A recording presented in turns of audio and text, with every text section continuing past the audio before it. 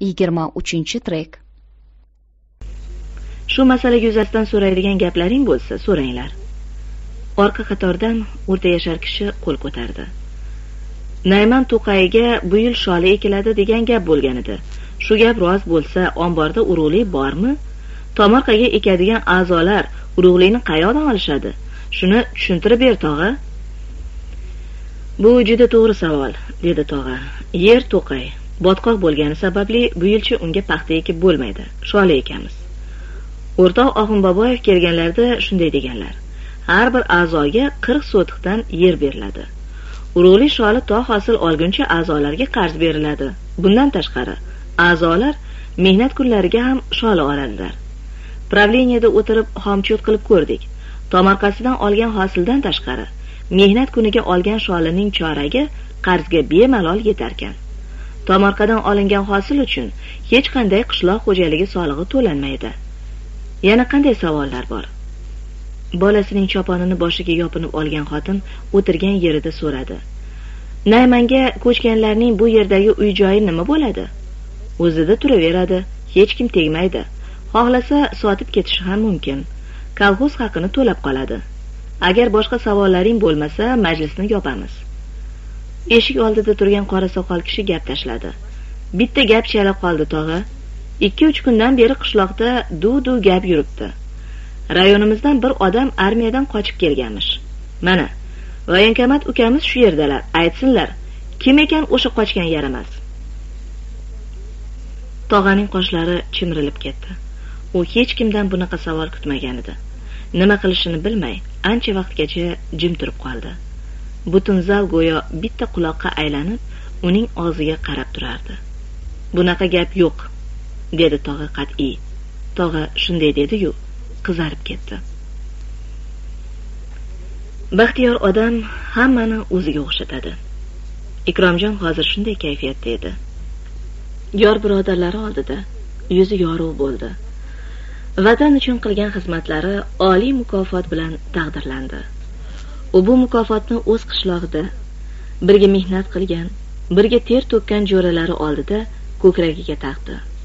Hozir uning ko'ziga boshqalar ham xuddi shunday baxtiyor shunday shod tuyulardi. Hali majlisda qandaydir yaramas bir bola to'g'risida gap bo'ldi. U yaramas bola armiyadan qochgan qishlog'ini ota onasini hijolatga qo'ygan. Negadir ikromjon bunga uncha parvo qilmadi. Bu gaplarning unga mutlaqo aloqasi yo'q. U taqdirlangan. Zoya ketmagan mehnatlarining gashti bilan mast edi. Klubdan chiqqan kishilar to'da to'da bo'lib simyog'och tagida gaplashib turishibdi. Xotin xalaj allaqachon tarqab ketgan. Tog'a harbiy komissarlikdan kelgan leytenant bilan pachog'i chiqqan qora mk mashina oldida nimanidir shivir shivir gaplashib turibdi. Ikromjon ularning gapiga xalal bermaslik uchun yonlaridan tez o'tib ketdi. U hozir samovarga kirib bitta choy ichmoqchi. Klub ichi dim bo'lib ketganidan terlab chanqagan edi. Sholchi yozilmagan yaydoq so'rida choy ichib o'tirganlar oldidan o'tib ichkariga kirayotganida g'alati bir gapni eshitib qoldi. Deraza tarafga qarab o'tirgan yigit nimadir deyapti. Ikromjon tarafga qarab o'tirgan keksaroq kishi unga yuz ko'zi bilan qandaydir ishora qildi. Yigit uning ishorasiga tushunmadi. Gapini davom ettiraverdi.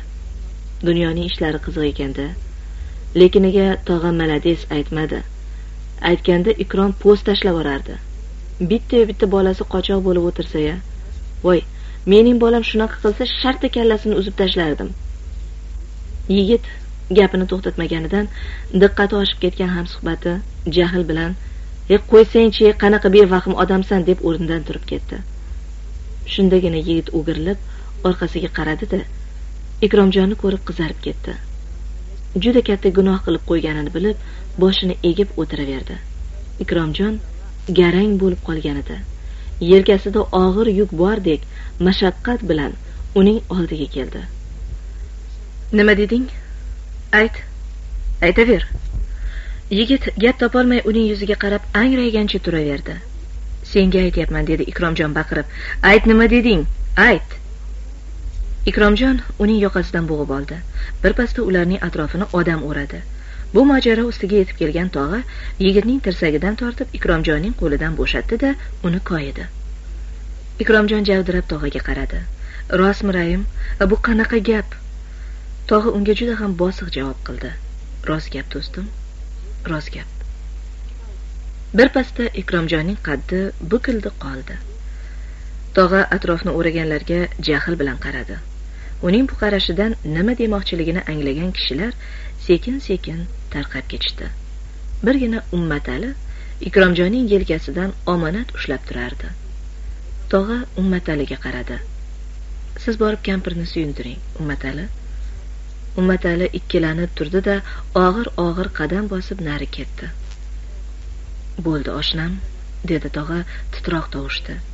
Shunaqa bo'lishini bilganimdan aytmagan edimda qandoq qilasan? Chidaysan? Chidaysanda og'ayni.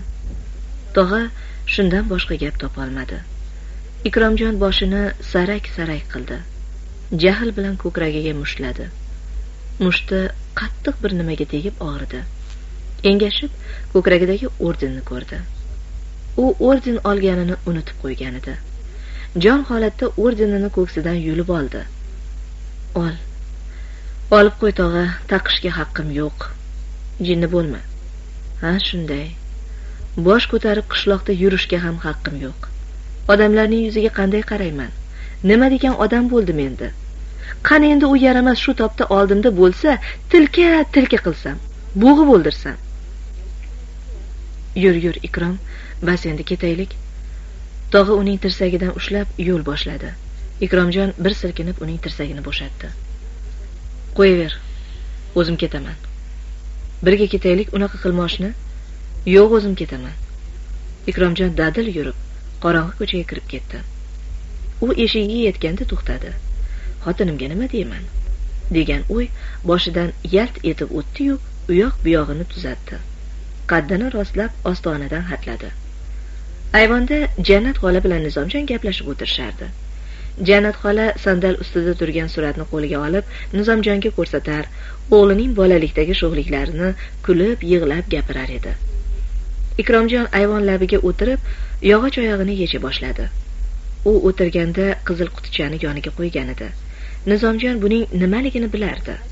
Ham qishlog'i asrori orden olganda ko'rgandi. Jannat xola erini charchagan bilib sekin so'radi. Mayli singlar uzoq cho'zildi chog'i. Charchabsiz mehmon bola ham xudoga shukur tuzalib qoldi. Aytdimku mening dorim darrov tuzatadi deb. Unga tursunboy oginamning suratini ko'rsatayotgan edim. Ikromjon undan ko'zini yashirdi. Bolaginam shundoq erka edi shundoq erka edi. To maktabga borguncha ham dadasining yelkasidan tushmabdi. Opichib guzarga olib chiqardilar. Opichib magazinga olib kirardilar. Ikromjon g'ayritabiiy intilish bilan bir oyoqlab o'rnidan turib ketdi. Bas qil ovozingni o'chir. Jannat xola qo'rqib ketdi. U o'ttiz yil birga yashab eridan birinchi marta bu xil gap eshitish edi. Bunaqa o'g'lim yo'q befarzand odamman. Voy nega unaqa deysiz? Tavba deng sizga nima bo'ldi? Sizga nima bo'ldi? Jannat xola nima bo'lganini bilolmay devorga suyanganicha dag' dag' titrab turardi. Ikromjon bir oyoqlab uzoq turolmadi gandiraklab ayvon oldiga terib qo'yilgan g'ishtga yon boshi bilan yiqildi. Nizomjon sapchib turib uning oldiga keldi da azod ko'tarib ko'rpachaga yotqizdi. U behush edi. Jannat xola nima gapligini bilmay devorga suyanib rangi qum qum oqarib turardi. Zirillani qishlog'i bu tong uch voqeaning shohidi bo'lib uyg'ondi. Azizxon sovet ittifoqi qahramoni. Tursunboy qochoq. O'ttiz xo'jaylik naymanga ko'chadi. Hammaning og'zida shu gap. Azizxonning jasorati qishloq ahlini qanchalar quvontirgan bo'lsa tursunboyning qilmishi shuncha xafa qilgan edi. Erta bilan dalaga ketish oldidan ummatalining uyiga uni muborakbod qilgani ham qishloqlar turna qator bo'lib oqib kelishardi. Ikromjonning uyidan ikki hovli naridagi bu uyda to'y tog'a ham shu yerda. Tut tagidagi so'rida sozandalar hofizlar o'tirishibdi. Olma shoxiga oyog'idan osilgan qo'yning terisini qassob pishilib olmoqda. Yer o'choqdan g'o'zapoyaning alangasi gurillab ko'tariladi. To'txola hali u uyga kiradi hali bu uyga kiradi. Kirgan chiqqanlarga qulluq aylanay qulluq o'rgilay deb yana oshxonaga o'tib ketadi. Supada respublika gazetasining farg'ona muxbiri tizzasiga daftarchasini qo'yib ummatalini gapga solmoqda.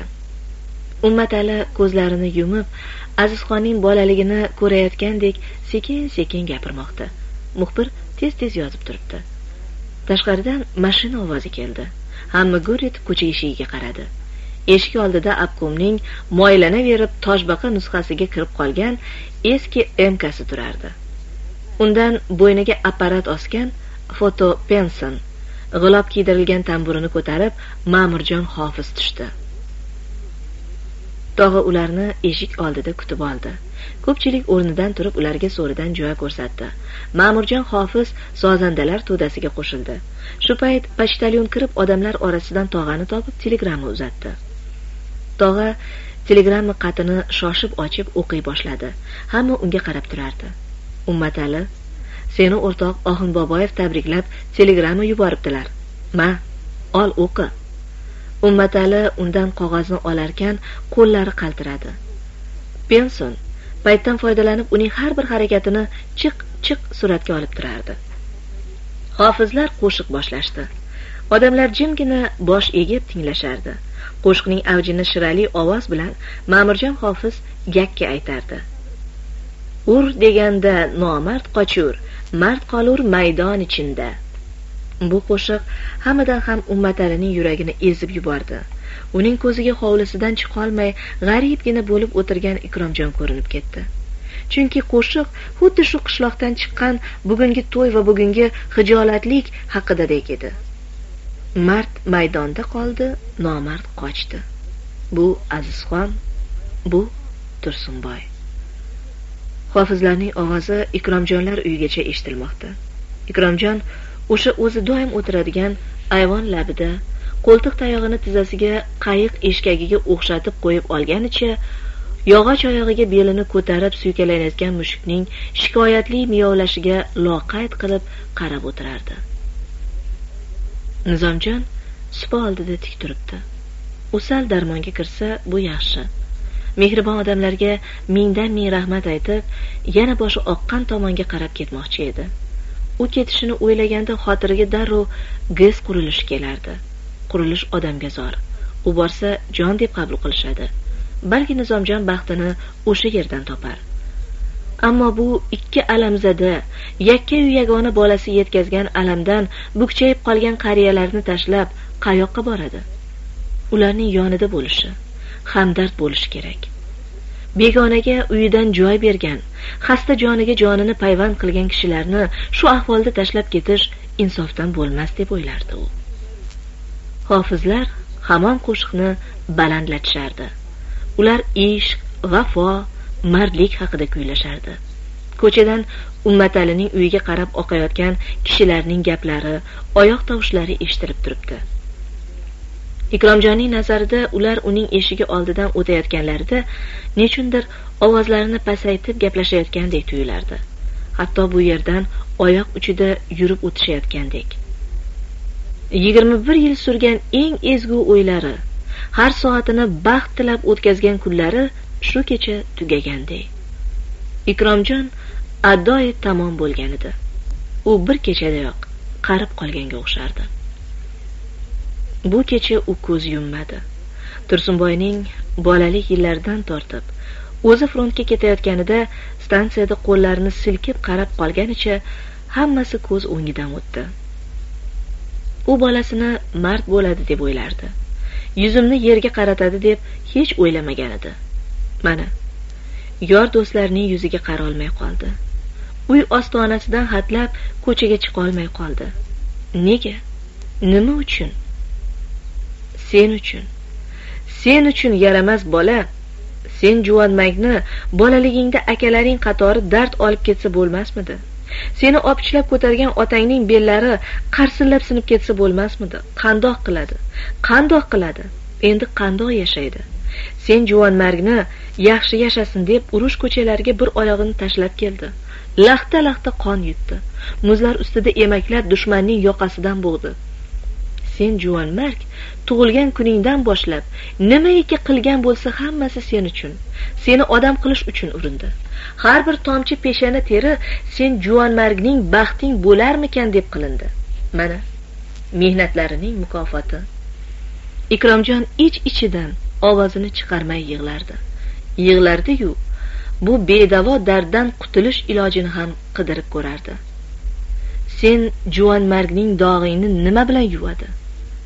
Qani oyoqlari butun bo'lsa-yu shamoldek uchib urush bo'ronlariga kirsa fashist uyasiga olov bo'lib otilsa gazandalarning kekirdagidan tishlab miyasini majaqlab xumordan chiqsa. Afsus bunday qilolmaydi. Endi u yigitlik qayda? Endi u oyoqlar qayda? Keksayganida tiriklay go'rga tiqdingga go'rga tiqdingga. Evoh evoh bevafo dunyo birgina boshiga shuncha tosh otasanmi? Uning ko'zlari hovli yuzini ma'nosiz kezardi. Birdan oshxona devoriga tikilganicha to'xtab qoldi. Unda tursunboyning loy chaplaganidagi besh panjasining izi qolgan edi. Jannat xola kuniga necha marta bu barmoq izlarini tabarruk narsadek qo'llari bilan siypab ko'zlariga yuzlariga surtardi. Ikromjon shaxt o'rnidan turib o'sha yerga bordi. Barmoq izlariga uzoq tikilib turdi.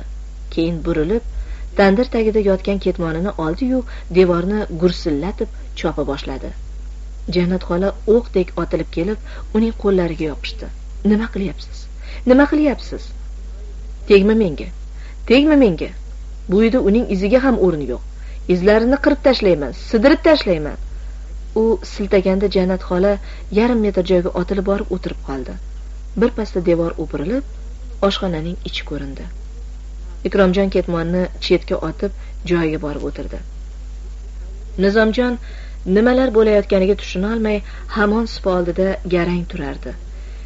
Ikromjonning alami bosilmasdi. U endi nima qilishini bilmay ayvon tokchalariga ko'z yugurtira boshladi. Birdan sandal ustida turgan tursunboyning suratiga ko'zi tushdi. Yana sapchib turib suratini qo'lga oldi. Oyna solingan ramka ichidan qora qosh yuzlari xuddi mohir haykaltarosh bor san'atini ishga solib yasagan haykalga o'xshash juda ham ko'rkam tursunboy kulimsirab turardi. Ikromjon suratni yuzlariga surtib ho'ng ho'ng yig'ladi. Oynada uning ko'z yoshlari dumalab ramka chetida halqob bo'lib turdi da pildirab pastga oqib ketdi. Uning mayin tabassumi ikromjonni ermak qilayotganga o'xshardi. Suratni yuz tomoni bilan yog'och oyog'ining tizzasiga bir urdi. Oyna chil chil bo'lib ketdi. Jannat xola dodlab kelib uning qo'lidan suratni tortib oldi. U tortayotganda shisha sinig'i ikromjonning qo'lini qonatib yuborgan edi. Alamiga chidayolmay peshonasiga shattillatib uraverdi. Qonli panjalar yuzini ham qonga belab qizartirib yuborgan edi. Jannat xola suratni olib dag' dag' titrab turardi. Oxiri ikromjon charchab sandal kursisiga o'tirib qoldi. Jannat xola suratni ko'ksidan olib tikildi. Ota qoni tursunboyning betlariga ham sachragan edi. U singan parcha parcha bo'lib ketgan oyna orasidan hamon iljayib qarab turardi. Uning bu qarashi vayron bo'lgan qonga belangan uyning siniq derazasidan mo'ralab ermak qilayotganga o'xshardi.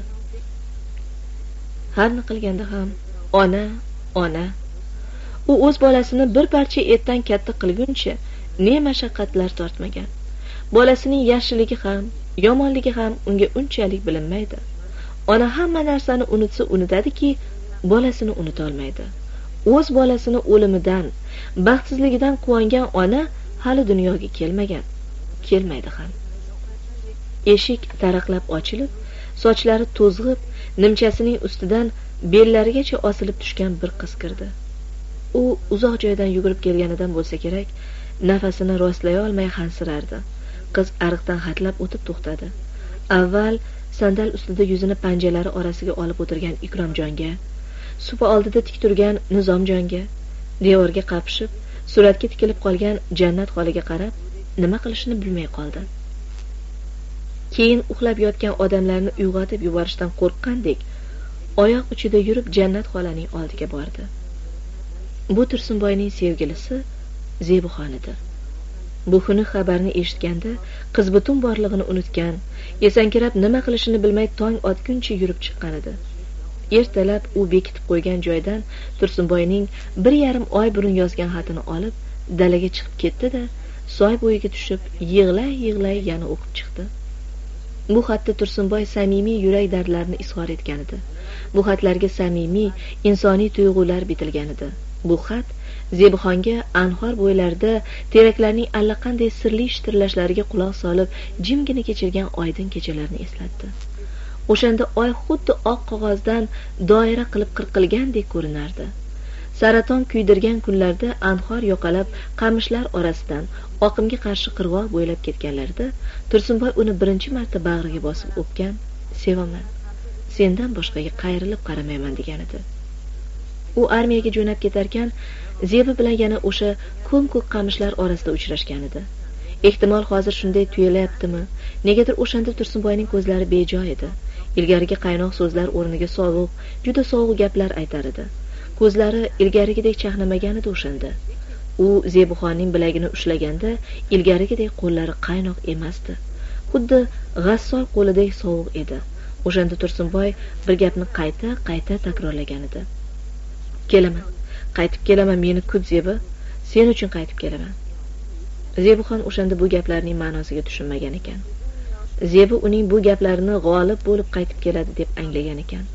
Tursunboyning o'shandayoq armiyaga jur'atsizlik bilan ketayotganini yurt uchun jonbozlik qilgani ketayotgan emasligini sezmagan ekan.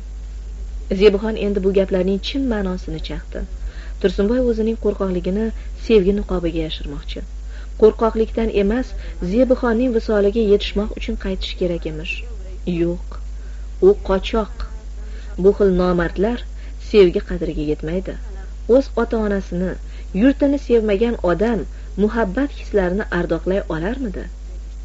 Zebuxon bu uyga nomard bola tuqqan onaga xoin bola o'stirgan otaga alamli so'zlar aytgani kelgan edi.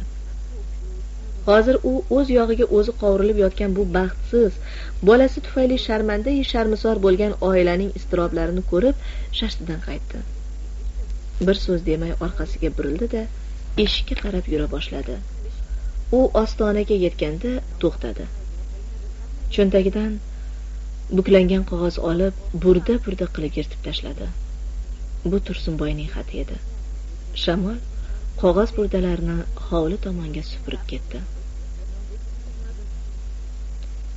Raymberdi tog'a umatalining uyida hofizlarning xonishiga quloq solib tizzasiga urib tebranib o'tirardi.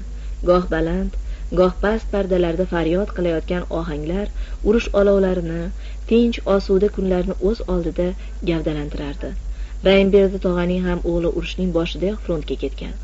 O'g'li toshkentda universitetning ikkinchi kursida o'qirdi.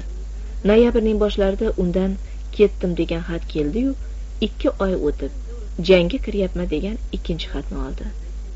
Tog'a o'g'lidan yaralandim gospitalda davolanyapman degan mazmunda oxirgi xatni qishda olgan edi. Sal kun o'tmay harbiy komissarlikdan o'g'lingiz vatan uchun janglarda qahramonlarcha halok bo'ldi degan xat oldi. Tog'i o'z yog'iga o'zi qovurildi. Ozib cho'p bo'lib ketdi. Ammo bu sirni xotiniga bildirmadi. Xotini xat xabar kelmay qoldi-ya deb bezovta bo'la boshlashi bilan u birovga o'g'li nomidan xat yozdirib eski konvertga solardi da kelib o'qib berardi. Qishdan beri ahvol shu. Hozir u kuy maqomiga tebranib o'tirarkan ich ichidan ezilib o'g'lini o'ylardi. Bolaginasining bir siqim tuprog'i qayerlarda qolib ketdi ekan?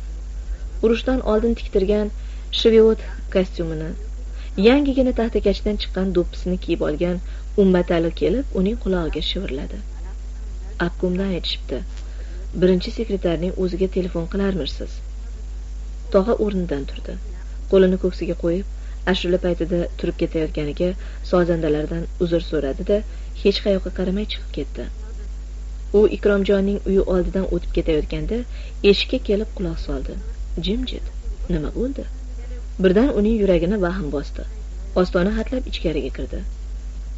Bu payt nizomjon oshxonada o'choqqa o'tqalab nimadir pishirayotgan edi.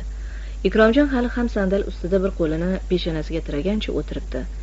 Jannat xola supada bir tizzasiga boshini qo'yib devor tagida don talashayotgan musichalarga xomush tikilib qolgan edi. U tog'ani ko'rib boshini ko'tardi da orqasiga yig'ilib qolgan etaklarini tushirib o'rnidan turdi. Tog'a o'n bir yildirki kolxozga rais. U ko'p to'ylarga boshchilik qilgan. Ko'p azalarda oldinga tushib tobut ko'targan. Qanchadan qancha yetimlarning boshini silab ovutgan. Adashganlarni yo'lga solgan. Ammo ikromjonni ovutishga u ojizlik qilardi. Uni nima deb yupatadi odamzodning bisotida bu dardni yengillatadigan gap bormi? Ikromjonning yagona tayanchi yagona umidi shu bola edi. Endi u yo'q. Mabodo u dardga chalinib o'lganda uni yupatish uchun biron so'z topilib qolishi mumkin edi. Bu yaramas bola o'z otasini sharmandalikka tashlab ketdi. U bir umr bu dog'dan qutula olmaydi. Shuning uchun ham tog'a garang edi. Jannat xola unga salom berib eriga qaradi. Dadasi turing tog'a keldilar. Ikromjon boshini ko'tarib uni ko'rdiyu mashaqqat bilan o'rnidan turdi. U charchaganidan uyqusizligidan darmonsiz edi. Ammo o'zini tutdi. Hovliga tushib tog'aning istiqboliga chiqdi.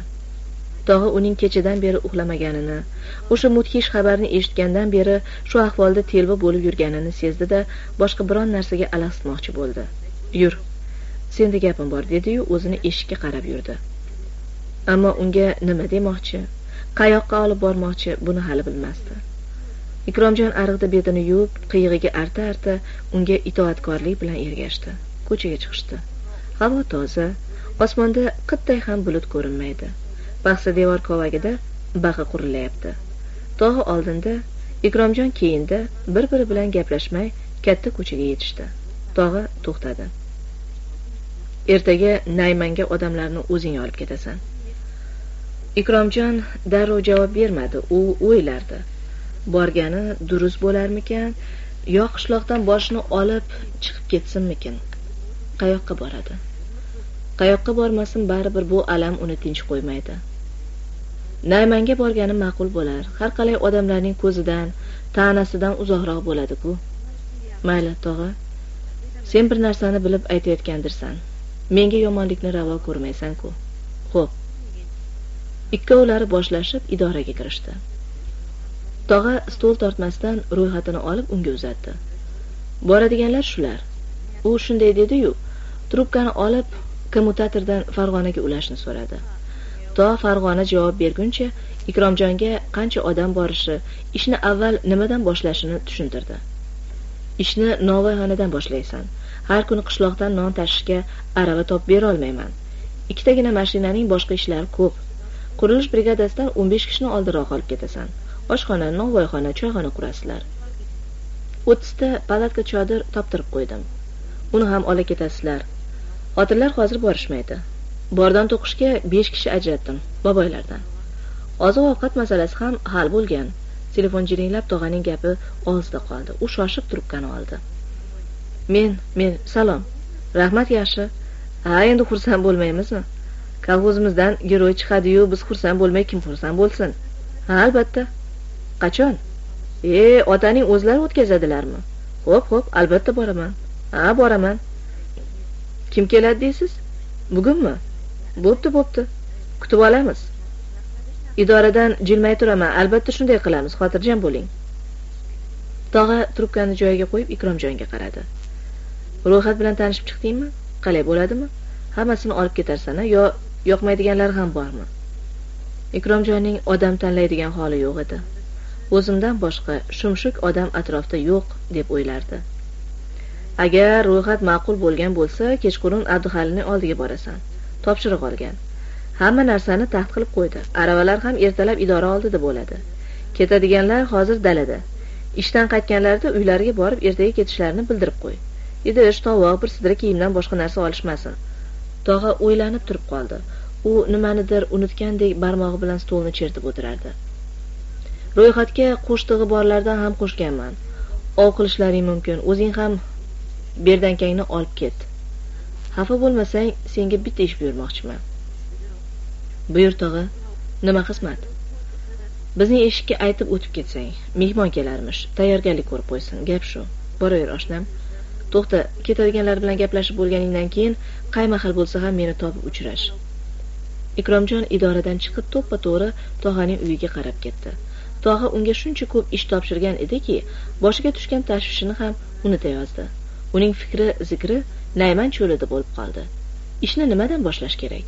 Oldin to'qayga o't qo'yishdanmi zovur qazishdanmi palatka qurgan bilan zax yerda yotib bo'larmikin aytgancha tog'a qariyalardan besh kishini bordon to'qishga qo'shib beraman dedi. Tog'a tadbirli odam har baloga aqli yetadi. Olisni ko'radigan odam bu tog'a. Ikromjon raisning uyiga mehmon kelishini tayinlagach to'ppa to'g'ri kolxoz saroyiga kirdi. Omborchi abduhalil qayoqqadir chiqib ketgan ekan. Uni kutib saroy ichida aylanib yurdi. Bundan uch to'rt kun oldin tog'a bilan naymanga borishganda u madaniyat saroyiga atab sibirdan olib kelgan yog'ochlarni tildirmay asrab qo'yganini aytgan edi. Shu gap esiga kelib ikromjon temir tersak uyib tashlangan maydonga o'tdi. Haqiqatan ham o'sha yog'ochlar qanday taxlab qo'yilgan bo'lsa o'shanday turibdi. Ikromjon bu yog'ochlardan qancha taxta tildirish mumkinligini chamalab ko'rdi. Boradigan xo'jaliklarga quriladigan uylardan ortib qoladi. Yo'g'i taxti bo'ladiyu ortib qoladimi? Ko'prik otxona molxonaga ham kerak bo'ladi. Gap hali tog'aning bu yog'ochlarning hammasini berishda qolgan. Beradi bermaganga qo'ymaydi ikromjon. Otlarning yemi nima bo'ladi? Tog'a bu masalada hech gap aytmadi-ku. Hali uyga borganda eslatish kerak. Yerdan giyoh qiyoq cho'zib chiqquncha yetadigan yem olib ketishmasa bo'lmaydi. U saroyni aylanib kelsa abduhalil omborni endi ochayotgan ekan. Omborga boshlab kirib ertaga cho'lga olib ketiladigan narsalarni ko'rsatdi. Tandir yo'q o'zingiz toping. Xarajatini buxgalteriya to'laydi. Qozon bor samovar bor quruq choy yo'q olma choy beraman. Boshqa hamma narsa bor xotirjam bo'ling. Ertaga hammasini aravaga ortamizu ketaverasizlar. Ikromjon uning oldidan ancha ko'ngli xotirjam bo'lib chiqib ketdi. Endi ketadigan a'zolarni ogohlantirish kerak. Tayyor bo'lib turishsin. Ancha kech kirib salqin shabada etni junjita boshlagan edi. Ikromjon samovarga kirib bitta choy ichdi da qo'lidagi ro'yxatga qarab ketadiganlarning uylariga jo'nadi. To ishini bitkazib qaytguncha qorong'i tushib qolgan edi. Ro'yxatdagilarning birontasi ham yo'q demadi. Buning sababi bor edi. U kim bilan gaplashmasin bechora alahsib qopti. Tog'a ishga sho'ng'itib qo'yibdi yo'q desak ko'ngli ranjiydi deb xo'p deyaverishdi. U ishlarning yaxshi yurishganidan tabiati ravshan tortib tog'aning uyiga keldi. Katta uyda notanish bir kishi stolga qo'lda yasalgan xaritani yozib tog'aga nimalarnidir ko'rsatardi.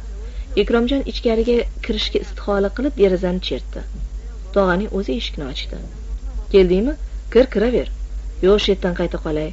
Jinni bo'ldingmi? Kiraver. Tog'a uni qo'yarda qo'ymay ichkariga boshladi. Mehmon unga o'girilib qaradi. Ikromjon u bilan salomlashib bir chekkaga o'tirdi. Mehmon ikromjon kirib uzilib qolgan so'zini davom ettirdi. Uning gaplaridan og'imboboyev hozir farg'onada ekanini bir ikki kundan keyin yovon masalasida katta yig'in bo'lishi kerakligini angladi. Tog'a ikromjonga choy quyib uzatdi da eshikka chiqib ketib ancha hayallab qoldi. Mehmon ikromjonga qaradi.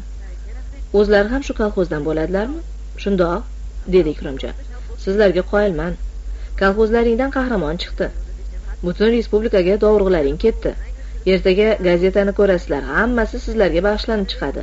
Qiziq biri qahramon biri qochoq. Ikromjonning yuragi shuv etib ketdi. Uni kimdir go'yo elektr toki bilan urgandek bo'ldi. Tili gapga kelmay nimalardir deb g'o'ldiradi keyin qizarib ketdi. Ikromjon qanday qilib eshikka chiqib qolganini bilmaydi. Osh olib kirayotgan tog'iga urilib ketdi. O'girilib unga bir qaradi-yu o'qdek otilib ko'chaga yugurdi. Atrof qorong'i osmonda na oy na yulduz bor. Nazarida bu qora kecha bir umr oqarmaydigandek edi. Ikromjon har qancha iztirob chekmasin. Er kishi sifatida xotini oldida o'zini dadil tutishi ko'z yoshini yashirishi biron harakati bilan alam chekayotganini bildirib qo'ymasligi kerak. Bu qiyin ammo iloji qancha?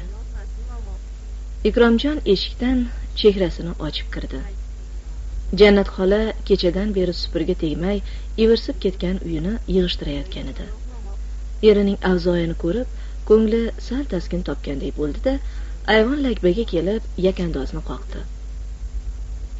Kech haddida nima qilasan uy supurib? Dedi ikromjon uning ko'zlariga qarashga botinolmay bu ishlaringni qo'y xotin o'tir ishdan gaplashaylik. Tayyormisan? Ertaga naymanga ketamiz. Jannat xola erining yoniga kelib o'tirdi da hardam hayollik bilan javob berdi. Qandoq bo'larkin? Durustroq o'ylab ko'rdingizmi? Durustroqmi? Durustroq emasmi ish qilib o'sha yoqqa ketsak yomon bo'lmaydi. Meni aytdi dersan. Shu ish menga ma'qul tushib turibdi. Endi ko'nglingga kelmasinu gapning sirasini aytib qo'yganim durust ikromjon gapning davomini o'ylab bir muddat jim qoldi. Keyin jannat xolaning ko'ziga tik qaradi. Urushda har nima bo'ladi. Birov o'qqa uchadi birov yarimjon mayib bo'lib qaytadi. To'rtseraklik muallim oshnam bor edi ku taniysan oti g'anijon o'shaning o'g'lidan qora xat kelganda bechora yig'lab siqtab azo ochgan edi. Yo'q yaqinda o'g'lining o'zidan xat kelibdi ko'rdingmi urushda shunaqa chalkashliklar bo'lib turadi.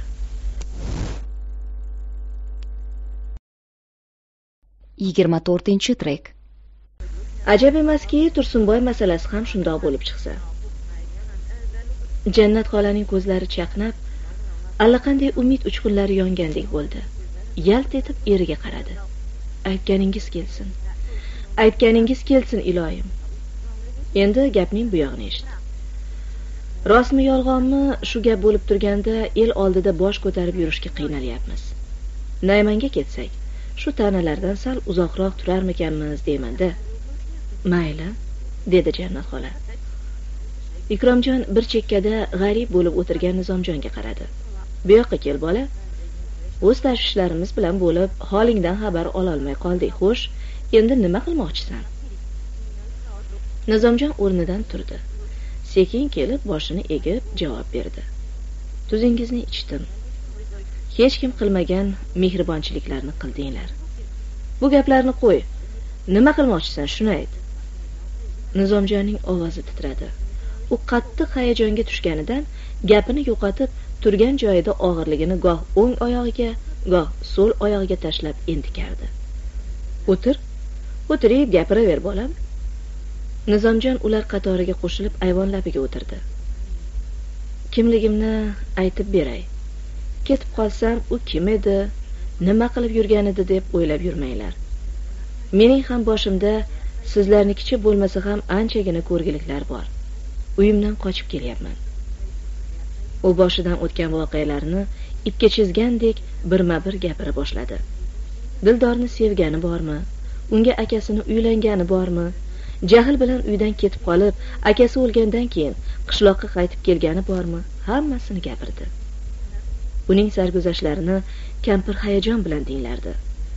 Ikromjonga bu voqealar qanchalik ta'sir qilmasin yuzida ko'zida ortiqcha ajablanish sezilmasdi.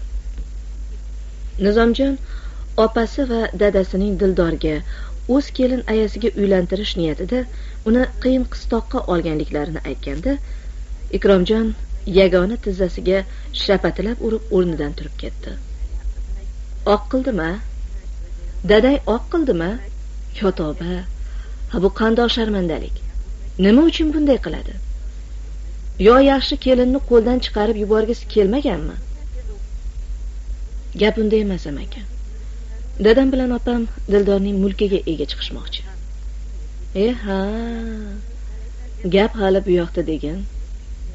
Xo'sh endi nima qilmoqchisan? Nizom peshonasini uqalab birpas jim turdi da javob berdi. Gez qurilishiga borsam deyman. U yerda odamga zor bo'lib turishibdi deb eshitdim. To'g'ri bizning zirillamamizdan ham yigirma odam ketgan. O'sha yoqqa borsang yomon bo'lmaydi. Buni yaxshilab o'ylab ko'rishimiz kerak. Menga qara biz bilan naymanga keta qolmaysanmi? Yaxshi yigit ekansan yolg'izlatib qo'ymaymiz. Baxting ochilsa shu yerda uyli joyli bo'lib ketarsan. Jannat xola gapga qo'shildi. Shunaqa qila qol. Amakinglar bilan bo'lsang bir birlaringga dalda bo'lasizlar. Issiq sovug'ingdan ham xabar olib turadiganlar bor bu joyda. Shu ma'qul gap bolam. Nizomjon o'ylab qarasa darhaqiqat bu jo'yali gap ekan. Har qalay bu odamlar bilan ancha sirdosh bo'ldi. Birov shu yerda qol deb qo'ynini ko'nglini ochib tursayu u qayoqqa ketadi? Bormagan ko'rmagan olis joyda hali nima gapu nima so'z? Undan tashqari o'zidek dili shikast bu oilani tashlab ketish ham insofdan emas. Xo'p amaki qolaman. Sizlar sabab bo'lib zora yo'limni topib ketsam illo yuzlaringizni yerga qaratmayman.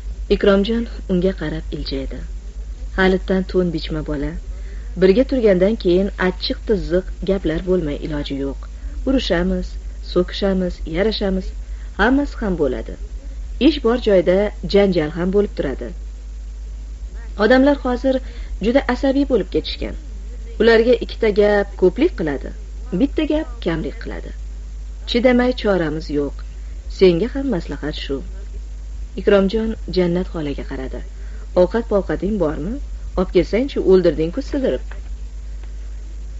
Jannat xola o'rnidan turib oshxonaga ketdi. Chiroq yoqib o'choqqa o't qaladi. Oshxona eshigidan bosh chiqazib dedi. Shavla qilgan edim. Sovib qopti. Hozir isitib beraman. Jinday sabr qilib turing dadasi. Ikromjon ariqdan qo'l yuvdi yakka yu yagona oyog'ini sandalga tiqib o'tirib oldi.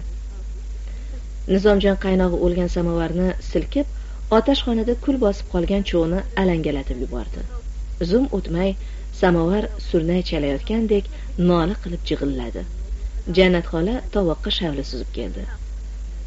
Bu oilaning ikki kundan beri endi dasturxon atrofiga yig'ilishi edi. Ikromjonga charchoq bilindi. Sandal issig'i badaniga o'tib ko'zi ilina boshladi. U ovqatdan keyin ikki piyola choyni qaynoq qaynoq ho'pladi da mudrab ketdi. Orqasidagi yostiqni yoniga tortib birpasda uxladi qoldi. Jannat xola nizomjonga ham o'rin solib berdi da chiroqni o'chirib ichkari uyga kirib ketdi. Ammo nizomjonning ko'ziga uyqu kelmasdi. Xayoli uni hali u yoqqa hali bu yoqqa sudrab ketaverdi. U o'z taqdirini o'ylardi. O'lmasa dardga chalinib qolmasa bu saxovatli kishilarga bir yaxshilik qilsin. Shunday yaxshilik qilsinki bu nogiron xasta kishi diliga o'chmas alam solgan bolasining dog'ini unutsin. Unga bolasidan afzal yaxshiliklar qiladi. Hech kim unga xoinning otasi deb ta'na qilmasin. Unga otiladigan ta'na toshlariga nizomjon ko'ksini tutib beradi. Shunda u o'g'lim bor ekan u mana deya olsin. Nizomjon boshiga kelgan bu o'ydan ruhlanib ketdi. Boshini bolishdan sekin ko'tarib ikromjon yotgan tomonga qaradi. Kecha qorong'i bo'lganidan u ko'rinmasdi. Faqat pish pish nafas olayotgani aniq eshitilib turardi. Nizomjon yana bolishga bosh qo'ydi. Esiga qishlog'i uyi dadasi keldi. Ular nima qilishayotgan ekan? Uni eslashayotganmikan? Dildor ketib qolmadimikan? Birga katta bo'lgan o'rtoqlari bir bir ko'z oldidan o'tardi. O'qigan maktabi oxirgi imtihon urush boshlangan kundagi qishloqdagilarning hayajonli ko'zlari dadasining o'sha kuniyoq magazindan ikki qop shakar besh qop un oltmish litr paxta moyi olib kelgani opasi omonat kassaga qo'ygan hamma pullarini qaytarib olgani hammasi hammasi xayoliga keldi.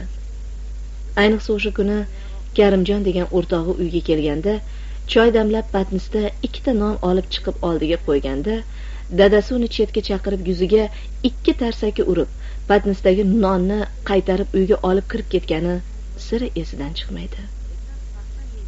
Endi ocharchilik bo'ladi. Oshxonada qattiq non bor ikki burda olib chiqib qo'y degan edi dadasi. O'shanda nizomjon xo'rligi kelib ko'z yoshini oqizmay yig'lagan. Bu hangomani ko'rib turgan karimjon sekingina kulib qo'ya qolgan edi do'sti karimjon frontda. Nizomjon uni asrora bilan harbiy komissarlikda gruzovoyga chiqib jo'nab ketguncha kuzatib qolgan.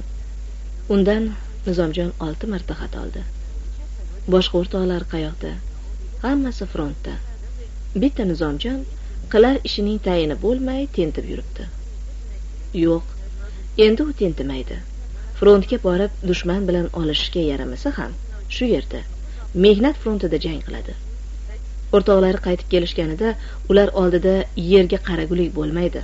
Ishlaydi bor kuchi bilan ishlaydi. Rohatidan kechadi uyqusidan kechadi. Ishlaydi ishlaydi. Nizomjon ana shunday xayollar bilan uxlab qoldi. Ayasi boshini silaydi. O'kinma bolam yo'lingni topib yur deydi. Allaqaydan dildor paydo bo'ladi. Unga qarab jirtak chalayotgandek iljayadi. Nizomjon tikilib qarasa bu iljayayotgan dildor emas bugun ertalab ko'rgan qiz. U mototsikl ushlab turibdi. Nimaningdir pat patlaganidan uyg'onib ketdi. Ariq bo'yida bo'ynini cho'zib turgan xo'roz ikki qanotini silkitib birdan qichqirib yubordi.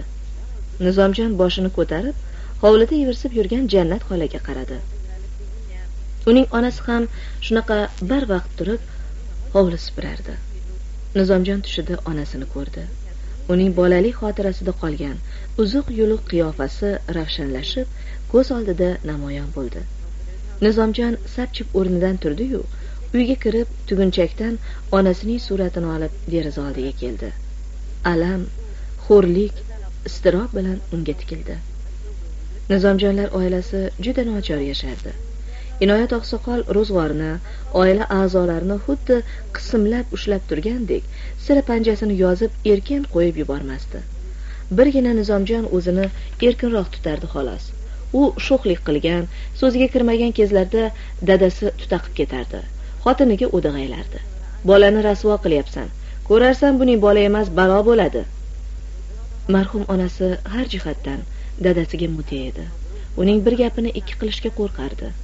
Nizomjonning onasi rangsizgina yuzlariga juda erta ajin tushib qaddi bukilgan xotin edi. U erining fe'lini yaxshi bilganidan achchiq gaplarni eshitganda ham chidab turaverardi. Oqsoqol ko'chadan kelib omborxonaga kalit solib ovqatga masalliq olib bermaguncha ayvon labida ma'yus o'tiraverardi. Oqsoqolning izmisiz bu ro'zg'orda o'choqqa o't yoqilmasdi. U doimo eshak minib qishloqma qishloq chorbozorchilik qilardi. Hech qachon birovnikida yotib qolgan emas qayerda bo'lsa ham uyiga yetib kelardi. Oqsoqol faqat hovlidagi ashtarxon gilos bilan oq o'rik pishib tugamaguncha uydan ko'chaga chiqmasdi.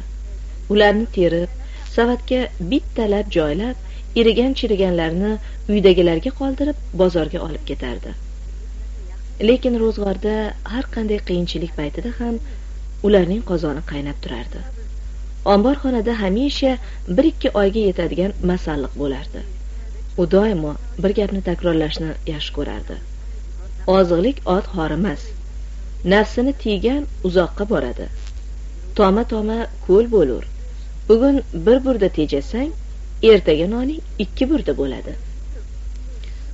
Oqsoqolning deyarli har kuni omborxonadan shisha bankada mosh yo no'xat o'lchab berayotganda aytadigan gapi xotinining jon jonidan o'tib ketardi. Hatto bir kuni chidamay nolib ham qoldi. E tejalmay o'lsin. Dunyoga odam ikki marta keladimi? Eshikdan birov kirsa yuragim o'ynab ketadigan bo'pti. Odamlarga o'xshab birovning oldiga ikkita non qo'yolmasam bu qanaqa tirikchilik bo'ldi? Boshqalar binoyidek to'kin sochin yashashyapti. E osh avliyoyu non payg'ambar bo'lmay qurib ketsin. Oqsoqol o'shanda xotinining gapiga javob topolmay o'shqirgan edi. Hoy ahmoq xotin! Hoy nodon xotin! Azizlarga til tegizma. Bu kuningni ham ko'p ko'rib qo'ymasin. Mahallada to'y yo aza bo'lsa o'sha kuni ularning uyida qozon osilmasdi. Oqsoqol ma'raka o'tguncha qozonning tepasidan ketmasdi. Bolalardan uyga bir ikki tovoq osh chiqarardi. O'zi qaytishda qiyig'iga ushatilgan burda nonlarni tugib kelardi. Nizomjon ana shu oilada hamisha tarang ro'zg'or ichida o'sgan. Shu topda u suratga qarab o'tirib munis hamma vaqt ko'zida hayotidan nolish sezilib turgan onasini eslab ketdi.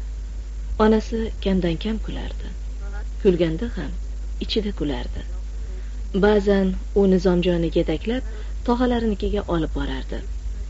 Nizomjon o'sha yoqlarga borganda sira uyiga qaytib kelgisi kelmasdi. Mana hozir ona suratiga tikilarkan uning yuzidagi tanish ko'p voqealarning shohidi bo'lgan ajinlar hech qachon kulmagan qisiq lablar hasrat to'la ko'zlar nizomjonga bo'laginam mensiz holing ne kechayotgan ekan? Yo'lingni topguningcha bag'rimda tutolmadim. Qayda bo'lsang omon bo'l yomonga yondashma deyayotgandek osmon xuddi yangigina ohak surtilgan devordek sekin sekin oqarib kelardi. Ko'kka bo'y cho'zgan yalang'och teraklarning uchi birdan xuddi o'tda qizdirilgan simdek qip qizil bo'lib ketdi. Ko'chadan oyoq tovushlari ham eshitilib qoldi. Atlasdek tovlangan osmon beg'ubor havo nizomjon ko'ksidagi og'ir hazin o'ylarni tarqatib yuborgandek bo'ldi. Zebuxon u qadar chiroyli emasdi ammo uning ikki ko'zi bu ko'zlar qaraganni kuydiradi. Zirillamalik yigit borki uning eshigi oldidan tegajaklik qilmasdan o'tolmasdi surma qo'ymay muncha ham jonon qarodir ko'zlaring. Har biri jon qasdiga boqqan balodir ko'zlaring. Oshino begonalarga bir umr xush xush nigoh oshnolarga g'araz nooshnodir ko'zlaring. Zebuxon supada bu qo'shiqlarni eshitib yotardi. Opasi uning tepasiga kelib bir yostiq bo'lib to'zib ketgan sochlarini yig'ishtirib unga mehr bilan tikilardi da hamisha bir gapni aytardi. Sen o'lgur noz qilavermay bittasini tanlasang bo'lardi. Pochchangni bilasanku gap ko'tarmaydi.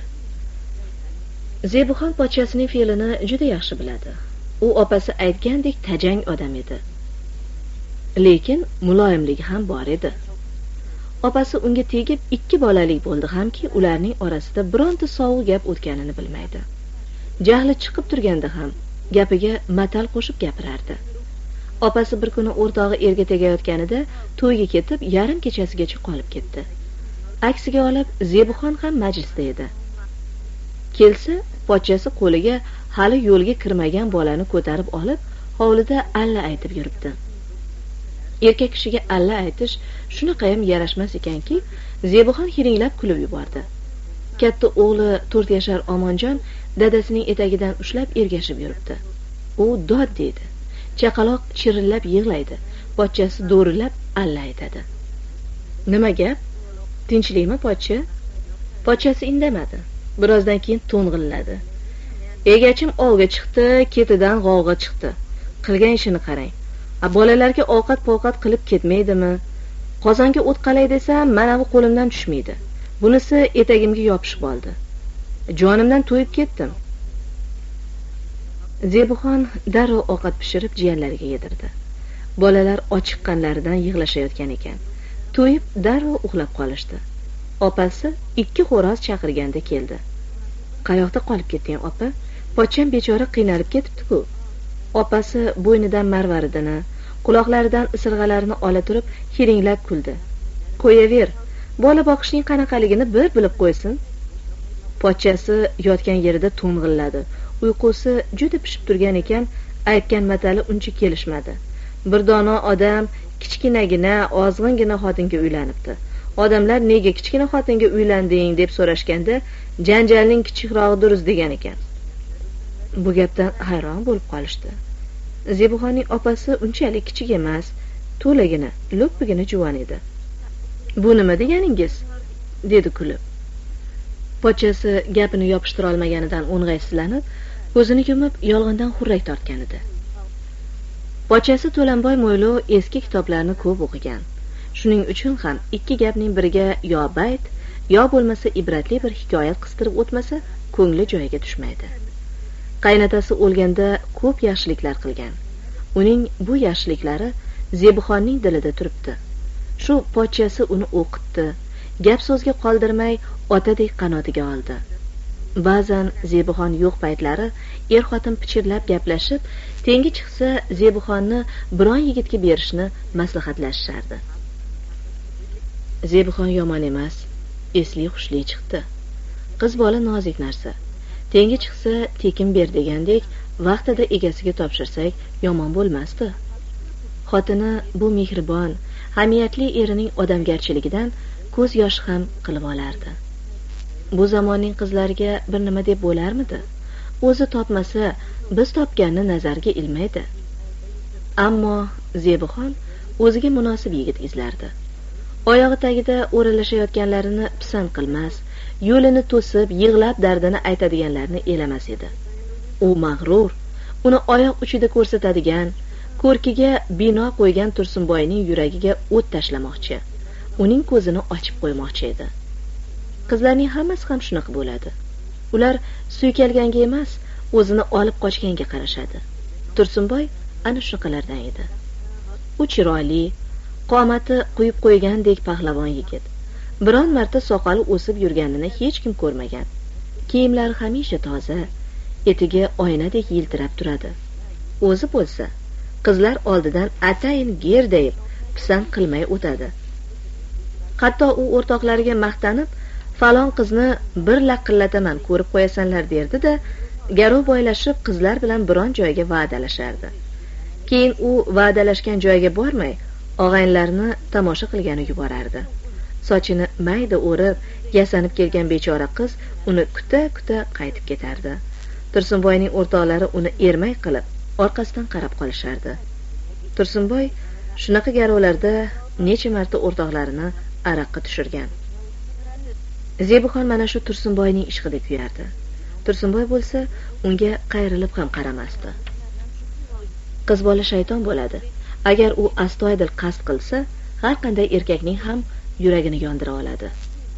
Bir tasodif ro'y berdiyu tursunboy o'q yegan kaptardek tipirchilab qoldi. Bayram kunlari zarkin guzari juda gavjum bo'ladi. Katta klubda oblast teatri har xil tomoshalar qo'yadi.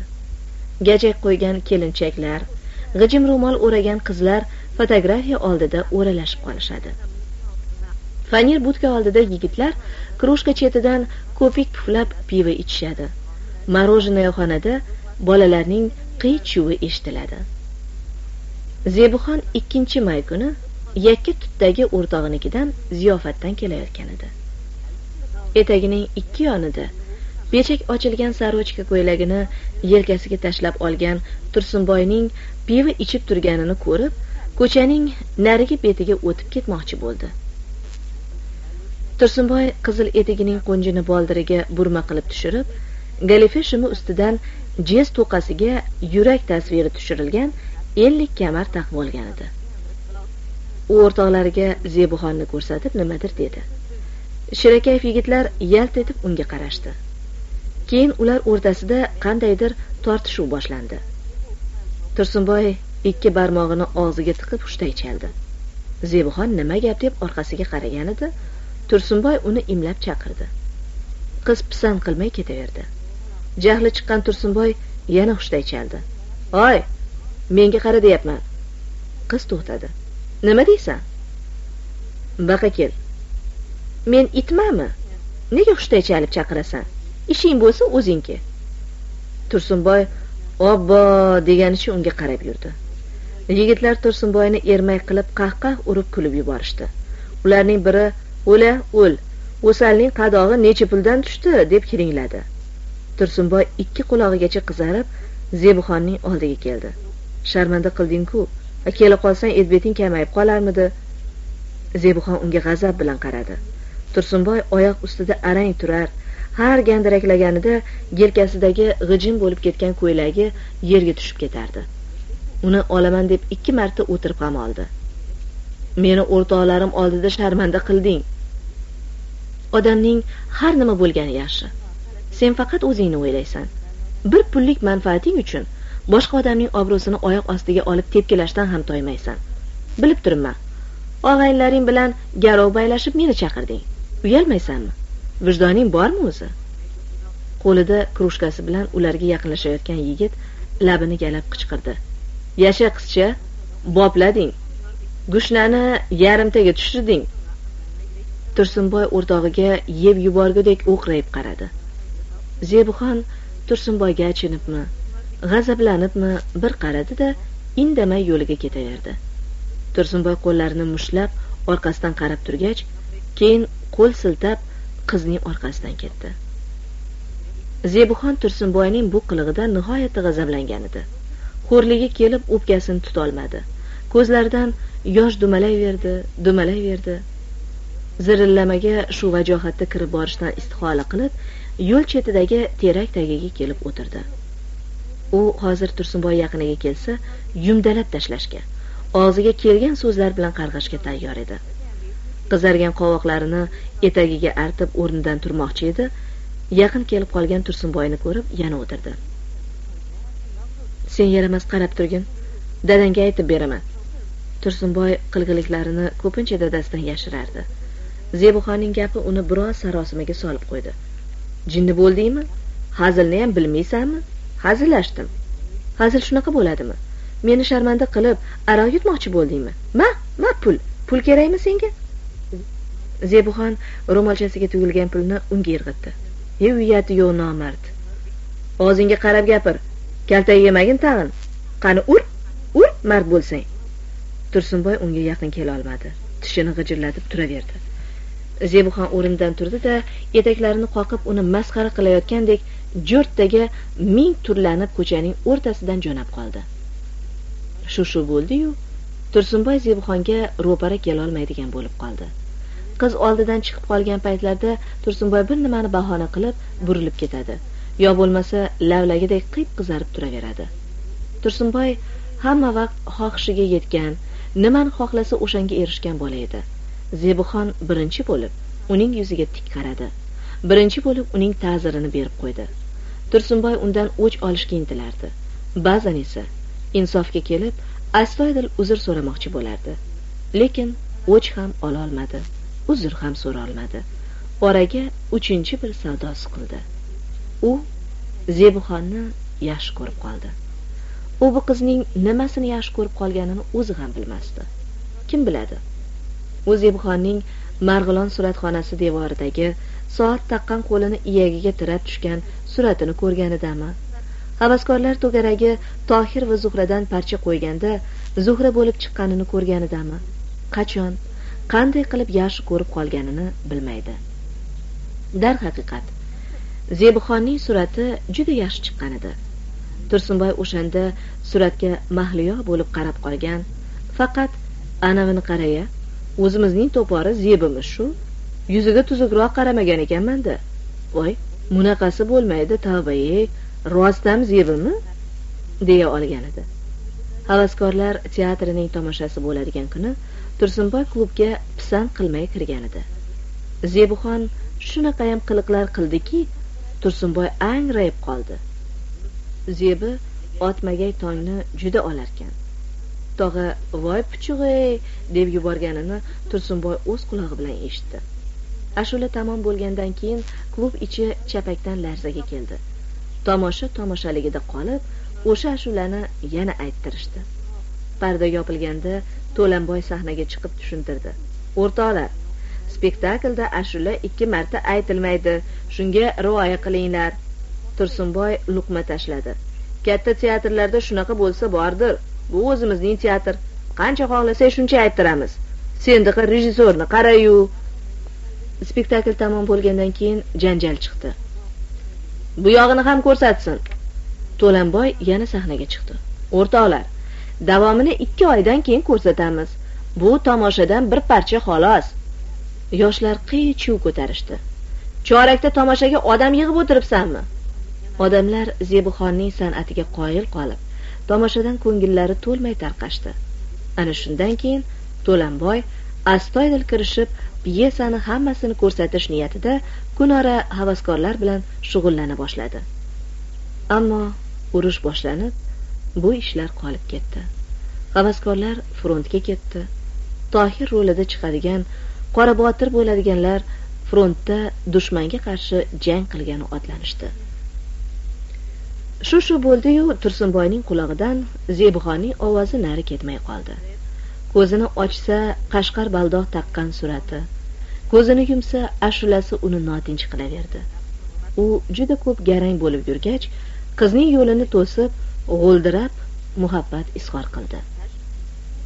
Zebixon ariq bo'yida tolga o'rashib chiqqan chirmovuqning karna guldan bittasini uzib ko'kragiga pastga qaratib taqib oldi da tushundingmi dedi. Tursunboy tushundi. Tushundiyu yuragi o'rtanib ketganini bildirish uchun otga o'xshab pishqirib xo'rsindi. Ayol qalbi tosh bo'lsa ham allaqayeri paxtadan yumshoq ipakdan mayin bo'ladi. Aytilgan gap o'sha joyga borib tegsa bekor ketmaydi. Tursunboyning shu qalbaki xo'rsinishi zebuxon ko'ksidagi o'sha har narsani kechira oluvchi har qanday darddan o'sha larzaga tushuvchi joyga borib qadalgan edi. Zebuxon unga yon berdi. Hech kimga so'zini bermagan hali egar urilmagan jilov solinmagan asovjiyrondek shataloq otib yurgan bo'z bolaning bosh egib titrab turishi zebuxonning ko'nglini yumshatdi. U beixtiyor uning qo'llaridan ushladi.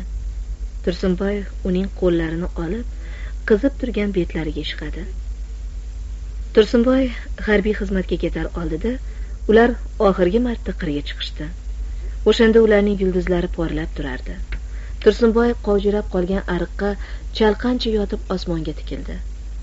Yulduzlar milt milt qilib imlashadi yigitning ko'zlarida yosh yiltirayotganini zebuxon sezmasdi. Ikkovlari ham o'z yulduzlariga tikilib nimalarnidir o'ylashardi. O'sha yerlarda ham yulduz ko'rinarmikin? Dedi zebuxon. Ko'rinadi.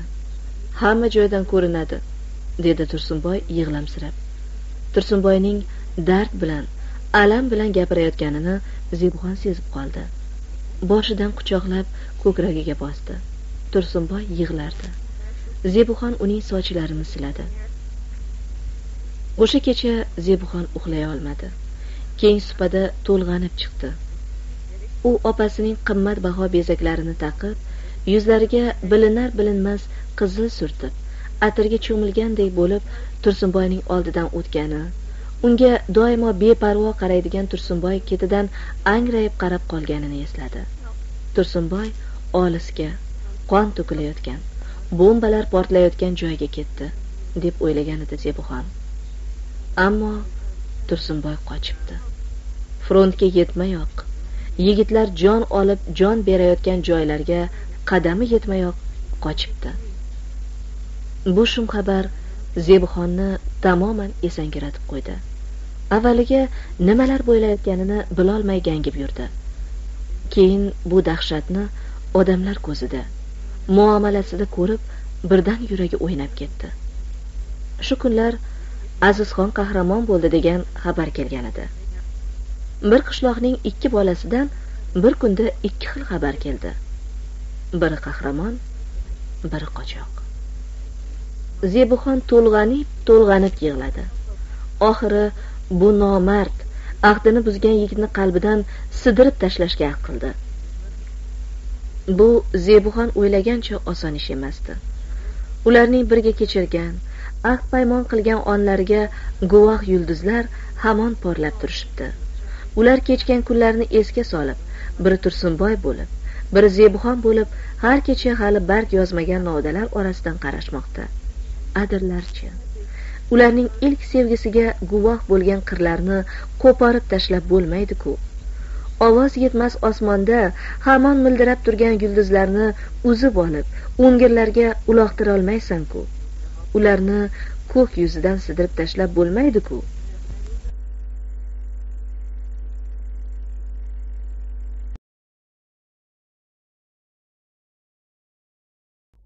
Yigirma beshinchi trek. Zebuxon qalbida to'lib toshgan alamlarni kimga to'kishni lahcha cho'g' bo'lib yonayotgan o'tni kimga sochishni bilmasdi. Zebuxon o'ylab o'ylab tursunboyni eslatadigan ko'chalardan soy bo'ylaridan nari ketishga ahd qildi. U tog'a ko'nsa naymanga ketadi. Shu niyatda o'rnidan turib bir varaq qog'ozni oldiga qo'yib qalamni tishlagancha o'ylanib qoldi. Ikromjon ertalab shamolning guvillashidan uyg'onib ketdi. Apil tapil kiyinib o'rnidan turdi da hovliga tushdi. Hamon shamol navdalarini bir biriga ayqash uyqash qilib hovli yuzidagi qog'oz parchalarini u yoqdan bu yoqqa uchirib yurardi. Kunbotar tomondan qo'rg'oshindek qop qora bulut shu tomonga sudralib kelmoqda. Ikromjonni tashvish bosdi. Axir bugun odamlar cho'lga ketishadi.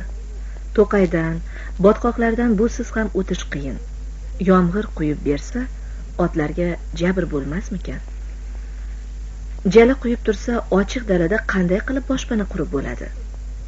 Agar havo shu xilda aynib tursa ertaga jo'nashsamikin?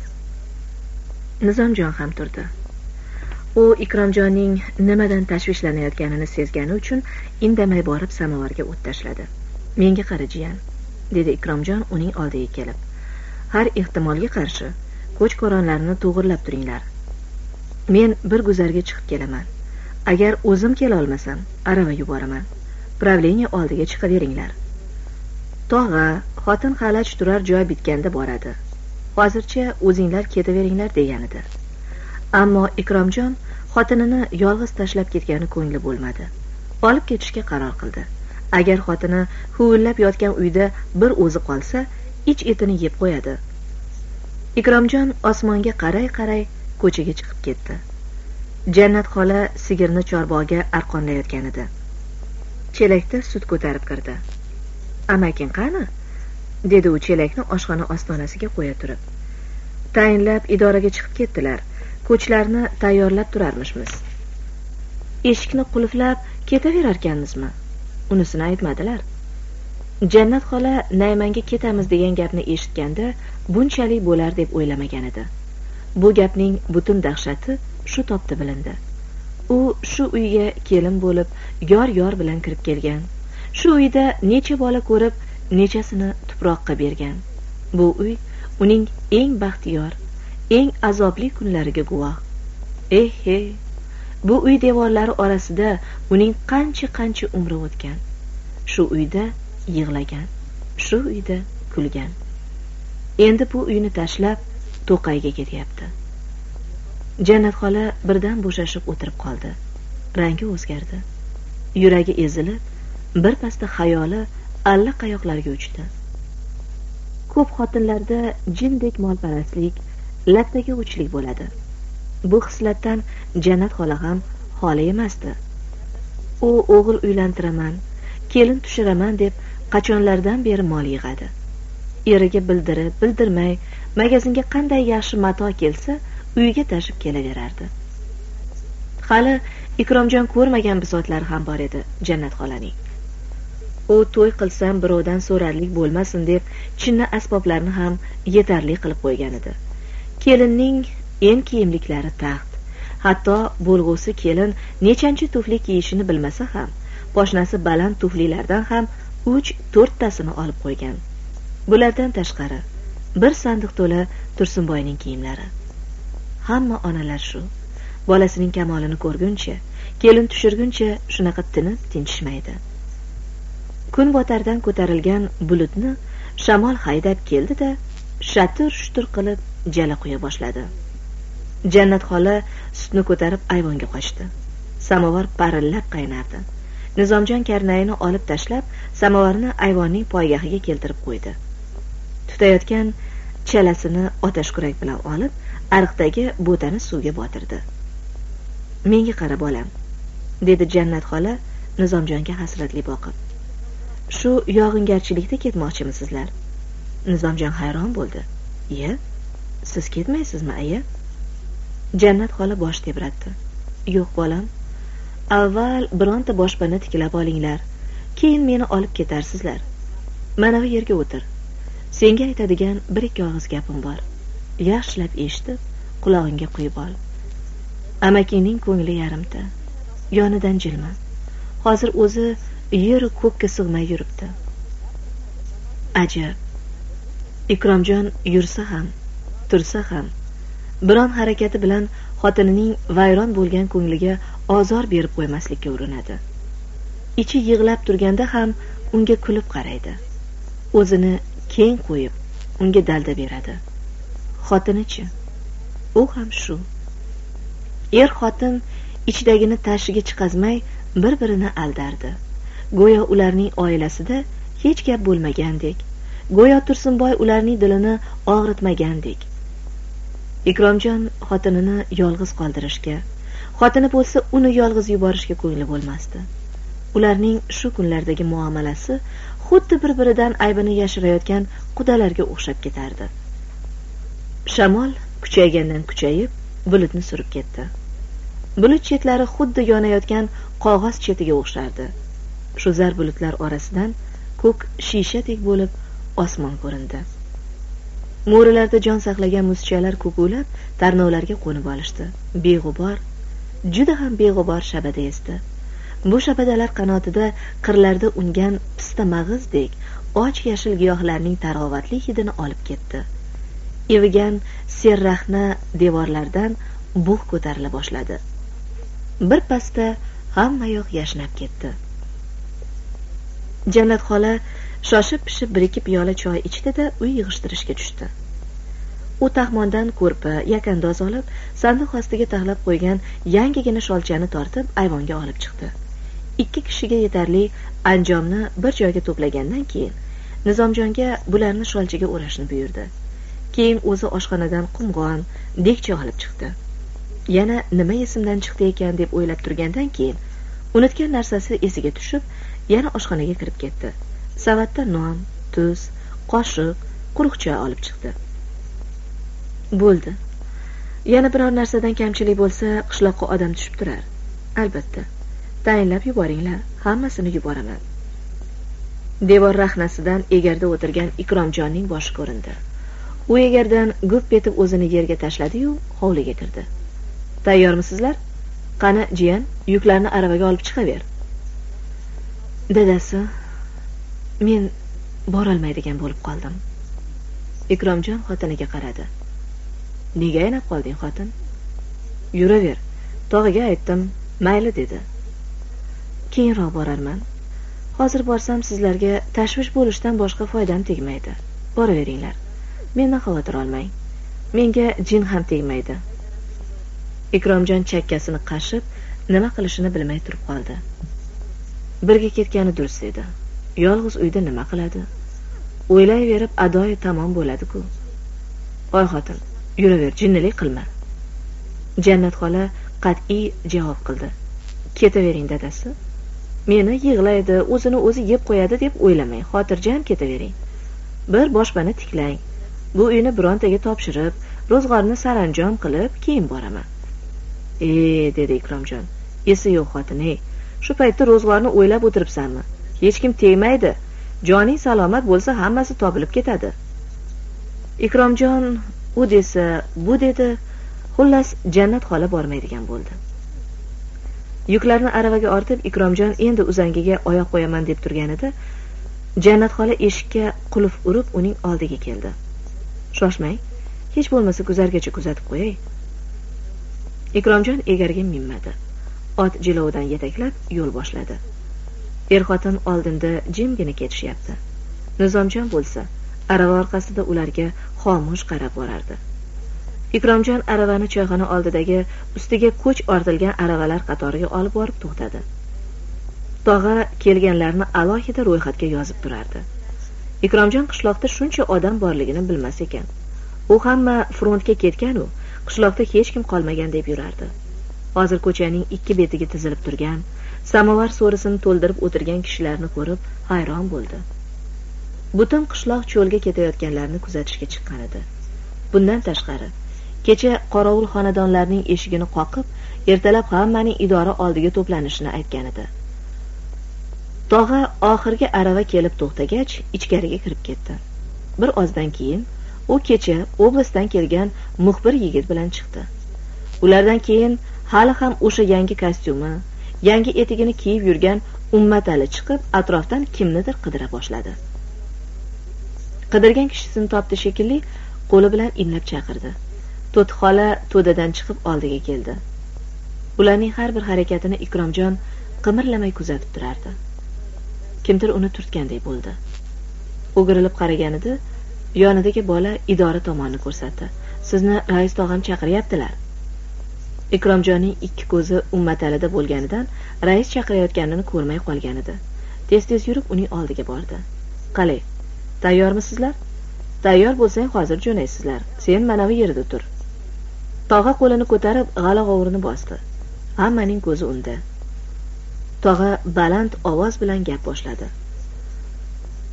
Hurmatli o'rtoqlar bugun biz shu soatdan boshlab oblastda birinchi bo'lib nayman cho'liga yurish boshlaymiz. O'zlaringizga ma'lum urush ketyapti.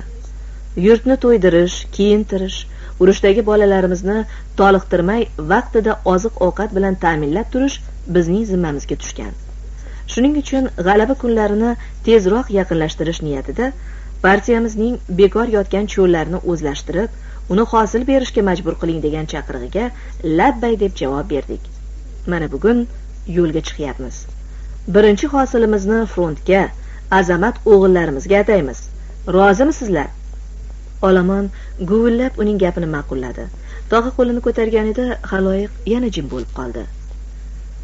Правленiyada kelishib kolxozimizning ilg'or kishilari nomidan sovet ittifoqi qahramoni unvoniga sazovor bo'lgan hamqishlog'imiz azizxon ummataliyevga xat yo'llashga qaror qildik. Ruxsat etsanglar shu xatni o'qib bersak tog'a qo'ltiqlab turgan qizil papkadan ikki uch varaq qog'ozni ehtiyotlab olib sal oldinroqqa chiqdi.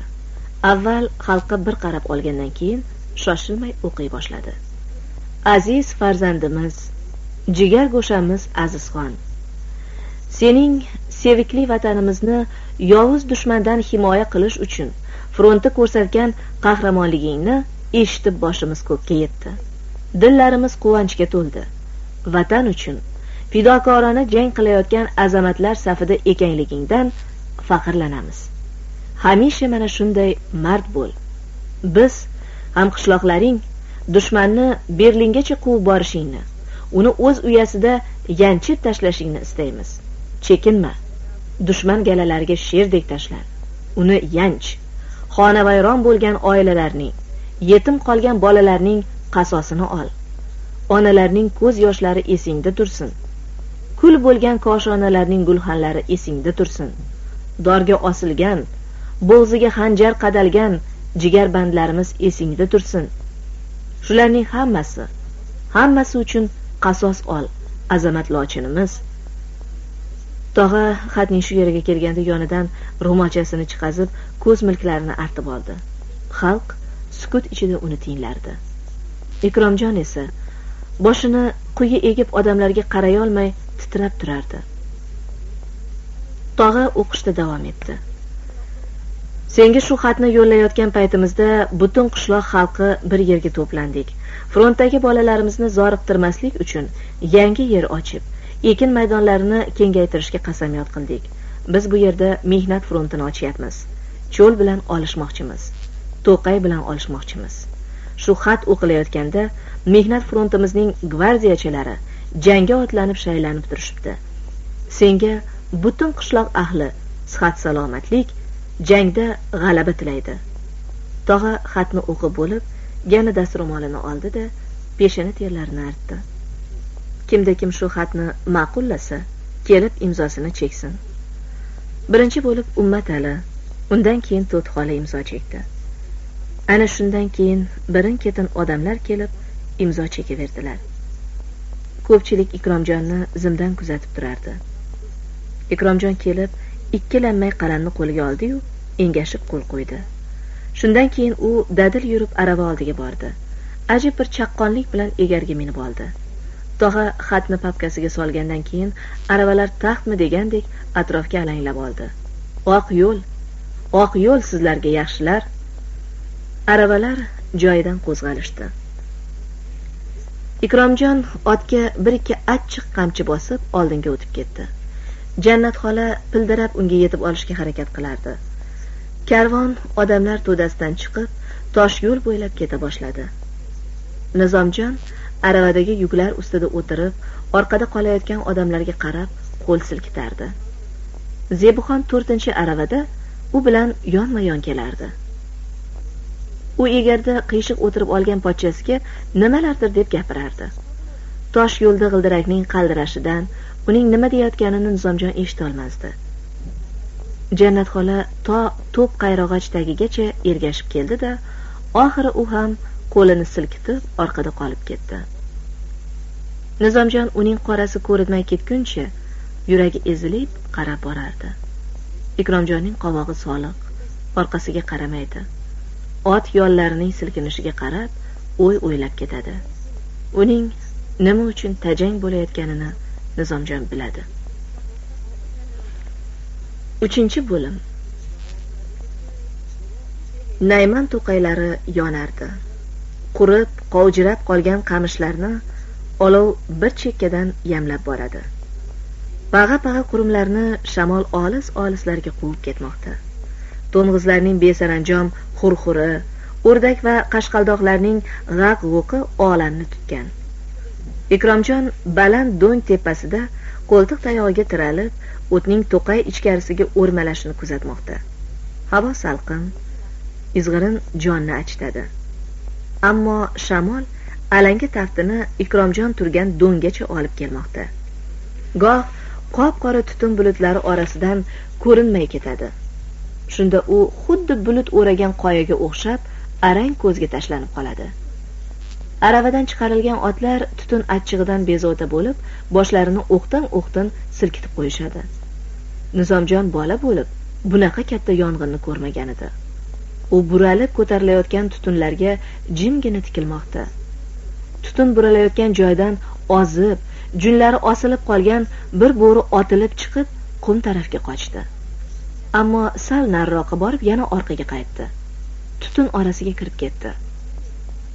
Nizomjon uning o'zini o'tga urishidan ajablanib turganida miltiqni o'qlayotgan ikromjon o'zicha gapirdi. Modasini chaqiryapti. Ikromjonning gapi rost chiqdi. Sal o'tmay o'sha alanga orasidan boyagi bo'ri emchaklari osilgan modasini ergashtirib chiqdi. Ikromjon mo'ljalga olib o'q uzdi. O'q yegan bo'ri oqsoqlanib uch oyoqlab yugurganicha tepalik orqasiga o'tib ketdi. Modasi esa yong'inda qolib yon boshi kuygan ekan qumga yetmay yiqildi. Turolmay uch to'rt metr sudralib bordi. Keyin qimirlamay qoldi. Shamol kuchayib olovning tili yana ham uzunlashdi. U yashin tezligida qamishlarni yamlab borardi. Ammo cho'l shamolidek telba shamol bo'lmaydi. Hozirgina old tarafdan esayotgan shabada saldan keyin orqa tarafdan esadi. Bu gal ham shunday bo'ldi. Nizomjon o'tning bu xil yonishi bo'lsa biron hafta ichi o'chmasa kerak deb o'ylagan edi. Yo'q shamol oldindan esa boshladi da o'tni orqaga purkadi. O'n besh minutlarda alanga so'ndi qo'ydi. Ikki qo'lini beliga tirab turgan to'lanboy ikromjon qo'shtig'ini bolaga bering dedi. Bo'rini quvsin oyog'i yaralangan uzoq ketolmaydi. Ikromjon miltiqni nizomjonga uzatarkan ta'kidladi. O'qni isrof qilmay ehtiyot bo'l. Nizomjon miltiqni oldiyu qumlikka qarab chopdi. U to'xtab oyoq ostida yotgan bo'rini miltiq qo'ndog'i bilan ag'dardi. Bo'ri sap sariq ko'zlari baqraygancha o'lib qolgan edi. Nizomjon tepaga qarab chopdi. To'lanboy rost aytgan ekan yaralangan bo'ri oldingi chap oyog'ini ko'targancha savag'ich uyumi oldida unga yomon tikilib turardi. Nizomjon umrida bo'riga duch kelmagan edi qo'rqib ketdi. To'xtadiyu qimirlamay qoldi. Bo'ri unga tomon uch oyoqlab kelaverdi. Nizomjon nima qilishini bilmasdi. Oz bo'lmasa miltiqni tashlab yuboray dedi. Shundagina u qo'lida miltiq borligini bilib qoldi. Shoshib mo'ljalga oldi da ketma ket ikkala tepkini bosdi. O'q tovushi tinganda savag'ichning qurigan qiyoqlari to'zib ketganini ko'rdi. Tutun tarqadi. Qonga belangan bo'ri qumda bezovda dumalab oxiri bir ikki marta oyoq siltadi da jim bo'ldi. Nizomjon bo'rining o'lgan o'lmaganini bilolmay bir oz qarab turdi. Bo'ri boshqa qimirlamadi. Shundan keyingina yaqiniga borib tepib ko'rdi. Nizomjon ikkala bo'rini oyog'idan sudrab kelganda qator palatkalar oldida uch to'rt kishi bordon to'qib o'tirardi. Nizomjon bo'rilarni ular oldiga tashlab ketmonini oldi da o'choq kovlashga tushib ketdi. Ikromjon ham to'lanboy ham nizomjonga bir so'z deyishmadi. Faqat bir birlariga ma'noli qarab olishdi. Kimsasiz cho'l bir kundayoq gavjum bo'lib qolgan edi. Qo'shaloq tol tagida ikki kishi yerga qoziq qoqib so'ri yasamoqda. Oq tunukadan yasalgan bakni yer o'choqqa o'rnatib atrofiga loy chaplashmoqda. Bir chol bochkadan rezinka ichak bilan kerosin so'rib tosh fonarlarga quymoqda. Nizomjon o'zining qobilligi bilan bu yerdagilarga darrov ma'qul bo'la qoldi. Undan hech kim qayerdan kelganini bu yerda nima qilib yurganini surishtirmadi. Ehtimol ikromjonning qarindoshi deb o'ylashgan bo'lsa kerak. Har qalay nizomjon ularga tez el bo'lib ketdi. Bugun kun qamish kuydirish o'choq qurish bilan o'tdi. Kech kirib qorong'ilik boshlanganda hamma jim bo'lib katta chodir ichida tosh fanar yorug'ida chohurlik qilib u yoq bu yoqdan gaplashib o'tirardi. Choy ichib o'tirgan odamlarning dilida qandaydir og'ir o'ylar bor edi. Ammo hech kim og'iz ochib urushdan gapirmasdi. Ularning nima uchun shunday qilayotganlarini nizomjon sezib o'tirardi. Agar urushdan urushga ketgan bolalardan gap ochilsa ikromjonning dili og'rishini o'ylab gapni boshqa yoqqa chalg'itishyapti. To'lanboy amaki hammadan ko'p gapirardi. Bola malades bo'rini qoyil qildi. Ayniqsa modasi tirik qolsa sal kunda hamma yoqni bo'ri bostirib yuborardi. Qo'yaver bola. Tog'adan mukofot olib beraman. Nizomjon indamadi. Ertaga zirillamadan arava kelmasa ishimiz to'xtab qoladi dedi to'lanboy ancha jim o'tirgandan keyin. Tog'a to'rtta temir plug yubormoqchi edi. Traktorchi dedi nizomjon gapga aralashib. To'lanboy uni ermay qildi. Vol bolasi tushmagur ey ha bu botqoqda pardek yengil odam yurolmaydiyu. Og'irligi necha tonna keladigan traktorga yo'l bo'lsin. Botib qoladi jiyan botib qoladi. U ikromjonga o'girildi. Aravalar bugun yetib borishsa ertaga qaytib kelishlari mumkin. Kech ketishdi. Ishqilib biron joyda botib qolishgan bo'lmasin. Yo'g' e deb unga e'tiroz bildirdi ikromjon. Kelgan yo'limizdan ketishsa bemalol yetib olishadi. Ko'rding ku yo'l yomon emasdi. Endigi gap bizda qoldi. Mayning yettilariga borib urug' sochish kerak. O'shangacha mana shu kuygan to'qayda shudgor ochib taxt qilib qo'yishimiz kerak. Qila olamizmi shuni? Uning gaplariga jim quloq solib o'tirgan to'lanboy javob berdi. Urinib ko'ramiz oqsoqol. Agar traktor kelolsa-ku ko'p ishlarni eplashtirardi ya iloji yo'qda tog'a va'dasida turib kanaldan ariq tortib kelishga odam yubormasa ishimiz chatoq bo'ladi. Sizot suviga ishonib bo'lmaydi. Tog'a qattiq va'da qilgan dedi ikromjon suv haydab kelishdan tashvish qilma. U yog'ini rais eplashtiradi. Undan tashqari yer qotishi bilan bitta traktorni ham bizga yuboradi. Chigitdan qutulishi bilan yuboradi. Yana yer ochamiz. Qovun ektirmoqchi tog'a. Shu gapdan keyin hamma xotirjam bo'lib ertangi ishning maslahati boshlandi. Kim qayerdan ish boshlaydi kim qurilishda bo'ladi hammasiga reja tuzildi. Katta qurilishlar keyin bo'ladi. Hozir oshxona yoniga bitta chog'roq tandir quriladi. Ikromjon kanaldan suv tashib kelishni nizomjonga yuklayotganida u rozi bo'lmadi. Yo'q dema bola bitta eshak beraman fermadan sut tashiydigan ikkita bidon olib kelganmiz. Qo'sh bidonlab tashiyverasan. Nizomjon unga yolvorgandek qaradi. Meni eng og'ir ishga qo'ying iltimos qilaman. El qatori ishlab ter to'kay. Meni kichkina nimjon demang. O'zlaring qatori ko'raveringlar. Dalada o'sganman ketmonda suyagim qotgan. Bir ishlay. Ikromjon bilan to'lanboy bir birlariga qarab olishdi. Hech qanaqa shartim yo'q. Ishlab u bu orttirish niyatim ham yo'q. Menga hech narsa kerak emas. Boshpana bo'lsa qornim to'q ustim but bo'lsa bas. Nimaiki ishlab topsam kolxozga? Mehnat haqi ham kerak emas. Nizomjon ko'p gapirmoqchi edi. O'pkasi to'lib gapi tomog'idan chiqmay hiqillab qoldi. U entikib gapini tamom qildi. Chap qo'ling cho'ltoq ekan deb urushga olishmadi. Uyimga sig'madim. Erta indin og'aynilarim urushdan qaytib kelishadi. Shularning ko'ziga qandoq qarayman? Nima qilding? Qaysi kovakda mog'or bosib yotgan eding deyishsa nima deyman? Eshakda suv tashib tirikchilik qilib yurdim demaymanmi? Yo'q to'qay buzdim. Bola chaqalaringga ovqat topib berdim. Ularni boqdim deydigan ish qilmoqchiman. Jon akalar meni ayamasdan ishga tashlayveringlar u shunday yalinib gapirardiki ra'yini qaytarishning sira iloji qolmagan edi. Xo'p dedi ikromjon aytganing bo'la qolsin. Oldi odamlarni uyqu bosib kaftlariga esnay boshlagan edilar. Qariyalar dasturxonga fotiha o'qishgach hamma o'rnidan turdi. Nizomjon bilan ikromjon palatkadan chiqishganda qumlik tomondan allaqanday iliq shamol esayotgan edi.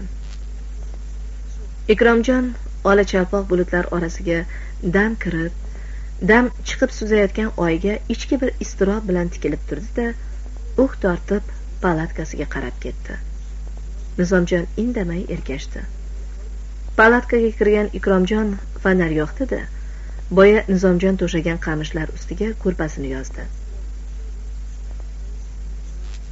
Joyingni sol bolam yotaylik endi. Negadir uning ovozi titrardi. Amaki yotavering uyqum kelmayapti. Biroz oydinda yuraman. Ha mayli o'zing bilasan. Ertaga ish zo'r bo'ladi yoda qolganing ma'qul edi. U shunday deb yog'och oyog'ining tasmalarini bo'shatib ko'rpaga kirarkan yana og'ir uh tortdi. Nizomjon uning ahvol ruhiyasini sezib turganidan fonar piligini pasaytirib tashqariga chiqib keta qoldi. Ikromjonning yuragi kuyardi. Ota o'z bolasini ming marta oq qilganda ham yuragining bir chekkasida shu bolaga atab ardoqlagan uning kamolini ko'rishga asragan mehrining zarralari yotadi. Bu zarralar vaqti vaqti bilan alanga olib yana so'nadi. Hozir ikromjon yigirma bir yil qalbidan nari ketkazmagan har bir daqiqasi katta umidlar va'da qilgan niyatlari bilan keyingi bir hafta orasida bolasini olislarga olib ketgan porloq niyatlarini kuydirib jizg'anay qilgan hodisalar orasida o'rtanardi ikromjonni bir narsa ko'proq qiynardi. Nega shunday bo'ldi? Nega uning bolasi qo'rqoq chiqdi? U o'ylab o'ylab o'yiga yetolmasdi. Yemay yedirdi. Kiymay kiydirdi. Ikromjonning birdan ko'zlari ochilib ketdi. Ha hamma gap ana shunda. Qo'lini sovuq suvga urdirmadi. Og'ir ish qildirmadi. Yig'laganda qo'shilishib yig'ladi. Kalishini ham yuvib qo'yardi. Kasal paytida ham uni toyloqdek qilib opichib yurardi. Betini yuvganda o'zi suv quyib turardi. Ikromjon peshonasiga shatillatib bir tushirdi. Jazangni tort. Jazangni tort ikrom uni o'zing shu kuyga solding. Endi ming yig'la befoyda senga bu jazo kam. Ikromjon o'g'lining shu kuyga tushishini sira o'zidan ko'rmagan edi. Endi bunga iqror bo'ldi. Iqror bo'ldiyu alamiga chidolmay ingrab yubordi. Shunday iztiroblar girdobida qolgan kishini hech narsa bilan yupatib bo'lmaydi. Bunday paytlarda uni o'zidan boshqa ovuta olmaydi. Ikromjon shuning uchun ham o'zini o'tga cho'qqa urib o'tli xayollar yolqinidan chiqishga intilardi. Mana nizomjon kuyib kulga aylangan to'qayda tanho kezib umidlar sarobga yetaklagan shu kishi to'g'risida o'ylamoqda. Huvillab qolgan cho'l go'yo ikromjonning qalbiga cho'kkandek. Bo'sh. Uning xayollaridek uning istaklaridek bo'sh cho'l oydinda o'liksimon sokin yotibdi. Shu huvillab yotgan sokin cho'lni uyg'otish uchun bilak shimirgan kishilar zora ikromjonning ham yuragiga qo'l solib unda yangi umidlar uyg'ota olishsa zora ikromjon cho'l bilan baravar yashnab ketsa. Nizomjon uning qo'ltig'iga tirak bo'ladi. Yuragidan iztirobli o'ylarni quvib chiqaradi. Atrofga umid bilan odamlarga ochiq yuz bilan qaraydigan bo'lguncha yonidan jilmaydi. Yulduzlar miltirab cho'l chekkasida nizomjon diliga ana shunday beg'ubor niyatni tugib qo'ydi. Olisdan deraza pardasini shamol silkitgandek g'alati ovoz keldi. Nizomjon quloq tutdi. Bu ovoz bora bora kudungi ketmagan atlas ko'ylak etagining yelpinishiga o'xshab eshitilaverdi. Nizomjon ufqqa qaradi. Olisdan bir gala o'rdak uchib kelayotgan edi. O'rdaklar galasi palatkalar tepasiga kelib g'aqillab aylana boshladi. Nizomjon ularning tinimsiz aylanishi sababiga tushuna olmadi. O'rdaklar o'tgan yili tashlab ketgan inlarini olis yurtlardan izlab kelishgan edi. Ular tark etgan to'qayning bir cheti endi yo'q edi. O'rdaklar karvoni pastlab uchib qorayib yotgan yer ustida yana bir aylandiyu g'aqillab qumlik chetida sokin shovullagan qamishlar ustiga sho'ng'ib ketdi. Nizomjon qaytib kelganda ikromjon qo'lini boshiga qo'yib palatka tepasidagi tuynukdan tushib turgan nurga tikilgancha kiprik qoqmay yotardi. Nizomjon fonar piligini balandlatganda uning ajinli yuzlaridan ko'z yoshlari dumalayotganini ko'rib darrov pilikni pastladi. Fonar ikki uch marta lipillab o'chdi. U yechinib ko'rpaga kirgach ikromjonga nimadir demoqchi bo'lib boshini ko'tardi. Ko'tardiyu nima deyishini bilmay tirsagiga tiralganicha ancha turib qoldi. Yigirma oltinchi trek. Nizomjon biron gap aytib unga juda juda taskin bergisi kelardi. Ammo nima deydi? Qanday gap aytsa ikromjon amakining ko'ngli taskin toparkin. Nizomjon shuncha o'ylab arzigulik gap topolmadi. Nihoyat meni o'g'lim deysizmi? dedi. Ikromjon indamadi. Sal o'tmay qorong'ida nizomjonning ham piq piq yig'lagani eshitildi. Oblast ijroiya komitetining majlislar zalida cho'ldan yer olgan kolxoz rahbarlari ishtirokida kengash bo'layotgan edi respublika oliy sovetining raisi yo'ldosh oxunboboyev yozyovon cho'llarining istiqboli to'g'risida gapirmoqda. U yaqin yigirma besh yil ichida cho'l butunlay o'zlashtirilib o'rta osiyoning yirik paxta bazasiga aylanishi hozir kolxozlar ayrim uchastka tarkibida qo'riq ochayotgan yerlar vaqti kelib alohida kolxoz safxoz bo'lib ajralib chiqishi urush tugashi bilan katta farg'ona kanali kengaytirilib butun cho'l bo'ylab aylanib o'tishini sodda dehqonchasiga tushuntirardi. Yolg'iz kanal suvi bilan cheklanib qolmaymiz. Mingdan ortiq artezian quduqlari qaziymiz. Har bir quduqdan ikki tegirmon suv otilib chiqadi.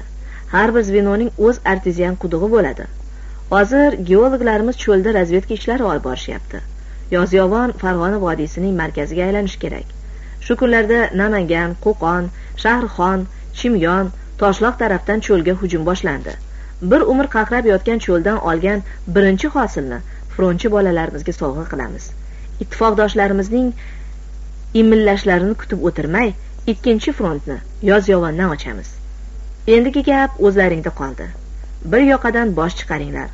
Front taraflaridan yaxshi xabarlar kelib turibdi. Nemisning kavushiga qurt tushib chiqib kelgan tarafga qarab tiraqaylab qochyapti g'alaba kunini yozyovon guruchidan osh damlab kutamiz. Kimda kim fashistga shu yerdan turib o'q uzaman desa kimda kim dushman qo'lida qolgan shaharlarimizni ozod qilaman desa yozyovonga chiqsin. Oxunboboyev shunday gapirardiki u minbarda emas bir piyola choy ustida gaplashib o'tirganga o'xshardi. U o'zidan kattalarni sizlab o'zi tengilarini senlab kichiklarni bolam bo'tamlab gapirardi. U gapining oxirida zalda o'tirganlarga birma bir qarab oldi. Go'yo shu o'tirganlar orasidan kimnidir qidirayotganga o'xshardi. Kanal qaziganimizda hammani qoyil qoldirgan do'smat polvon qani? Pastda kimdir javob berdi. Frontda halok bo'ldi. Oxin boboyev ovoz chiqqan joyga tikilib qoldi. Qo'lidagi qalami qog'oz ustiga tushib dumalab ketdi da stol qirg'og'iga kelib to'xtadi. Omon polvon shu yerdami? dedi u yana boshini ko'tarib. O'rta qatorda o'tirgan qora soqol yag'rindor kishi o'rnidan turdi. Shu yerdaman ota? Omonmisan polvon? Majlisga soqolingni oldirib kelmabsanda senga necha marta aytganman soqolni oldirib yur deb. Zalda qiyqiriq kulgi bo'lib ketdi. Omon polvon qo'pol gavdasini tebratib turib o'zi ham kulib yubordi. Ota endi shu paytda tanbehni qo'ying. Po'rimlik ko'ngilga sig'adimi? Urushdan oldin ham shunaqa eding. Oxin boboyev g'ovurni bosib o'rnidan turdi da sahna chetiga kelib kula kula gap boshladi. Polvon bilan yoshimiz teng bolaligida ham shunaqa beparvoroq edi. Polvon ham o'rnidan turib sahna yaqiniga kelib qo'lini ko'ksiga qo'ydi da yalindi. Jon birodar buyog'ini aytmay qo'ya qol. Yo'q aytaman. Shu deng omonni uylantirayotgan edik to'y kuni ham soqolni oldirmagan ekan. Raim ikkovimiz chimildiq oldiga o'tkazib rosa ivitib soqolini olganmiz. Kelinning oldiga ikki lunjiga sho'r paxta yopishtirib kirgan to'g'rimi raym berdi? Sahna chetida o'tirgan tog'a kulib bosh qimirlatdi to'pponcha polvon bormi? Bor dedi pakanagina serharakat ko'k ko'z yigit o'rnidan turdi. Bu yoqqa kel dedi oxun boboyev to'pponcha polvon pildirab omon polvonning oldiga keldi. Oxun boboyev unga bir zum zavq bilan havas bilan tikilib turgandan keyin pastga tushib har ikki polvonni oldinma ketin quchoqladi. Yozyovonga ikkoving komandirlik qilasan. Ikkoving cho'l marshallari bo'lasan. Qani rozimisizlar rozimiz ota sen buyur. Biz nima desang tayyormiz. Omon polvonning gapidan oxin boboyev zavqlanib ketdi. Balla azamatlar. Cho'l jilovini qo'llaringga berdik. Ko'm ko'k ko'zlarini o'ynatib turgan to'pponcha polvon miyig'ida kulib qo'ydi. Bir gap aytsam maylimi? Xafa bo'lmaysizmi ota? Ayt ayt to'pponcha. Tavba. Sira kattalarga o'xshamaysiz a? Shundoq odam o'zimizga o'xshab jo'ngina gaplashasiz rais polkomimiz bilan gaplashish uchun eng kamida bir hafta ovora bo'lamiz. Arizani pochtadan yuboramiz. Og'in boboyevning chehrasi jiddiylashdi shunaqa degin? U yana sahnaga chiqib joyiga o'tirdi. Raymberdi zirillamaliklarning cho'lga birinchi bo'lib yurish boshlaganlarini gapirdi. Ota jimgina o'tirib uning gaplariga quloq soldi. Raymberdi gapini tugatib endi o'tirayotganida og'in boboyev to'xtatdi. To kunlar isib yog'ingarchiliklar o'tib ketguncha xotinlar chiqmasin deyilgan edi nega xotinlarni cho'lga olib chiqding? Tog'a nima deyishini bilmay turib qoldi. Qandoq qilay ota? O'zlari kelishyapti. O'tiraveraymi shoshma dedi oxin boboyev. Ish shunaqasiga ko'chgan bo'lsa bu yog'ini to'g'rila. Imoratlarni tezlat. Bir oydan keyin xabar olaman. Agar eng kamida yigirmata uy bitmagan bo'lsa xafa bo'lib qolasan. Oblast partiya komitetining sekretari cho'ldan yer olgan kolxozlarga kolxozchilarga beriladigan yordam haqida gapirgach kengash tugadi. Oxin boboyev zaldan chiqishda tog'ani qo'ltiqlab oldi. Ko'chada ketib turib undan hol ahvol qishloqdagi qariyalarning tirikchiligini so'radi. Tog'a hammasini bitta bitta gapirib berdi. Hammasi joyida oshnam xotirjam bo'l. Ikrom kepti deb eshitdim. Qalay tinchmi? Tinch tinch. Tog'a shunday dediyu ko'zini yashirolmay javdiradi. Bir gap bormi? Yo'q o'zim. Aytaver yashirma. Tog'a noiloj gap boshladi. Ikrom bir oyoqsiz bo'lib kelgan. Bu ham yetmagandek o'g'li nima halok bo'lganmi? Halok bo'lsa koshki edi armiyadan qochgan. Ikrom boshini ko'tara olmay qoldi. Odamlarning yuziga qaray olmayapti naymanga chiqarib yubordim. Zori dardi yengillashsa oxin boboyev nima deyishini bilmay to'xtab qoldi. Uni kuzatib chiqqanlar sal narida uning iztirob bilan uh tortganini ko'rib turishardi. Yomon bo'pti dedi u anchadan keyin. Jannatning ahvoli qanday? Telbaga o'xshab qolgan. Bolasi frontdan qochibdimi ya? Nazarimda frontdan emas yo'lda poyezddan tushib qolgan bo'lsa kerak. Tog'a qiynala qiynala so'radi.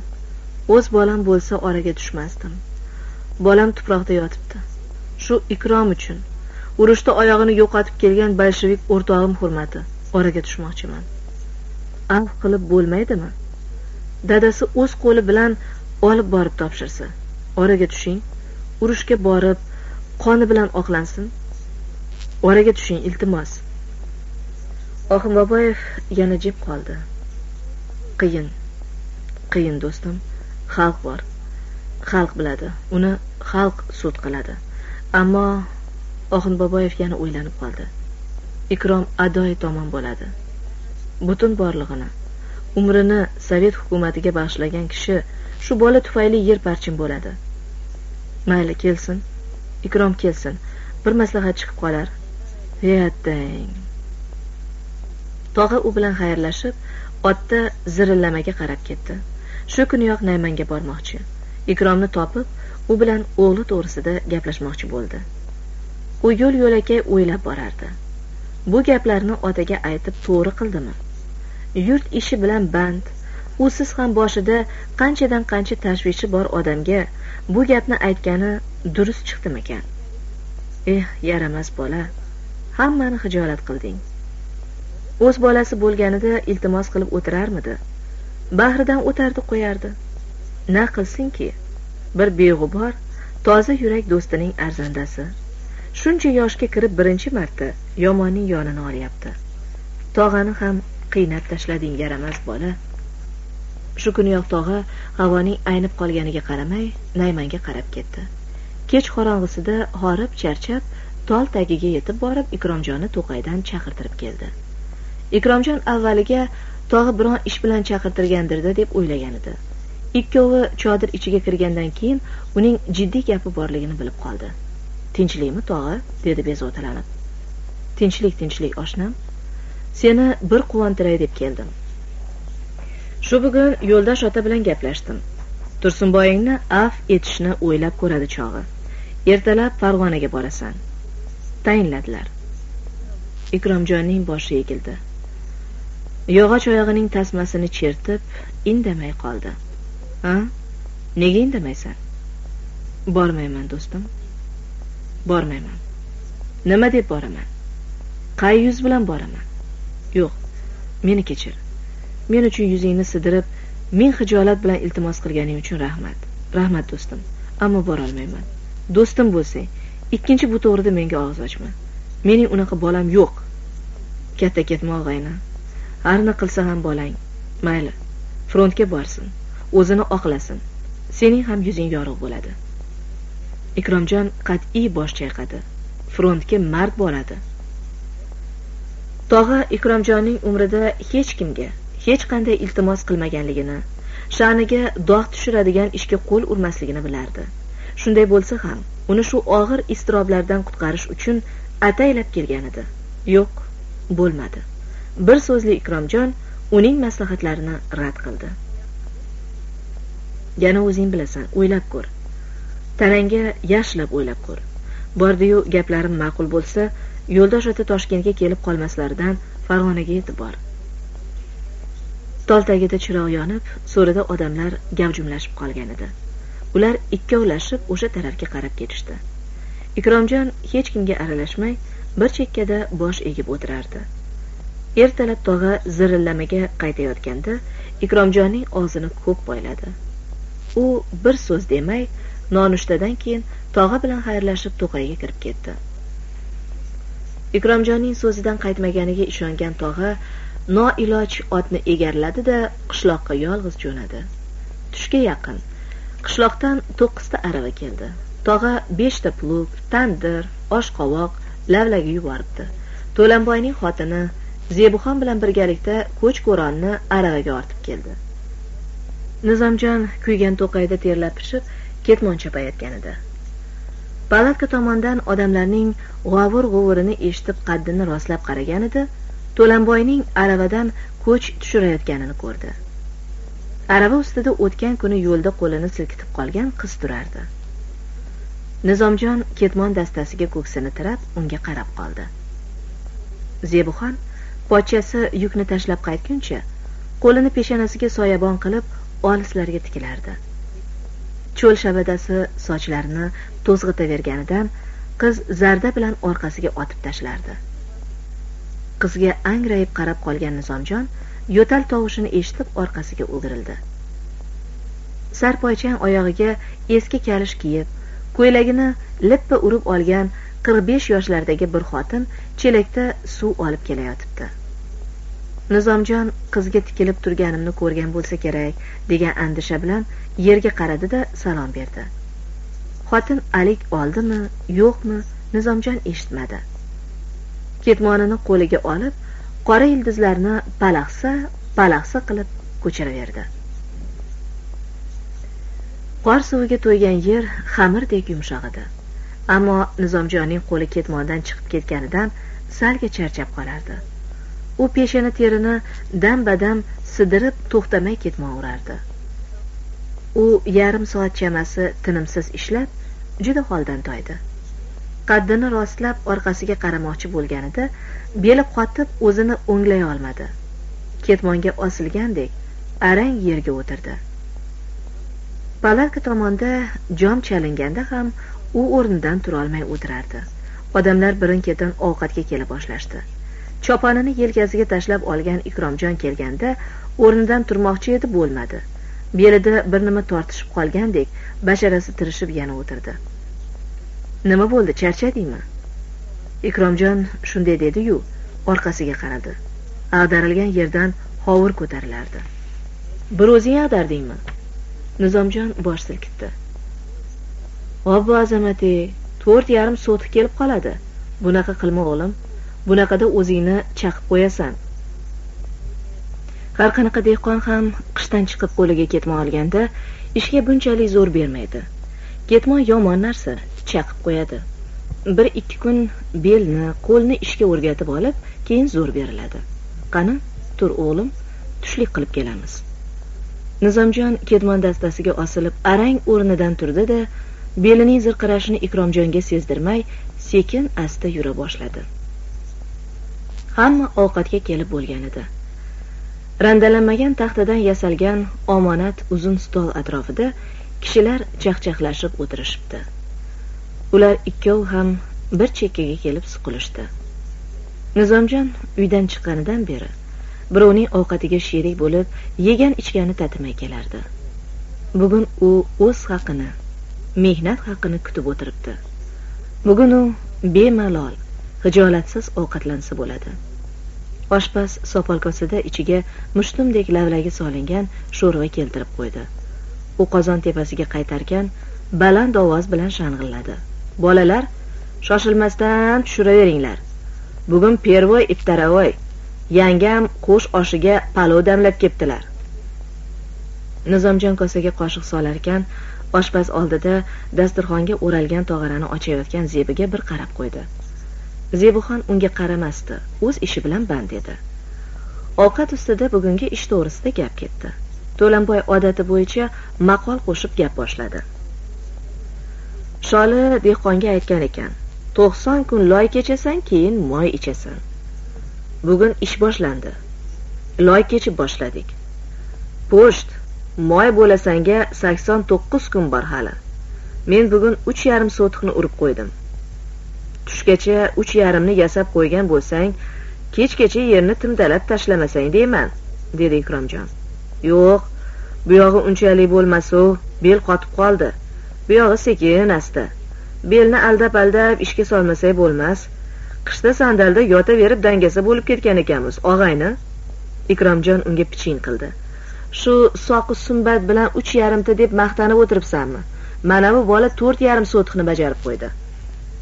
Hamma o'girilib nizomjonga qaradi. Uning bu tomonlarda birinchi marta ish bilan odamlar e'tiboriga tushishi edi. Ko'ngli yayrab ketdi. Sekin zebuxonga qaradi.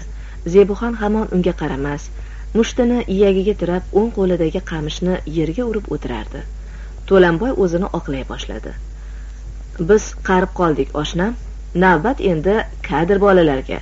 Bularga tenglashib bo'larmidi? Ikromjon so'radi. Yangam qishloqdan nima gap topib kelibdi? Yaxshi xabarlar bormi? Yangi maktab binosini shoshilinch gospital qilishayotganmish. Ertaga yaradorlarni olib kelishadi degan gaplar bor deyapti. Evakuatsiya bo'lganlardan sakkiz xonadon kelibdi.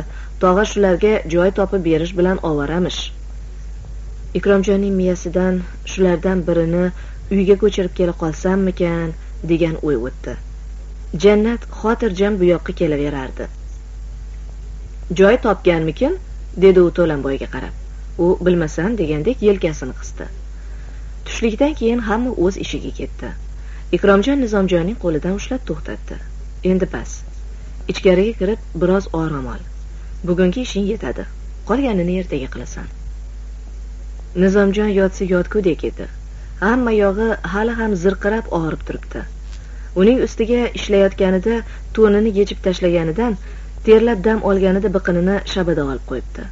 Biroq u ko'pchilikdan ajralib qolishga yuzi chidamadi. O'zini charchamagan ko'rsatib yo'g' e hali beri charchamayman amaki dedi. Ikromjon unga qarab turib mayli o'zing bilasan dedi da oldiga tushib ketaverdi. Bu yog'iga nizomjonning ishi uncha yurishmadi. Kechgacha arang bir yarim sotix yer ag'dardi. Borib yotay desa odamlardan uyaladi. Ketmonni tashladi da qamish g'aramiga yonboshladi ozroq mizg'ib olmoqchi bo'ldi-yu, tanasining zirqirab og'rishidan ko'zi ilinmadi. Chalqancha yotib osmonga tikilganicha o'y surib ketdi. Osmon ko'm-ko'k. Onda-sonda salmoqlanib suzib yurgan oppoq bulutlar chetiga og'ib qolgan quyosh nuri tushib turibdi. Uzoq yaqindan odamlarning ovozi quloqqa chalinib qoladi. Birdan shabada unga g'alati bir ovoz olib keldi. Qayerdadir ayol kishi kuylardi. Uning qo'shig'ini dam eshitilib dam yo'q bo'lib ketardi. Nizomjon boshini ko'tarib u yoq bu yoqqa qaradi. Hech kim yo'q. Bu atrofda zebuxon bilan uning opasidan boshqa ayol yo'q. Albatta zebuxon qo'shiq aytayotgan bo'lsa kerak. Ovozi biram shirali ekanki nizomjon o'rnidan turdi da ketmonni yelkasiga tashlab birdam atrofga quloq solib turdi. Qo'shiq to'qay tomondan eshitilardi.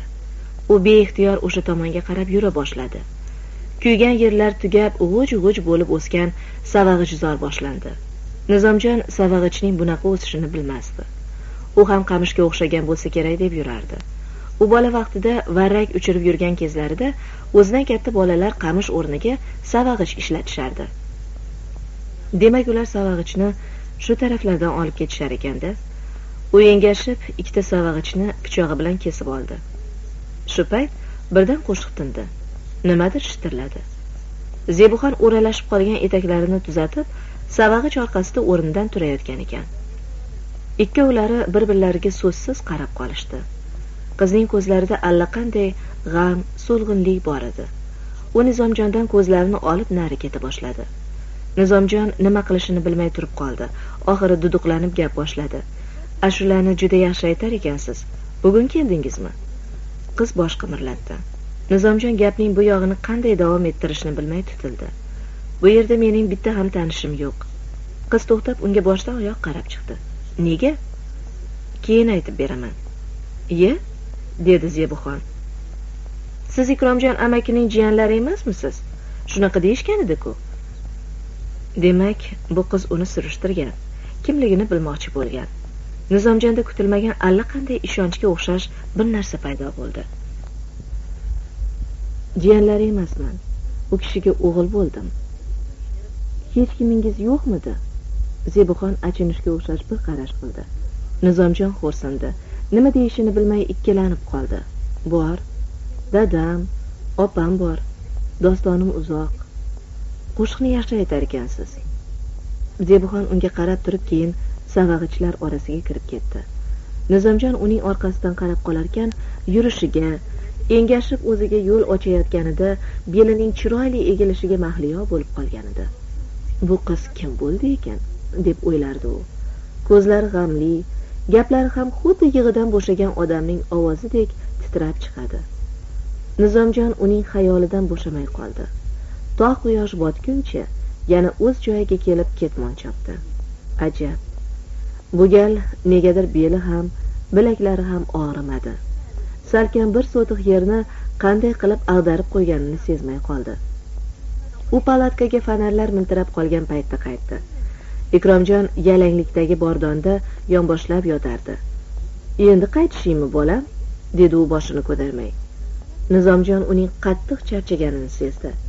Yog'och oyoq bilan yurib ketmon chopish osonmi? Tag'in ham bu odamning joni po'lat ekan. Ishlamay uyda yotsa birov bir nima dermidi?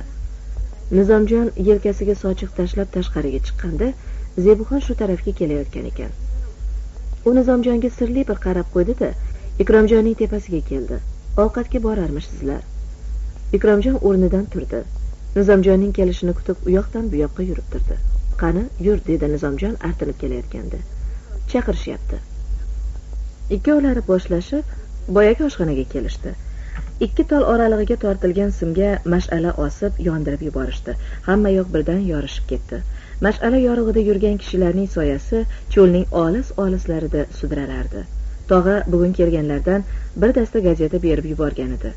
Zebuxon o'rtaga tushib o'qishdan iymanib gazetalarni nizomjonga berdi. Siz o'qib bering. Nizomjon buni zebuxonning unga ko'rsatgan zo'r iltifoti deb darrov o'rnidan turdi. Gazetaning birinchi betida azizxonning surati bosilgan edi. Surat tagiga uning frontda ko'rsatgan qahramonligi batafsil yozilgan. Unda yana zirillamaliklarning azizxonga yuborgan maktublari ham bor. Nizomjon dona dona qilib hammasini o'qib berdi. Tinglovchilarning yuzlaridagi fikr hayajon mash'al nurida aniq ko'rinib turardi. Gazeta qo'ldan qo'lga o'tdi. Azizxonning hammaga tanish ko'zlari kulib turardi. Uchta tankni yondirib oltita nemisni asir olibdi. Voy joningdan jigar deb yubordi to'lanboy. Yuraging ham otning kallasiday bor ekan. Xo'sh yana qanaqa xabarlar bor dedi allaqachon sovib qolgan choyni xayol ichida puflayotgan choy. O'qi bolam o'qi. Nizomjon gazetani yana qo'liga olib sovet inform byurosining axborotlarini o'qiy boshladi. Unda leningrad qurshovdan chiqishga intilayotgani yozilgan edi. Gazeta olis cho'l bag'rida yer bilan olishgan kishilar yuragiga allaqanday yorug'lik olib kirgandek uzoqda to'plar guldirosi ostida emaklab ketayotgan bolalarni ko'rish damlari yaqinlashayotgandek bo'ldi. Odamlar ishlab charchaganlaridan kechagidek yarim tungacha o'tirisholmadi mash'ala so'nib mushtdek cho'qqa aylanganda hamma o'z palatkasiga kirib ketdi. Ikromjon ko'rpaga burkanayotganda bolam ertaga erta bilan qishloqqa xat yozib ber ketadiganlardan berib yuboraman uyda batareyali priyomnigim bor. Frontdan olib kelganman. Ayang jo'natvorsin. Bu yerda zarur buyum ekan dedi. Nizomjondan javob bo'lmadi. U allaqachon uxlab qolgan edi. Bahor ser yomg'ir keldi. To oy oyoqlaguncha olti marta jala quydi. Shunday yog'ingarchilik kunlari odamlar chodirdan chopon yopinib chiqib bir birlarinikiga chopardilar. Jannat xola berib yuborgan priyomnik hammaning ermagi edi. Ikromjon priyomnikda faqat front xabarlarini eshitishgagina ruxsat berar. Konsert paytida nizomjonning qo'lidan olib o'chirib qo'yar edi. Batareyasi topilmaydi. Tugab qolsa olamdan bexabar qolamiz. Bir vaqt gapdan gap chiqib u priyomnikni qanday qo'lga tushirganini hikoya qilib berdi. Olti tankni majag'lab tashlaganmiz. Kuygan tank orqada qolib ketdi. Dushmanni u anavi ko'rinib turgan do'nchalik joyga quvib borgan yerimizda o'rnashib olganmiz. Kech kirib shtabga xat tashlab qaytayotgan edim o'zimiz dabdala qilgan tank yonidan o'tayotsam ichidan odam ovozi kelyapti. Nemischa gapiryapti. Obbo dedim. Padar la'natlar o'lmay qolgan ekan. Chiqib juftakni rostlashni maslahat qilishyapti deb o'yladim. Avtomatni bo'ynimdan olib sekin tank yoniga o'rmalab bordim. Yana quloq soldim. Rost bitta nemis o'zining tilida rosa vaysayapti kayfi bo'lsa kerak bo'lmasa qurshovda yotib shang'illab gapiradimi? Nima qilishimni bilmay ancha turdim. O'q chiqaray desam komandirdan baloga qolaman. Raz gaplashyaptimi? Значит yonida sherigi ham bor. Tavakkal dedimu tankka emaklab chiqib qopqog'ini ko'tardim. Avtomatning uchini lukka tiqib halt! dedim. Yana boyagicha o'sha shang'ining ovozi tinmayapti. Bor nima bo'lsa bo'ldi deb ichkariga bitta o'q uzib qo'ydim. Nemis parvo qilmaydi. Gapini bo'lmay ezmalanyapti. O'zbekchalab qotirib bitta so'kdimu tavakkalchining ishini xudo o'nglasin deb o'zimni ichkariga tashladim. Yonimdan zajigalkani olib chaqib qarasam ikkita nemis tarashadek qotib yotibdi. Ammo hali ham ovozi tingani yo'q. Yana u yoq bu yoqqa qaradim. To'nqayib qotib qolgan nemisning ikki puti orasida mana bu priyomnik gapirib yotibdi darrov oldim. Qayerdan o'chirishni bilmayman. Shinelimga o'rab okopga qarab chopdim. Qani bu ovozing o'chgur sekinroq gapirsa? Blindajda alo alo qilib o'tirgan aloqachiga ko'rsatgan edim o'chirib berdi. Bu hech narsaga yaramaydi. Batareyasi tugagandan keyin bahosi bir tiyin buning dedi. Keyin o'ylab turib qo'shib qo'ydi. O'sha joyni qara nemis mumsi hal bo'ladi. Zapasi bo'lmasa buyum tutmaydi. Orqamga qaytib yana tankka kirdim. Nemisning bo'ynidagi sumkasini ochib qarasam choy qutiga o'xshagan to'rtta narsa bor ekan. Batareyasi shu bo'lsa kerak deb oldim. Yo'q adashmagan ekanman. Olib kelib sumkaga tashlab qo'ydim. Bitta batareya gospitalda ermay bo'ldi. Uchta qolgan. Ehtiyot qilib tutaylik. Bittasi uch oyga yetadi. Bugun ham yomg'ir quyib turgandan odamlar ishga chiqishmadi. Katta palatada yana shu radio ermay bo'ldi. Frontdan necha ming kilometr olisdagi cho'lda bahor yomg'iri savalab turgan chodir ichida odamlar go'yo o'z bolalarining yonayotgan shaharlarda tutunda qorayib oldinga intilayotganlarini ko'rib turgandek jimgina radioga quloq solib o'tirardilar. Radio endi toshkentdan axborot eshittira boshladi. Qorasuv rayonidagi kolxoz o'z bo'linmas fondidan ajratib samolyot qurish uchun davlat mudofaa komitetiga pul yuboribdi. San'at arboblari laureatlik pullarini ko'p korxonalarning ishchilari bir oylik maoshlarini zayom obligatsiyalarini topshirishibdi. Samarqand pionerlari temir tersak yig'ish oyligi e'lon qilishibdi. Nizomjon radioga quloq solib o'tirarkan o'zi qilayotgan va endi qiladigan ishlari to'g'risida o'y surardi. Yosh bolalar ham frontga madad beryapti. Qurol ushlolmaganlarga ham ish topilyapti deya pichirlab qo'ydi. Bu fikr uning qarorini yanada qat'iylashtirib yubordi. Ishlash kerak juda ko'p ishlash kerak. Toki qiladigan ishi jangchiga mador bo'lsin. Qilgan mehnatidan jangchining qorni to'q usti but bo'lsin. Nizomjon xuddi shunday qiladi. Ishlaydi. Ishlab charchamaydi. Charchasa ham ishlaydi. Yotib qolsa ham ishlaydi. Shovqinsiz pisandsiz ishlaydi. Nizomjon safda turgan yangi jangchidek qasamyod qildi. Endi u o'zini katta qo'shinning sodiq jangchisi deb biladi. Ikromjon zirillamaga yetib kelganda otining chovi ko'pirib ketgan hamma yog'idan bug' ko'tarilar edi. U otni samovarchiga qoldirib idoraga kirdi. Tog'a qayoqqadir telefon qilayotgan edi. Uni ko'rib boshini silkitdi shoshib gapini tugatdi. Leningradga sovg'a jo'natilyapti. Oblastimiz sovg'asini toshkentgacha o'zing kuzatib kelasan.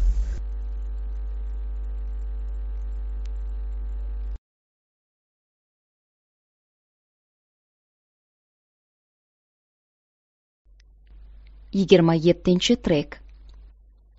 Tog'a bir yutinib oldi da ikromjonning yuziga emas to'nining qo'ltiqtayoq teshib yuborgan joyiga qarab gapini davom ettirdi. Uyga borib kiyinib kel. Kechqurun gorchakovadan eshelon jo'naydi. Sendan boshqalar ham bor kechikma oshnam. Ikromjon hech narsa demadi. Nima ham dedi. Indamay chiqib uyiga qarab ketdi. Rais bugun jannat xolani ko'rgan ikromjonning toshkentga ketishini aytgan edi. Shuning uchun ham u erining shunday yog'ingarchilikda kelganiga ajablanmadi. Kiyim boshlarini tayyorlab qo'ygan ekan. To eri kiyinib bo'lguncha qozonda qanchadan beri qaynab yotgan mastavani suzib keldi. Ikromjon tik turganicha bir ikki qoshiq ichgan bo'ldi. Xotin men ketyapman xavotir olmay o'tir. Kelganimdan keyin cho'lga birga chiqib ketasan. Xayr yaxshi qol. Jannat xolaning cho'lga ketishiga hali ham ko'ngli yo'q edi. Erining safarga ketayotganida ko'nglini alag'da qilgisi kelmay avval keling cho'lga borish bir gap bo'lar deb qo'ya qoldi. Idora oldida yuk mashinasi turibdi. Tog'a kuzovga chiqib ikromjonga qo'lini cho'zyapti. Jannat xola erining mashina kuzoviga qiynalib chiqayotganini ko'rib turardi. Agar tog'a qo'lidan tortib olmaganda albatta chiqolmasdi. O'ng tizzasi bukilmaydida. Ikromjon chiqib olishi bilan mashina gurillab joyidan qo'zg'aldi. U orqasiga o'girilib xotiniga qo'l silkib qo'ydi. Jannat xola uning orqasidan ma'yus qarab qoldi. U ikromjonni tursunboyni frontga ana shunday kuzatib qolgan edi. Biri nogiron qaytdi biri qochdi. O'lik tirikligi noma'lum. Bormikin? Bormikin? Bor bo'lsa qayerlarda sarson sargardon bo'lib yurgan ekan? Ona xayoli yana bolaga ketdi. U ikromjon cho'lga ketgandan beri yolg'iz uyda o'ylayverib qon bo'lib ketdi. Erining toshkentga ketishi yana yuragiga allaqanday ayriliq solayotganday bo'ldi. Tog'a ham qiziq. Muncha endi bu odamga yopishib olmasa? Bitta bolasini tiyib ololmaganga butun boshli brigadani berib qo'yibdi. Oy chiqsa ham shunga kun chiqsa ham. Jannat xola mashina ketgan tomonga qarab turgan xo'jalik mudiri abduhalilni ko'rdi. Abduhalil yonidagilardan tap tortmay gapirardi. Avval bolangni epla keyin bizga vatanparvarlikdan dars ber. Jannat xolaning ichi kuyib ketgandek bo'ldi. U ko'chada el ko'zida telbaga o'xshab yurishdan istihola qilib uyiga qaytdi. O'sha o'sha jimjit uy xuddi yutaman deydi. Yomg'ir tingan bo'lsa ham tarnovlardan chak chak suv tomib turibdi ariqdan ayqirib bo'tana suv oqyapti. Shamol bulutlarni to'zg'itib allaqayoqlarga olib ketdi. Yaltirab oftob chiqdi. Teraklarning yalang'och novdalariga zar surtgandek bo'lib ketdi. Tomlardan ivigan devorlardan bug' ko'tarila boshladi. Charaqlagan oftob jannat xolaning dilini sal yoritgandek bo'ldi. Oy chiqdi. Serbulut osmon xuddi siyoh sachragan zangori ko'ylakka o'xshardi. Hovli betidagi chuqurchalarda hosil bo'lgan ko'lmaklar beti oydinda shishadek yiltirardi. Jannat xola yuraverib charchadi. Tinkasi qurib odati bo'yicha ayvon labiga kelib endi o'tirgan ham ediki eshikni kimdir juda sekin jur'atsizlik bilan taqillata boshladi. Kim? Eshik yana taqilladiyu hech kim ovoz bermadi. Jannat xola hayron bo'lib eshik yaqiniga borib yana kim? dedi. Javob bo'lmadi. Kim deyapman? Oching oching men. Jannat xola titrab ketdi. Jannat xola eshik halqasini qanday tushirganini bilmaydi. O'g'lining achimsiq hidi burqsib turgan bo'yniga osilib tinmay gapirardi. Voy bolaginam bolajonginam bormisan? Qayoqlarda qolib ketding? Yomonlar o'lsin yomonlarni qora yer yutsin. Ne ne gaplarni tarqatishmadi? Bor ekansan omon ekansan a? Tursunboy ona gaplariga parvo qilmay uning qo'llarini bo'ynidan olib tashladiyu orqasi bilan eshikni to'sdi. Sekin sekin aya birov eshitib qoladi. Voy eshitsin bilsin ne ne gaplar qilishmadi ya? Ertalab boshimga tumonatni yig'aman. Dadaginang bechora boshini ko'tara olmay qoldi ya? Bo'ldi bo'ldi. Tursunboy eshik halqasini shoshib ildi da jonsaraklik bilan ichkari uyga qarab yugurdi. Jannat xola esankiraganicha uning orqasidan chopdi. Shoshib chiroq piligini ko'tardi. Tursunboy uy o'rtasida qimirlamay turardi. Ona bolasining yuziga qaradi. Bu o'sha tursunboymi yo boshqa odammi? Ona qarshisida yuz ko'zlarini soqol bosib ketgan ozib qorayib tanib bo'lmas holga yetgan tursunboy turardi. Uning yuziga ko'pdan sovun tegmagan to'yib ovqat yemagan onaning yuragi jiz etib ketdi. Bittiyu bitta bolasiya shu holga yetdimi? Yemay yedirgan kiymay kiydirgan erkasi shamolni ravo ko'rmagan yolg'izi shu ko'yga tushdimi? Senga nima bo'ldi bolam? Qo'yaver aya qayerlarda yuribsan? E so'rama so'rama. Ovqating bormi qornim och. Jannat xola hozir hozir dediyu bolasi oldidan ketmay unga tikilganicha turaverdi. Ovqat deyapman olib kelsangchi? Ona bo'shashib tashqariga chiqdi. Nima qilishini bilmay oshxona eshigi oldida birdan xayol surib turib qoldi. Keyin qorong'ida timirskilanib qozon tagida quyilib qolgan mastavani kosaga suzdi da yig'lab yig'lab uyiga olib kirdi. Bolam shuni yeb turgin hozir boshqa ovqat qilib beraman. Tursunboy deraza rafiga o'tirib kosa chetidan xo'rillatib icha boshladi. Ona tik turganicha undan ko'zini uzmasdi. Tursunboy boshini ko'tarib onaga tanbehlovchi ohangda dedi. Kelganimni birov bilmasin. Qochganing rostmi? Tursunboy darrov javob bermadi. Lablarini ancha vaqtgacha yalab turib dedi. Poyezddan qolib ketdim. Qochganing rost ekanda. Ha gap tamom onaning vujudi qaqshab ketdi. Tizzalarida darmon qolmay sholchaga o'tirib qoldi. Ko'zlari javdirab birpasda kipriklari pirpiradi da ho'ngrab yig'lab yubordi. Tursunboyni qochoq deyishganda jannat xola ishonqiramagan edi. Ko'nglining bir chekkasida bu gap yolg'on deb o'ylardi. Endi bu gapni bolasining o'z og'zidan eshitib hushi boshidan uchdi. Butun istaklari orzu umidlari shamolda to'zib ketgandek kimsasiz cho'lu biyobonlarda qolib ketgandek chorasiz bir ahvolda dunyo ko'ziga qorong'i bo'lib turardi. Yosh dumalab turgan ko'zlarini bolasiga qadadi.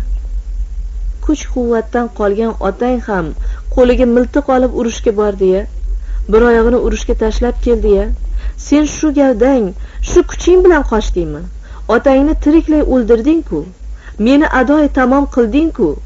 El yurtning ko'ziga qanday qarayman?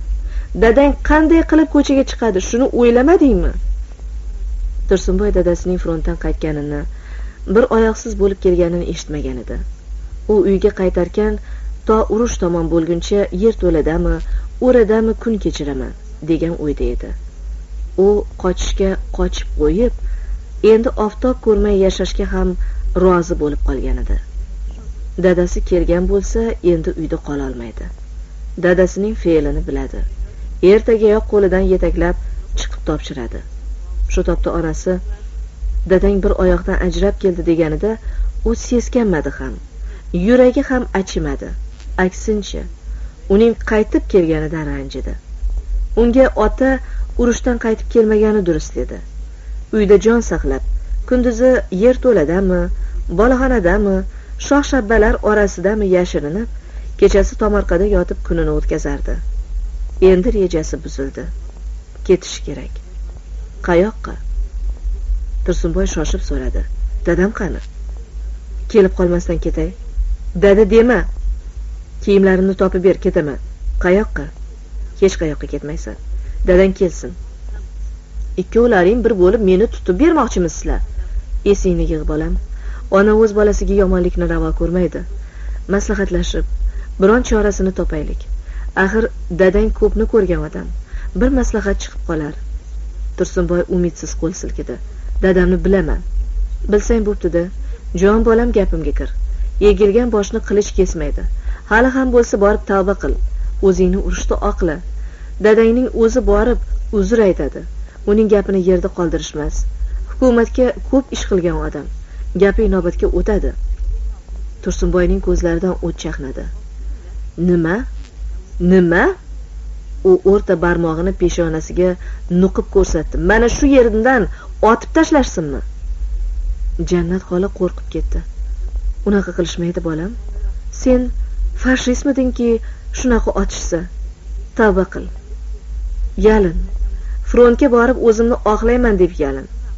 Tursunboy yana qo'l silkib yuzini teskari o'girdi. Ketaman. Qayoqqa ketasan? U qayoqqa borishini bilmasdi. Ona so'rog'iga javob topolmay bo'shagan kosaga qaragancha indamay qoldi. Kim senga joy beradi? Kim senga ovqat beradi? Qaroqchilik qilasanmi? Qaykovakka sig'asan? Tirik o'lik bo'lib yurasanmi? Yaxshisi gapimga kir. Dadang bilan tog'a borib tushuntirib topshirsin. Tog'a obro'li odam deputat odam gapini qaytarishmaydi. Tog'aga yalinaman yig'lab yig'lab yalinaman. Jon bolam dadang kelguncha ketma shunday qil. Jon bolam o'rgilay bolam yo'q dema. Jannat xola shunday dediyu shoshib hovliga chiqib ketdi. Katta samovarni ayvondan olib tushib suv quydi. O't tashladi. Oshxonaning orqasiga sovun olib borib sochiqni bekiga ilib qo'ydi. Sandiqni ochib tursunboyning ko'ylaklarini oldi. Yuvin soqollaringni qirib boshqa kiyimlaringni kiyib ol. Juda kir bo'lib ketibsan. Ona tokchadagi qutichadan ikromjonning ustarasini oynakchani olib chiroq oldiga keltirib qo'ydi. Mana bolam bo'la qol. Tursunboy qondiqni oldiga tiz cho'kib oynaga qaradi. U o'z aksini ko'rib birdan hayron bo'lib qoldi. U rosa isqirt bo'lib ketganini endi bilgan edi. Ilgarigi tursunboydan endi faqat chaqnab turgan ikkita ko'zgina qolgan edi. U onasi keltirgan bir piyola suvga cho'tkani botirib sovun qutida ko'pirtirdi da betlariga surdi. Ona uning qirt qirt qilib soqol qirishiga qarab ich etini yeb o'tirardi. Endi bolasining holi nima kecharkin? Tog'a oraga tushishga ko'narmikan? O'zi olib borib topshirsa yaxshi bo'lardi. Zora frontga yuborishsa ko'nmasa nima bo'ladi? Bordiyu ko'nsa. Ko'nsayu gapi inobatga o'tmasa unda nima bo'ladi? Ey xudo qandoq kunlarga qoldi ya tursunboy soqolini olib bo'lgach oshxonaning orqasiga o'tib ketdi. Yuvinib kiyinib keldi. Uning diydoriga qarab ona yuragidan boyagi vahimalar nari ketgandek bo'ldi. Tursunboy yangi toza liboslarda begunoh pokiza bo'lib ko'rinib ketdi. U kelishgan yuzlari ko'zlari yashnagan yigit edi. Shu topda ona ko'nglida ham mehr ham tashvish ham g'azab bor edi. Shu uch his orasida qolgan ona qalbi qay tarafga yon bosishni bilmasdi. Tursunboy o'tirgan yerida mudray boshladi. Ona uning yonboshiga bolish keltirib qo'ydi. U bolishni nari surib boshini qo'ydi da dam o'tmay uyquga ketdi. Ona uning ustiga ko'rpa tashlab bosh tomoniga tiz cho'kkanicha yuragida bir dunyo tashvish bilan kiprik qoqmay tikilib o'tiraverdi. Qop qora osmonning bir cheti bilinar bilinmas oqarib kelayotganini sahar hez xo'rozlarning olis olislardan qichqirayotganini sezmasdi. U hamon yolg'iz bolasining diydoriga to'ymay tikilardi. Qalbi vayron bo'lgan umidlari sovigan sassizgina o'chgan onaning xayollari so'ngsiz edi samarasiz edi. Toshkent stansiyasida odam qaynaydi. Platformalarda ustiga brezent yopilgan tanklar yuk mashinalari qizil vagonlarning ochiq eshiklaridan jangchilar ko'rinadi. Qo'ltiq tayoqqa tiralgan qo'lini boshidan bog'lab olgan yaradorlar u yoqdan bu yoqqa o'tib turibdi. Ikromjon farg'onaliklar olib kelgan to'rt vagon sovg'ani topshirish uchun stansiya boshlig'ining oldiga kirmoqchi bo'lib yo'lakka bosh suqqan edi tumonat odam. Shu payt radio karnay xirillab e'lon qildi. Farg'ona vakili komendant yordamchisiga kelib uchrashsin qaytaraman. Ikromjon komendantni qidirib ketdi. Oldingi vagon yonida bir necha harbiylar bilan qizil furashka kiygan stansiya navbatchisi turardi. Ikromjon unga o'zini tanitdi. Navbatchi uning qo'lidagi qog'ozlarni olib o'qiy boshladi. Yigirma qop turshak o'ttiz qop mayiz qirq qop olma qoqi sakson yashik qand qirq qop yong'oq ming banka behi murabbosi uch yuz banka qulupnay murabbosi. Hammasi shumi? Navbatchi boshqa qog'ozga ko'z tashladi. Ha yana olti yuz paxtali nimcha sakkiz yuz quloqchin besh yuz kirzi eti. Ha mana bu boshqa gap. Navbatchi ikromjonga qaradi. Kuzatuvchi bormi? Ikromjon ikkilanib o'tirmay javob berdi. Men o'zim kuzatib boraman. Bo'pti dedi navbatchi. Harbiy komendantga uchrashib hujjatlarni rasmiylashtiring. Bilib qo'ying front liniyasigacha kuzatib borasiz. Xo'p. Komendant yordamchisi unga boshdan oyoq razm solib boshini sarak sarak qildi. Yo'q sizni yubora olmaymiz. Kuzatuvchilarimiz bor. Oyog'imga qarab shunday deyapsizmi? Ha front ko'rgan odamman. Baribir dedi komendant yordamchisi. Harbiylar bir so'zli bo'ladi. Ikromjon yalinib yolvorishdan foyda yo'qligini bilib boshqa gap aytmadi. Mayibligiga achinib ko'ngli allanechuk bo'lib ketdi. Navbatchi u bilan vagonga keldi da bor narsalarni bir bir ko'zdan kechirib unga javob berdi. Ertangi poyezdda qaytib ketishingiz mumkin. Komandirovka guvohnomangizga bir ozdan keyin kelib belgi qo'ydiringda qaysi poyezdda ketishingizni bilib oling. Ikromjon asta yurib perrondan katta maydonga chiqdi.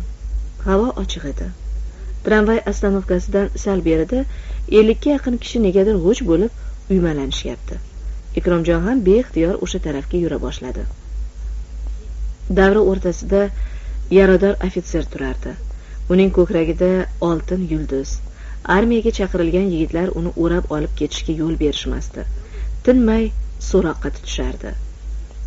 Yo'l chetidagi skameykada bir chol bilan kampir harbiy forma kiygan yigitga termilib o'tirishibdi. Ular o'z bolalarini frontga jo'natayotgan bo'lsalar kerak. Kampir dam badam bolaning peshonasini silaydi.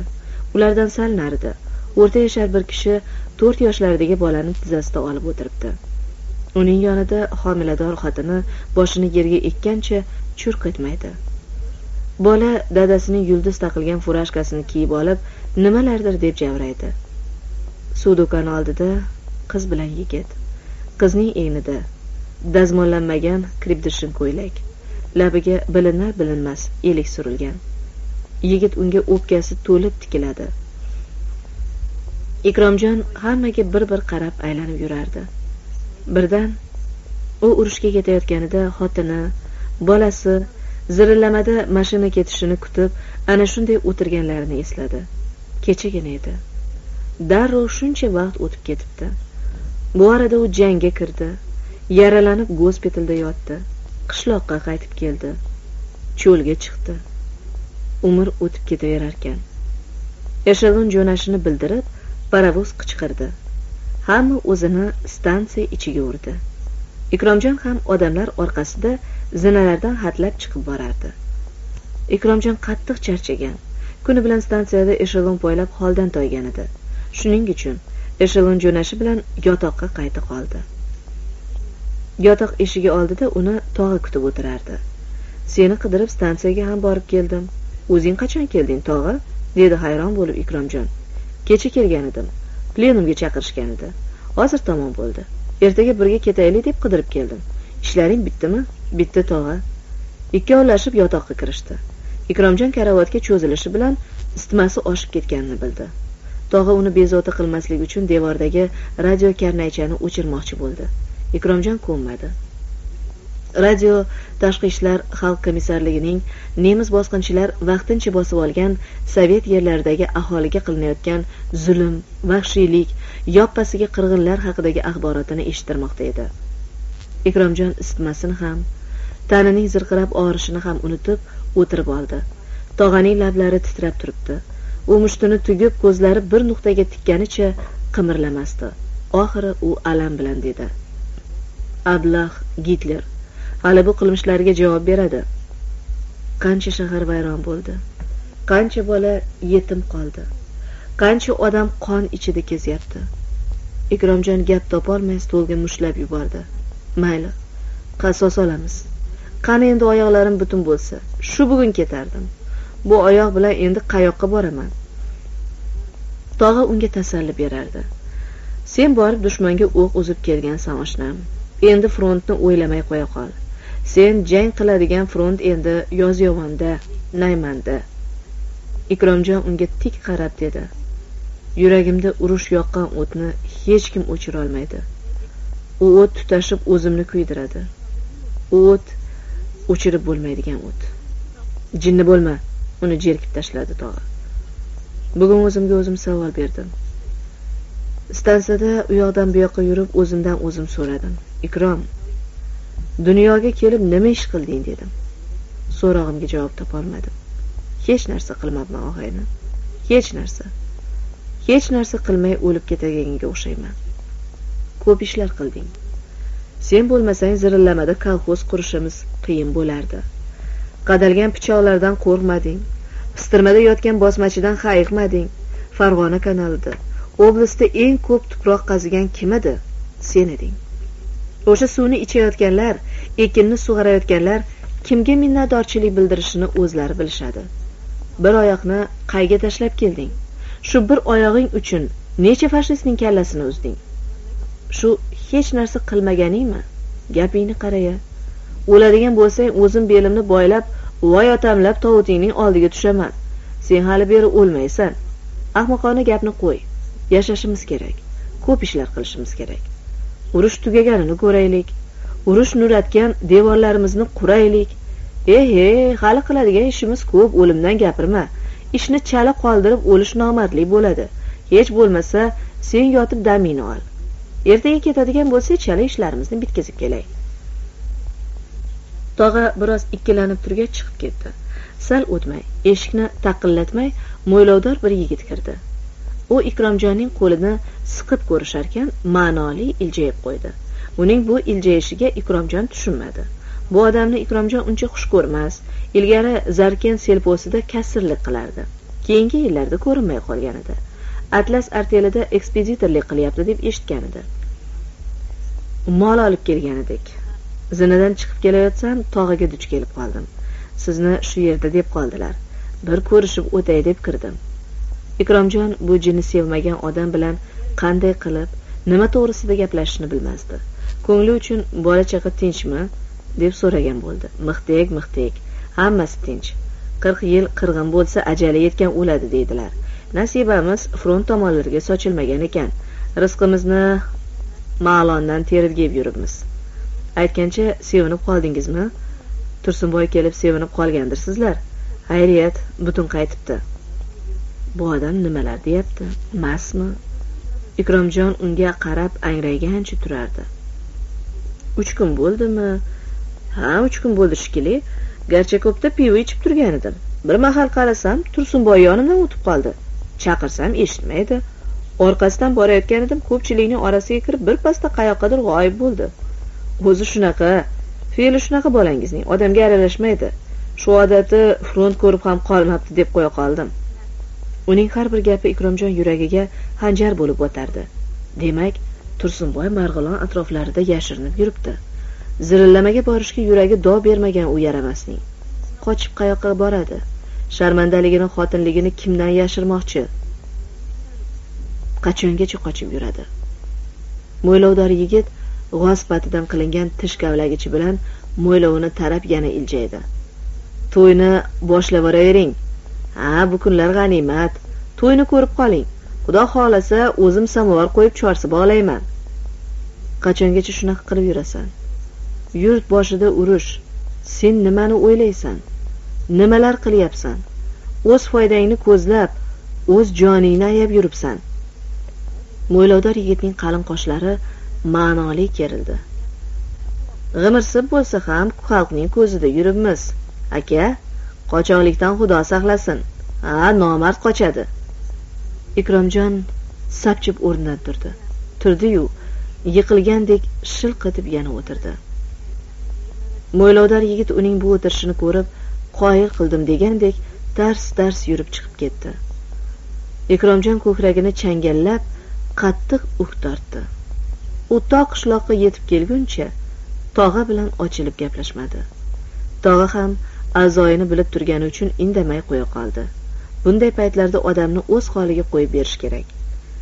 Endigina tong yorishib kelardi. Tog'a qayrag'och tagiga yetgach unga qo'lini uzatdi. Jindak mizg'ib olganingdan keyin idoraga chiqarsan xayr tog'a ketdi. Ikromjon o'z hayollari bilan o'zi qoldi. Vujudini dard g'ijimlab tashlagandek bukchayib o'z ko'chasiga burildi. Odamning ishi bir orqaga ketmasin. Ketma ket falokat oyog'ining tagidan o'rmalab chiqaveradi. Mana ikromjon shuncha yil yashab shuncha savdolarni boshidan kechirib hali bu xil dahshatga ro'para kelmagan edi. O'z uyi oldida o'z devorida unga eng og'ir eng dahshatli hukm bitilgan edi. Devorga kimdir ohak bilan xoinning uyi deb yozib ketibdi. Ikromjon o'z ko'zlariga ishonmay qoldi. Nazarida bugun tong har galgidan ko'ra bezovtaroq barvaqtroq yorishayotgandek. Shu yozuvni tezroq odamlarga ko'rsatishga oshiqib vaqtli yorishayotgandek edi. U bir muddat turgan yerida esankirab qimirlamay qoldi. Qishloq jimjit el hali uyquda. Faqat erinchoq xo'rozlargina har zamonda olis olislardan ovoz berib qo'yishadi. Olamga nur tarayotgan kurtaklar bag'riga bahor shabadasini quyayotgan bu tongda hamma narsa jonli jonsiz miriqib orom olardiyu. Faqat bir kishi ikromjongina alam dahshat iztirob olovida kuyib yonardi. Nima uchun? Boshiga bu falokatlarni solgan nomard bola qani endi shu tobda oldida bo'lsa? O'ldirardi. Qariligini harom qilgan dunyoni ko'ziga qorong'i qilgan bolaning bahridan o'tardi. U qanday bola boqdi o'zi? O'z boshiga balo qilib bola boqdi endi uni qo'liga tushgan kuni it bolasidek o'ldiradi. Oppoq bo'lib otayotgan shu tongda ota o'z bolasini o'limga hukm qildi. Nayman cho'llariga to'qaylarga chinakam bahor kirdi. Qamishzorlardan botqoqliklardan qurbaqalarning tinimsiz vaqillashi eshitilardi. Tiniq feruza osmondan ikki marta arg'imchoq solib turinib o'tdi. Qish ichi bo'ronlarni ko'krak bilan to'sgan ikki tolning nozik nodalari och pista mag'izdek barglarga o'raldi. Qumli tarafdan badanga xush yoqadigan iliq miliq shabadalar esib qoldi. Zebixon ham shu bahor bilan birga yashnab borardi. Uning chehrasidagi so'lg'inlik o'rnini allaqanday qizlik tarovati egallagan edi u har kuni el uyg'onmasdan chodirdan chiqardi da xuddi quyoshni qarshilayotgandek cho'l tarafga qizarib bo'zarib yorishayotgan ufq tarafga qarab ketardi. Hammayoq jimjit cho'l qushlari beozorgina chug'urlashadi shabada yangigina qiyoq cho'zgan maysalar betidan shudringni silkib to'kadi. Qiz shu fayzsiz cho'lda ochilgan tanho loladek o'zini ko'z ko'z qilib boradi. Balog'at ostonasidan allaqachon hatlab o'tgan birinchi sevgisiga og'u tushgan bu qiz qalbida pinhoniy o't yonardi. Bu o't uning bag'rini kuydirmas o'rtamas aksincha ehtiros tuyg'ularini tug'yonga keltirardi. Qiz qalbiga yupanch o'ziga hamdard kishi izlardi. U goho maysaga chalqancha yotib oppoq beg'ubor bulutlar suzayotgan so'ngsiz osmonga uzoq uzoq tikilib yotardi. Bu zangori bo'shliqlar unga allaqanday ertaklar so'ylagandek. Shu olislardan u hali o'zi kimligini bilmagan bir dilovar yigit chehrasini izlardi. U noma'lum yigit goh afsonaviy pahlavon goh tursunboydek nomard bo'lib ko'rinardi. Zebuxon har gal tursunboyni eslab qolganda yuzlari andishadan qizarib ketardi. Ko'zlarida o't chaqnardi. Qo'llari beixtiyor musht tugardi. U tursunboyni tabiat yanglish yaratgan tabiat odamlarni masxara qilish uchun odamlarni haqorat qilish uchun yaratgan bir narsa deb bilardi. Bu tabiatning qo'pol qo'li bilan yaratilgan narsa eng avval uni yaraladi. Uning qalbiga zahar soldi. Zebuxon uning zahrini juda tez badanidan sitib chiqarib tashladi. Ammo vaqti vaqti bilan yara o'rni uni qiynar tanasini bir muddat zirqiratardi. Zebuxon o'zini tursunboy yetkazgan alamlardan ozod his qilardi. Endi uning ko'ksiga sof tuyg'ular shabadasi kirgan shu cho'l havosidek beg'ubor hislar uni allalardi. Qalbi bahorgi musichadek ko'kuvlab muhabbat chaqirardi. U muhabbat izlardiyu boshidan ko'p savdolar o'tgan nizomjonning ma'yus boqishlariga tob bera olmasdi. U bolaning ko'zlarida qandaydir og'ir alamlar ko'lankasi kechardi. Zebuxon u bilan gaplashganda yuragini tirnagan alamlarni qo'zg'atishdan qo'rqardi. U o'lgan ilonning boshini qo'zg'atmaslik kerak deb o'ylardi. Mana bugun zebuxon odaticha tong qorong'isida turib sahar shamolida tebranayotgan tol oldidan o'tarkan so'rida ikki tizzasini quchoqlab olis bo'shliqlarga tikilib o'tirgan nizomjonga ro'para kelib qoldi. Nizomjon oyoq sharpasini eshitib o'girildi. Qarshisida ko'krak burma ko'ylagini shamol buydalayotgan qizni ko'rib hayron bo'ldi. Keyin hushini o'nglab o'rnidan turdi.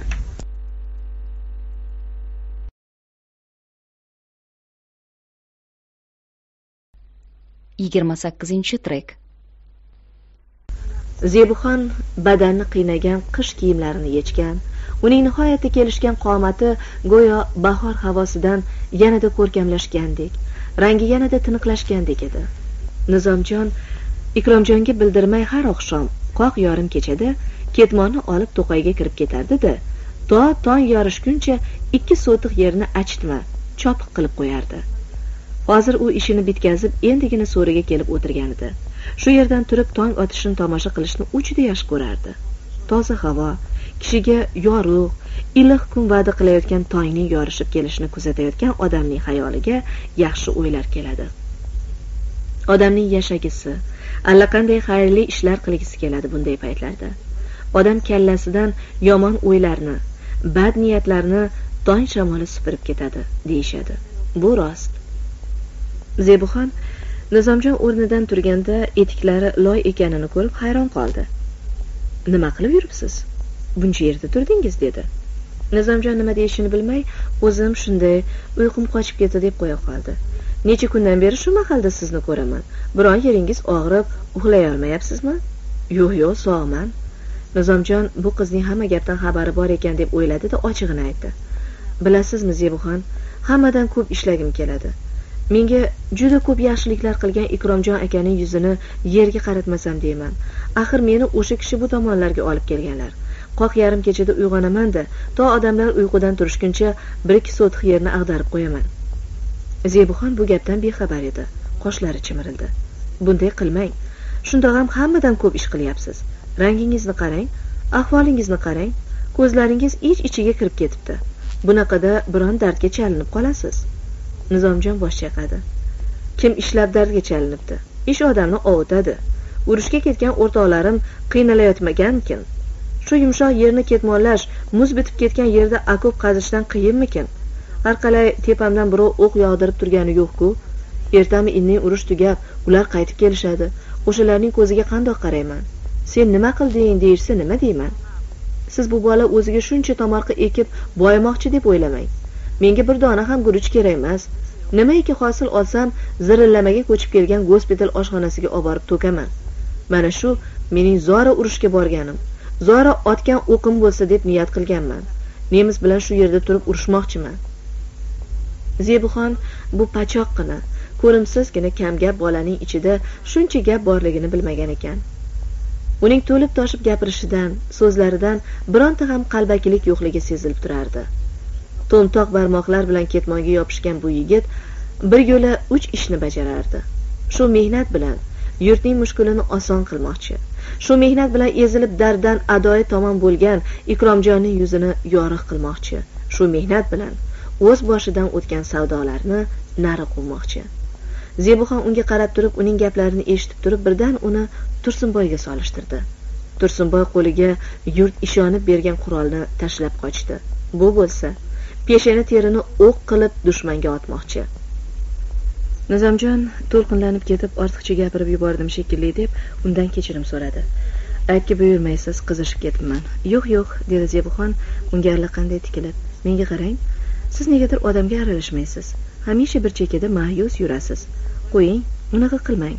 Bu yerdagilarning hammasi yaxshi odamlar tortinmang. Birdan zebuxonning sho'xligi tutib ketdi. Biron gap bilan uni ovutgisi keldi da ayyorcha kulib qaradi. Yuring cho'l aylanib kelamiz. To odamlar turishguncha u qumgacha borib qaytamiz. Men har kuni o'sha yoqqa boraman. Kecha oldimdan ikkita kiyik chopib o'tib ketdi. Ko'zi qurmagur biram qoraki. Nizomjon bu yerdagilarning qanaqaligini yaxshi bilmaganidan birontasi ko'rib qolsa hijolatli ish bo'lmasmikin? degan andisha bilan jur'atsizroq javob qildi. Qandoq bo'larkin? Pochchangiz ko'rib qolsalar. E qo'ysangizchi bunaqa gaplarni. Yuring yuring o'sha uzoq dostoningizni endi aytib berasiz. Nizomjon xo'p deb uning ketidan ergashdi. Zebuxon uning bilagidan ushlab oldinga boshladi. Qo'llari biram yumshoq biram issiq. Nizomjonning badani seskanib ketdi. Beixtiyor u yetaklagan tomonga qarab yura boshladi. Ikkovi so'zsiz ancha yo'l bosishdi kuygan yalanglikdan o'tib savag'ichzor orasiga kirishdi. Nizomjon mahorka o'rab gilzadan yasalgan zajigalkasini yoqayotganida zebuxon qo'lidan olib savag'ichga o't tutashtirdi. Qurib qovjirab qolgan qiyoqlar bir gurillab alangasi savag'ich uchidagi popkini o't oldirdi. Qiyoqlar yonib bo'ldiyu faqat uchidagi popuk xuddi sham tiligidek ancha vaqtgacha lovullab turib qoldi. G'ira shira yorishib kelayotgan cho'l tongida bu alanga juda g'alati bo'lib ko'rinardi. Zebuxon sho'xlik qilib u yoqdan bu yoqqa yugurar hali u hali bu savag'ich to'piga o't tutashtirardi. Nizomjon zebuxonning qo'lidan zajigalkani olmoqchi bo'lganida u qochdi. Nizomjon quvdi. Qumga yetay deb qolganlarida uni ushlab oldi. Qiz hansirar har hansiraganda tirsillagan ko'kraklari qalqib qalqib tushardi. Nizomjonni birdam ehtiros otashi o'rab olganday bo'ldi. O'zini tutdi. Zebuxon bahor yomg'irlari chang g'uborlarni yuvib top toza qilib qo'ygan qumga o'tirib oldi. Qani endi ayting o'sha uzoq dostoningizni. Nizomjon qizning tepasida tik turardi. Qiz qanday doston to'g'risida gapirayotganini bilmasdi. Qanaqa doston? dedi u ham o'tirarkan. Ho tunov kuni. Ikromjon amakining jiyanimisiz deganimda yo'q begonaman dostonim uzoq keyin aytib beraman degandingiz. Qani? Ayting endi. Nizomjon nima deyishini bilmay ko'zlari javdirab malla g'ijim baxmaldek tovlanib yotgan qumlarga qaradi. Bu qiz uning unutgan kunlarini esiga solib qo'ygan edi nizomjon u kunlarni sira eslamasam derdi. Endi o'zi istamagan holda o'sha kunlar bilan yuzma yuz kelib turibdi. Boshidan o'tgan voqealarni nizomjon bu qizga aytib bersamikin bu o'zi qanaqa qiz? Unga hammasini aytish shartmi? Axir u boya tol tagida qizishib ketib ko'ngliga tugilgan gaplarni yonib o'rtanib gapirib berdi ku u zirillamada ikromjonga jannat xolaga aytib berganda boshqa gap edi. Ular bu notanish bolaning kimligini bilib qo'yishlari kerak edi. Bu qizchi bu unga kim bo'ladi? Nizomjon qizga qaradi. Zebixon ko'zlari o'tdek chaqnab unga tikilib turardi. Bu ko'zlarga nizomjon tob bera olmadi. Bu olov ko'zlar uni o'ziga tobe qilib qo'ygan edi.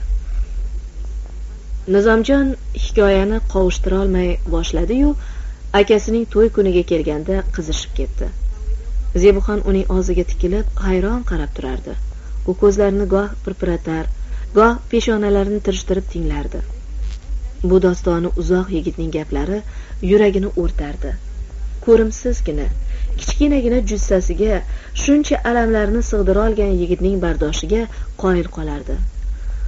Shunaqa gaplar tuz nasiba ekan mana sizlar bilan hamxona bo'lib qoldim deb hikoyasini tamom qildi nizomjon. Zebuxon shoshib so'radi. Bu gaplardan dildorning xabari bormidi? Nizomjonning ko'zlari birdan chaqnab ketdi. U o'zi bilan bo'lib bu to'g'rida sira o'ylamagan ekan. Rost bordiyu dadasining opasining niyatlaridan. Dildorning xabari bo'lmasa unda nima bo'ladi? Nega u bilan gaplashmadi? U so'nggi marta qishloqni tashlab chiqib ketayotganda dildor ko'chada uning yo'lini to'sgan edi. Shunda u nima degandi? Nizomjon o'sha aytgan gaplarni eslamoqchi bo'ldi. O'yladi o'yladi axiyri esiga tushdi. Boyqush xonadonimizga kulfat olib kelding shumqadam o'z gapini o'zi eslab nizomjon o'rnidan turib ketdi. Ikki panjasi bilan yuzlarini changalladi. Men qanday noinsof yuzsiz odamman. O'z o'tiga o'zi yonib yotgan bu bechoraga nimalar deb keldim? Aytsam bo'lmasmidi? Sen akamning xotinisan. Dadam endi menga olib bermoqchi. Shu gapdan xabaring bormi deb so'rasam bo'lmasmidi? U o'zi bilarmidi? Yo bilmasmidi? Bilsa nega indamadi? Balki shu gapni aytmoqchi bo'lib yo'limni to'sganmikan? Zebuxon ham o'rnidan turdi. Mayli bo'lar ish bo'pti. Endi uni tuzatib bo'lmaydi. Dildor bilmagan bo'lsa vaqti bilan bilib oladi. Zebuxon kalishiga kirgan qumni to'kmoqchi bo'lib oyog'idan chiqarayotgan edi. Birdan ko'zi qumdagi oyoq iziga tushdi. Iz to'qay tomondan chiqib qum oralab kuygan yergacha kelgan yana orqaga qaytgan. Zebuxon izning qaytgan yo'liga tikildi. Iz juda ham uzoqqa bormay chap tomonga burilib to'qayga kirib ketgan. Kim bo'lishi mumkin? Nizomjon zebuxonning nimaga qarayotganini bilmoqchi bo'lib u tikilib turgan tomonga qaradi. To'qaydan birov chiqib yana qaytib kirib ketibdi. Iz yangi. Kechagi iz bo'lganda shamol ko'mib ketardi. Nizomjon bunga parvo qilmadi. Birontasidirda deb qo'ya qoldi. Darhaqiqat marg'ilon ipak kombinatidan to'ng'iz ovlagani velosipedda injenerlar bu taraflarga tez tez kelib turishardi. O'shalardan biri bo'lsa kerak. Orqaga qaytishdi. Zebuxon endi nizomjonning kimligini yaxshi bilib oldi. Unga yuragining allaqayerda achinishmi mehrmi bir nima paydo bo'lgan edi yo'l yo'lakay u nizomjon haqida alam o'tida qolgan dildor haqida o'ylab borardi. Oftob allaqachon chiqib ikki tup tolning soyasini kuyib qop qora bo'lib ketgan yeriga oshxonaning chodiriga o'z nurini tashlagan edi. Shodmon bobo bak tagiga o't qalayolmay ha deb tutundan achishgan ko'zlarini chiqardi sabilning cho'g'i qolmabdi. Oh urushdan avval selponing do'konida gugurt qalashib yotardi ya nizomjon zajigalkasini yoqib tutayotgan taracha tagiga tutdi. O't gurillab ketdi. Chodirdan yelkasiga sochiq tashlagan kishilar chiqa boshlashdi. Cho'lga jon kirgan edi. Aprelning boshlarida jannat xola naymanga arava orqasiga sigirini boylab ko'chini olib keldi. U endi ancha rang olib qolgan ammo u nihoyatda bezovta edi. Osh ustida ham choy ustida ham parishon bir qiyofada o'tirardi. Ikromjon bo'lsa ozib cho'p bo'lib ketgan edi. Cho'l shamoli uning badanini habashdek qoraytirgan yuzlari xuddi saksovuldek burishib ketganga o'xshardi. U avvalgicha odamlar bilan ochilib gaplashmas aytadigan gapini aytib bo'lgandan keyin ketmonini yelkasiga tashlab to'qayga kirib ketar. Ishi bo'lmasa chodirga kirib ketgancha ertalab chiqardi. Nizomjon o'zi ishi bilan axloqi bilan ko'pchilikning og'ziga tushib qolgandi. Keksalar uni umringdan baraka top deb duo qilishardi. Faqat ikromjongina indamasdi. Uning qilayotgan ishlarini ko'rib na yaxshi na yomon derdi. Qarab qarab o'tib ketaverardi jannat xola kelishi bilan ikromjonni chodirdan olib chiqdi. Bu chaqqon tinib tinchimas xotin cho'lga birdan fayz kiritib yuborgandek edi. Bu orada boshqalarning xotin bola chaqalari ko'chib chiqishdi.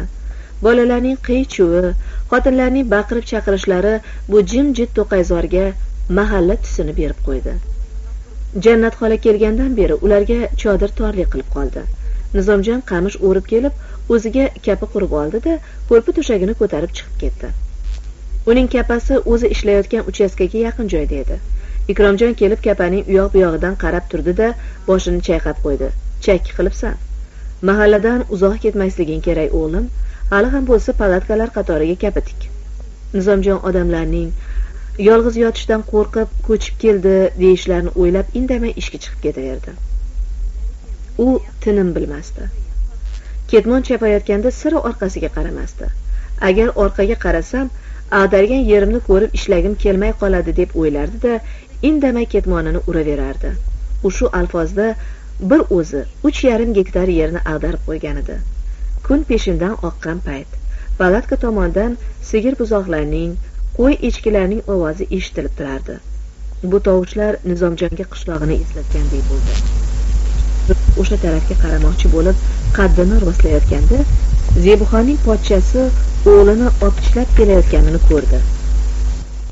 Nizomjon kecha bolaga varrak qilib bergan ikkovi uni rosa uchirishgan edi.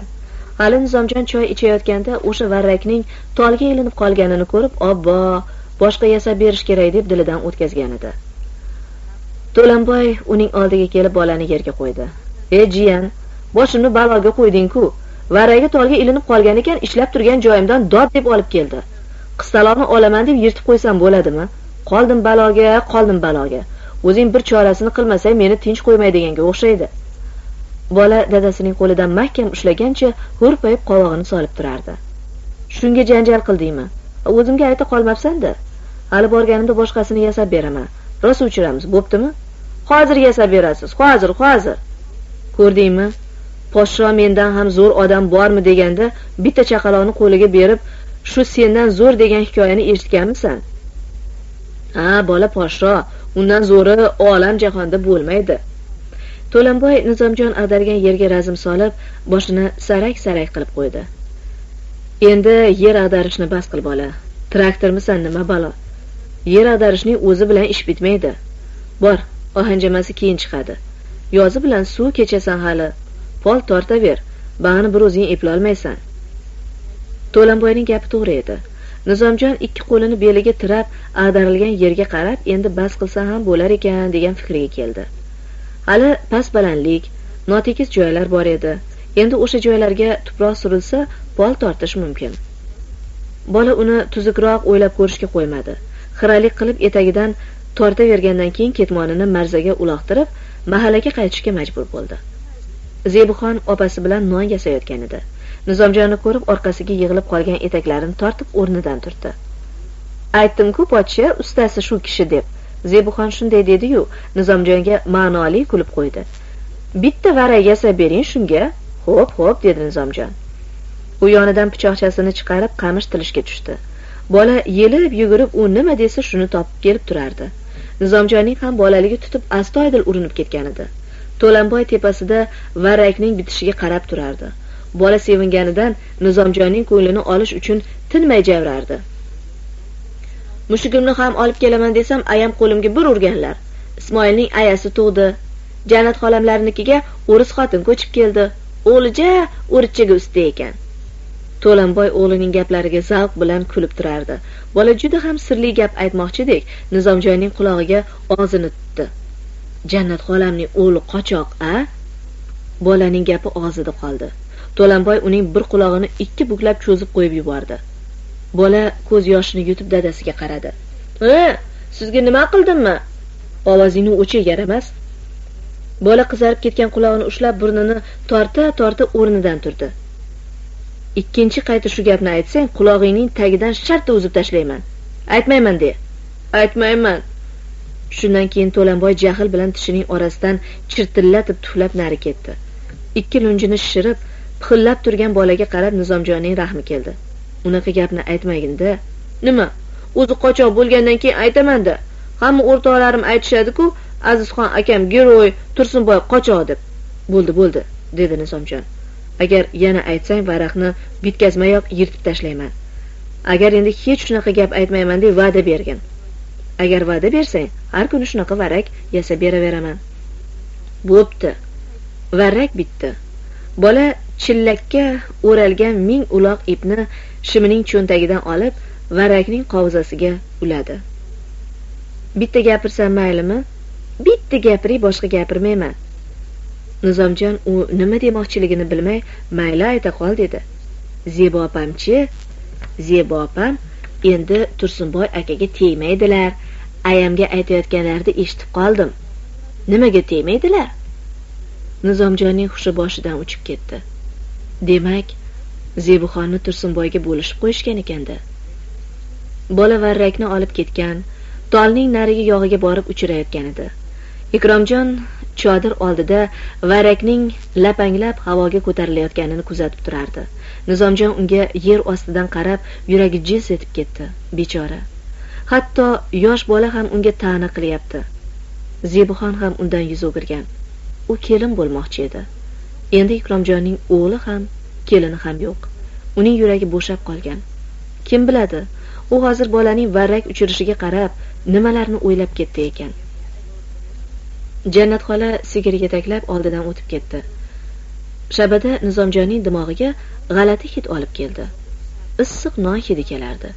Beixtiyor o'sha yoqqa qaradi. Zebuxon etagini lippa urib tandirdan non uzib savatga tashlardi. Tandir alangasidan uning yuzlari bo'rtib ketibdi. Tirsagigacha yengini shimarib olganidan oppoq bilaklari ko'rinib turardi. U qo'liga yenglik kiyib olganidan oldiga tushib qolgan sochini silkitib orqasiga tashlay olmay u yoq bu yoqqa alanglardi. Birdan ko'zi nizomjonga tushib qoldiyu iljaydi. Baraka topkur sochimni orqaga tashlab qo'ying.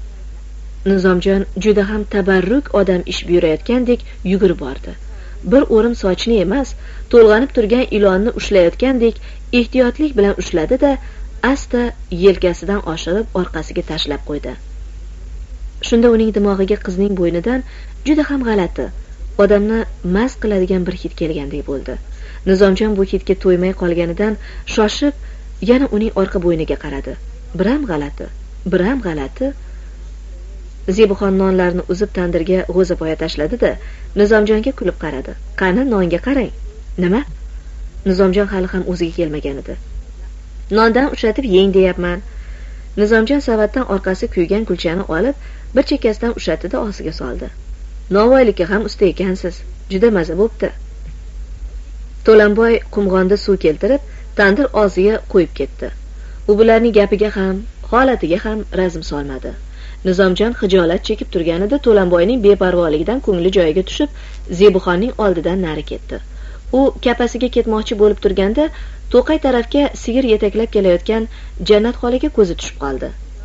Bemahalda to'qayga sigir oborib nima qiladi? Kech kirib qoldi ku u jannat xolaning ketidan bormoqchi bo'lib turganida motor gurillaganini eshitib to'xtadi. Kelganidan beri bu taraflarda birinchi marta mashina ovozi eshitilishi edi.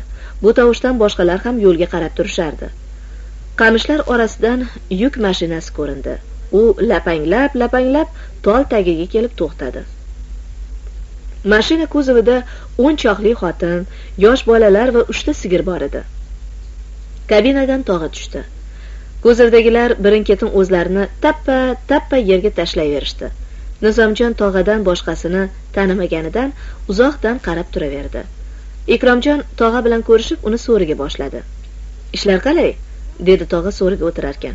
Mana yo'lni ham ochib oldik. Biroq haftadan keyin traktor yuboraman gospital shu tarafga yordamchi xo'jalik qilmoqchi. Har hafta o'zlarining mashinalari bilan hasharga chiqib turishadi. Qovun tarvuz ekishmoqchi. Ikromjon qilingan ishlarni gapirib berayotgan edi. Tog'i o'rnidan turib gapirib nima qilasan? Ko'rsatib qo'ya qolmaysanmi? deb qoldi. Ikkovi shudgor qilingan yerga qarab ketishayotganda tog'aning ko'zi nizomjonga tushib qoldi. Yaxshi yuribsanmi bola? Seni qiynab qo'yishgani yo'qmi? deb so'radi.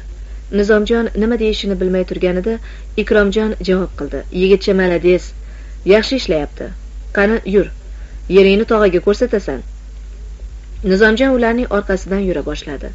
Tog'a hamma yoqni aylanib ishdan ancha mamnun ekanligini aytdi. Nizomjonning kapasi oldiga kelganda ikromjon tog'aning bilagidan ushlab to'xtatdi. Mana shu yerlarning hammasini nizomjon ag'dardi. Tog'a shudgorga qarab yo'g' e deb yubordi. Rost kechasi ham bizga bildirmay yer chopyapti azamat. Tog'a nizomjonning yelkasiga qoqib qo'ydi. Rahmat jiyan. Rahmat. Fronchasiga ish qipsan tog'a nizomjonning dilidagini topib gapirgan edi. Uch yo'lga kelib qo'liga ketmon olgan kunidan boshlab shu niyat bilan fronchasiga ishlash niyati bilan yonardi demak nizomjon o'ylagan ishining uddasidan chiqyapti. Tog'a uning bo'ynidan quchoqlab oldi da yelkasidan bir ikki silkib qo'ydi. Nizomjon gandiraklamadi oyog'i joyidan qo'zg'almadi. Ha durust dedi tog'a sendan ish chiqadi. Bo'shashma bola.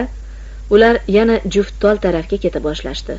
Shu payt jannat xola to'qaydan sigir yetaklab chiqib kela boshladi. To u yetib kelguncha nizomjon kutib turdi. Darrov qo'lidan arqonni oldi. Jannat xolaning ko'zlari qizargan yig'laganga o'xshaydi.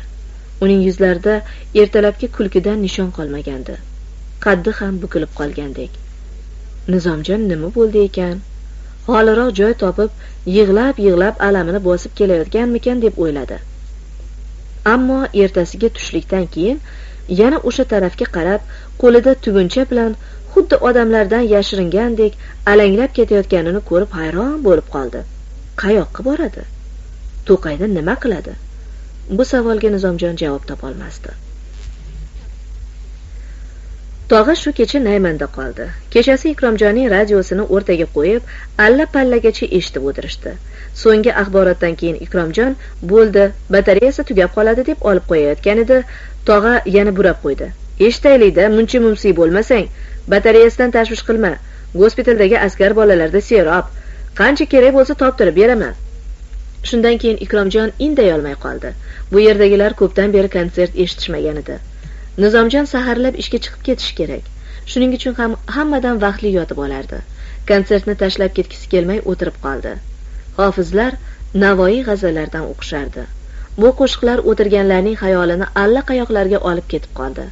Ayniqsa tog'a chordani qurib olib chodirning shiftiga tikilganicha qimirlamasdi. Bu ashulalar qanchalik ta'sirli bo'lmasin. Nizomjon konsertning oxirigacha o'tira olmadi. Tashqariga chiqib tol shoxiga qator ilib qo'yilgan fonarlardan birini oldi da o'choq tagida lipillab turgan o'tga qamish tutib yondirdi. Fonarni yoqdi. Bu yerda har kuni ertalab chodirdagi fonarlarni olib chiqib tol shoxiga ilib qo'yish odat tusiga kirib qolgan edi. Bir chol ularga lampamoy quyib piligini qirqib tayyorlab qo'yardi. Nizomjon fanarni ko'tarib ketayotganda to'lanboyning chodiri oldida zebuxon bilan opasining shivirlashib gaplashib o'tirganlarini ko'rib qoldi. Ha inim dedi zebuxonning opasi. Uxlagani ketyapsizmi? Vohliku chaylani juda chetga quribsiz qo'rqmaysizmi? Nizomjon to'xtashga to'xtadiyu nima deyishini bilmay turib qoldi. Bu xotinning mehribonchiligidan kechagi gapni albatta unga zebuxon aytib bergan bo'lsa kerak deb o'yladi. Nizomjon u bilan sira gaplashmagan qanaqa xotin ekanligini yaxshi bilmasdi. To u bir nima deb javob berguncha xotin unga choy uzatib qoldi. O'tiring. To'lanboy akangiz hali beri chodirdan chiqmaydilar. Tog'a bilan gaplashib o'tiribdilar. Nizomjon u ko'rsatgan ko'rpacha chetiga emas ajriqqa o'tirdi. Zebi aytdi boshingizga tushgan kunlarning barini eshitdim. Endi nima qilmoqchisiz? Nizomjon yalt etib zebixonga qaradi. U men opamdan hech gapni yashirmayman degandek unga dadil qarab turardi. Xotin yana so'radi endi dadangizning oldiga qaytib bormaysizmi? Bu to'g'rida o'ylab ko'rganim yo'q. Har holda bormasam kerak. Yuragim betlamaydi. Borsam albatta yana ko'nglimni buzadigan biron gap aytadi. Endi nima qilmoqchisan dedingiz. Nima qilmoqchiligimni ko'rmayapsizmi? Shu yerda qolaman. Sizlar nima bo'lsangiz men ham shu. Endi bu yerdan hech qayoqqa ketmayman. Butunlay qolib ketaman. Nizomjon shunday dediyu bo'shagan piyolani unga uzatib o'rnidan turdi. Chodir ichida bola ijirg'alandi. Xotin shoshib kirib ketdi. Zebuxon nizomjon orqasidan sekin dedi. Shoshmang men ham o'sha qilib boraman. Ikkovi sekin sekin yurib nizomjonning uzoqda qorayib turgan chaylasiga qarab keta boshlashdi. Hali oy chiqmaganidan cho'l qorong'i edi. Ayniqsa nizomjon qo'liga fonar ushlab olganidan oyoq ostini ko'rardi-yu, sal nariroqni ko'ra olmasdi. Sizdan bitta gapni so'ramoqchi edim. Zebuxonning ovozi negadir titragandek tuyuldi. Nizomjon unga tashvishli qaradi. Jannat xola sizga hech narsa demadilarmi? Nizomjon hayron bo'ldi. yelkasini qisib bosh chayqadi nima bir nima deyishlari kerakmidi bilmadim har holda men to'g'rimda biron gap aytmadilarmi deyapmanda yana ancha joygacha jim ketishdi birdan nizomjonning yodiga ertalab uning jiyaniga varrak qilib berayotganda eshitgan gapi keldi. O'shanda bola zebo opam tursunboy akaga tegmaydilar ayamga shunaqa deganlarini eshitdim degan edi. Hozir zebuxon undan shu gapga jannat xola nima degan ekanini bilmoqchi bo'lib so'rayotgan bo'lsa kerak. Chaylaga yetib kelishdi. Nizomjon zebuxonga tikilib turib uning qop qora qoshlariga quyib qo'ygandek kelishimli qomatiga mahliyo bo'lib qoldi. Qizning gavdasini fonar g'ira shira yoritib turardi. Qorong'i cho'l fonida u xuddi ertaklarda tasvirlangan allaqanday farishtalarga o'xshab ko'rinardi. Nizomjon o'zini tutolmadi. Ko'ngliga kelgan gapni aytib yubordi. Jannat xolaning nima deganini bilmoqchimidingiz? Siz tursunboyni sevardingiz ammo tursunboy zebuxonning ko'zlari chaqnab ketdi. Siz bu gapni qayoqdan bildingiz? Bitta men emas hatto mushtdek keladigan jiyaningiz ham biladi. Hamma bilib ketgan. Men o'zimning kimligini sizga o'zim aytib berdim. Ammo siz o'zingizning kimligingizni aytib bermadingiz. O'zim bilib oldim. Bilishingiz shunaqa zarurmidi? dedi zebuxon uning ko'zlariga tikilib. Nizomjon yana yelka qisib qo'ydi. Bola bo'lib birovlarning taqdiriga qiziqmagan edim. Bilmadim. O'lay agar nima uchun sizning kimligingizga qiziqib qolganimni o'zim ham bilmayman. Nizomjon biroz o'ylanib turib yana dedi. Meni kechiring. Endi qiziqmayman. Iloji bo'lsa ko'zingizga ko'rinmaslikka harakat qilaman. O'zim shunaqa omadi kelmagan bola ekanman. Hech ishim yurishmaydi. Agar xafa bo'lmasangiz aytib qo'yay. Endi bir birimizdan uzoqroq yuraylik. Oramizda hech gap yo'q. Bekorga gap so'z bo'lib yurmaylik.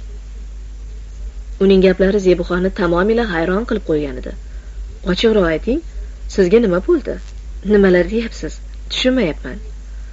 Ko'ngliga kelgan gapni ochiq aytishga nizomjonning sira tili bormasdi ochig'ini aytsa albatta qiz ranjiydi. Kim biladi? Balki ranjimas agar haqiqatan ham ularning oralarida tirnoqcha ham gap o'tmagan hatto tuzukkina to'g'ri gapni ham gapirishmagan-ku. Xafa bo'lmaysizmi? Xafa bo'lmasangiz aytaman. Qiz hayron qarab turardi. Ikromjon aka bilan jannat xola menga boshpana berishdi. Hech kim qilmagan yaxshiliklar qilishdi.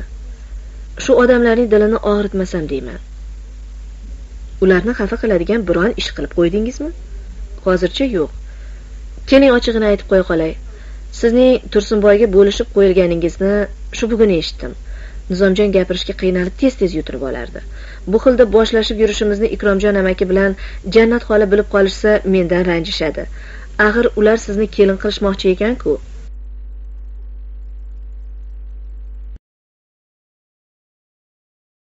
Yigirma to'qqizinchi trek zebuxon o'ylamay javob qildi. E ha hali shunaqami?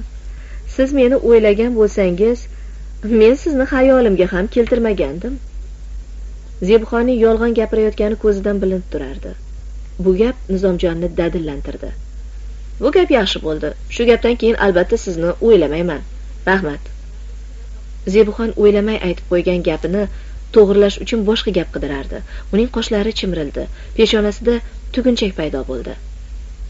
Biroq chumchuqdan qo'rqqan odam tariq ekmaydi shu gapni eshitganmisiz?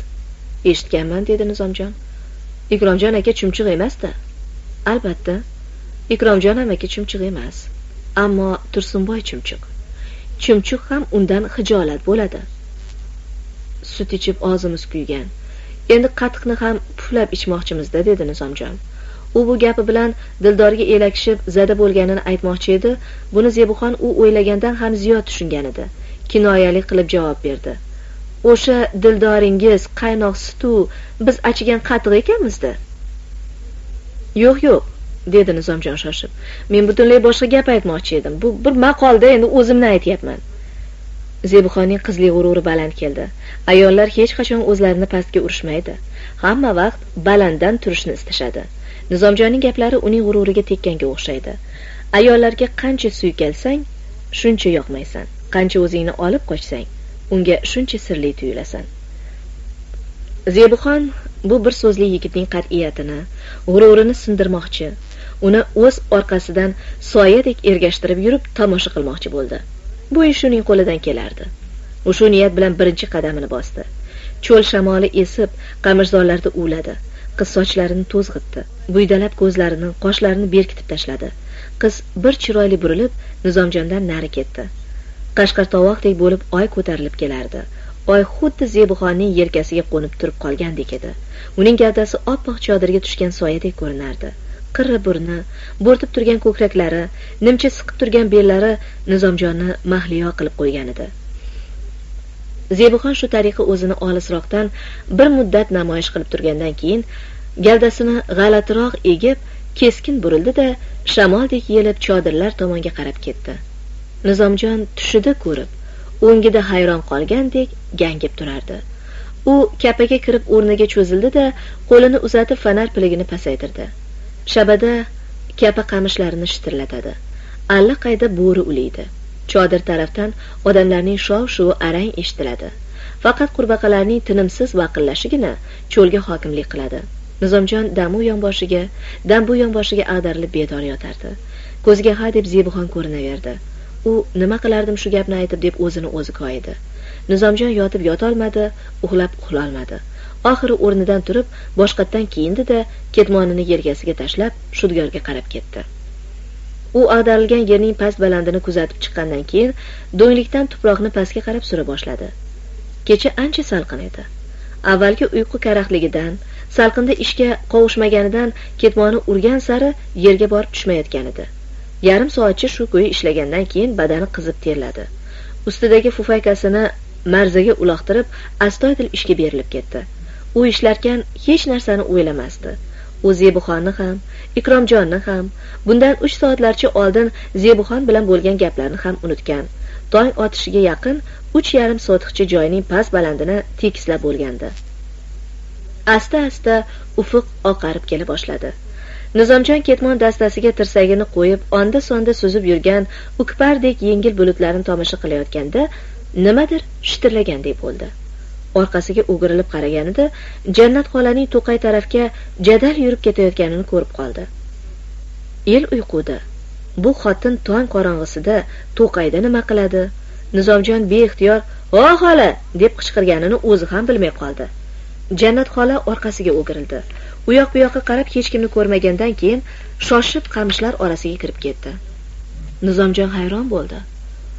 Orqasidan bormoqchi bo'lib bir ikki qadam yurdi ham keyin negadir to'xtadi. Uni kutib turishga jazm qildi. Chaylasining oldiga kelib yerga bir bog'lam qamishni yozib yonboshladi sekin sekin tong yorishishini kuzatib yotaverdi. Ko'zi ilinganida ikromjonning ovozidan uyg'onib ketdi. Ko'zini ochganda ikromjon tepasida turardi. Nima qilib yotibsan? O'rningda yotsang bo'lmaydimi? Nizomjon ko'zlarini ishqab o'rnidan turdi. Qishloqqa tushib ketyapman. Bugun kechqurun partiya majlisi bor. Tog'a bilan mashinada ketaman. Ustarani olganmiding? Olgan bo'lsang ber soqolimni qirib olay shu ahvolda qishloqqa qanday tushaman? Nizomjon ustarani olmaganini aytdi. Kim oldi? Ertalabdan beri qidiraman hech qayda yo'q. Nizomjon atrofga qaramagan ekan kun yoyilib ketibdi. Nonushta qilgani ikromjonning orqasidan yurib chodirga keldi. Jannat xola o'choq oldida bolta bilan o'tin maydalab o'tirgan edi. Nizomjon uning oldiga keldi. Azonlab to'qayda nima qilib yurgan edingiz xola? Jannat xola qo'rqib ketdi. Bu gapni birov eshitmadimikan degan shubha bilan atrofga alanglab o'tin terganib borgandim o'sha tarafda ildiz ko'p ildiz saksovuldan ham og'ir yonadi bolam. Bor choyingni ichib ol bitta o'zing qolding haqiqatdan ham jannat xola ildizlarni to'nkaga qo'yib maydalayotgan edi. Tog'a mashinaga chiqib oldi hamki ikromjon chodir ichida ustarasini qidirib o'zidan o'zi g'o'ldirab yurardi. Tog'a mashina signalini bosdi. Chiqa qolsangchi? Seni qishloqda birov kuyov qilarmidi? Yuraver guzarda qirtishlab olasan. Ikromjon noiloj chodirdan chiqib mashina oldiga keldi. Xotiniga qarab to'xtadi. Qishloqqa tushaman deganidan yurmaysanmi? Jannat xola unga qaramay javob berdi. Ketavering qishloqda men nima qilaman? U negadir erining ko'ziga qaray olmasdi. Qumlik tarafdan ikki otliq kelardi. Tog'a qo'lini peshonasiga soyobon qilib qarab turdida gup etib o'zini yerga otdi. Marshallar kelishyapti dedi u ikromjonning oldiga kelib. Ikromjon ham otliqlar kelayotgan tomonga qaradi. Keyin ikkovlashib qumlikka tomon keta boshlashdi. Tog'a marshallar kelishyapti deganida ikromjon nizomjonga qaradi. Nizomjon hayron bo'lib turgan edi. Shuning uchun ham u otliqlar toy yetib kelishguncha ko'zini uzmay qarab turdi. Otliqlarning biri boshiga qirg'izcha qalpoq kiyib olgan yaktagining ochiq yoqasidan ko'krak yollari chiqib turgan ellik besh yoshlardagi yarindor boshqasi yoshi nechadaligini bilib bo'lmaydigan pakana ko'k ko'z qishi edi. Ularning har ikkovi ham otdan tushib avval tog'a bilan keyin ikromjon bilan qo'l olib ko'rishishdi. Ular tik turishganicha ancha vaqtgacha nimadadir qizishib gaplashdi. Tog'a yon soatini olib qaradi. Pakana kishi qo'lini ikki tomonga yozib yelkasini qisdi. Ular oldiga borolmay chodir yonida qarab turgan to'lanboyni tog'a imlab chaqirdi. To'lanboy ikkala otni jilovidan ushlab tolning nariyog'iga olib o'tib ketdi. Tog'a mehmonlarni so'riga olib kelib o'tirishga taklif qildi. Birdan ko'zi nizomjonga tushdi. Ana shu yigitda? dedi. Mehmonlar nizomjonga qarab olishdi. To'lanboy ham qaytib keldi. To'lan dedi tog'a. Marshallarga o'zing qarab turasan. Ertalab yetib kelaman. Qolgan gapni bafurja gaplashamiz. Qani ikrom bo'lmasa biz ketdik. U mehmonlarga uzr aytgandek qo'lini ko'ksiga qo'yib jilmaydi. Nizomjon nima uchun tog'a uni mehmonlarga ko'rsatdi? Nima uchun bu oddiygina kishilarni marshal? dedi tushunolmasdi zebuxon patnisda non turshak olib chiqib ular oldiga qo'ydi. Opasi o'choqqa o't qalab yubordi. Tog'a bilan ikromjon xotirjam bo'lib jo'nab ketishdi. Mehmonlar kechgacha cho'l kezishdi. Piyoda qumlik tarafga ketishgancha kechqurun qaytib kelishdi. Soqoli o'sib ketgani qattiq charchatdi so'riga chalqancha yotdi-yu, traktorga o'xshab tarillab hurrak ota boshladi. Uni ovqat pishganda to'lanboy uyg'otdi. Nizomjon ularning suhbatiga xalal bermaslik uchun vaqtlikkina chaylasiga qarab ketdi. Charchaganidan yotdi-yu uxlab qoldi. Ertalab uyg'onsa tog'a bilan ikromjon ikkala mehmonga chopilgan yerlarni ko'rsatib yurishibdi. Qirg'izcha qalpoq kiygan qamchi dastasini ag'darilgan yerga suqib qo'ydi. Pakanasi tuproqni qismlab uqalab tog'iga nimalardir deb to'qay va qumlikni ko'rsatdi. Nizomjonning chaylasi oldiga kelib tog'a yonidan buklangan qog'ozni olib yerga yozdi. Hammalari cho'kkalashdi. Bu yozyovon kartasi ekan. Qalpoqli kishi karta ustidan qamchi dastasi bilan doira yasab bir nima dedi. Tog'a iyagini qashib o'ylanib qoldi. Oxiri hop hop marshal shunday qilamiz dedi. Nizomjon ularning gaplariga quloq solib turardi. Pakana kishi ikki qo'li bilan go'yo cho'lni qamrab olmoqchidek harakat qildi. Olti kundan beri cho'l kezamiz. Bu yoqdan olti ariq quva toshloq. U yoqdan buvayda rishton bag'dod kolxozlari bir ming gektar yerni o'zlashtirib bo'lishdi. Bir oydan keyin sizlarga navbat keladi. Neftepromdan kelib artezian qazib berishadi. Semun zavodida uch yuzta shiferingiz bor. Shtabdan borib naryad olinglar. Yana nima zarur bo'lsa ro'yxat qilib yuboringlar. Hammasini to'g'rilaymiz. U gapidan to'xtab nizomjonga qaradi. Shu yaxshi emasdi tog'a. Sen ziyrak odam eding ku shunday yaxshi ishlayotgan odamning kiyim boshini qara. Ro'yxatga etik ham yoz beramiz. Nizomjon shu turqi tarovati bilan mehmonlar oldida turganidan tog'ani hijolat qilib qo'yganidan o'ng'aysizlanib yerga qaradi. Tog'a kartani yana taxlab yoniga solib qo'ydi. Ular ketishayotganda pakana bo'yli kishi nizomjonning oldiga kelib yelkasiga qoqib qo'ydi. Shunaqa bo'lishi kerak uka. Rahmat rahmat. Nizomjon nima deganini bilmaydi. To ular tol tagiga borishguncha joyidan qimirlamay turaverdi. Ikki mehmon yana otga minib qumlikka qarab ketishdi. Ular ko'zdan yo'q bo'lib ketishguncha tog'a orqadan qarab turdi da kerosin olib kelgan gruzovoyga chiqib qishloq tarafga ketdi. Ikromjon so'riga o'tirib yog'och oyog'ini yecha boshladi. Nizomjon uning yoniga keldi. Bular kim amaki? Ularmi? Ular cho'l marshallari og'in boboyev ota ularni ana shunday deb atagan. Biri yozyovonni o'zlashtirish tabining boshlig'i. Biri jamiki quriladigan imoratlarga boshliq bildingmi? Ular ko'pni ko'rgan. Kanal qazganimizda hammani qoyil qoldirgan kishilar. Shunaqa bolam. Omon polvon deganini eshitganmisan? To'pponcha polvonnichi. Nizomjon nima deyishini bilmay ikkalasining ham mingan oti yaxshi ekan. Sirkdagi otlarga o'xshaydi ya deb yubordi. Ikromjon uning gaplaridan huzur qilib kuldi. Jannat xola endi cho'ldan bir qadam ham boshqa yoqqa jila olmasdi. Uning yuragi shu cho'lda. To'qayga pinhoniy qatnab yurishiga chodirdan ustara yo'qolishiga sabab bor edi. Tursunboy shu to'qayda. Uning qamishlar orasida yashirinib yurishini jannat xoladan boshqa hech kim bilmasdi. Kecha jannat xola o'g'lining oldiga borganda soqoli o'sib ketganini sochlari quloqlaridan osilib vahshiy qiyofasiga kirib qolganini ko'rgan edi. Shuning uchun ham u erining ustarasini oborib bergan edi ikromjon qishloqqa ketdi. Endi tushlik paytida ham o'g'liga ovqat olib borsa bo'ladi. Hamma shudgorga chiqib ketgan. Chodirlar oldida hech kim yo'q. Jannat xola shoshib unchalib quymoq soldi da boltani qo'liga olib to'qayga qarab ketdi. Tursunboy qamish kapi oldida tizzasini quchoqlab darvish qiyofasida o'tirardi. U turgan joyiga odam qadami yetmagan edi. U ko'pdan beri birov bilan gaplashmagan dunyoda nimalar bo'layotganidan bexabar edi. Sovun tegmagan betlari kir ham ko'rpa ham to'shak o'rnini bosgan to'nining yenglari titilib etaklari balchiqqa belanganidan duo bosib ketgandi. Uning bir vaqtlar qizlarni shaydo qilgan qop qora ko'zlari endi ma'yus atrofga ma'nosiz boqardi. Kecha sahar paytida osmon falakda turna o'tdi. Tursunboy o'shanda ham uyg'oq edi. Turna ovozi unga juda ko'p narsalarni eslatib ketgan edi turna qanotida bu cho'llarga bahor olib keldi-yu, ammo tursunboyning qalbida uyilib muz bo'lib yotgan qorni eritolmadi unga bahor kelmadi. U har kuni to'qay kezib qamishlar orasidan ishlayotgan hamqishloqlarni ko'rib o'tirardi. Ularning bari tanish odamlar faqat bittasi begona. Bu yigit kim bo'ldi ekan? Ikki kun bo'ldi. Tursunboy zebini shu yigit bilan ko'rdi. Qum yoqasida u bilan ancha gaplashib o'tirdi. Tursunboy zebining ovozini ham eshitdi.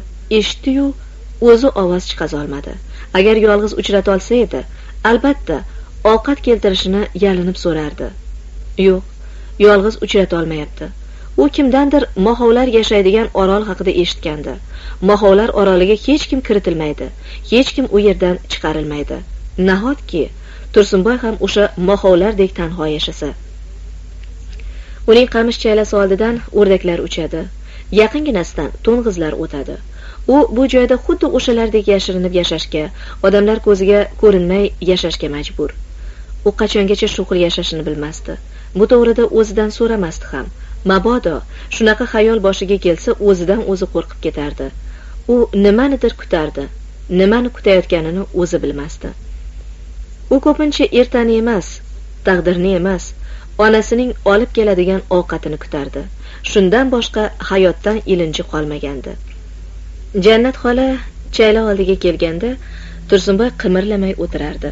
U shoshib ona qo'lidan tugunchani oldi-yu hech qayoqqa qaramasdan hech narsa demasdan o'zini ovqatga urdi.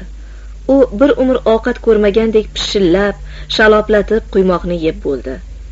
Yog' bo'lib ketgan qo'llarini yaladi yana unga qarab turgan onaning yurak bag'ri ezilib ko'zlaridan mo'lt mo'lt yosh dumaladi. Tursunboy qo'llarini to'nining etagiga artib onasiga qaradi. Shattaligimni dadam biladimi? Unga aytma naq tutib beradi. Dadang bir oyoqdan ajrab kelgan. Bilaman bilaman dedi tursunboy yana labini yalab. Tog'aning o'g'lidan qora xat kelgan xotiniga bildirmayapti. Tursunboy boshini egib qimirlamay o'tirib qoldi. U raisning o'g'li bilan o'rtoq edi. Ikkovi birga o'qishgan birga katta bo'lishgan edi. Azizxon qahramon bo'ldi. Tursunboy qo'l siltab teskari qaradi. Birdan boshini egdi-yu uzoq sukutda qoldi. Shunaqa bolam. Seni ham shunaqa qahramon bo'ladi deb o'ylagan edik tursunboy indamadi. Boyagi o'tirishida o'tiraverdi. Keyin bosh ko'tarib ma'yus dedi. Bir piyola achchiqqina ko'k choy bo'larmidi ya qandoq qilib olib kelaman bolam? Birov bilib qoladi. Sen sho'ring qurg'urga qumg'on olib kelay desam o't yoqolmaysan. Tutunidan bilib qolishadi. Tursunboy o'rnidan turib kerishdi. U kerishganda to'nining oldi ochilib yalang'och ko'kraklari ko'rinib ketdi. Yaktaging ham kir bo'lib ketibdi. Birdan achimsiq ter hidi kelib ona dimog'iga urildi. U burnini jiyirib yuzini teskari o'girdi. Ko'ylak olib kelmabsanda qandoq olib kelaman? Dadang bilib qolsa nima bo'ladi? Shu kunda o'zimning ham ancha mazam yo'q bezgak tutyapti. Dadangga bildirmayapman. Bilib qolsa qishloqqa tushirib yuboradi. Men ketib qolsam holing nima kechadi? Kechalari tanam zirqirab og'risa ham tishimni tishimga qo'yib chidayapman. Peshonam qursin buncha sho'r bo'lmasa ya bola onaning dardiga parvo qilmadi. Hamon labini yalab boshqa o'ylar bilan ovora edi. Shunaqa bolam kasalman. Ishqilib toleyinga o'lib qolmaydi. Ana u bola kim? Dadang boshlab kelgan. Yaxshi ishlayapti. Tizzalarimda darmon qolmadi. Ertaga ko'proq ovqat olib kel. Xo'p bolam xo'p. Ishqilib kasalimni dadang bilib qolmasinda darrov qishloqqa jo'natib yuboradi. Etik topib kelmasang oyoqlarimni qamish tilib tashladi. Etikni qaydan olaman? Dadang bir poy etik kiyadi. Bir oyog'i yo'q uni. Bugun ustarasini qidirib meni juda qiynab yubordi umrimda qilmagan ishim. Qaychi olib kelgan edim? Sochingni olib qo'yaymi? Kerak emas etik topib kel ona bola uzoq gaplasha olmadilar. Jannat xola bolasini qabrga qo'yib kelayotgandek yuragida og'ir dard bilan orqasiga qaytdi. Tursunboy yana yolg'iz qoldi. Yana qamishlarning sovuq shitirlashi yana baqalarning kishi me'dasiga tegadigan bir xil qurillashi tepada ko'm ko'k osmon atrofda qovjiragan sap sariq qamish tursunboy onasi ketgan yo'ldan asta yurib yalanglikka yaqin keldi. Atrofga asta razm solib sekin qamishlar orasidan bosh chiqardi. Notanish bola hamon ketmon uryapti. Yalang'och badani terlab ketganidan yangi yuvilgan samovardek yaltiraydi. Marza chetida ikki qo'lini beliga qo'yib zebi turibdi. Bola unga qaramaydi. Zebi xoxolab kuladi. Uning kulgisi tursunboyning qulog'iga o'qdek botdi. Zebining boshidagi ro'molini shamol uchirayapti bo'yinlariga o'rab tashlayapti. Tursunboy uning shu bo'yinlariga bilagini tashlagan kulgi toshib chiqayotgan lablaridan o'pgan.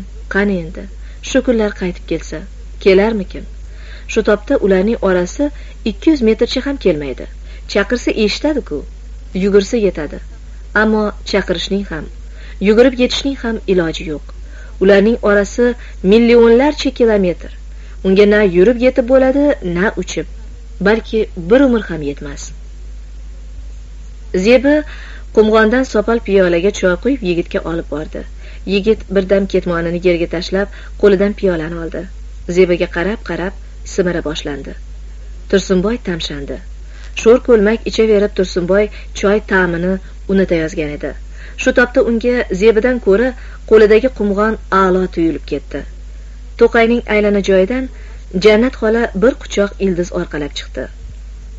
U betobligidan ildizlarni arang ko'tarib kelardi. Orqasidagi yukdan munkayib burni yerga tegay tegay derdi. Notanish yigit shudgordan yugurib chiqib orqasidan yukni oldi. Kampir qotib ketgan belini silab yerga o'tirib oldi. Tursunboy bu manzarani ko'rib turardi. Shu topda uning ko'ziga bu notanish bola nihoyatda badbashara nihoyatda yovuz bo'lib ko'rindi. Go'yo onasining mehrini shu bola undan tortib olib qo'yayotgandek uni onasidan begona qilayotgandek tuyuldi. Notanish bola ildiz boylamini yelkasida azod ko'tarib chodir tarafga qarab pildirab ketdi. Shudgorda jannat xola bilan zebixon qoldi. Tursunboy bir intilish bilan qamish orasidan chiqdi yu yuragi dov bermay orqasiga tisarildi. Uning ko'ksida zebiga nisbatan qandaydir alamli o't yonardi. Zebuxon jannat xolani suyab marzaga olib chiqdi. Kapa oldidagi qamish g'aramiga o'tqazdi. Qumg'ondan choy quyib tutdi. Kampir quruqshab qolgan lablarini piyolaga tutdiyu negadir ichmay to'qay tomonga qaradi. U qo'lidagi choyni ham bolasiga ilinardi. Tursunboy tupugini yutdi. U o'z onasini yaxshi biladi. Agar shu topda uning yonida bo'lganda albatta qo'lidan olib shu choyni ichardi. Ona bir qultum suvga zor bo'lib turgan bo'lsa ham baribir olib ichardi. Chunki onasi o'zi yemay unga yedirgan o'zi ichmay unga ichirgan. Yigit o'tinni tashlab qaytib keldi. Jannat xolaga nimadir dedi. Kampir boshini sarak sarak qilib o'rnidan turdi. Munkayganicha chodir tarafga qarab ketdi. Zebi bilan notanish bola orqasidan qarab qolishdi. Zebi qamish ustida yotgan fufaykani olib yigitning yelkasiga tashlab qo'ydi. Tursunboy titrab ketdi. Qo'llari mushtga aylandi. Tishlari g'ijirladi. Tol shoxiga ilingan temirni kimdir tosh bilan urdi. Uning zalvarli ovozi cho'l bo'ylab yangrab ketdi. Oshpaz odamlarni tushlikka chaqirayotgan edi zebi bilan notanish yigit o'sha yoqqa qarab keta boshladi. Yo'lda zebi yigitning bilagiga osilib oldi. Bu manzarani tursunboy g'azab bilan kuzatib qoldi. U ochlikni ham tanholikni ham unutdi. Telbadek dovdirab balchiq kechib bo'ri uyasidek sovuq chaylasiga ketardi. Tursunboy hamma narsadan kechganda ham birgina shu zebidan kechmas edi. Shu tanholikda ham ko'nglining bir chekkasida qachonlardir u bilan topishish ilinji yashardi. Endi u shu ilinjidan ham mahrum bo'lganiga ishondi.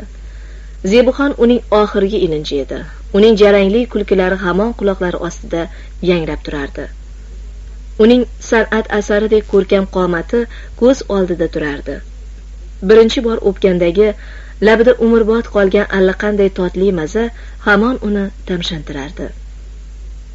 Endichi endi bu gaplar bir xayol bir ro'yo bo'lib qoldi. Tursunboyni hayotda ushlab turadigan hech narsa qolmadi. Tursunboy hissiz ham yashay olardi. Yigitlik qasamidan kecha olgan ona vujudini kemirayotgan dardini pisand qilmagan sharmandalikda yashashga rozi bo'lib olgan yigitda qanday his bo'lishi mumkin? Shularning bariga ko'ngan odam sevgisiz ham yashashi mumkin. Tursunboy ana shunday bo'lib qolgandi. Cho'l bahorini hech qayerning bahoriga o'xshatib bo'lmaydi. Hozirgina yashnab turgan osmonni bir zumda qo'rg'oshindek bulut o'raydi. Shatur shutur yomg'ir quyadi. Momaqaldiroq yeru ko'kni larzaga solib qaldiraydi. Shamshirdek yaltiragan chaqin cho'lning olislarigacha yoritadi. Hamma o'zini panaga oladi. Ko'plar yomg'irdan qochib ulgurmayoq oftob yana charaqlab ketadi.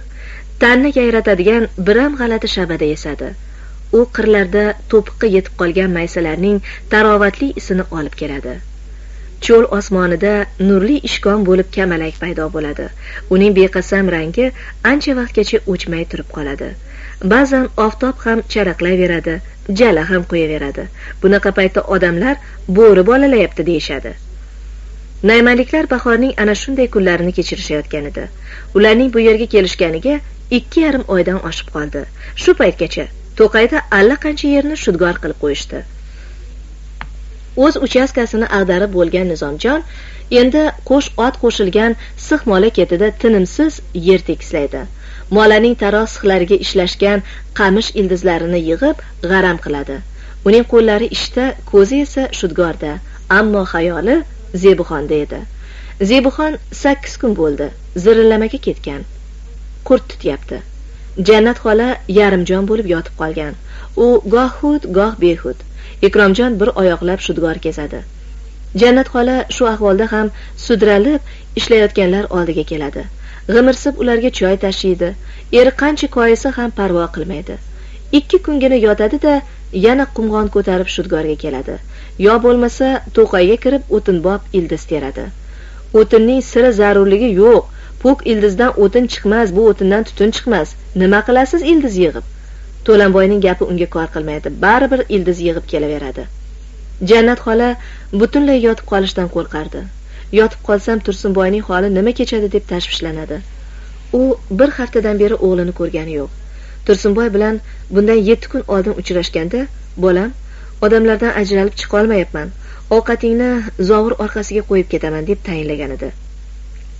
Shundan beri ikki marta ovqat oborib qo'ydi. Har borganda bo'shagan tovoqni olib kelardi. Bugun hamma barobar shudgorga chiqqan. Har yer har yerdan bo'g'ib pol olishyapti. Uch kun ichida pol tortib bo'lishsa kanaldan ariq ochib kelishadi. Hammaning dalada bo'lishi jannat xolaning ayni muddaosi edi. U kechadan beri o'rnidan turolmay yotgan bo'lishiga qaramay vaqtni g'animat topib chodir orqasiga o'tib qozon osdi. Go'shtsiz bo'lsa ham palov damladi da erining kelib qolishidan qo'rqib dam yedirmay suzib oldi. Qumg'onda qaynab turgan suvni grelkaga qo'yib bir kaft ko'k choy soldi da munkillab orqa yo'l bilan to'qayga ketdi. Beliga bo'ylab olgan grelka paxtali nimchadan o'tib biqinini kuydiradi. Ammo u munkayganicha alamga tishini tishiga qo'yib chidab borardi. Peshanam qursin ne kunlarga qoldimi? U to'qay ichiga kirib tashqaridan qaragan kishining nazari tushmaydigan bo'lgandan keyingina grelkani belidan oldi. Terlagan ekan bahor shabadasi tanini yayratib yubordi. Ko'ylak yoqalarini yechib rohatlandi. Jannat xola ko'p o'yladi. Bolasining erining o'zining taqdiri to'g'risida juda ko'p o'yladi. O'yining oxiri shu bo'ldi. Bu xilda yashab bo'lmaydi endi. Bas. Tursunboyni insofga keltirish kerak. Egilgan boshini qilich kesmaydi. Urushga borsin o'zini oqlasin. Yagona yo'l shu. Agar tursunboy ko'nmasa uni o'zim tutib beraman. Shunday qilaman. Onaning qarori qat'iy edi. U tursunboyning chaylasiga yaqin borganda birdan yuragi hovriqib ketdi. Bolasi doimo chayla oldida tizzasini quchoqlab o'tirardi. Nega ko'rinmaydi? Kampir shoshib chayli ichiga bosh suqdi. Tursunboy qamish ustida ko'zlarini yumib yotibdi. Ona qo'rqib ketdi. O'zini uning ustiga tashladi. Tursunboy ko'zini ochdi. Unga alamli qaradi. Senga nima bo'ldi bolaginam? Tursunboyda allaqanday sher kuchi paydo bo'ldi-yu sapchib o'rnidan turib ketdi. Keyin darmonsizlanib yana yonboshiga yiqildi. Nima bo'ldi tobing yo'qmi? Tursunboy arang javob berdi. Bir haftadan beri tuz totganim yo'q. Axir ikki marta ovqat keltirib qo'ygandim ku bo'sh tovadan boshqa narsa ko'rganim yo'q. Jannat xola har gal tovoqni olgani borganda tovoq tuproqqa qorishib yotganini ko'rardi. Biroq u o'g'lining fe'lini bilganidan o'zi shunaqa. U yerdagi cho'pni bu yerga olib qo'ymasdi deb qo'ya qolardi. Bolaning aybi qachon onasiga bilinibdi deysiz? Qancha xavf xatarda pishirgan ovqati bolasiga buyurmayotgan ekan. Uni itlar talashib yeyishayotgan ekan. Jannat xola ro'molga o'ralgan tovoqni shoshib o'g'lining oldiga qo'ydi. Tursunboy kir bo'lib ketgan panjalarini barobar tovoqqa tiqib g'ijimlab og'ziga solardi. Ikki uch oshandayoq tovoq bo'shadi.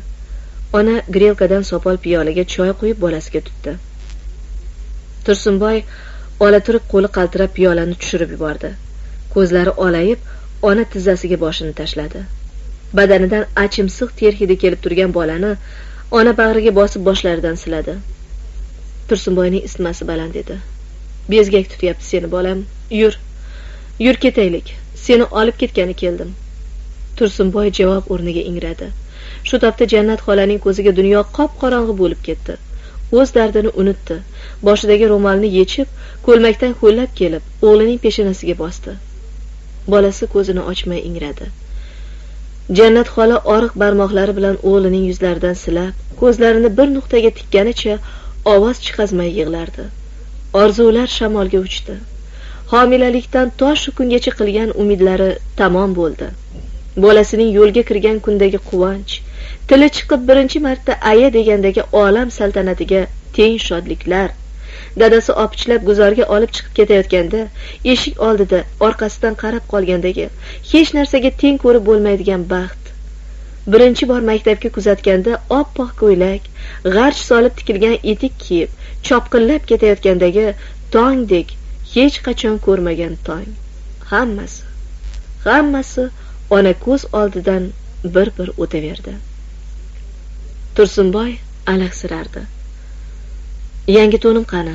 Etigim. Zebi. Zebi. Zebi. Eshikni kim taqillatyapti ochma. Olma pishib qopti-ku. Ana kelyapti. Kelyapti. Velosipedimga tegmasin. Etigini tort. Oshingni yemayman. Zebi qani? Jannat xolaning yurak bag'ri ezilib ketdi. Nima qilsin? Nima qilsa bolasining dardiga em bo'ladi. Chorasiz. Uning dardini yengillatishga hech qanday imkon yo'q. O'ttizinchi trek. Dardini yengillatishga hech qanday imkon yo'q. Bolasi quvg'in. Hamma eshik berk. Ochiq havo ham unga berk. Shu torgina to'qaydan boshqa makoni yo'q uning. Bu joy ham uni umrbod saqlay olmaydi. Ona ikki qo'lini osmonga ko'tarib faryod chekdi. Ey xudo menga shuncha qasding bormidi uning havoga ko'tarilgan qo'llari shaloplab ikki tizzasiga tushdi. U shu ko'yi qancha o'tirganini bilmaydi. Atrofni qorong'ilik bosgan qamishlar shamolda sovuq guvillaydi. Yonida yotgan bolasi o'xtin o'xtin ayanchli ingraydi. Shu paytda olisdan kimningdir jannat! deb chaqirgani eshitildi. Ona hushiga kelib quloq tutdi. O'sha ovoz yana bir necha bor takrorlandi. Jannat xola o'rnidan turdi. Qorong'ida bolasining basharasi ko'rinmasdi. Yana o'tirib timirskilanib peshonasini topdi. Hamon issiq. Ona ikki o't orasida qoldi. Ketsa bolasidan ko'ngli tinchimaydi. Kim biladi holi nima kechadi. Ketmasa hozir uni qidirib kelib qolishadi. Unda nima bo'ladi? U bolasining peshonasidan qo'lini olmay turaverdi. Uni chaqirayotgan ovoz borgan sari yaqinlashaverdi. Ona shoshib chayladan chiqdi. Qamishlar orasidan bir necha joyda mash'ala ko'rindi. Har tarafdan jannat jannat! degan tovushlar kelardi. Uni adashgan yo bo'lmasa biron falokatga yo'liqqan gumon qilib hamma baravar oyoqqa turgan edi. Jannat xola jon holatda shudgor olingan tarafga yugura boshladi. U qamish orasidan chiqishi bilanoq nizomjon yo'liqdi. Qayoqda yuribsiz aya tinchmisiz? Jannat xola uning nizomjonligini ovozidan tanidi. Nima deyishini bilmay g'o'ldiradi. Nizomjon ovozining boricha to'qayga qarab qichqirdi. Kelaveringlar jannat ayam bu yoqdalar. Bir necha marta atrofga shunday deb qichqirgandan keyin mashalalar shu tarafga qarab kela boshladi. Birinchi bo'lib oqsoqlanib ikromjon keldi. Birpasda uni mash'ala ko'targanlar o'rab olishdi. Qayoqda yuribsan? Jannat xola javob berolmadi uning ko'zlari bejo. Faqat qo'llarini muttasil silkitib to'qay tarafga qarab qichqirardi. Ona aqldan ozgan edi. Nizomjon uni suyab chodir oldiga olib kelguncha terga pishib ketdi. Jannat xola hamon to'qayga qarab qichqirar uning qo'lidan chiqib o'sha yoqqa yugurmoqchi bo'lardi. Chodir ichiga kirishganda u birdan jimib qoldi. Holdan toyib to'shakka o'zini tashladi-yu qimirlamay shiftga tikilib yotaverdi. Odamlar birin ketin tarqab ketishdi. Ikromjon jannat xolaning og'ziga choy tutdi. U boshini sarak sarak qilib ichmadi. Darmonsiz qo'llari bilan ko'rpani boshiga tortib ko'zini yumdi. U shu yotgancha ertalab ham ko'zini ochmadi.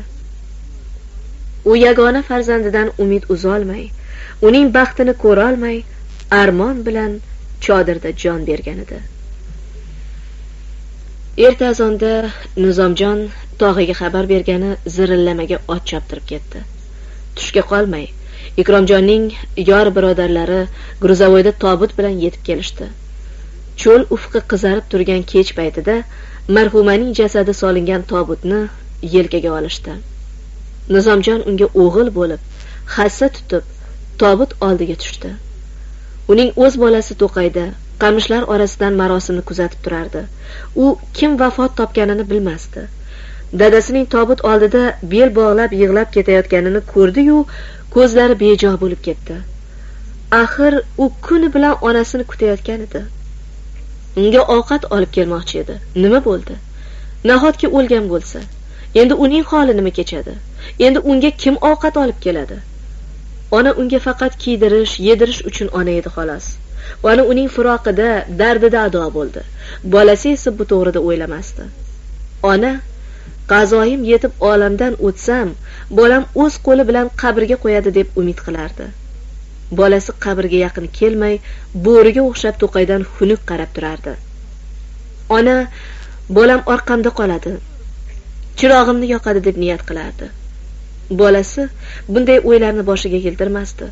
U tug'ib katta qilgan onasining jasadini begonalar yelkada tabarruk qilib ko'tarib ketayotganlarini ko'ra turib ham bir qadam oldinga jilmadi.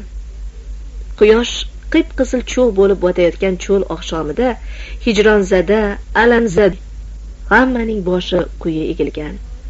Ikromjonni tog'a suyab turardi. Nizomjon qabr yonida cho'kkalab bosh egib o'tirganicha hamma qo'zg'alganda ham boshini ko'tarmadi. Oftob o'chdi. Ufqda olovli bulutlar qoldi. Nizomjon boshini ko'targanda yaltirab turgan parcha bulutlar kuygan qog'oz cho'g'idek birpasda o'chdi. Cho'l jimjit bo'lib qoldi.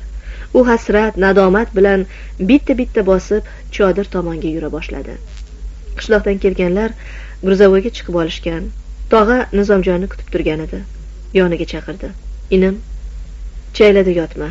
Ko'rpa to'shagingni ko'tarib amakingning chodiriga kel. Yolg'iz qolmasin deb tayinladi. Nizomjon uning aytganini qildi. Chodirda fonar yoqmay ikromjon tizzasini quchoqlaganicha qimirlamay o'tirardi. Nizomjon nima deyishini bilmay bordon ustiga o'rin sola boshladi. Ikromjon unga qayrilib qaramadi ham. Nizomjon qattiq charchaganidan yonboshlashi bilan uxlab qoldi. U ertalab tong qorong'isida uyg'ondi. Ikromjon hali ham o'shanday qimirlamay o'tirardi. Nizomjon nima deb ovutishini bilmasdi. Nima deydi? Bola bo'lib birovni yupatmagan. U ikromjonning yoniga tiz cho'kib yelkasiga qo'lini tashladi. Ikromjon unga o'girilib qaradi. Uning oq oralab qolgan soqollarida yosh tomchilari titrab turardi. Nizomjon o'zini tutolmadi. Ho'ngrab yig'lab yubordi. Chodir teshigidan yorishib ketgan osmonning bir parchasi ko'rinib turardi. To'rtinchi bo'lim. Chorterakning oq o'riklari pishdi. Inoyat oqsoqol marg'ilon bilan chorterak orasiga tanda qo'yib qolgan. Qishloqdagilar oq o'rik pishdi. Endi it tinsa tinadi qush tinsa tinadiki ammo inoyat oqsoqol tinmaydi deyishardi. Darhaqiqat oqsoqolning qo'li qo'liga tegmasdi. Kolxozchilarning hovlilaridagi chorbog'laridagi o'riklar pishib yotibdi. Uni bozorga olib borib sotadigan erkaklar qani? Hammasi urushda borlari ham daladan bo'shamaydi. G'o'za yaganaga kirgan pilla hammani shoshirib qo'ygan. Xotinlar erta azonda dalaga chiqib ketishganicha kun botganda qaytishadi. Kampirlar qurt bilan ovora. Butun qishloqda bitta bekorchi shu inoyat oqsoqol. Kolxozchilarning o'riklarini tupi bilan sotib oladi. Qoq saharda o'rik terib oftob yoyilmay eshakka ortganicha marg'ilon bozoriga qarab ketadi. Kechalari eshikni tambalab pul sanaydi g'ijimlangan bir so'mliklarni ho'llab samovarning qorniga yopishtirib dazmollab obdon chiroyli qilib taxlab oladi. Ishi bitgandan keyin ham darrov cho'zilib yota qolmaydi. Sotib olingan o'riklarni egalari qoqib yemayotganmikan deb mahallani mahsichang aylanib devor nahrlaridan qarab yuradi. Kalish kiyib yursa shaloplatib bildirib qo'yishi mumkin. Bugun oqsoqol bozordan kech qaytdi. O'zi ham nihoyatda charchagan edi. Shuncha yo'lga eshak orqasidan yurib ikki marta borib kelish osonmi? O'rtasidan yirtilgan qizil o'ttiz so'mlikni papiros qog'oz bilan tishining qirida yelimlab yopishtirayotgan edi. Birdan eshik taqillab qoldi.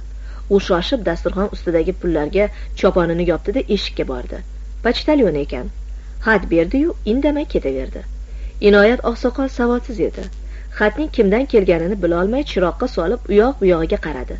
Keyin yoniga qo'yib tag'in pul sanashga tushib ketdi. Birdan yuragi hovriqib yana xatni qo'liga oldi. Moliyadan emasmikan bozorkon pattachisi yomon qarab yurgan edi. Bir balo qilib nalog chiqazgan bo'lmasin nima ko'p bu zamonda g'alamiz ko'p. Dildor ketib qolgandan beri inoyat oqsoqol kechasi sira uyni tashlab chiqib ketmasdi. Samovarga ku o'rik pishgandan beri oyoq bosmay qo'ygan. Nima qilsin? U pullarini qiyig'iga tugib to'nining ichidan beliga sirib bog'ladida ko'chaga chiqdi. Simyog'och tagida bekimachoq o'ynayotgan bolalar oldiga kelib qaysi biriga o'qitsam ekan deb andak o'ylanib turdi da bittasini tanlab chetga chaqirdi. Menga qara hojakbarri o'g'lisana ertaga bir do'ppi o'rik beraman. Mana shu xatni o'qib ber avval qarachi kimga kelgan ekan? Bola xatni olib elektrga solib konvert ustidagi yozuvni o'qidi. Dildor opamlarga kelgan ku kimdan kelibdi? dedi shoshib oqsoqol. Nizomjon akam yozibdilar. Oqsoqol bolaning qo'lidan konvertni tortib oldi.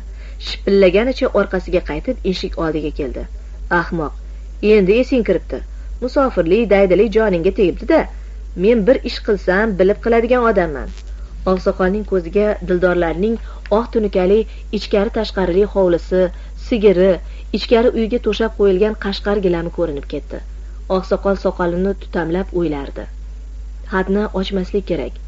Bularning ishiga aralashmaganim ma'qul. Hurkitib qo'yaman. Xatni indamay dildorga olib borib beramanu o'zim hech narsa bilmagan bo'lib turaveraman. Bu gal o'zlari don olishib topishganlari durust.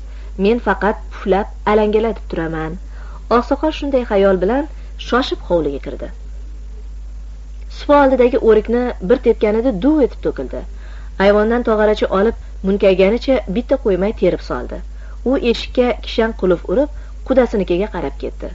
Eshik ochiq edi. U taqillatmay o'z uyidek kirib boraverdi. Dildor ayvonda belanchakda uxlab qolgan bolasi yonida kitob o'qib o'tirardi. U oqsoqolni ko'rib o'rnidan turdi. Dildor uydan chiqib ketgandan beri oqsoqolni ko'rmagandi. Chol ham nevarasini ko'rgani aqalli biron marta kelmadi. Kuniga mingga aylanib ming o'rgiladigan qizi bo'lsa dildorning ko'zi yoriganini eshitib ham biron marta holidan xabar olmadi. Shuning uchun ham dildor qaynatasini sovuqqina qarshi oldi. Chol ayvon labiga o'tirib fotiha o'qidi. Hol ahvol so'radi. Nevaraginamni bir ko'ray deb keldim. Bolaginamdan qolgan tuyoqni bir ko'ray deb keldim. Aytgancha o'rigim pishgan edi. Oqsoqol hali ham uning ko'nglini shunaqa gaplar bilan yumshatishpaydi edi og'zing tegsin deb olib kelgan edim. Chol shunday deb belbog'i tugilgan tog'orachani surib qo'ydi. Qudam ko'rinmaydilar. Dildor ma'yus javob berdi. O'tgan kuni kasalxonaga olib borib qo'ydik. Sal og'irlashib qoldilar. Oqsoqol attang attang deb boshini sarak sarak qildi. O attang deyardiyu ichida bu gapning aksini o'ylardi. Tirikchiliging qalay bolam?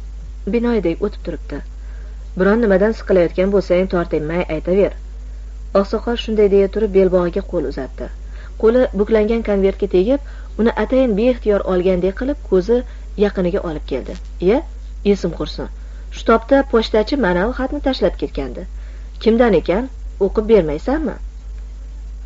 Dildor tilar tilamas konvertni qo'liga oldi. Xatga qarab rangi oqardi. Uning harakatlarini chol zimdan kuzatib turardi. Xat menga ekan. Kimdan? Chol bu gapni beparvo aytishga urindi. Dildor xatni yoniga qo'ydi bir odamdan. Oqsoqol hovliga keksa tut shoxlari engashib turgan tunuka tomga suqlanib birma bir qarab chiqdi. Ko'nglidan jindek remont qilsa ellik mingga ketadi degan o'y o'tkazdi. Hay mayli bolam bo'lmasa men ketay. Siqilib qolsang aytarsan. Oqsoqol tog'orani ustunga tirab qo'yilgan patnisga o'zi bo'shatib o'rnidan turdi. Dildor uni kuzatib eshik oldiga ham chiqmadi. Qanday o'tirgan bo'lsa shunday o'tiraverdi.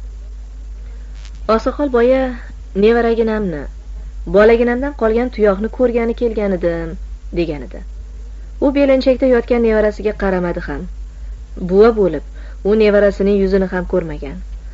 Dildor bu oilada salkam bir yil yashab cholning kimligini bilib olgan edi. Ularning ichida bittagina odam shavandasi nizomjon edi. U otasining opasining yuzsizligiga chidolmay ketib qolgan. Faqat shular uchunmi? Dildor o'ziga bunday savol bera olmasdi. Agar shunday deb so'ragudek bo'lsa nizomjonning ketib qolishiga eng asosiy sababchi o'zi ekanini bilardi. Ana shuning uchun ham bu to'g'rida o'ylamaslikka harakat qilardi. Oqsoqol ko'chaga chiqqandan keyin sal nari borib yana orqasiga qaradi. Oydinda tunukasi yaltirab turgan imoratga ancha qarab turdi. Keyin uyiga emas qizinikiga qarab ketdi. U yakka tutga yetmasdanoq qiziga yo'liqdi. Qayoqda yuribsiz? dada ikki marta nevarangizni yubordim. Yo'qlar eshik ber deb qaytib keldi. Xavotir olib kelayotgan edim. Keliningning oldiga bordim. Gap ko'p qizim hali aytib beraman. Ota bola indamay ketaverishdi. Sal yurgandan keyin chol tilga kirdi. Risol ertaga dildornikiga borib jiyaningni ko'rib kel. Risolatning yuragi shuv etib ketdi. Dildor bironta nama chiqazayotgan bo'lsa kerak deb o'yladi. Uning shunday o'ylashga asosi ham bor edi. Dildor o'zini nizomjonga mo'ljallashayotganini bilib qolgandan keyin yig'lab boshiga odam to'plagan edi. U ana o'shandagina nizomjonning yo'lda unga aytgan boyaqush xonadonimizga kulfat olib kelding shumqadam degan gaplarning ma'nosiga yetgan edi. Dildor ularning niyatlarini ham bilib qolgandi ularga dildordan ham uning mulki kerak shu mulk deb ularning joni halak. Dildor otasinikidan olib kelgan jamiki mollarini ularga tashlab egnidagi kiyim bilan chiqib ketgan edi. Oqsoqol uning uyidagi narsalarni sandiqqa joylab eshikka qulf urgan shu topda risolatning xayolidan uning o'sha mollari o'tgan edi. Dildor mollarini davo qildimikin? Dadam uyiga borib ko'nglini ol demoqchimi? Ikkovi oldinma ketin hovliga kirishdi. Bolalar hali ham uxlamay bir birini turtib yotishardi. Oqsoqolni ko'rib ko'rpaga burkanib olishdi. Kattasi ko'rpadan bosh chiqarib buvasiga maqtangan namo qaradi. Dadamdan xat keldi. Ikkita o'rning otdilar. Shunaqami? dedi chol. Juda binoyi ish bo'pti. Ordini borlarga foiz tekin emish. Kelsa sibirga olma borib sotamiz. Qani qizim ovqatingni olib kel. Risolat likopda shavla olib kelib oldiga qo'ydi. Oqsoqol qo'li bilan shavla yeyarkan qiziga tanbeh bera boshladi. Bunaqada tilladan tog'ing bo'lsa ham bir haftada tamom qilasan. Shavlaga ham shuncha go'sht solasanmi? Yog'ini qara jonivor yuziga chiqib ketibdi. Yog' degani tupukdekkinasini qozonga yalatib yuborsa bo'ladi. Xo'ja mahalladagi kabobchi bolaga tayinlab qo'yganman suyay beradi. Qaynatsang ana yog'i mana yog' bolam rejali bo'lish kerak rejali. Zamon shunaqa. Oqsoqol barmoqlarining orasigacha tilini tiqib yalab mahsisiga qo'lini surtdi. Xo'sh endi mana bu gapni eshit. Sayov ukangdan xat keldi. Qani? Shoshib so'radi risolat e xat menga emas dildorga. Voyodo bo'lsin dedi cho'zib risolat. Qirg'in kegur kelinoyisi jigardan ham aziz bo'ptida shoshma shoshma gap tagida gap bor. Xatni bolalarga o'qitmoqchi bo'lgan edim. Konvertda dildorga tegsin deyilgan ekan ochmadim. Ukangning endi aqli kirgan. Dildorga suykalmoqchi bizga bir nima deyishga yuzi chidamagan mayli o'zlari topishgan durust. Xatni hozir dildorga olib borib berdim. U pismig'ing ilgari ham xat olib turganga o'xshaydi. Qo'limdan olib bir qaradiyu yoniga qo'yib qo'ydi. Hozir o'qiyotgan bo'lsa kerak. Atayin senga maslahatga keldim. Kishi bilmas biz ham gijgijlab turishimiz kerak. Bu tarafi silliq ko'chsa ukangning oldiga borib kelasan. O'zi qayoqda ekan? Unisini bilmadim. O'sha xatda bitgandir axir qayerdaligini oqsoqol yonini kovlab to'rtta o'n so'mlikni olib qiziga uzatdi. Chaqaloqqa u bu ol miyoncha qil yo'qlab borib ko'nglini bilib kelasan. Ana undan keyin ukang qayoqda bo'lsa o'sha yoqqa borib ishni pishitasan. O'zim borardimu o'n yetti tup o'rik olib qo'yganman. Vaqtida terib sotib olmasam pishib qoqib bo'lib qoladi. Ammanam qurt tutganmanku dada chol jerkib berdi. Ha kolxoz sandan minnatdor bo'larmidi? Tilingni sal shirinroq qil. Bo'lar bo'lmasga lovullayverma quda buvang ham kasalxonada emish pishib hilvirab ana ketaman mana ketaman deb turibdi. Hovlisini naq ellik mingdan ko'pga sotsa bo'ladi. Tayinlab ayt. Muhtoj bo'lsa ro'zg'ordan narsa chiqarib sotmasin. Nima kerak bo'lsa o'zim xabar olib turaman. Risolat dadasiga ma'noli qarab qoldi. U shu qarashidayoq dadasining ichidagi bor gapni bilib olgan edi. Oqsoqol o'likni o'zim ko'maman demoqchi. U qudasining o'lishiga qattiq ishongan. U ko'pdan beri shuni kutardi. Oqsoqol soqolini selkillatib pichilladi. O'lik ko'mishning o'zi bo'lmaydi o'lgan o'lib ketaveradi qolganga qiyin. O'lik go'rga kirmasdan harakat boshlanadi. Ham xarajat. Bunaqada reja bilan ish tutmasa bor but shuddan ajralib qolish hech gap emas oqsoqol qiziga qaradi. Kattan ertaga men bilan bozorga boradi. Bitta o'zim shoshib qolyapman. Voy dada o'qishi borku. Bir kun keyin mulla bo'ladi zehni o'tkir bola. Bir ikki kun bormasa ham bo'laveradi. Oqsoqol dasturxonga fotiha o'qib o'rnidan turdi. Chiqib ketayotganda oldidagi tutga qarab to'xtadi. Keskani kelishsa quvlab sol. Qurt tutishni bildimi? Tut ekishni ham bilsin.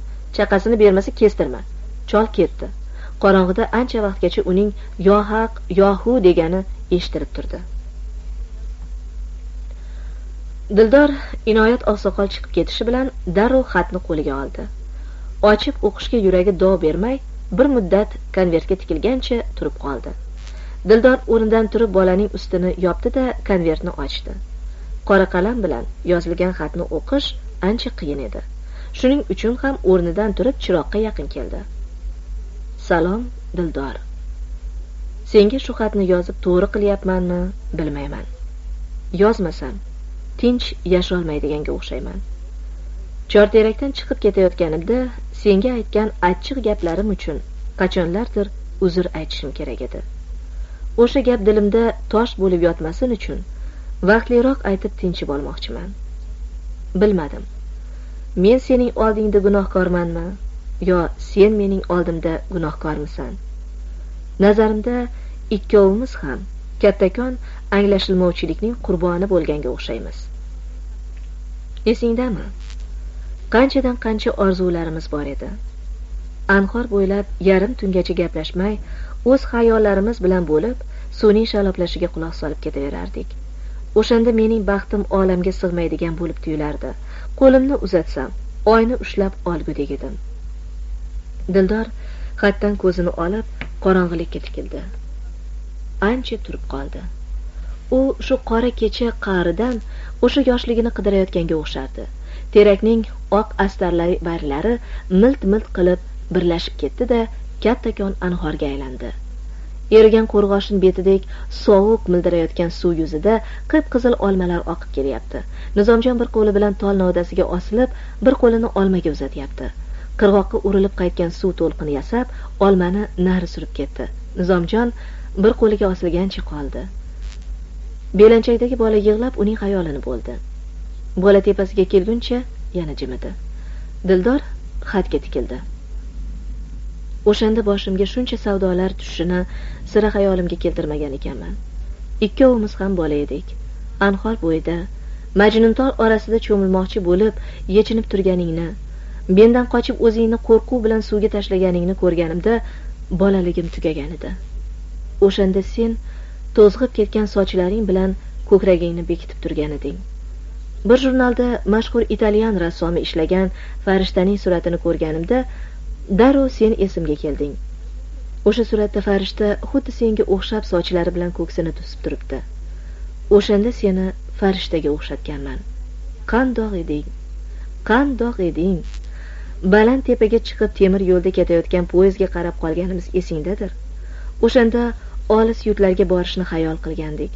Poyezd orqasidagi qizil chiroq bizni o'zi bilan uzoqlarga olib ketgandek edi. Tushimda ham o'ngimda ham sen eding. Adirlarga chirmashib chiqardik. Soylardan tap tortmay kechib o'tardik. Jala quygan kunni sira unutolmayman o'shanda adirning narigi tarafida oftob charaqlab turgan edi. Biz tarafga esa jala quyardi. Osmonda esa marg'ilon beqasamidek kamalak tovlanardi. Ikkalamiz ham yalangoyoq yugurganmiz. Kamalak ishkomining tagidan o'tamiz deb yugurganmiz. Qancha yugursak ham yetolmaganmiz. Akam keldiyu bir birimizga begona bo'lib qoldik. Dunyo ko'zimga qorong'i bo'lib ketdi. Ikki marta o'zimni o'ldirmoqchi ham bo'ldim. Qo'rqoq ekanman o'ldira olmadim. Kim biladi? Balki bu qo'rqoqlik emasdir. Qachonlardir sendan qasd olish uchun yashashim kerak bo'lgandir. Sen uyimizga kelin bo'lib tushding. Bu uyda men ortiq uzoqda gupillab turgan dvijokning ovozi pasaya boshladi. Shiftga osig'liq lampochka lip lip qilib sekin o'chdi. Gugurt yo'q edi. Chorterak xalqi boshqalar qatori qiyoq cho'p ishlatardi. Dildor nima qilishini bilmay qo'lida xat bilan tik turgancha qimirlamasdi. Nizomjonning xati uni bolalik ko'chalariga yetaklab yo'lning o'rtasiga tashlab ketib qolganidek edi. O'sha bir necha minut ichida bolaligini ko'ngliga muhabbat o'ti tushgan eng shirin damlarni ko'rgan edi. Qani endi o'sha kunlar qaytib kelsa o'sha kunlarni qaytarishning iloji bo'lsa dildor o'z hayotini butunlay boshqacha qurardi. Hozirgidek zabunlikda avtoda hol o'tirmasdi. Afsuski yashash huquqi odam bolasiga bir marta berilgan. Hech qachon hayot ortga qaytmagan hamma vaqt oldinga qarab ketavergan. Yanglishgan yanglishib qolaveradi. Yo'lni to'g'ri olgan hayot jomini oxirigacha sipqorib yashadim armonsiz yashadim deb ketadi. Hayotning yaltiroq jilvali aldamchi o'yinlari ko'p. Bu aldamchi jilvalar sarobdek aldab bag'riga chaqiradiyu kimsasiz cho'l o'rtasida bir qultum suvga zor qilib tashlab ketadi. Tanni tilka pora qilib qo'llarini tilib baland cho'qqiga chiqqanlargina o'tloqlarni olis ufqlarni ko'radi. Mana buni yashash deb aytadilar. Hayotda inson uchun ilojsiz narsa ham yo'q. U umrini boy bermagan bo'lsa ketayotgan yo'li jarga olib borayotganini bilib qolsa va undan qaytish xohishi bo'lsa to'g'ri yo'lni topib olish muqarrar. Dildorning oldida hali juda katta hayot bor. U yashashi kerak. Yashaganda ham o'tmishini tandan bir parchasini kesib tashlagandek unutib yashash kerak. Yo'l shu. Bundan boshqa yo'l yo'q. Dildorning ko'ksida xuddi ana shunday his ana shunday qaror hokim edi. Ko'chadan qizlarning qiy chuvi eshitildi. Eshik tirqishidan yo'lakka ipdek ingichka nur tushdi. Dildor yugurib borib eshikni ochdi. Fonar ko'targan to'rt qiz ichkariga kirishdi. Dildorning uyi ko'p bo'lganidan dadasi hammasini yig'ishtirib qurt boqishga ruxsat bergan edi.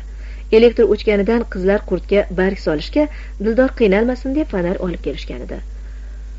Samovarga o't tashlang dildor opa bugun shatda yotib qolamiz. Qizlar chuvur chuvur qilib qurt tutilgan uyga kirib ketishdi. Dildor lampani olib chiqib fonardan o't oldirib yoqdi da ayvon tokchasiga qo'ydi. Keyin qizlarning ketidan kirdi. U hali ham xatning ta'siridan chiqmagani bilinib turardi. Ko'zlari qizargan ovozi titrardi. Qizlar barg solib bo'lib ayvonga chiqishdi. Qo'rqmang opa yotib qolmaymiz.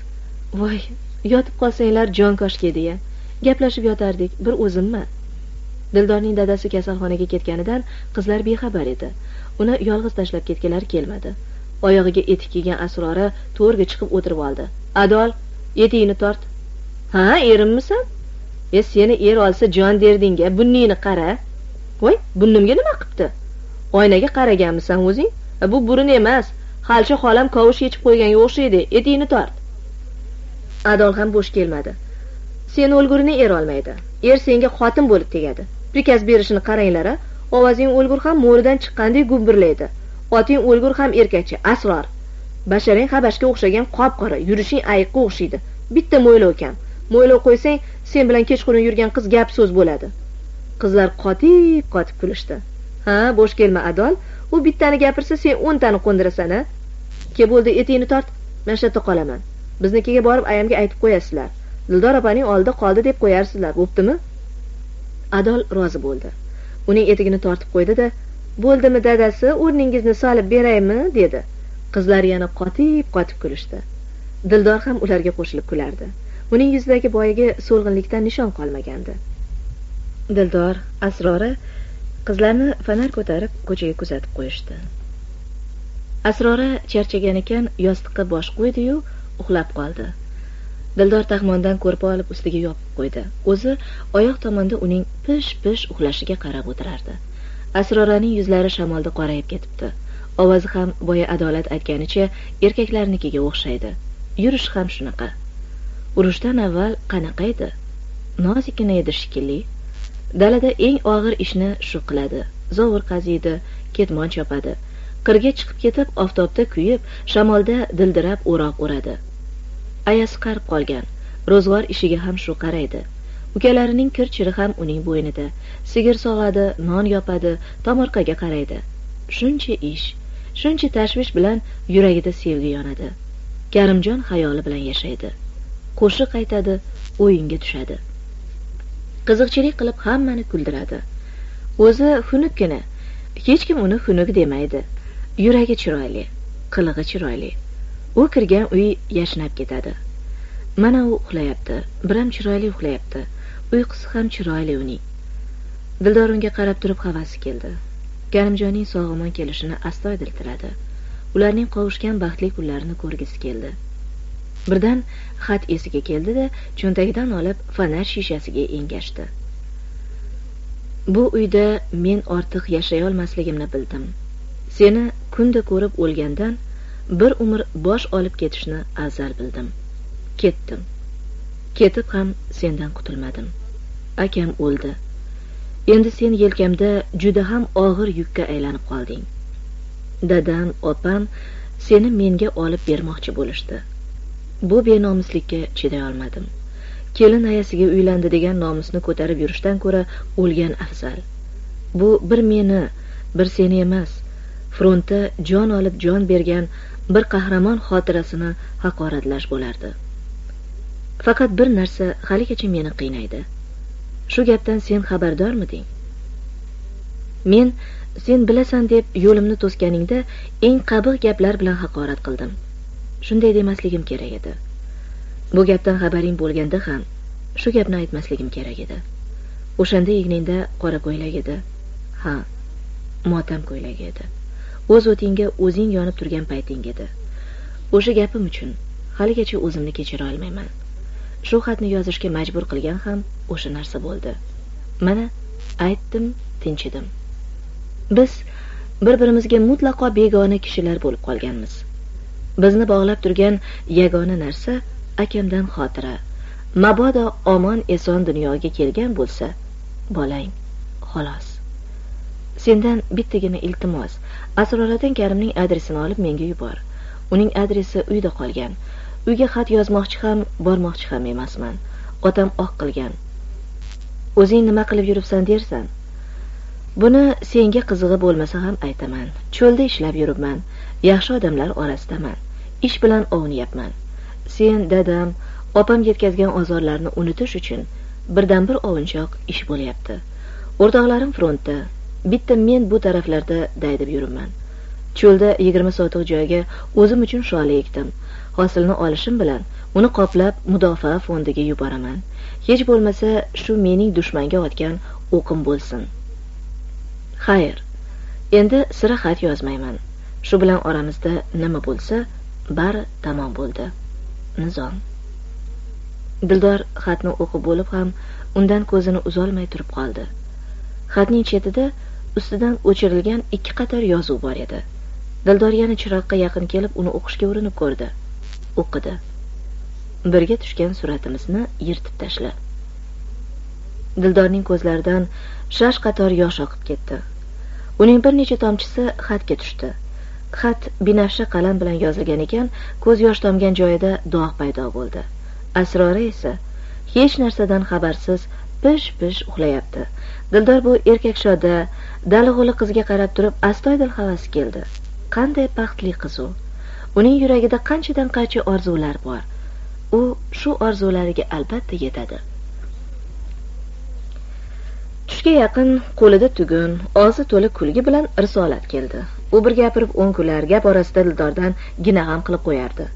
U gina qilayotganda astoydil lablari burilib ketardi. Voy opaginasi qoqindiq omon eson qutulib olibsiz hamki bir og'iz xabar bermabsiz. O'zim yonginangizda turardim. Mendan boshqa kimingiz bor o'rgilay? Har qancha qilsam arziydi. Ukaginam hurmati doyalik qilsam ham arzirdi.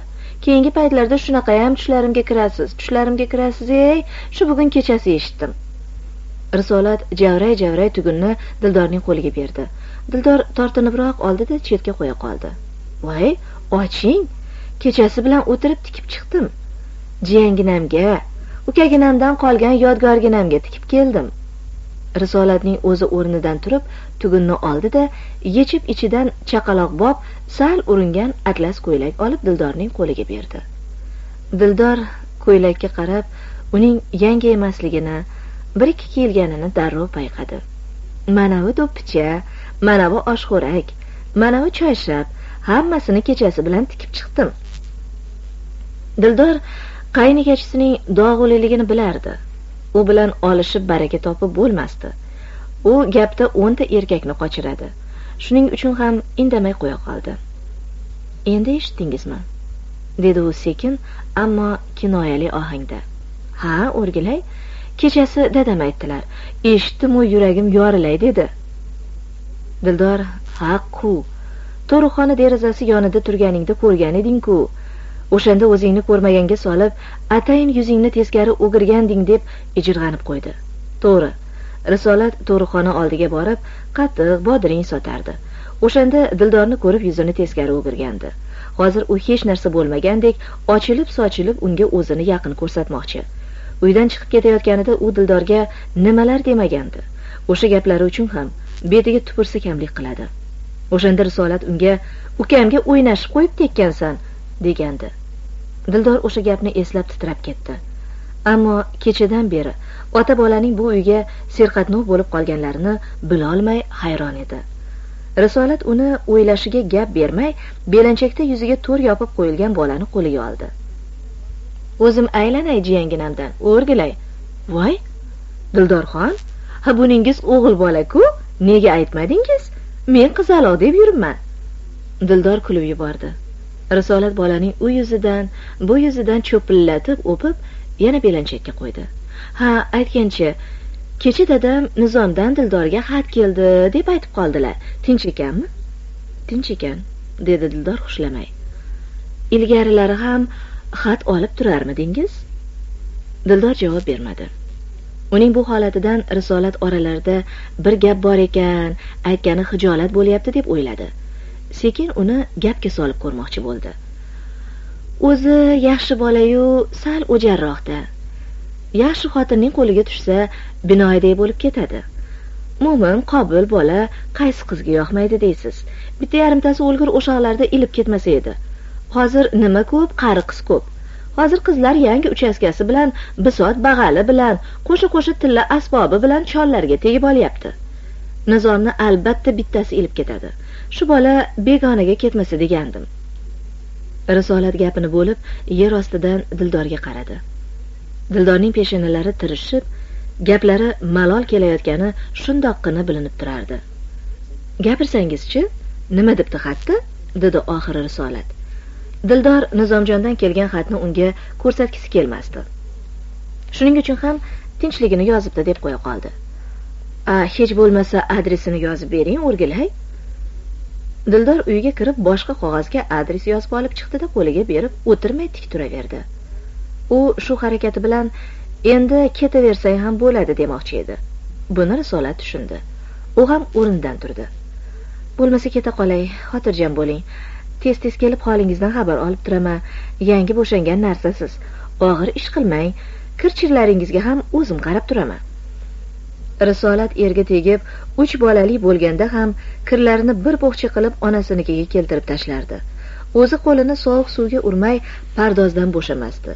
Uyiga xotinlarni yig'ib patefon qo'ygani qo'ygan edi. Uyi hamma vaqt ivirsib yotardi. Eri daladan qaytganda ham qozonga o't qalamasdi. Bo'sh bayovgina eri o'zi o'tin yorib ovqatga unnab ketardi. Shu xotin kelib dildorning kirini yuvib beradimi? Risola chiqib ketayotganda dildor orqasidan borib tugunchasini qo'liga berdi. Voy ha? O'zim yangisini tikib beraman opa. Tug'ilishi bilan birovning eskisini kiymasin. Voy eski emas qizimga kiydirib pasonini ko'rdim xolos. U har qancha qilsa ham dildor tugunchani olmadi. Risolat ham unga qarshilik ko'rsatmadi. Bitta ko'ylak palon pul. Muhtoj emasdirki olmadi. Eski bozorga olib borib sotsa bo'ladi. Hozir nima ko'p eski matoga xaridor ko'p. Dildor uning orqasidan eshikni qarsillatib yopdi da alam bilan yig'ladi. Bular muncha meni xor qilishmasa. Menda nima qasdlari bor? Dildor haligacha ularning niyatlarini bilolmasdi. Aksiga olgandek bugun havo ham bulut. Odamning ko'nglini xira qiladigan darajada tund. Dildor uyda o'tirib zerikib xunob bo'lib ketganidan dalaga chiqib asroralar oldiga bormoqchi bo'ldi.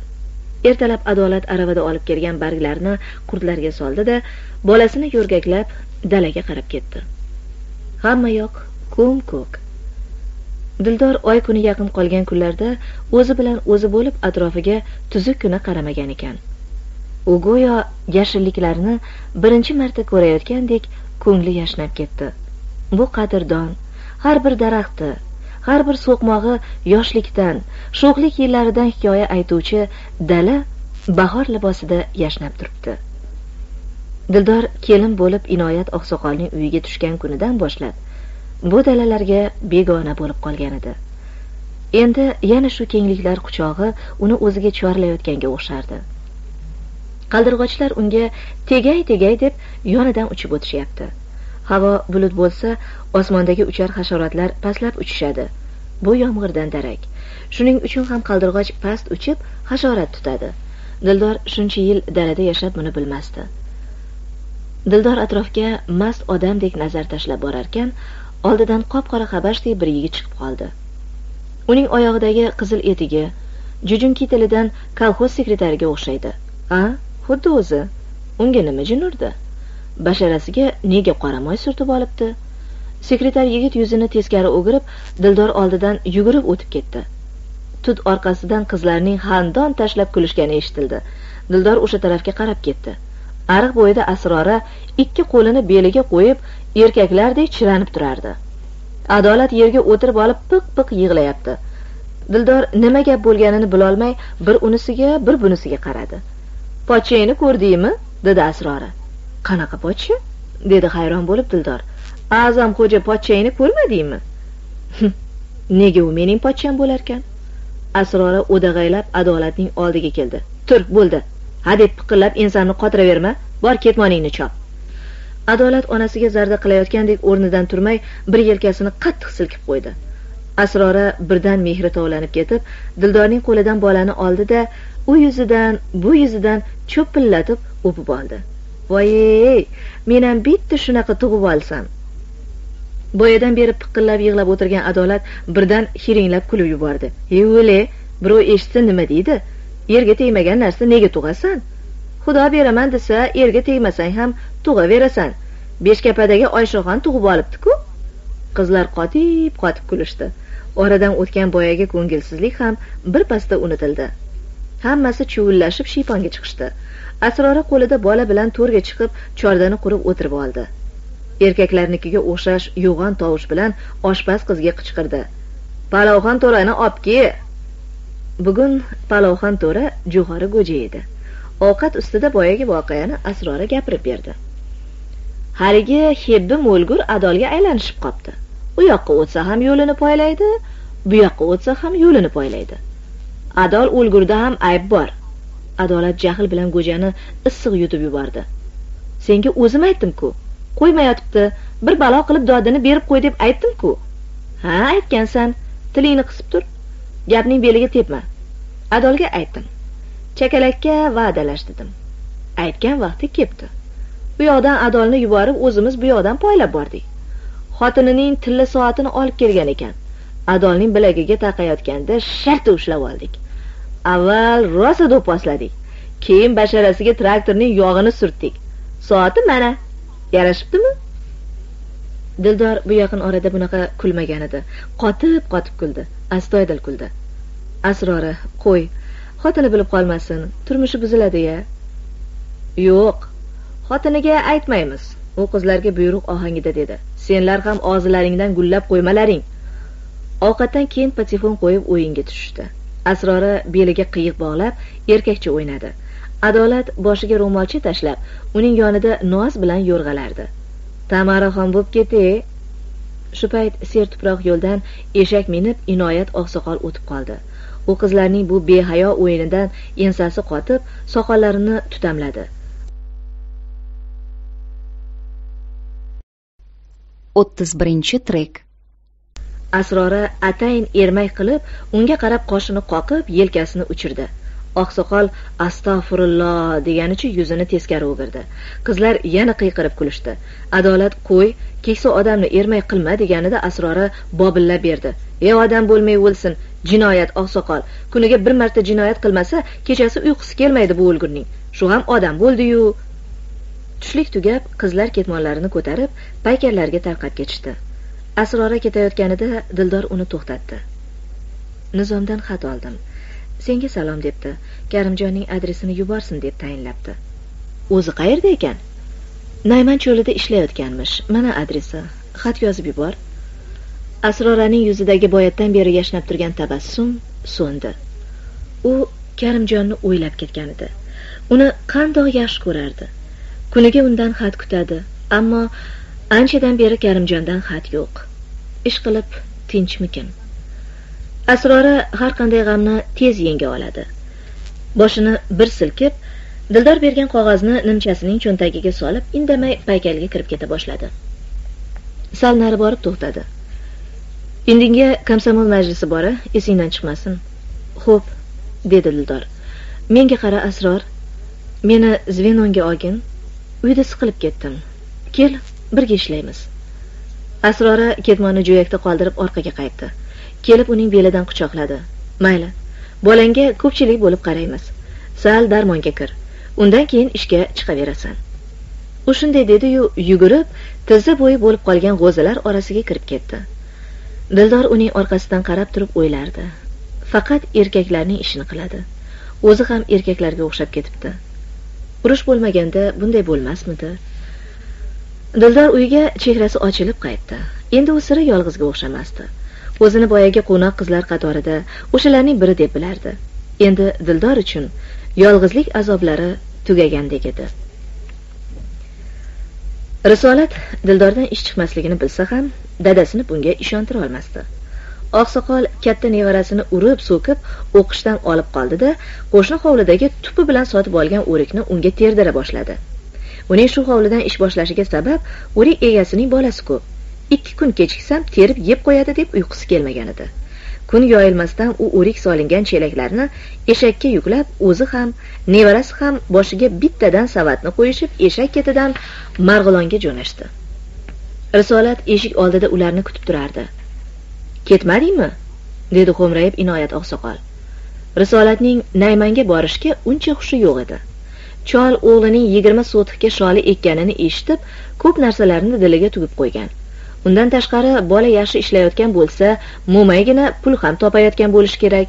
U ertalab nevarasini uyg'otgani borganda risolatning dildordan ish chiqmaydiganga o'xshaydi degan gapini cho'rt kesib shunday degan edi sen nima qilib o'tiribsan? Yigitlar urushda shunaqa qirilib tursa jamiki qizlar tul qolib ketadi. Hozir qizlar dilgiroz simiga qo'ngan qaldirg'ochdek bijirlab yotibdi. Nizom olaman deydiyu yo'q deydimi? Ularni oralarida bir gap bor. Boshida yo'q deb qo'yib endi aytishga yuzlari chidamayapti. Tushundingmi? Boraver. Risolat hozir dadasining o'qrayishidan bormasam bo'lmaydiganga o'xshaydi deb nizomjonning oldiga borishni bo'yniga olib qo'ydi. Ikki chelakini o'rik ola ket. Cho'lda yaxshi ketadi. Ha bozor bahosidan sal yuqoriroq ayt. Dadasi aytmasa ham risolat shunday qilmoqchi edi. Iloji bo'lsa bitta qiyiqda bodring ham ola ketishni diliga tugib qo'ydi. Ota bola ayniqsa shu kezlarda pulga tuzoq qo'yishgan edi. Risolat ertalab tug'ruqxona eshigi oldida qatiq sotadi. Tushlikda chorterak guzariga zog'ara non olib chiqadi. Kechqurun o'rtancha o'g'lini yoniga olib yozlik kino zalida pista sotadi. Kontrolyor chol pistang qursin zalni bulg'atyapsan deb quvlayverganidan u tomoshadan keyin supurib berishni ham bo'yniga olgan. Inoyat oqsoqolda ku tinim yo'q. Qo'liga nima tushsa bozorga chopadi. Gohida sotadigan narsasi bo'lmay qolsa bozor darvozasida turib olib muhtojlikdan sotgani olib chiqilgan narsalarni arzon garovga olib ichkariga olib kirib ikki baravariga sotadi. Xullas u qimirlasa pul tushib turibdi. Bundan bir yarim yilcha muqaddam inoyat oqsoqol taqiqlangan mol bilan qo'lga tushib qoldiyu militsiya molini olib qo'ydi. O'zini omon eson qutqarganiga shukur qilib bir ikki hafta bozorga chiqmadi. Bor yo'q dazmoyasi o'sha mol bilan tamom bo'lgandi. O'zi ham shoshib qolib g'animatga uchradim deb qirq kilo ipak yigirma beshta amirkon olgan edi. Chaquvdan bo'ldimi xudodan bo'ldimi ish qilib militsiya darak topib uyini bosdi.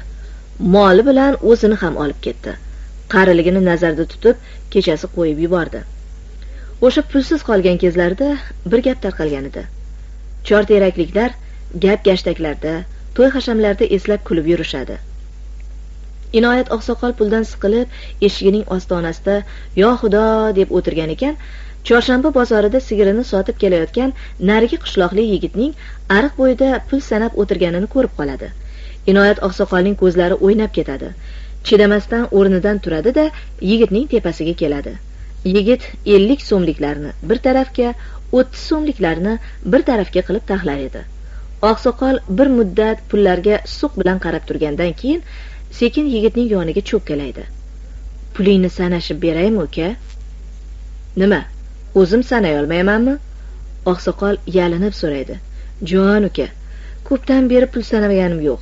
Ke bitta sanab beray judayam sog'indim. Yigit ham tantigina ekan pul solingan qiyig'ini uning oldiga surib qo'yadi. Oqsoqol pullarni bir biriga qorishtirib yuboradi da bismillo deb o'ntalikni alohida o'ttiztalikni alohida elliktalikni alohida qilib shoshilmay ajrata boshlaydi. U pul ushlaganda xuddi pashsha tutayotgandek nafasini ichga yutib birdan tap etib panjasi bilan bosardi. Inoyat oqsoqol pulning maydasi bilan yerigini bir xil ko'rardi. Xoh bir so'mlik bo'lsin. Xoh yuz so'mlik bo'lsin baribir. Juda ehtiyot qilib ushlardi. U ko'pincha somsapazlardan nolib qolardi. Ha pul ko'r qilgurlar. Yog'li qo'li bilan pul ushlaydimi? Rasvo qiptiya shundoq aziz narsani kirqitdiya uni ko'pincha marg'ilon bankasining eshigida uchratish mumkin. U yirtiq pullarni yarim bahoga olib bankadan butuniga almashtirib olardi. Oqsoqol pulga aloqador qonunlarni suvdek ichib olgan edi. Nomeri butun bo'lsa bas bank oladi. Inoyat oqsoqol juda ixlos bilan yigitning pulini sanab bo'ladi.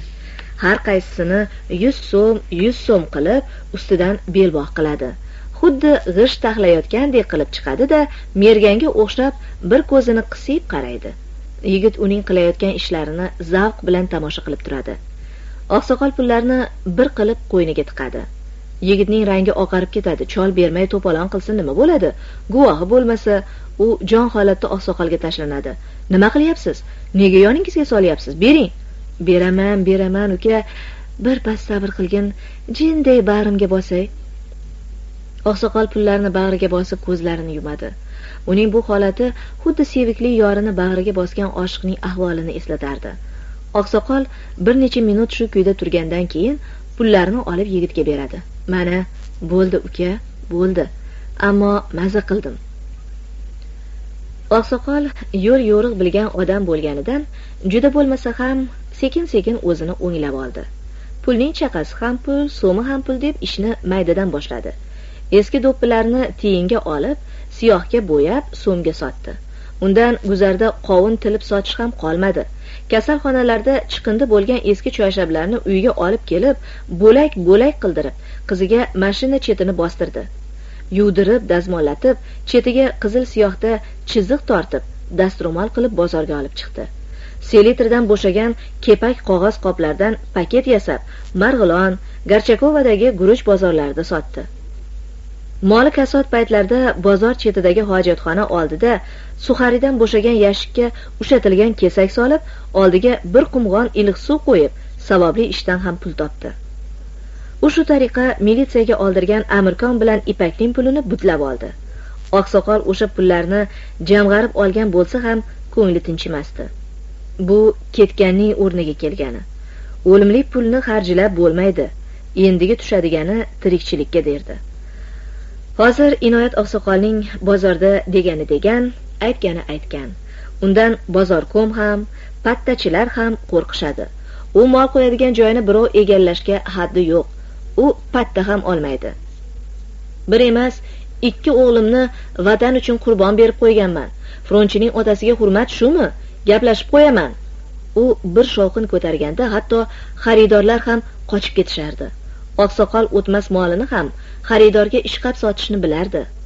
Muhtojlikdan olib chiqdim singlim urushda dadasi o'lgan nevaralarimning og'zidan yulib olib chiqdim. Azbaroyi shularga yegulik bo'lsin deb. Men mana bularga o'xshash ispikulan emasman. Meniki happai halol. Xaridorlar bu notavon cholga rahmlari kelib narxini surishtirmay olib ketaverishardi. Oqsoqol ham ham toshdan ham tiyindan urib qolganini bilmay qolishardi. Mabodo bozorda moliya odami paydo bo'lib qolsa u marhum o'g'li a'zamjonni o'rtaga solardi. Shundoq odamning dadasiman. Senlarga qahramon ham ordiri ham inobatga o'tmas ekanda senlar bu yerda xotinlaringning issiqqina qo'ynida mazza qilib yotibsanlar. Mening bolam senlar uchun jonini berib qo'yibdi. Oqsoqol shunday deb turgandan keyin uning tekshirishga kimning yuragi dov beradi? Undan qutulganlariga shukur qilib oldidan tezroq o'tib keta qolishardi. Inoyat oqsoqolning yana bitta g'alati odati bor edi. U ko'pchilikka o'zini saxovatli xayrli ishlarga ixlosmand qilib ko'rsatishga urinardi. U devonaga yo'liqib qolsa to odamlar o'tib ketguncha kissasini kovlab devonani umidvor qilib turaverardi. Odamlar ketib bo'lgandan keyin yonidan nosqovog'ini olib bir chekimni tilining tagiga tashlab ketaverardi. Uni bilmaganlar oqsoqol ko'p saxovatlida deb o'ylashardi. Inoyat oqsoqol kuniga yarab turgan eshagini ham yolchitib boqmasdi. Faqat kechqurun oldiga cho'p tashlaydi. Ko'p ovqatga o'rgansa semirib dangasa bo'lib ketadi derdi. Bozorga borganda oldiga bedi tashlangan bironta eshakning qozig'iga boylab qo'yardi. Bozordagilar jinoyat amakimda eshagining ham aytgani aytgan degani degan deyishsa qishloqdagilar jinoyat oqsoqol eshagiga hali cho'pni ham birovning tolidan sindirib oladi deyishardi. Xullas inoyat oqsoqol tili bilan birovga ozor bermasa ham qilig'i bilan yurish turishi bilan hammaning me'dasiga tegardi. Ana shuning uchun ham chorterakliklar o'g'li nizomjon ketib qolganda sira ajablanishmagan edi. Ketgani durust bo'pti. Bu chol bolani sil qilib qo'yardi. Esi borida ketib qoldi. Oqsoqol odamlar o'zi to'g'risida nimalar deyayotganini bilardi. Bilardiyu til suyaksiz ko'rolmaganidan aljiydi deb qo'ya qolardi. Mana bugun u nevarasini o'qishdan qoldirib bozorga olib ketyapti. Bola eshak orqasida indamay boshini yelkasiga suqib ketyapti. U bobosini yomon ko'rardi. U bobosi bilan necha marta bozorga borgan bo'lsa biron marta unga kitob daftar olib bermagan. Yalinib yolvorganda ham u kitobni nima qilasan? O'rtoqlarningkidan o'qiyver deb jerkib tashlardi. Bozorda bolalarning ko'zini o'ynatadigan narsalar ko'p. Chol olib bermaydi. Tush paytida bitta choynakda choy olib kelib belbog'idagi zog'ora nonni olib ushatib qo'yadi. Hammadan ham bolaga alam qiladigani ular bozordan bo'shagan chelak va savatlarni eshakka ortib kelayotganlarida bobosi yo'lda to'xtab uning yonini tintib ko'rardi. Yanglishib bironta tangani kissangga solib qo'yganing yo'qmi? Bola ont ichsa ham baribir tintib ko'raverardi. Bir kuni ana shunday tintuv paytida bolaning kissasidan ikkita yigirma tiyinlik chiqib qoldi. Chol g'azabdan ko'karib ketdi. O'sh bu qanaqasi? Hali o'g'irlikni ham o'rgandingmi? Bola yig'lab pulni ayasi berganini aytsa ham chol ishonmadi. Ayam kitob olgin deb berganlar meni aldab bo'psan. Inoyat oqsoqol bolaning yuziga teskari shapaloq tushirib qoldi. Bola chirqillab yig'lagancha eshakning oldiga tushib chopib ketdi. Kechqurun oqsoqol qizidan surishtirgan edi. U pulni o'zi berganini aytdi. Esingni yeb qo'yibsan ahmoq. Bolaning qo'liga shuncha pul berasanmi? Ikki tanga pulning yoniga uch tanga qo'shsa bir so'm bo'ladi ya? Ana shundan keyin oqsoqol qiziga pulning qadri puli bor odamning qo'li uzun bo'lishi qayerga borsa ham xor bo'lmasligidan va'z nasihat o'qib ketdi. Pul odamga darmon. Beli og'rigan kishi beliga ikkita yuztalikni bog'lab yotsa og'rig'i taqqa qoladi. Puli yo'q odam tez qariydi. Nekalay vaqtidagi pullarni sen ko'rmagansan. Har pullaridiki ushlasang qo'ling yayraydi. Zolim pulni ipak qog'ozdan chiqazardi. Bu pullar ham pulmi? Salga yirtiladi. So'lkavoyini g'ishga tashlasang jiring qilib ketardi. Rahmatli dadam o'lganida meros taqsim bo'lib menga bitta chervon tekkan edi. Tishimda tishlab yurib o'sha chervonni juvonmarg qilganman. Inqilob bo'lib o'tmaydigan bo'lib qolgan. Esimga tushsa hali hali yuragim ezilib ketadi. Risolat dadasidan bu xil gaplarni ko'p eshitgan. Ko'p eshitaverganidan qulog'i pishib qolgan edi. U ham dadasidek qo'liga pul tushsa tuflab hamyoniga tugardi. Inoyat oqsoqol eshak ketidan yurib bozor yo'liga chiqib oldi. Nevarasi boshida savati bilan o'tgan ketganga angrayib goh orqada qoladi goh undan o'zib ketadi. Ko'cha betidagi go'ng uyib qo'yilgan joyda ikkita xo'roz qanotini yerga sudrab bir biriga tashlanmoqchi bo'lib turibdi. Bolaning ikki ko'zi o'shanda tomog'ining tagidagi patlari hurpayib ketgan qizil xo'roz ko'kragini yerga tegizay tegizay deb oldinga sapchimoqchi. Bola yonlamasiga yurib keta turib undan ko'zini uzmaydi. Birdan nima balo bo'ldiyu boshidagi savat bekining engashgan shoxiga tegib ketdi. Bola o'zini o'nglay olmay qoldi. Savat boshidan uchib balchiqqan to'nkarilib tushdi. O'riklar loyga qorishdi inoyat oqsoqolning ko'zlari qinidan chiqib ketayozdi. Yugurib kelib nevarasining orqasiga ikkini tepdi. Bola munkib ko'kragi bilan yerga yiqildi. Ha haromi o'ldiraman. Ter hozir terib ol bola ko'zlarini javdiratib balchiq kechib o'riklarni tera boshladi. Oqsoqol jahldan ko'karib bolaga hamon o'shqirardi.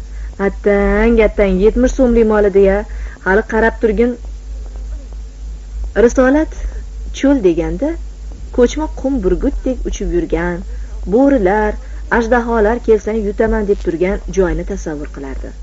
U ertaklarda eshitgan borsa kelmasini nayman taraflarida bo'lsa kerak deb o'ylab yurgan edi.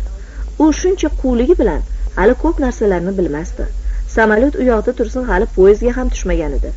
Risolat uchun butun dunyo shu chorterak bilan marg'ilon atroflaridan iborat edi. Eri frontga ketdi. Undan xat xabar kelib turardi. Erining xatlarini o'qiganda urush bo'layotgan joylar nazarida naymanning orqa taraflarida bo'lib tuyulardi. U bugun naymanga chorterakdan turib chaqirsa ovozi yetadigan joyga gruzovoyda ming marta yo olloh deb yetib keldi. Nayman sira cho'lga o'xshamasdi. Qani? Qush uchsa qanoti odam yursa oyog'i kuyadigan cho'l. Hamma yoq g'isht sement yog'och. Qulog'iga qalam qistirgan duradgor chollar bayrag'iga ko'milib taxta randalashyapti oldiga klyonka fartuk tutib olgan qizlar g'isht terishyapti. Bir juft tol tagidagi so'rida odam ko'p. Patefon tinmay bog' aroni olib turibdi. Mashina to'kan shag'alning qaldirlashidan uning ovozi eshitilmay ketadi. Nayman borgan sari gavjum bo'lib borardi.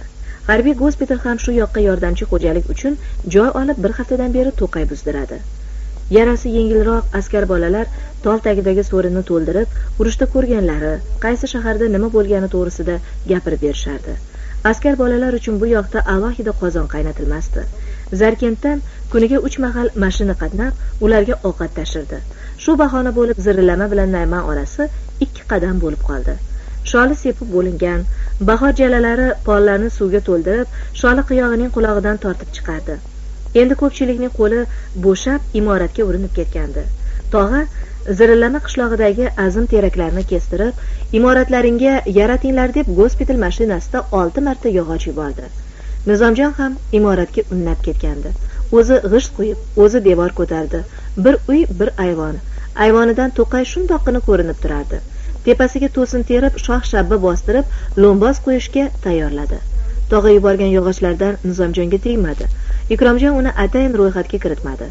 Avvaliga nizomjon hayron bo'lib yurganida ikromjonning o'zi yorilib qoldi. Uka sen shoshmasang ham bo'ladi. Avval bola chaqasi qishloqda qolganlarning ishi bitsin. Yarim ro'zg'ori qishloqda qolib juda besaranjom bo'lib ketishdi. Ortib qolsa albatta senga beraman. Nizomjon uning gapidan ranjimadi. To'g'ri deb o'z ishini qilib yuraverdi. Vaqt bekor o'tmasin deb loqorib tepasi yopilmagan uy devorini suvamoqchi bo'ldi. Risolat mashinada birovni biylatmay olib kelgan ikki chelak o'rik bilan bir qiyi bodringni oldiga qo'yib savdoni boshlab yubordi. U qo'sh palla tarozida elektr chanog'idan posangi qilingan tosh bilan o'rik tortardi. Kimsan? Qaydan kelding? deb hech kim so'ramadi.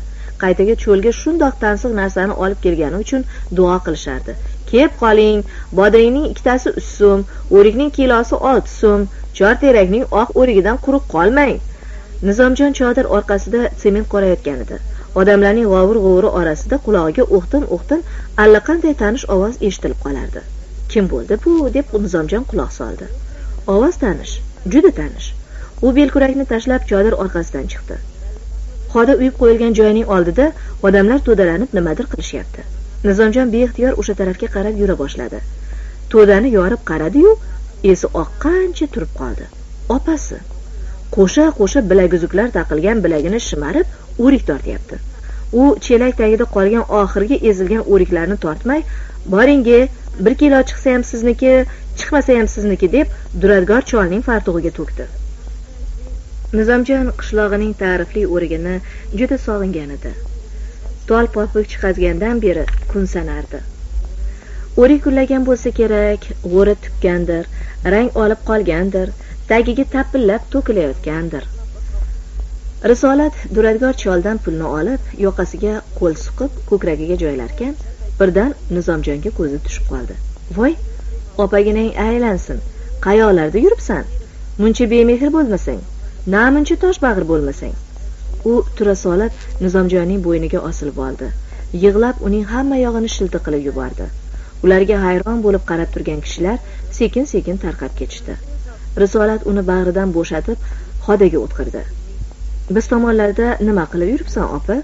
dedi nizomjon hayron bo'lib. Risolat unga o'pkalik qarab qo'ydi. Shunaqasanda jigar jigarni qumsaydi. Sendan boshqa kimim bor?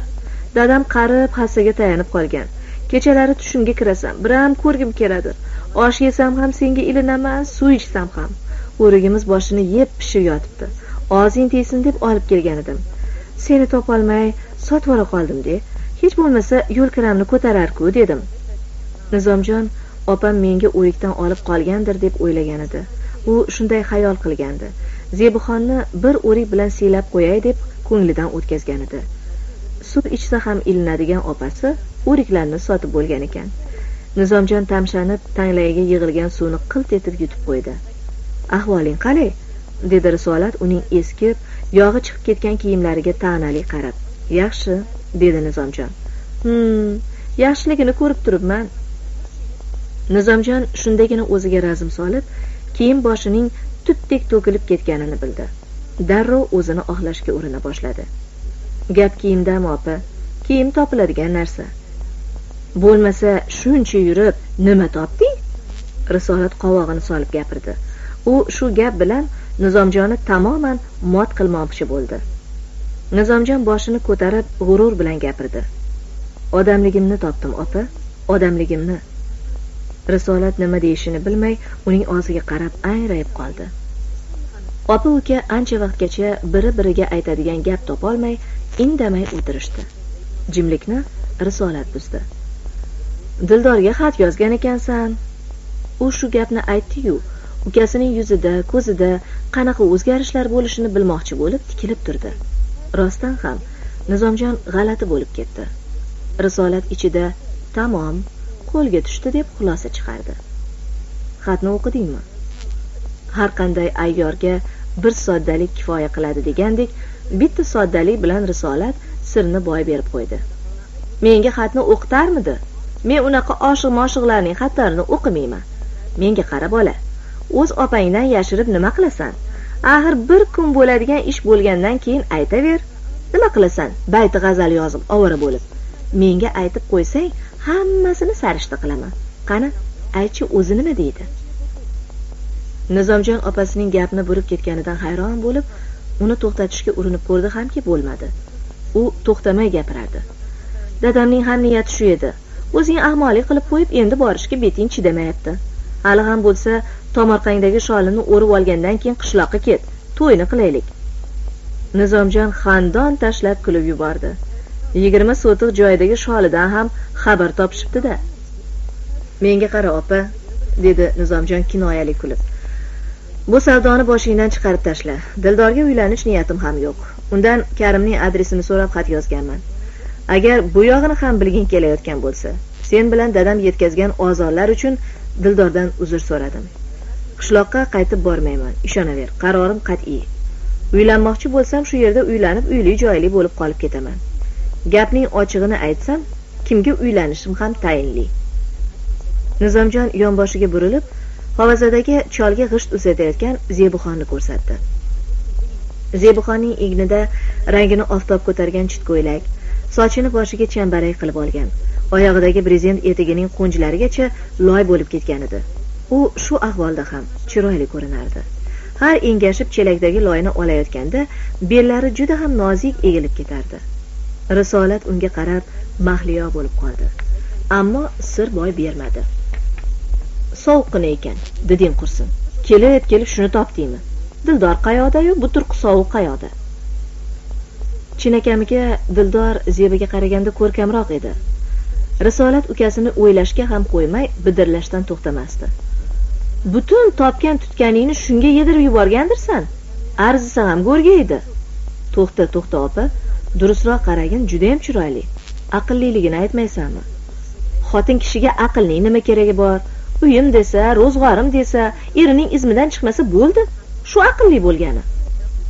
Voy bu opa dadamdan ham o'tib ketibsan a?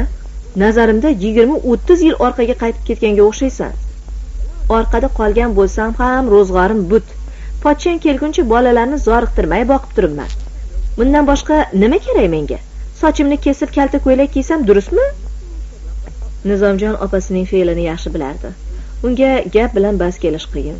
U ham dunyoni puldan moldan iborat deb biladiganlardan. Nizomjon tizzasiga tiralib o'rnidan turdi. O'zing nimaga kelganding seni ko'rgani dedim-ku. Qo'ysangchi o'rik sotgani kelgansan. U shunday dediyu bir qorindan talashib tushgan opasi jigari bo'lishiga qaramay dangal gapirdi. Menda boshqa gaping bo'lmasa keta qol. Boshqa kelib ovora bo'lib yurma. Haydayapsanmi hali? Dedi risolat ko'ziga yosh olib. O'z opangni uzoqdan diydoringni ko'rgani kelgan opangni quvlayapsanmi? Voydod bu qanaqa bemehr bola chiqdi. Sekin gapir baqirma. Odamlar eshitadi. Eshitsin. Eshitib sani kimligingni bilib qo'yishsin. Nizomjon sal yon berdi. Yana cho'nqayib opasining qarshisiga o'tirdi. Xo'sh nima deysan? Ochig'ini aytaver. Risolat xodadan turib to'nkarib qo'ygan chelakka o'rnashib o'tirib oldi. Dadam qarib qoldi. Sen o'ylagan ilgarigi topishlar yo'q endi. Bir tiyinsiz uyga qamalib o'tiribdi. Xotin boshim bilan o'rik sotib bodring sotib ovqatga qarayapman. Sendek o'g'li bo'la turib och o'tiribdi. Xudo ko'rsatmasin o'lib netib qolsa og'ziga suv tomizadigan odam ham yo'q. Nizomjon opasining gapiga ishondi. Xo'p ozroq pulim bor beraman. Ko'ylak etik olishga yig'ib yurgan edim mayli. Keyinroq olarman. U yonidan uch yuz so'mcha pul olib opasiga berdi. Dadam bechora birinchi may bayramida ham ohlik kiymadi. Bu puling nima bo'ladi? Boshqa yo'qde keyin yana yuboraman. Risolat o'rnidan turdi. Mayli bo'lmasam men ketay. Shag'al olib kelgan mashina qaytmoqchi bo'lib turibdi. Shundan qolmay. U mashina tomonga keta turib zebuxonga yer ostidan nazar tashladi. Havozadan tushayotgan zebuxonning ko'zi risolatning ko'zi bilan to'qnashib qoldi. Risolat uni yeb yuborgudek bo'lib o'qrayganida zebuxon esankirab oz bo'lmasa havozadan ag'darilib ketay dedi. Chelak pelaklari bilan nizomjon opasini mashinaga chiqazib qo'ydi. Jigar ekan mashina orqasidan yuragi uvishib qarab qoldi. Yo'l boshida xomush turgan nizomjonning oldiga zebuxon keldi. Nizomjon bugun o'rikxo'rlik qilarkanmizda opangiz o'rik olib kelibdilar deb eshitdim. Nizomjon noiloj iljayib qo'ydi. O'rikni ikkalamiz ham kelasi o'rik pishig'ida yeydigan bo'ldik. Men ham danagini ko'rib qoldim xolos. U zebuxonga opasining ta'rifini qilib bergan edi. Uning boshidan o'tgan savdolarning barini bilgan zebuxon indamay kulibgina qo'ya qoldi. Ikkovi asta yurib duradgorlar oldidan o'tishayotganda bir chol o'rikning ta'rifini qilardi. Dunyoda chorterakning o'rigiga yetadigan o'rik bo'lmaydi. Shirasi danagiga ham urib ketadi ya jonivorning. Danagini ekib ko'paytirish kerak. Zebuxon qilt etib tupuk yutdi. Uning o'rik yegisi kelganini nizomjon bilib turardi. Ko'nglidan noinsof opam to'rttagina olib qo'ymabdiya degan gap o'tdi. Asroradan xat keldi. U konvert ichiga karimjonning adresini ham solib yuboribdi. Xatda shunday gaplar bor edi. Hozir zvenomizda katta to'y. O'tgan yili mudofaa fondi uchun plandan tashqari yuborgan 260 kilo pilla uchun sssr mudofaa komitetidan zvenomizning a'zolariga nomma nom tashakkurnoma keldi. Senga ham bor tabriklayman. Vaqting bo'lsa kelib olib ket. Komsomollik salomi bilan asrora.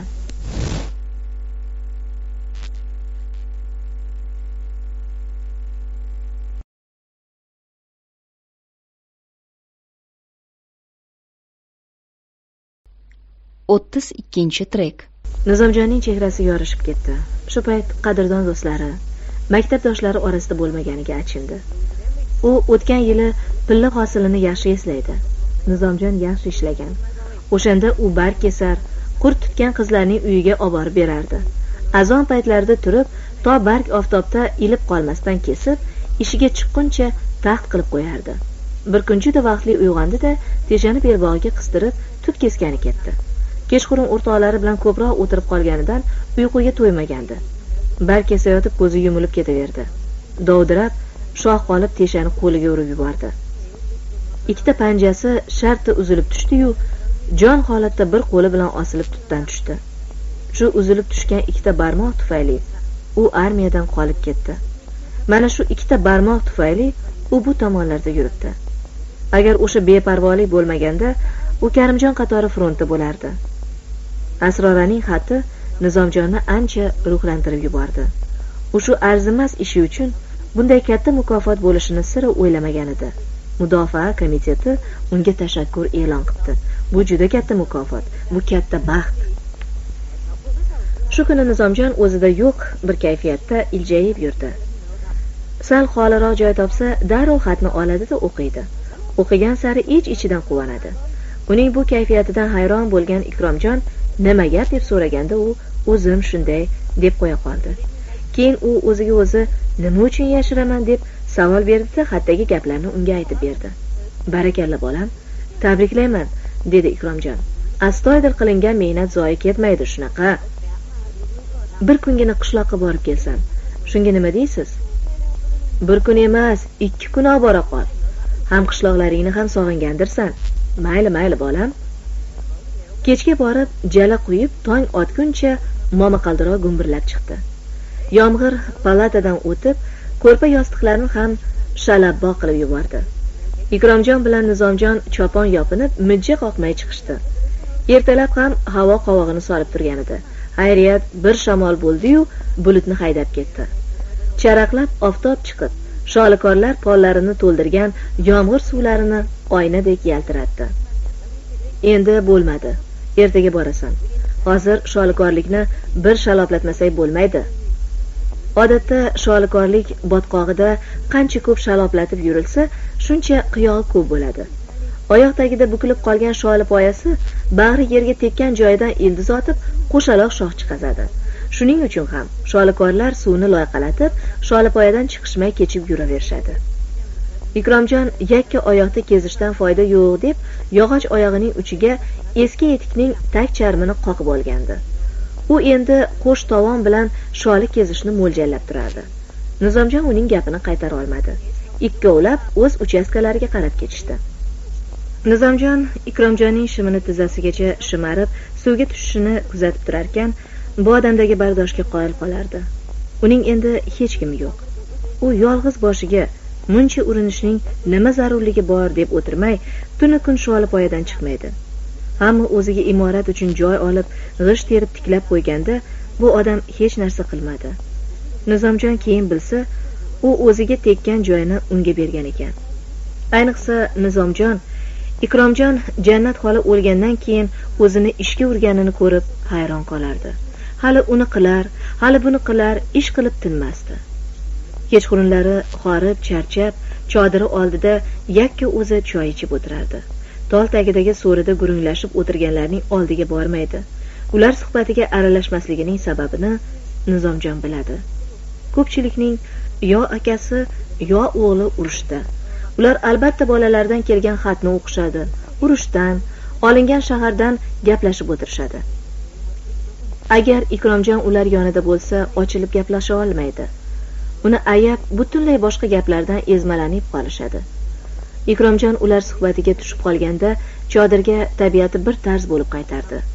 O'shanday kezlarda to yarim kechagacha chodir oldida qop qora osmonga tikilib o'tiradi. Keyin o'rniga kirib yotadi. Yotib ham darrov uxlay qolmasdi. Hali u yon boshiga hali bu yon boshiga ag'darilib to'lg'anib chiqadi.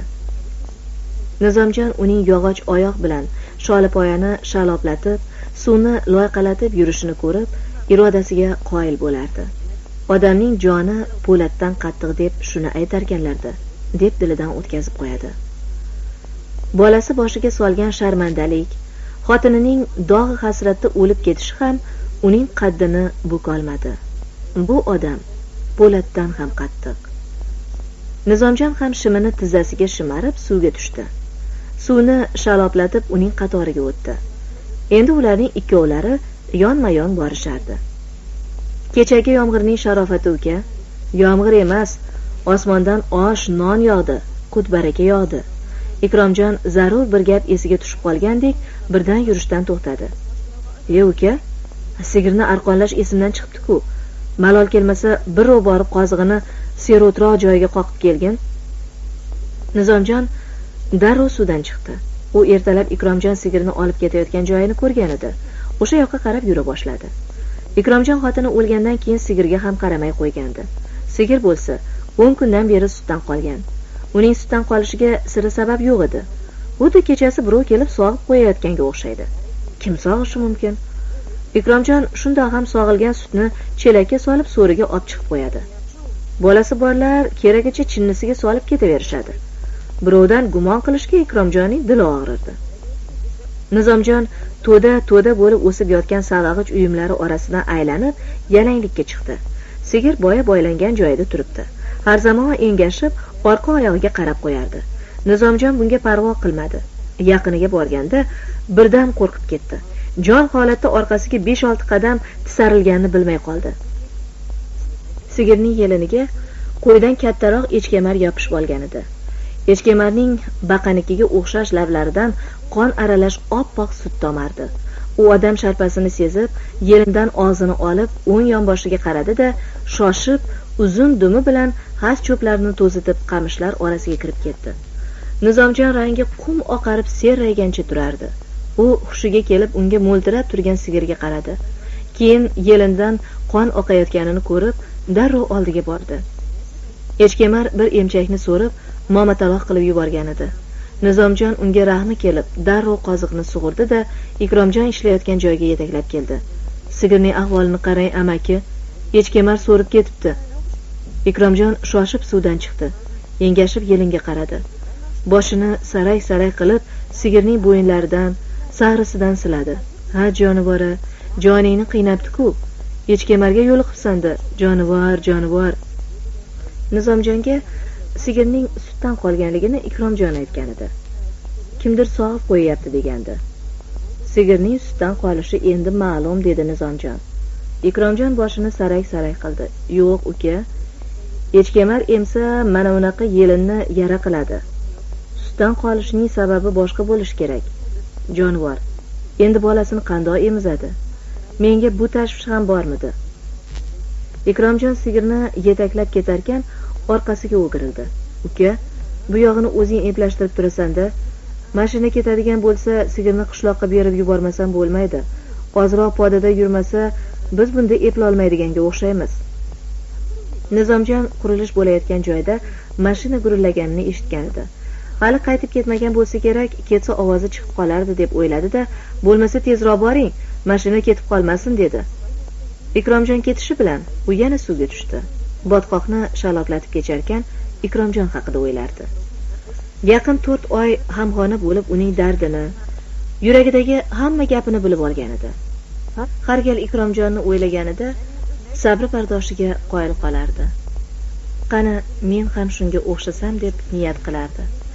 Hatto bir kun uning o'ziga men ham sizga o'xshagan bo'lsam deb gap boshlaganda ikromjon gapini bo'lib qo'ygan edi. Qo'y qo'y bolam menga o'xshama. Sen menga o'xshagan bo'lmaysan.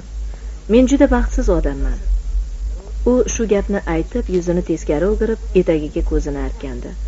O'shanda nizomjon bo'yniga osilib yuzini o'ziga qaratgan edi ikromjon hech narsa bo'lmagandek ko'z yoshini qilt etib yutib o'girilgandi.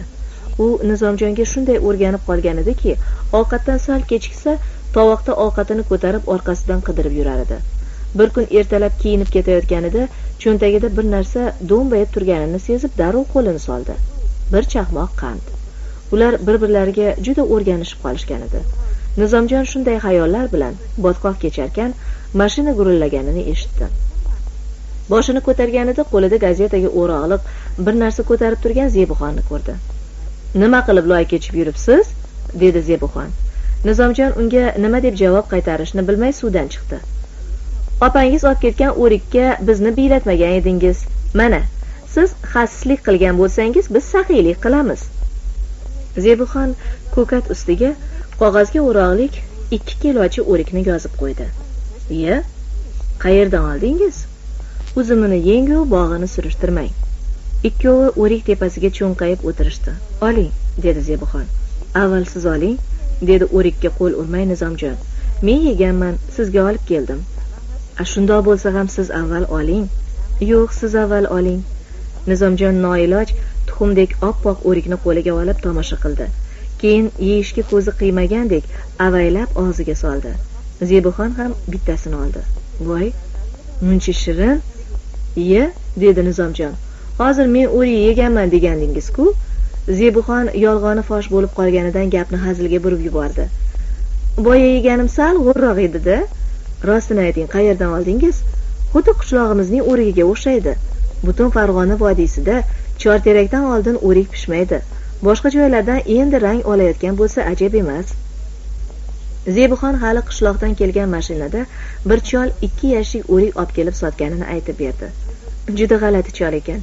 Surishtirmagan gapi qolmadi. Ikromjon amakim bilan bir balolarni g'ijillashib ham oldi. Sizning bitmagan uyingiz devorlarini silkitib ham ko'rdi. O'rik olayotganimda menga shunaqayam yomon qaradiki qo'rqib ketdim. Nizomjon uning gapiga uncha parvo qilmadi. Bironta bezbet chayqovchidirda deb qo'ya qoldi. Nizomjon suvga qaytib tushmadi. Zebuxon bilan orqaga qaytdi.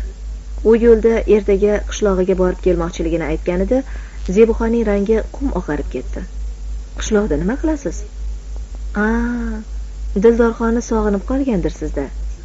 Nizomjon undan bu xil gapni kutmagan edi shoshib yonidan xatni chiqazib qo'liga berdi. Zebuxon xatni o'qimay qaytib berdi. Men unaqa birovlarning xatini o'qiydiganlardan emasman. Sirli gap bo'lmasa shundoq aytib qo'yavering ishonaman dedi. Nizomjon borishining sababini aytgan edi zebuxon shunday demaysizmi? deb yuborganini o'zi bilmay qoldi. U shaytonlik qilib qiqirlab kuldi. Menga nima olib kelasiz? Suyunchisiga nima sovg'a qilasiz? Sizgami? Sizga nizomjon nima olib kelishini o'zi ham bilmasdi. Nima olib kelishi mumkin? U ham gapni hazilga burdi. Sizga jonimni salomat qaytarib olib kelaman eshityapsizmi? Sizga o'zimni butunlay olib kelib beraman. Mana shu gapni nizomjon ikki oydan beri ochiq aytolmay garang edi. Hazil hazil bilan uncha urintirib o'tirmay o'ylatib o'tirmay og'zidan chiqib ketdi. Zebuxon o'zini bilmaganga tushunmaganga soldi. E atlas olib kelarmikansiz debman. Atlas hozir otliqi yo'q-ku biz piyodalarga yo'l bo'lsin. Sizga piyoda bo'lsin deb kim aytdi? Otliq bo'lingda hazillashdim hazillashdim. Shu mahalda atlasga balo bormi nizomjon aka? Nizomjon paytdan foydalanib uning bilagidan ushladi. Zebixon o'zini sal olib qochgandek bo'ldi-yu, ammo bilagini tortib olmadi. Nizomjon qo'liga uncha erk bermadi. Bu uning boyagi aytgan gapiga qizlik iffati bilan qaytarilgan javob ekanini tushundi. Shu ahvolda 20-30 qadam bosishgandan keyin Zebuxon uning ko'ziga qarab g'alati, g'amzaga o'xshash tabassum bilan bilagini uning qo'lidan bo'shatdi. Yetar-a, bo'lmasa suyilib ketasiz. Nizomjon shu paytda shunday kuchli bo'lib ketgan ediki bir o'zi mana shu poyoni yo'q cho'lni ag'dar to'ntar qilib tashlashga qodirdek edi osmon ham sap sariq cho'l ham ko'ziga ajoyib chaman bo'lib ko'rinib ketdi. Qulog'iga allaqanday yoqimli tovushlar eshitila boshladi. Uydan chiqqandan beri taniga hokimlik qilib kelayotgan karaxtlik shu onning o'zidayoq allaqayga g'oyib bo'ldi qo'ydi. Bir ko'ngli hozir zebini ikki qo'limga ko'tarib olaymi? desa bir ko'ngli qo'y qo'y muncha shoshasan derdi. Ikkovi oldinma ketin ochiq oshkora tol tagiga kelishdi. Nizomjon yuragida tug'yon qilayotgan hislarni hamma bilib turibdi deb o'ylagan edi yo'q odamlar ilgarigicha o'z ishlari bilan ovora u o'zini tunda chiroq ko'targan odamday hammaning ko'zi menda bo'ladi deb o'ylagan edi yo'q hech kim qaramadi chodir oldida ko'k choy ichib o'tirgan ikromjon ham bosh ko'tarib hasratli boqdi-da, dadang kelib ketdi, dedi. Nizomjon betini ham artmay uning oldiga keldi. Darrov Zebuxonning boyagi gapini esladi. Demak, hali o'lik sotib ketgan, Zebuxonga sovuq qaragan, Ikromjon amaki bilan g'ijillashgan, imoratning devorini ushlab ko'rgan dadasi ekanda. U Ikromjon amakiga nima dedi ekan? Xafa qilmadimikin? Betlaringni artib ol. dedi ikromjon mehribon tovushda keyin yonidan uchta yuz so'mlikni olib uzatdi u bu pulni ilgaridan tayyorlab qo'ygan bo'lsa kerak yonidan oldi-yu sanamay uzatdi. Dadang qiynalib qolibdi. Sen bechorada pul yo'qdir. Mana uni olib borib ber. Nizomjon pulni sekin uning tizzasiga qo'ydi. Olmayman. Kecha opam olib ketgan. Uch yuz so'm berib yuborganman. Ikromjon boshini ko'tarmay gapirdi. Dadang bilan yarashganing durust bo'larmidi? Nizomjon boshini qat'iy silkidi. Yo'q amaki. Uyga endi bir umr qadam bosmayman. Shu yerda butunlay qolaman deb ahd qilganman. Ikromjon boshqa gapirmadi. Faqat o'zing bilasan bolam dedi xolos. Inoyat oqsoqol uni ko'pchilik o'rtasida yomon haqorat qilgan edi uni xoindan olib xoinga soldi. Mening bolamga ham xoinlikni o'rgatmoqchimisan dedi. Bolamga sholi ektirib o'zing pullamoqchimisan deb o'dag'ayladi otasiman uning topgani meniki qani bitta sholini u yoq bu yoq qilib ko'rchi gaplashib qo'yaman. Ko'zimning nuri jigar bandimni vatan yo'liga qurbon qilib qo'yibman. Mening sovunimga kir yuvmabsan hali. Ikromjon bosh ko'tarmadi. Churq etmay o'tiraverdi. Odamlar cholning hamma gaplarini eshitishdi. Ikromjon bosh ko'tarib ularning ko'ziga qarolmay qolgandi. Nizomjon hali kelganda u o'sha o'tirganicha boshini ekkancha o'tirgan edi. Nizomjon uning avzoyidan juda xunuk ish bo'lganini fahmladi da yoniga o'tirdi. Dadam sizni xafa qildimi? Yo'q uka yo'q hech nima demadi. Qiynalib qoldim dedi xolos. Ochig'ini ayting amaki bilay axir ikromjon gapni boshqa yoqqa burvordi ertaga qishlog'ingga shu ahvolda borma. Anavi tugunda yangi etigim bor. Etikni qaysi oyog'imga kiyaman o'g'lim? Sen kiyaver. Gimnastyorkam sal kengroq kelsa hechqisi yo'q. Sal odamga o'xshab bor. Xor bo'lib qolibdi deyishmasin bolam. Tolga osig'liq ketmonni tosh bilan urib odamlarni kechki ovqatga chaqirishdi. Ikkovi ham o'rinlaridan turishdi. Tagida tutun burqsayotgan bak oldida tunu kungi marshallarning kichigi to'pponcha polvon shalag'i chiqib ketgan mototsiklning g'ildiragiga yel berayotgan edi. Nizomjon to'xtab unga salom berdi. Mullo bo'ling inim ishlar qalay yomonmas polvon amaki. Otingiz qani? To'pponcha polvon gardanini qashib unga ma'noli qarab qo'ydi. Otmi? Ot frontga ketdi. Otlar ham urushishyapti inim. Sen bilan biz bag'larda yuribmiz xolos. Qani bekor turgandan ko'ra bekor ishla deydilar. To'rttagina yel urib yubor nizomjon nasosni olib chaqqon chaqqon yel bera boshladi. Qo'lida tog'oracha bilan bolasini opichlab oshxonaga o'tib ketayotgan to'lanboy uni ko'rib to'xtadi. Ha boja ishlar kataysa deyman. U o'z gapidan o'zi ta'sirlanib tog'orachani chirmanda qilib yor yor aytib oshxonaga kirib ketdi. Nizomjon chorterakka soat o'nlarda kirib keldi. U tug'ilib o'sgan qishlog'ining har bir devoriga tanish daraxtlarda yashnab turgan ko'm ko'k yaproqlarga suq bilan tikilib borardi. Kechagi yomg'ir o't o'lanlar betidagi changlarni yuvib ketgan. Ariq chetlarida tizza bo'yi kelib qolgan o'tlar yomg'irda yerga yotib qolgan ekan. Oftob bag'riga o'tib endi qaddini rostlab kelayotibdi. Tom bo'g'otlardan paxsa devorlardan bug' ko'tarilyapti. Tannovga qo'nib olgan musichalar ham ho'l. Ular juda xunuk bo'lib ketishgandi. Har yoz qip qizil bo'lib pishib nizomjonning ko'zini o'ynatadigan niyoz amakining olmasi belidan cho'rt sinib devorga yonboshlab qotdi. Uning yong'oqdek bo'lib qolgan g'o'ralari xuddi ko'chadan o'tgan ketganning rahmini keltirib mo'ltirab turganga o'xshaydi. O'rikzorning narigi yog'idagi yolg'iz oyoq yo'ldan bir to'da qariyalar boshlariga salla o'rniga qiyiq tang'ib asti ketishyapti. Bu chollar ko'pincha to'y ma'rakalarga azalarga shu tariqa jimgina tizilishib ketishardi. Kallaklangan tutzor orqasidan dildorlarning oq tunuka tomli uyi ko'ringanda nizomjon birdan ma'yus nazar tashladi-yu ortiqcha kislarga berilishdan o'zini saqlab jadal yurib ketdi. Yo'l loy bo'lib ketganidan chetdan chimlar ustidan borardi. Yo'llardan arava qatnayverib uzun uzun izlar qoldirgan bu chuqur izlarda hali rangi aynimagan yomg'ir ko'lobi yiltirab turardi. Nizomjon etigini ayab ko'lmaklardan ehtiyot qilib правление yo'liga chiqib oldi. Ana idora. Chap tarafdagi ochiq deraza komsomol komitetining kabineti. Asrora kabinetdamikin? Yo dalaga chiqib ketganmikin? Albatta uni koyib beradi. U yaxshi qiz. Urushadi urushadi keyin yumshaydi. Asrora karimjon bilan ham avval urushib yumdalashib keyin uni yaxshi ko'rib qolgan. Uni jonidan yaxshi ko'rardi-yu baribir urushaverardi fe'li shunaqa uning u karimjon bilan yoqalashaverib papiros chekishni tashlatdi. Karimjon oldin sochini yuqoriga taramay chekkasiga tushirib yurardi. Asrora bunaqasini yomon ko'raman deb uni yuqoriga tarashga majbur qildi. U karimjon bilan har ko'rishganda tirnog'igacha qarardi kishi bilmas qulog'ining ichiga ham ko'z tashlab olardi. Agar tirnog'i olinmagan bo'lsa qulog'i kir bo'lsa naq uni baloga qo'yardi. Agar karimjon uning gapini elamasa ko'pchilik yig'ilib turgan joyda payt poylab turib yuziga solardi. Karimjon bir qizarib bir bo'zarib tishini qichirlatardiyu inday olmasdi. Aytganiga ko'nmasam ko'pchilik o'rtasida sharmanda qiladi deb uyoq buyog'ini tuzatib keyin uning ko'ziga ko'rinardi. Asrora to'pori qishloq bolasini sal kunda ko'pchilikning ko'ziga ko'rsatib qo'ygan edi karimjonning onasi asrorani duo qilardi.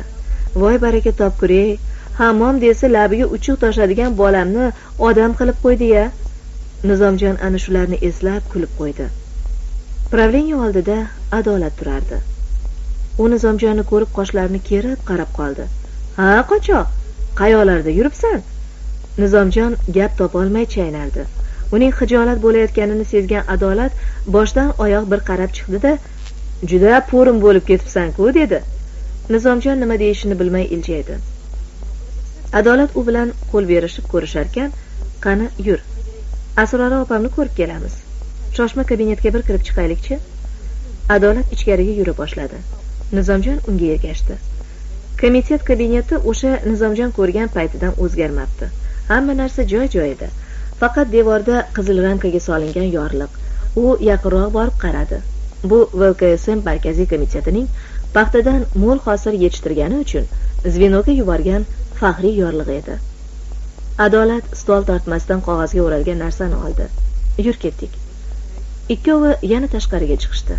Qayoqqa boramiz? dedi nizomjon yurishdan to'xtab. Asrora opamni ko'rib kelamiz deyapmanku senga. Asrora qayoqda? Hali xabaring yo'qmi? Kasalxonada-ku. Nima qiladi kasalmi? Adolat nima deyishini gapini nimadan boshlashini bilmay uning basharasiga qarab turdi da yuraver yo'lda aytib beraman dedi. Ikkovi yo'lga tushishdi adolat katta yo'lga chiqib olishgandan keyin bo'lgan voqeani gapirib berdi. Asroraning zvenosi g'o'zalarni yaganadan chiqarib birinchi qurtni ham tutib tamom qilgan terilgan pillalarni aravalarga ortib punktga jo'natib bo'lgan edi. Rais opa soyning berigi tomonidagi g'o'zalar hali ham gaganidan chiqmaganini aytib qoldi. G'o'za to'piqdan oshib qoldi. Xotinlar eplasholmayapti. Hammasi yosh bolali xotinlar. Xayoli bolasida bir oyog'i yaslida bir oyog'i dalada. Jon singlim qizlaringni hasharga obormasang bo'lmaydiganga o'xshaydi. Darhaqiqat yettinchi zvenoda faqat frontga ketganlarning xotinlari ishlashardi. Soyning narigi tarafidagi yaqinda asroraning qizlari kallaklab ketgan tutlarga arqondan belanchak qilib ularning bolalariga oysha amma degan kampirni enaga qilib qo'yishgan. Ertasiga asrori qizlarni ishga solib ularga yordamga yubordi. Havoning qovog'i soliq adir orqasida zalvarli qo'rg'oshinday bulut ko'tarilib kelardi. Adolat qo'lini ko'ziga soyabon qilib o'sha tarafga qaradi da voy bu maymanaga rosa jala quyyapti dedi. Hamma bulut ko'tarilayotgan adir tepasiga qaradi. Haqiqatan ham o'sha tarafga jala quyayotgani shundoqqina bilinib turardi. Birdan shamol esib birpasda bo'ronga aylanib ketdi. Shamol zvino yerini aylanma qilib o'rab olgan teraklarning belini bukib shaftolilarning shoxlarini qarsillatib sindirardi. Bo'ron adolatning boshidagi ro'molini yulib uchirib ketdi. U ro'molni quvib soy yoqasiga kelganda birdan to'xtadi. Soy quturib loyqalanib ko'pirib oqardi. Maymanaga kelgan sel adirlardan quyilib shu soyga tushayotgan edi. Xotinlar qiy chuv ko'tarishdi. Soyning narigi betidan enaga kampir tashvishli qo'l siltadi. Xotinlar chuvillashib soy yoqasiga kelishdi. O'tishning iloji yo'q. Quturgan suv yakka cho'pni chil chil qilib oqizib ketgan. Nima qilish kerak? Bulut shu tarafga yopirilib kelyapti. Saldan keyin tutzor ustiga yetib keladi. Bolalarning ahvoli nima bo'ladi? Bu joyda boshpana bo'lmasa asrora shoshmanglar dedi da orqasiga qarab yugurib ketdi. Bedazor orqasida dala uchastkasining ustaxonasi bor. Unda kolxozning yuk mashinasi dalonda turibdi. Shu bilan o'tmasa boshqa iloji yo'q. Shofyorning armiyaga ketganiga olti kun bo'ldi. Asrora traktor haydashni o'rganib yurgan paytlarida uncha muncha mashina haydashni ham mashq qilib o'rgandi. U shamoldek yelib ustaxona darvozasiga yetib keldi. Duradgor chol oftobga qo'ygan romlarni yomg'irda ivimasin deb ayvonga tashlayotgan edi. Asrora kira solib unga qichqirdi. Mashinaning kaliti kimda? Mana nima edi? Bering tez tez bering. Bolalar halok bo'ladi. Bolalar selda qolyapti. Usta shoshib ichkariga kirdi da kalit olib chiqib berdi. Asrora o'zini mashinaga urdi. Rulga o'tirib harchand urinadi qani endi yursa? Motor ishlamaydi. U kabinadan chiqib kapotni ko'tardi. Shofyor akkumulyator o'tirib qolmasin deb tokni uzib qo'ygan edi. Asrora darrov ulab yana kabinaga kirdi. Motor uncha tixirlik qilmay bir ikki urinishdayoq gurillab ketdi. Asrora uni darvozadan avaylab olib chiqdi da o'qdek otilib soy tarafga ketdi. Mashina do'ng yerda goh lapanglab goh sapchib uchib borardi. Orqadan qarab qolgan kishilar asrora haydayotganini bilmay shofyor ichib olganga o'xshaydi ish qilib xudo asrasin deb qarab qolishardi. Xotinlar soy bo'yida hamon chirqillab turishardi. Kampir qo'llarini silkitib nimalardir? deb qichqirardi. Osmondan yomg'ir chelaklab quygandek yog'ardi.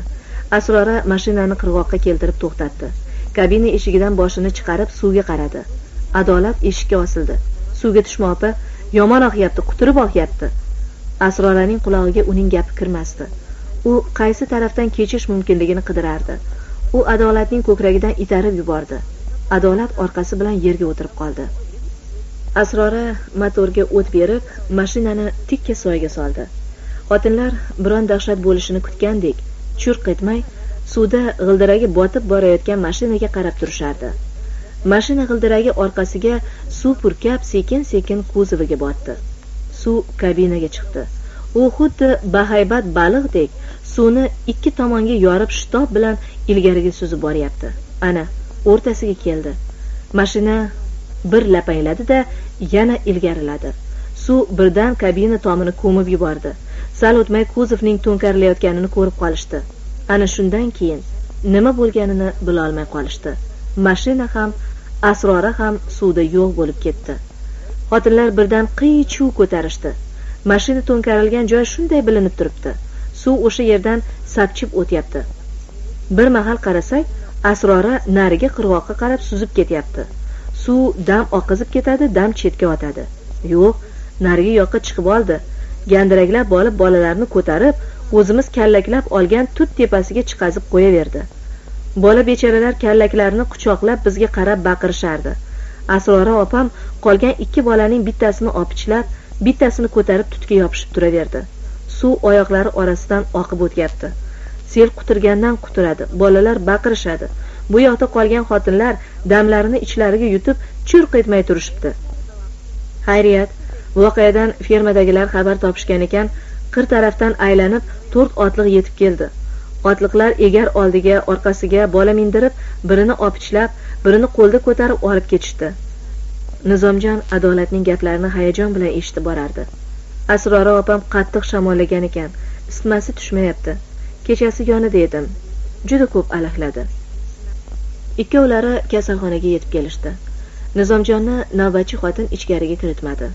Adolat xalat kiya turib sen tashqarida deraza tagida tur deb tayinladi. Nizomjon asroraning shaddodligini hech narsadan tap tortmasligini bilardi-yu, ammo mana shunday qahramonlik qila oladi deb sira o'ylamagan edi. U bu qahramon qizning jasurligiga qoyil qolib, u yoq bu yoqqa qarab turarkan, birdan yong'oq tagida o'tirgan opasiga ko'zi tushib qoldi. Bormoqchi bo'lib turganida to'xtadi. Opasi oldiga bir chelak qatiq, savatda bodring qo'yib sotayotgan edi. Nizomjon qip qizarib ketdi. uning oldiga borishdan hijolat tortdi beixtiyor u opasi bilan asrorani solishtira boshladi asrora bilan uni sira tenglashtira olmadi opasining pastkashligi shu topda juda aniq bilinib ketdi.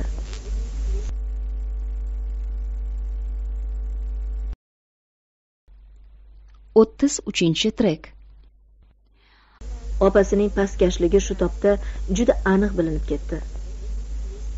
Deraza pardasi ko'tarilib adolatning boshi ko'rindi. Uxlayapti dedi shivirlab. Bugun javob berisharkan ismasi tushibdi. Sen ketaver kechqurun правлениеga kelsang uchrashamiz. Nizomjon opasiga ko'rinmay yong'oq orqasidan aylanib o'tib ketdi. U qayoqqa borishini bilmasdi. O'ylab netib o'tirmay qishloq tarafga qarab yura boshladi.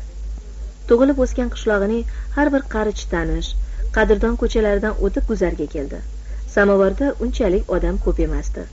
U choy chaqirib tol tagidagi palos solinmagan so'riga omonatgina o'tirdi. Choyxo'rlar asrora to'g'risida gaplashib o'tirishardi. Baraka topkur azamat qiz ekan. Agar shu bo'lmaganda allaqancha bola nobud bo'lib ketardi ya rahmatli dadasi o'g'lim yo'q deb o'ksinardi. Tirik bo'lganda o'nta o'g'ilning o'rnini bosadigan qizi borligini ko'rardi. Nizomjon ularning gaplariga jimgina quloq solib o'tiraverdi. Bugun oblastdan ulug'lar kelisharmish. Ha moskobdan pillachilarimizga rahmatnoma kelgan.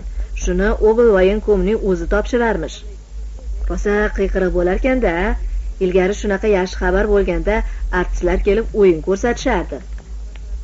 Ishqilib qizlarimiz baraka topishsin. Shular obro' olib turishibdi. Azamatlarimizning yo'qligini bildirmay turishibdi. Nizomjon choyni qaynoq qaynoq ho'plab o'rnidan turdi. Kechqurun yig'in bo'lguncha dalalarni aylanib kelmoqchi bo'ldi. U endi o'rikzor tomonga burilgan ham ediki oldidan eshagiga hali cho'p nuqib dadasi chiqib qoldi. Oqsoqol bir muddat ko'zlarini pirpiratib turdi da hali cho'pni belbog'iga suqib qoshlarini chimirdi. Ahmoq! Nizomjon boshini egib turaverdi. Yur! deb buyurdi oqsoqol. Nizomjon joyidan qimirlamadi. Yur deyapman senga! Nizomjon boshini ko'tarib uning betiga qaradi. Chol yomon o'qrayib turardi. Qayoqqa borasan? Uyga? Yo'q. Bormaysan. Mening uyimga borasan. Oqsoqol eshakdan tushib yoniga keldida tirsagidan siltab oldinga itarib yubordi hozir o'zingni uyingga borasan. Qayoqqa gumdon bo'lsang ham orani ochiq qilib ketasan. Sen mendan osonlikcha qutulmaysan. Nizomjon uning oldiga tushib jadal yurib ketdi. Chol yana eshakka mindi. To uyiga kelgunlaricha na u na bu gapirdi. Oqsoqol eshikka urilgan kishan qulfni ishton bog'iga bog'langan kalit bilan ochdi. Hovliga kirishdi. Qayoqlarda sanqib yuribsan. Chol unga o'dag'ayladi qayoqdaligimni borib ko'rib kelibsizu? Endi ketib bo'psan. Ketaman. Yo'q ketolmaysan meni oq qilgansiz. Oqpadar bola bu uyda turishga haqsiz. Oq qilgan bo'lsam jahl ustida aytganman. Nizomjon qat'iy javob qildi. Onamni sil qilib o'ldirdingiz. Bu zindon uyda qololmayman. Oqsoqol o'dag'aylab kelib uning yuziga bir shapaloq tushirdi. Onangni men o'ldiribmanmi yaramas u o'z ajali bilan o'ldi. Siz dildorni baxtsiz qildingiz. Meni darbadarlikka majbur qildingiz. Onamni o'ldirdingiz. Urushda qon to'kkan akamning xotirasini oyoq osti qildingiz. Sizga yana nima kerak? Oqsoqolning tizzasidan darmon ketib supa chetiga o'tirib qoldi. Uning oyoqlari titrayotganini nizomjon ko'rib turardi. U otasiga kimligini ko'z oldiga keltirib qo'ygan edi oqsoqol shuncha yoshga kirib hali hech kimdan bunaqa ta'na eshitmagan edi. Bu gaplarni o'z bolasi aytyapti. Ko'zini bahraytirib turib aytyapti. Bu qandoq zamon bo'ldi? Chol o'rnidan turib omborxonaning eshigini ochdi. Ancha vaqtgacha nimalarnidir taraqlatib so'kindi. Keyin xuddi jinniga o'xshab yugurib chiqdi da nizomjonning qo'lidan sudrab olib kirdi. Titrab turgan qo'llari bilan gugurt chaqib chiroq yoqdi. Qorong'i hujra yorishgandek bo'ldi. Nizomjon turgan joyida dong qotib qolgan edi. Chol hali u narsani hali bu narsani u yoqdan bu yoqqa otardi. Kim uchun? Kim uchun yig'dim bu narsalarni? Hujra ichi anvoyi narsalarga to'lib ketgan. Tuya sandiq ichi atlas shohilarga to'p to'p baxmallarga to'la edi. Tokchada besh yuz qutidan ortiq gugurt sochilib yergacha to'kilib yotardi. Chol chamadonga o'xshash qutini olib unga ham shoshib kalit soldi da ochib birdam qarab turgach nizomjonning oyog'i tagiga irg'itdi. Tilla bilaguzuklar marvaridlar qo'sha qo'sha soatlar yerga sochilib ketdi. Chol telbalanib qo'liga tushgan narsalarni unga irg'itaverdi. Bunda kumush shamdondan tortib juft juft qilib bog'lab qo'yilgan qorako'l terigacha yashik yashik kir sovundan tortib yuzta yuzta qilib boylangan tag charmgacha bor edi. Mana mana bularni kim uchun yig'dim? Kim uchun yig'dim? Oqsoqolning jazavasi tutib kleyonka dasturxonga tugilgan bir nimani olib cho'nqayib o'tirib yechdi da ichidan yuz so'mliklarni olib boshidan oshirib sochaverdi. Kim uchun? Kimga deb yig'dim bularni? Ko'r bo'lgur basir bo'lgur xudoyo xudovondo ikki ko'zing sitilib olsin seni. Urush odamlarning tinkasini quritgan. Kim ro'zg'orida nima bo'lsa olib chiqib eri o'g'li frontdan kelguncha bola chaqasini omon saqlash payida sotardi. Ular urush tugasa bu narsalarning o'rni to'lib ketadi deb ishonardi. Asroraga o'xshaganlar eng yaxshi ko'rgan buyumlarini sotmadi ham qizlar bilan bir bo'lib davlatga topshirdi. Hech bo'lmasa dushmandan to'rt enlik yerimizni qaytarib olishga mador bo'ladi deb topshirdi. Odamlar shunday qilib turgan paytda oqsoqol mulk yig'di. Ularning muhtojligidan foydalandi. Mana qoziqqa ilig'liq turgan po'stinni karimjonning dadasi qish kunlari kiyib yurardi. Demak oqsoqol arzimagan pul bilan uning egnidan yechib olibdi. Urush boshlangan kuni oqsoqol magazinda nima bo'lsa tashib kelavergan edi o'sha gugurtlar hali ham turibdi. Tuzning o'zidan necha pachkasi bor bu hujrada? O'n besh qopga yaqin unni taxlab qo'yibdi. Shu ahvolda och qoldim deb naymanda to'polon qilib keldi. Opamdan ochdan o'lyapman yordam bersin deb yalang'och tanamga ko'ylak olish uchun yiqqan oxirgi pulimni ham oldirib ketdi. Mana pul. Hamma pul unda. Chol hamon telba tovush bilan baqirardi. Bularni kimga atab yig'dim sendan so'rayapman oqpadar bilmadim dedi yelkasini qisib nizomjon bilmaysanmi? Bilmaysanmi? Hozir hammasiga o't qo'yib kulini sovuraman. Ixtiyor sizda. Mayli yondiring. Kuyib ketgani ma'qul. Bilasanmi bu narsalarni qanday qilib yiqqanimni? Bilaman dedi nizomjon sovuqqonlik bilan. Bilmaysan bilmaysan. Hojatxonalar oldida kesak ushatib o'tirib birovlarning qo'liga suv quyib topganman. Sen yaramas odamga o'xshab yashagin deb o'zim qattiq non yeb sovuq suv ichib to'plaganman. Kechalari uxlamaganman. Nizomjonning kallasi g'uvillab qo'llari mushtga aylandi. Onamning rizqidan yulib qolib orttirgan noningiz menga kerak emas. Onamga yamoq bo'z kiydirib orttirgan atlasingiz menga kerak emas. Men bu mollaringizga tupuraman. Kerak bo'lsa ishlab o'zim topaman. Sizga o'xshab haromdan emas peshona terim bilan topaman. Oqsoqol po'stakka o'tirib qoldi. Boshi quyi egildi. Nizomjon titrab qaqshab unga qarab turardi. Otasi endi qarib kuchdan qolgan edi. Qo'l tomirlari ko'karib terisi turtib chiqib qotdi. Eski mahsi qo'njidan erkak paytovi osilib yotibdi. Nizomjon unga qarab turib alam bilan o'ylardi. Qani edi? Boshqa otalardek bo'lsa boshimga ko'tarmasmidim. Qariganda izzatda yashamasmidi? Shu ahvolda ham u mening tashvishimni qilayotgani yo'q. Topgan xazinasi har qayerlarda qolib ketmasin deb bezovta bo'lyapti.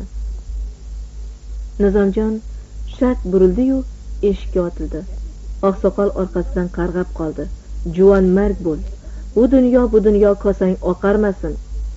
Nizomjon onasi jon bergan uyga ma'yus qarab turdi. Yuragi ezilib sekin sekin yurib ko'cha tarafga chiqa boshladi. Bu uyga qaytib kelish endi yo'q. Kindik qoni to'kilgan uy ona izlari tushgan hovli ona ko'z yoshlarini shungan tuproq. Xayr. Bolang endi bu dargohga kelmas bo'lib ketyapti. Bolalik qilib biron ozor yetkazgan bo'lsa o'zing kechir. Onasan. Onalar bolasini hamma vaqt kechirgan. Sen ham kechir bolangni nizomjon ko'zida yosh bilan ostonadan hatladi. Botayotgan oftob daraxt barglarini cho'g'dek chaqnatardi. Nizomjon zax kuyadori hidiga to'lgan hujradan chiqib ko'ksini to'ldirib nafas oldi. Ko'p tarafdan odamlarning g'ovur g'uvuri eshitilardi. Nizomjon o'sha tomonga qarab dadil yurib ketdi. U naymanga kelishi bilan ko'ngilsiz voqeaning ustidan chiqdi. Ariq qaziyotganlarga choy olib borayotgan edi qum tarafga ketayotgan zebuxonni ko'rib qoldi. Unga qo'l siltab hozir kelaman deb ketdi. Qaytishda qulog'iga g'alati tovush eshitilib to'xtadi. Quloq solsa zebuxonning ovozi. U dodlardi. Nizomjon qumg'onni uloqtirib ovoz kelgan tarafga chopa boshladi. Zebuxon savag'ich uyumiga o'tirib olib bir oyog'ini tizzasiga olganicha chinqirardi. Nima bo'ldi? dedi shoshib nizomjon. Chayon chayon chayon chaqdimi u zebuxonning javobini ham kutmay dastro'molini shartta yirtib engashib o'ng oyog'ining ko'karib ketgan bosh barmog'ini siqib bog'lay boshladi. Zebuxon oyog'ini tortib olishga urinardi ammo nizomjon kuchining boricha mahkam ushlab olganidan qimirlatishga kuchi yetmasdi. Joni biroz tinchidi shekilli zebuxon chinqirmay qo'ydi. Nizomjon uning qavat qavat bo'lib ketgan peshonasiga muttasil titrab turgan iyaklariga qaradi. Hali ham og'riyaptimi? Zebuxon boshini qimirlatib qo'ydi. Gapirishga unda mador yo'q edi. Oh bir tomchigina azigalon bo'larmidi ya deb yubordi nizomjon. Ammo qishloqda yo'q adigalon cho'lda nima qiladi? Ikkovi shu ko'yi ancha vaqtgacha bir biriga mo'ltirab qarab o'tirishdi. Ketaylik yura olasizmi? Zebuxon o'rnidan turayotib voy voylab yana o'tirib qoldi. Uning oyog'i to'pig'igacha shishib ketgan edi. Nizomjon uni azod ko'tarib oldi da gandiraklab chodir tarafga yura boshladi. Zebuxon qo'ying o'zim yuraman deb uning quchog'idan chiqishga urinardi. Ammo nizomjon bag'ridan bo'shatmay chayqalib chayqalib ko'tarib kelaverdi. So'rida sabzi to'g'rab o'tirgan chol shoshib turdiyu zebuxonning chayon chaqqan barmog'iga pichoqning qahrabo sopini ishqadi. Zebuxon ertasiga ham oyoq bosolmay chodirda yotdi. Kechga yaqin avaylab sekin tashqariga chiqdi. Yo'q og'riq sezmadi. Faqat chayon chaqqan joyining o'rni har zamon jiz etib qo'yardi xolos. To'qay chivinlari jon olib qolgandi. Kech bo'ldi. Quloq tagida g'ing'illab uchardi da payt poylab turib yo burunni yo quloqni chaqib qochadi. Chaqqani uchib ketib bo'lgandan keyin bilinadi. Chaqqan joyi bir soatgacha achishib turadi. Qizdirilgan yog' sachragan bo'lib shishib chiqadi. Pashshaxonasiz yotib bo'lmaydigan paytlar boshlanib ketdi. To'lanboy atayin kechalari tezak tutatardi.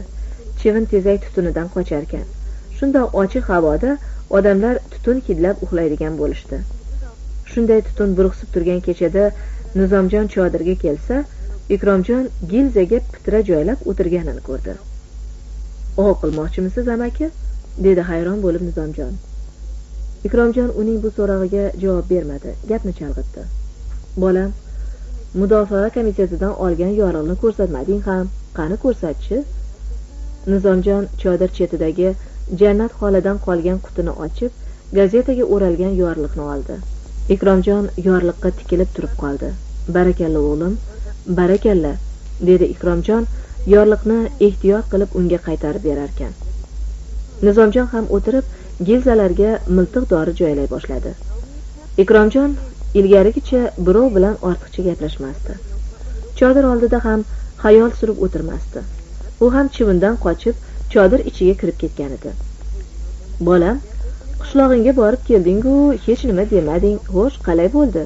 Uyingga kirdingmi dadangni ko'rdingmi uni tinchitib qo'ydingmi?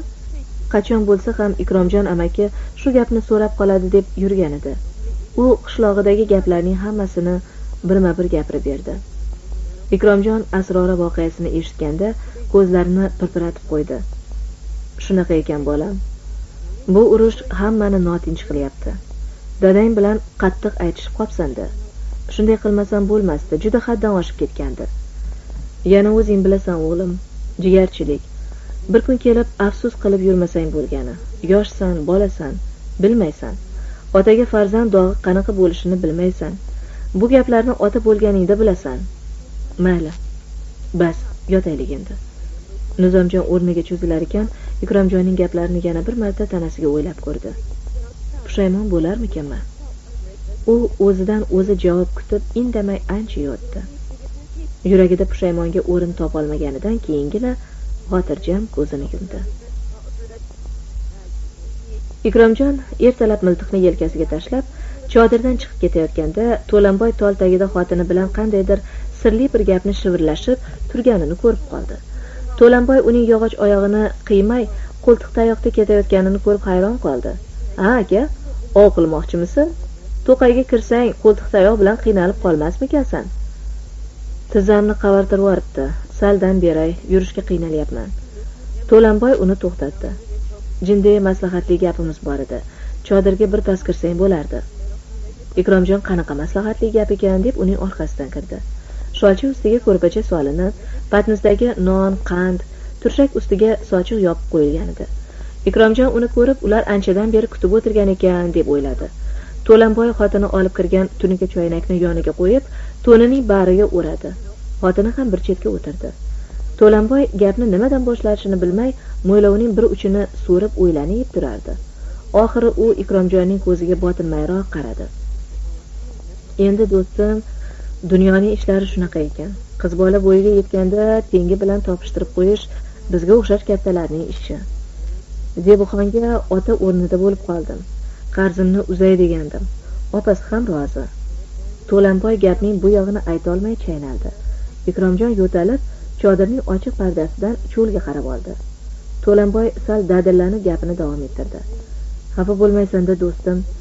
Zebuxonni tursunboyga qilamiz degan umidimiz bor edi. Ikromjon seskanib ketdi. U tursunboy bilan zebuxon o'rtasidagi gaplarni bilardi. Uning ham ko'nglida katta niyatlari bor edi. To'y qilsam qishloqqa osh bersam yurtdan qarzimni uzsam degan o'ylari bor edi uning. Bo'lmadi.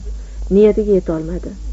To'lanboyning xotini peshona ekan taqdir ekan buyurmadi deb qo'ydi.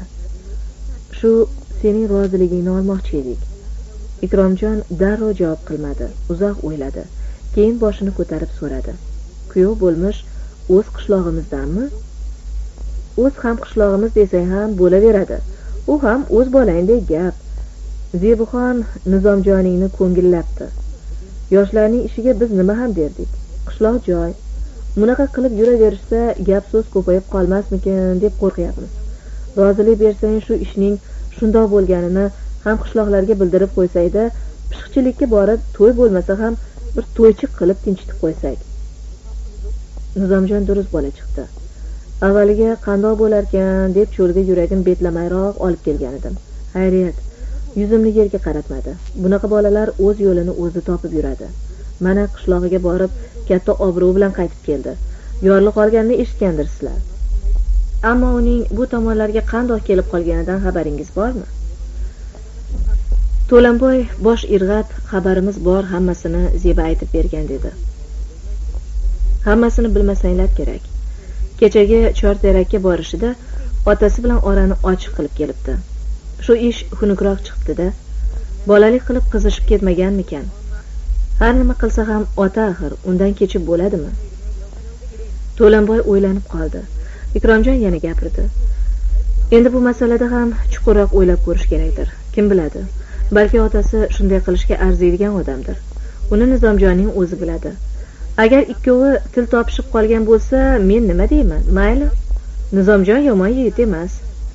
Kuymaysizlar jo'yali bola. Ammo onasi qandoq tuqqan bo'lsa shunday shir yalang'och. Dadasining topgan tutganini tashlab kelibdi. Bu ish ham durust. Peshona teri bilan topganga nima yetsin? O'zlaring o'rab chirmab olasizlar. Ikromjon shunday dediyu izzat qilib chaqirganlariga rahmat aytib o'rnidan turdi. Havo ochiq edi. Oftob charaqlab turibdi. Tumshug'iga ilon tishlab olgan laylak qo'nishga joy izlab ko'm ko'k osmonda aylanib turibdi. Ikkita to'rg'ay qanotini pirpiratib tinimsiz sayraydi. Ikromjon cho'lda shuncha yurib to'rg'ayning uchib yurib sayrashini ko'rmagan ekan. Balki ko'rgan bo'lsa ham bunga e'tibor bermagandir. Ikkala to'rg'ay taxminan bir biridan ellik metrcha narida uchib sayrashyapti sayrashadiyu bir biriga yaqin kelisholmaydi. Ikromjon negadir nizomjon bilan zebuxonni shularga qiyos qildi. Bir biriga yaqin kelolmay yurgan ekan. Bunga mendan andisha qilishgan. Zebuxonni tursunboyga bo'lishib qo'ygan edik. Ko'nglimga keladi deb o'ylashgandir. Qandoq qilay? Qandoq qilay? To'y qilish buyurmagan ekan. Menda na xotin bor na bola bor. Uylanib o'ttiz yil birga yashadim. Yashamagandekman yigirma bir yil bolam bor deb quvondim. Quvonmagandekman quvonch qayoqda? Azobda qolib ketdim. Bu yorug' dunyoda nima qilib sho'ppayib yuribman? Kimga keragim bor? Yarim jon bo'lib sudralib yurishdan nima foyda bor? Ikromjon kallasiga kelgan bu sovuq o'ydan seskanib ketdi. Shabadada ko'l mavjidek silkinib turgan sholikorlikka qarab yurdi. Yo'q hali bilagimda kuch bor. Yuragimda o't so'ngani yo'q. Bu alamlarni bu xo'rliklarni oyoq ostiga olib toptamagunimcha yashashim shart. Yashayman. Boshimga tuganmas savdolar solgan urush olovi o'chganini o'z ko'zim bilan ko'rishim shart. Shu yerda turib nemisga o'q otaman. O'qim qolmasa qo'ltiq tayog'im bilan boshini yanchaman. O'lish yo'q. O'lish nomardlik. Nomard bo'lib o'lishni istamayman. Istamayman. Ikromjon o'zidan o'zi gapirib borardi. Qamish orasidan chiqqan yuk mashinasi oz bo'lmasa uni urib yuborardi. Shofyor qattiq signal berib to'xtadi. Sizga nima bo'ldi amaki? Signal bersam eshitmaysiz. Ikromjon yo'l chetiga chiqdi. Shofyor yonidan qog'oz olib unga uzatdi. Xat. Unda tog'a naymandagi jamiki odamlarni zirillamaga yetkazib kelishni buyurgan edi. Soat uchda azizxon keladi. Katta miting bo'larmish. Hamma kelsin deb tayinladi. Odamlarni to'plab bering.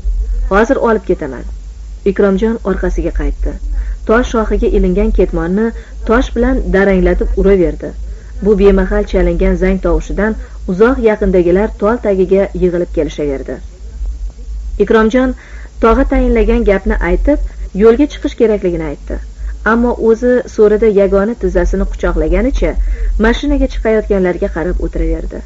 Nizomjon ham ketmonini chodir oldiga tashlab chelakning chetidan suv quyib qo'l yuvishga qiynalayotgan zebuxonga krujkada quyib bera boshladi.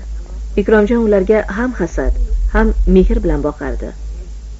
Zebuxon o'z chodiriga kirib rangi ko'tarilib gullari bilinmay ketgan satin ko'ylagini kiyib chiqdi da mashina g'ildiragiga oyoq qo'ydi. Nizomjon ildam kelib uning tirsagidan ko'tarib yubordi. Uning o'zi ham chiqayotganida birdan yana pastga tushdi. U yoq bu yoqqa qaradi. Ikromjonga ko'zi tushib qolib oldiga keldi. Qani yurmaysizmi? Nima qilib o'tiribsiz? Sen boraver bolam boraver. Men keyinchalik borarman. Siz bormasangiz men ham bormayman amaki. Ikromjon unga mehr bilan qaradi. Boraver. Ko'pchilik bilan sal ko'nglingni yozib kelasan. Ko'nglim shundoqam yoru yuring yuring. Ikromjon qat'iy bosh chayqadi. Hatto asaddan uning lablari ucha boshladi. Nizomjon uning jahli chiqayotganidan hayron bo'lib boshqa qistamadi. Ammo uni shu ahvolda tashlab ketgisi kelmay mashina bilan uning oralig'ida turib qoldi. Hamma mashinaga chiqib bo'lgan. Faqat ularning ikkovi qolishgan edi. To'lanboy qo'l siltadi. Qani chiqmaysizlarmi? Ikromjon nizomjonning hali ham turganini ko'rib jahli chiqib ketdi. Tizzasini quchog'idan qo'yib yuborib unga o'shqirdi. Qanaqa bolasan? Meni tinch qo'yasanmi? Yo'qmi? Bor deyapman. Bor ko'zimga ko'rinma. Nizomjon battar sarosimaga tushdi. U ikromjonni sira bu ahvolda ko'rmagan edi. U beixtiyor kuzovga chiqdi. To'lanboy ikromjonning ahvolini ko'rib turganidan u ham qistamadida ketdik deb kabina tomini mushladi motor gurillab oldinga silkindi. Nizomjon mashina tog' qamishlar orasiga kirguncha so'rida telbaga o'xshab o'tirgan ikromjondan ko'zini uzmasdi. Nima bo'ldi unga? Kim xafa qildi ekan? Nizomjon uning qishloqqa tusholmaslik sirini bilmasdi. Ikromjon azizxonning ko'ziga qarashdan qo'rqardi. Birdan u tursunboyni so'rab qolsa nima deydi? Axir ular tepkilashib katta bo'lishgan albatta so'raydi. Ikromjon erta bahor naymanga ko'chib chiqayotganlarida azizxonga kolxoz nomidan yozilgan xatga el qatori qo'l qo'ydi. O'shanda odamlarning ikki ko'zi unga qadalganini hali ham unutolmasdi. Bugun ham qishloqqa borganda azizxon bilan ko'rishayotganida yana shunday bo'ladi. Hamma unga tikiladi. Xoinning dadasi qahramon bilan ko'rishayotganida qo'llari titrarmikin ko'zini undan yashirmasmikin deb qarab turadiganlar topilib qolar. Ikromjonni nomus o'ti kuydirardi. Haligina odamlarning shovqiniga to'la cho'l bir zumda huvillab qoldi. Qamishlar shovullagan shamol guvillagan naymanda ikromjonning bir o'zi qolgandi. Ikromjon necha kundan beri yolg'izlikni qo'msardi atayin qilgandek uni hech yolg'iz qoldirishmasdi. Kim biladi? Balki atayin qilishar. U yolg'izlikni qanchalik xohlamasin baribir undan qo'rqardi. Baxtli odam yuragi shodlikka to'lib ketgan odam yolg'iz qolsa rohat qiladi. Butun shodligini baxtini yoniga chorlaydi. Ikromjon yolg'izlikda nima qiladi? Hozir huvillab turgan cho'l uni yutaman deyayotganiga o'xshardi. Hatto u nega ular bilan birga ketmadim deb dilidan o'tkazdi ham. O'rnidan turdi. Miltig'ini yelkasiga olib birdan nima qilishini bilmay turdi da qo'ltiqtayoqqa tiralib to'qay tarafga keta boshladi. U bironta bo'rimi to'ng'izni otsa alamidan chiqarmidi? U boshida hech qanday o'y hech qanday niyatsiz to'qay ichiga kirib borardi. Ikromjon shovullab turgan kimsasiz to'qay ichida ancha uzoqlab ketgan edi. Aksiga olib u na bo'ri na quyon na o'rdak uroldi to u qo'ltiq tayoqqa suyanib mo'ljalga olguncha o'rdak uchib ketar quyon iniga yetib bo'lardi. To'qay yalangligida o'zini oftobga solib yotgan bahaybat echkemar uning qorasini ko'riboq dumi bilan qamishlarni shitirlatib chayqatib birpasda g'oyib bo'ldi. Ikromjon yura yura charchadi. Miltiqni yerga qo'yib chalqancha yotib oldi. Beg'ubor ko'm ko'k osmonga tikilganicha qimirlamay yotaverdi. Qattiq charchaganidan ko'zi ilingan ekan nimadir shitirlab uyg'otib yubordi. Ikromjon biron hayvon bo'lmasin deb sapchib o'rnidan turdi. U yoq bu yoqqa alangladi. Undan o'n besh qadamlar narida qamishlar orasida bir odam osmonda pildirab uchib ketayotgan o'rdaklarga qarab turardi. Notanish kishi unga orqasini o'girib turganidan basharasini ikromjon ko'rolmasdi qo'ltiq tayog'iga osilib o'rnidan turdi. Notanish kishidan ko'zini uzmay engashib miltig'ini olayotgan edi. U chap tomonga yura boshladi. Ikromjon beixtiyor unga ergasha boshladi. Oyoq tagida quruq qamish shitirladi. Notanish o'girilib orqasiga qaradi. Qaradi-yu qo'rquvdan ko'zlari dum dumaloq bo'lib ketdi. Ikromjon uni tanimadi. Sochlari o'sib yelkasiga tushgan kiyimlarining juldiri chiqqan yuzlari chivin chaqqandan yara bo'lib ketgan bu odam tursunboy edi. U ozib qorayib darmonsizlikdan arang sudralgandek yurardi. Odam qiyofasi yillar o'tishi bilan sharoit ta'siri bilan o'zgarib ketishi mumkin. Faqat odamning ko'zi o'zgarmaydi. Ikromjon uning tursunboyligini ko'zidan tanib qoldi. Qichqirib yubordi. Tursun! Tursunboy qimirlamadi. Ikromjon tayoq bilan sakrab sakrab oldiga kelayotgan edi. Tursunboy yana nari ketdi. Uning bu harakatlari xuddi allaqanday yovvoyi hayvonlarni eslatardi. Chinakamiga u vahshiylashib qolgan edi yaqin olti oy birov bilan gaplashmay odam sifat yotib turmay issiq tatimay shu ahvolga tushgan edi tursun tursunboy bolam deb jon holatda ikromjon yana oldinga yurdi. Tursunboy bu gal joyidan qimirlamay turib qoldi. Ikromjon bora solib uning bo'yniga osildi. Qo'ltiq tayog'i yerga tushdi. Bir oyoqlab turib uning yelkalarini silar peshanalaridan o'pardi. Birdan dimog'iga qo'lansa hid urilib tursunboyni bag'ridan qo'yib yubordi da yakka oyoqlab turib qoldi. Muvozanatini saqlay olmay orqasiga chalqancha ag'darilib tushdi. Bolasi uni turg'azib qo'ymadi. O'zi bir qo'liga tiralib yana o'rnidan turdi. O'g'lining yuziga qaradi. Tursunboyning yuziga ko'pdan suv tegmagan butun vujudidan achimsiq ter hidi burqsib turardi. Ikromjon bu nogahon uchrashuvdan tamomila esankirab qolgan edi. Nima qilishini o'g'liga nima deyishini bilmasdi. U shu bir oyoqlab turganicha juda oz fursat ichida ko'p narsalarni o'yladi ko'p narsalarni xotiriga keltirdi. Xotinining to'qayga ildiz terishga borishi shu bir necha minut ichida ayon bo'ldi. Ikromjon butun borlig'ini bugunini ertasini bag'ishlagan yolg'iz farzandiga qarab birdan jirkandi qoshlari chimirilib peshanalari tirishdi. Uning oldida o'z bolasi emas bir yirtqich turgandek bo'ldi. O'tir deb buyurdi ikromjon. Tursunboy itoatkorlik bilan yerga cho'kkaladi. To'qayga qachon kelding? Tursunboyning tili gapga kelmadi. U go'yo gaplashish qobiliyatini yo'qotgandek javobga so'z axtarayotganga o'xshardi. Oxiri u qiynala qiynala javob berdi. To'rt oy bo'ldi.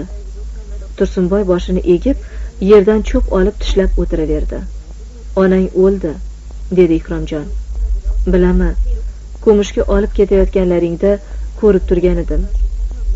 Ikromjon o'zini yo'qotib qo'ydi. Qarshisida o'tirgan bolasini yagona oyog'i bilan tepib yubordi. Tursunboy orqasiga ag'darilib tushdi. U to o'rnidan turguncha ikromjon emaklab borib boshiga yuziga uraverdi. Bola otasiga musht ko'tara olmadi. Uning bunday qilishga darmoni yo'q. Ochlik o'z kuchini ko'rsatib uni holdan toydirgan. Ikromjon hamon uning duch kelgan joyiga musht solardi. U mushtlardi-yu allaqanday xunuk ovoz bilan baqirardi. Onang qandoq xotin edi qandoq xotin edi nomard. Ona qabrga qo'yilayotganda ko'rib turib yoniga borolmagan oqpadar o'z qo'li bilan tuproqqa qo'yishdan qochgan yaramas onang qandoq xotin ediga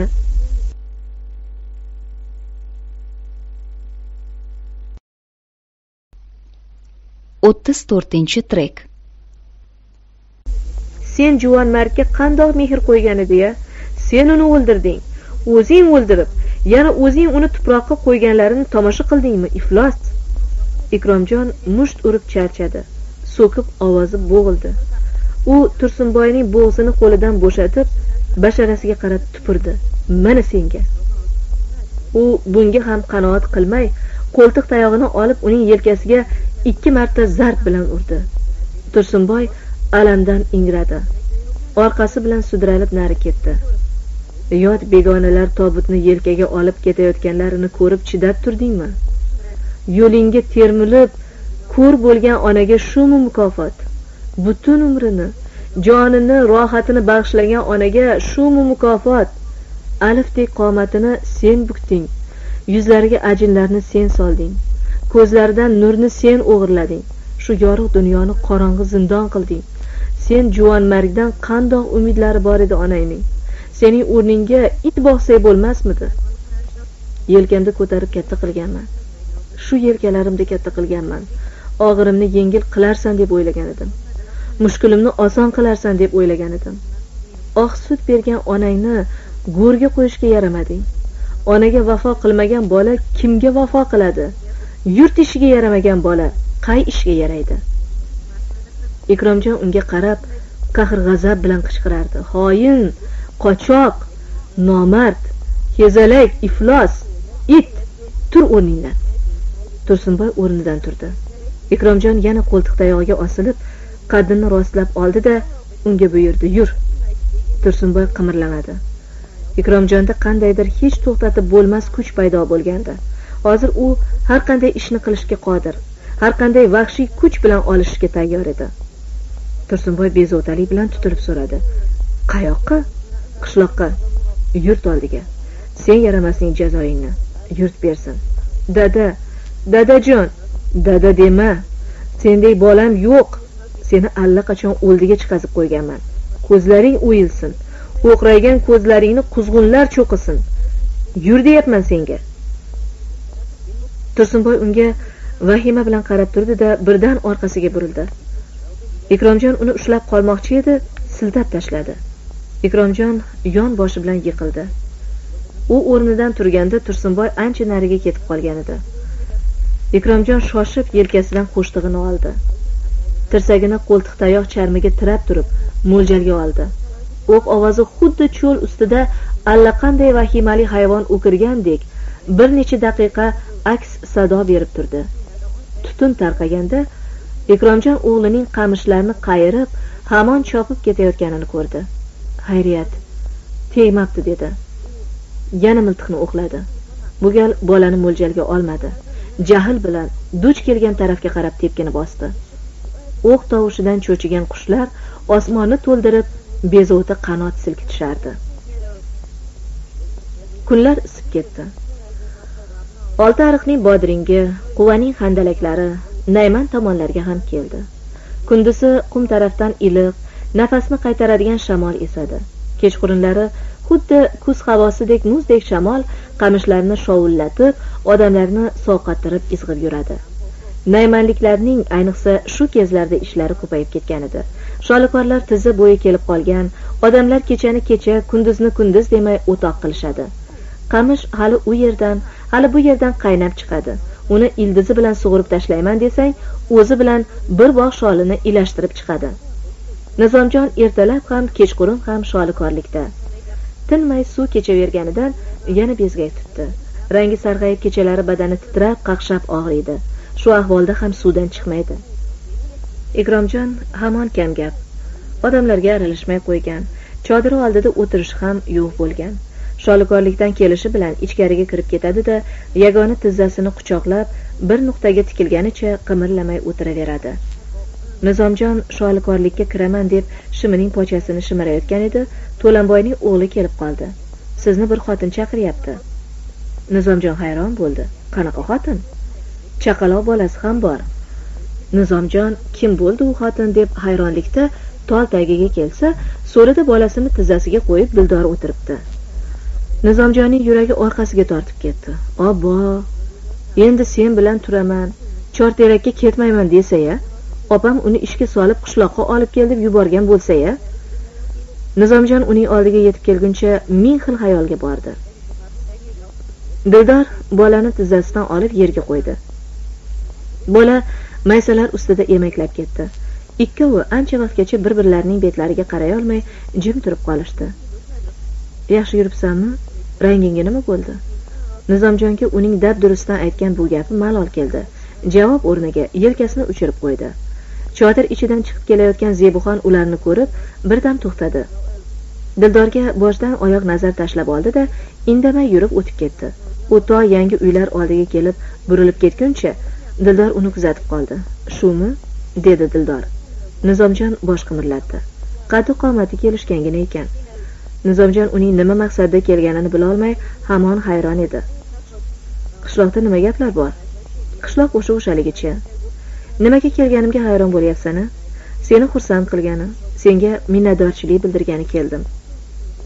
U shunday dediyu nimchasining kissasidan uch burchak ikkita xat oldi. Birini nizomjonga uzatar ekan mana bunisi senga dedi. Nizomjon xatni karimjondan deb o'ylagan edi. Qarasa akasidan. U qorong'i zimistondan birdan chiqqandek hech narsani ko'rolmay qoldi. Ko'z oldida kattakon doira gir gir aylanaverdi. Boshi aylanib so'riga o'tirib qolganini o'zi ham sezmadi. Nima? Nima? Akamdan? Tirik ekanmi? Tirik ekanmi? Dildor azamjondan yaqinda xat kelgani u hatto ancha vaqt qurshovda qolib ketib zo'r janglardan keyin qurshovni yorib o'z qo'shinlarimizga qo'shilganini yozib shu xatida tezda javob qaytarishlarini so'raganini aytib berdi. Javob yozdik. Hatto uyda nima bo'lgan bo'lsa barini ochiq yozdim. Hech narsani yashirmadim. Sening ketib qolganingni ham dadang bilan risolat opangning qilgan ishlarini ham yozdim. Kecha mana xatimga javob keldi. Ichiga senga ham xat solib qo'ygan ekan o'qi. Nizomjon shoshib xatni o'qiy boshladi. Nizomjon uka. Men sog'man. Ahvollaringni dildor yozgan xatdan bildim. Men seni shu paytgacha esini tanimagan bola deb yurardim. Meni kechir uka. Ko'p savdolar boshimdan o'tdi. Urushdim yaralandim. Yana urushdim yana yaralandim. Gospital ko'ykasidan shiftga qarab yotib butun ko'rgan kechirganlarimni o'yladim. Mendan koyima senga ozor berganimni o'zim bilmayman. Endi ko'zim ochildi. O'ylab qarasam tarbiyaga qonmagan bola ekanman. Bilasanmi? Hammaning ayvoniga qaldirg'och uyi qurib bola ochardiyu bizning ayvonimiz shiftiga hatto mo'min laqma musicha ham uya qurmasdi. Bu uyga dadamdan boshqa hech kim sig'maydi. Sen ham ketibsan dildor ham ketibdi. Shunday bo'lishi kerak ham edi. Dadam bilan opam qilgan yuzsizliklarni dildor xatida yozibdi. Agar sen dadam bilan opamning gapiga kirganingda bilmadim. Ahvolim nima bo'lardi? Agar sen ham men qilgan xatoni takrorlaganingda bir birimiz bilan yuz ko'rmas bo'lib ketardik. Dildor ham bola ham begona bo'lardi. Esi bor bola ekansan rahmat uka.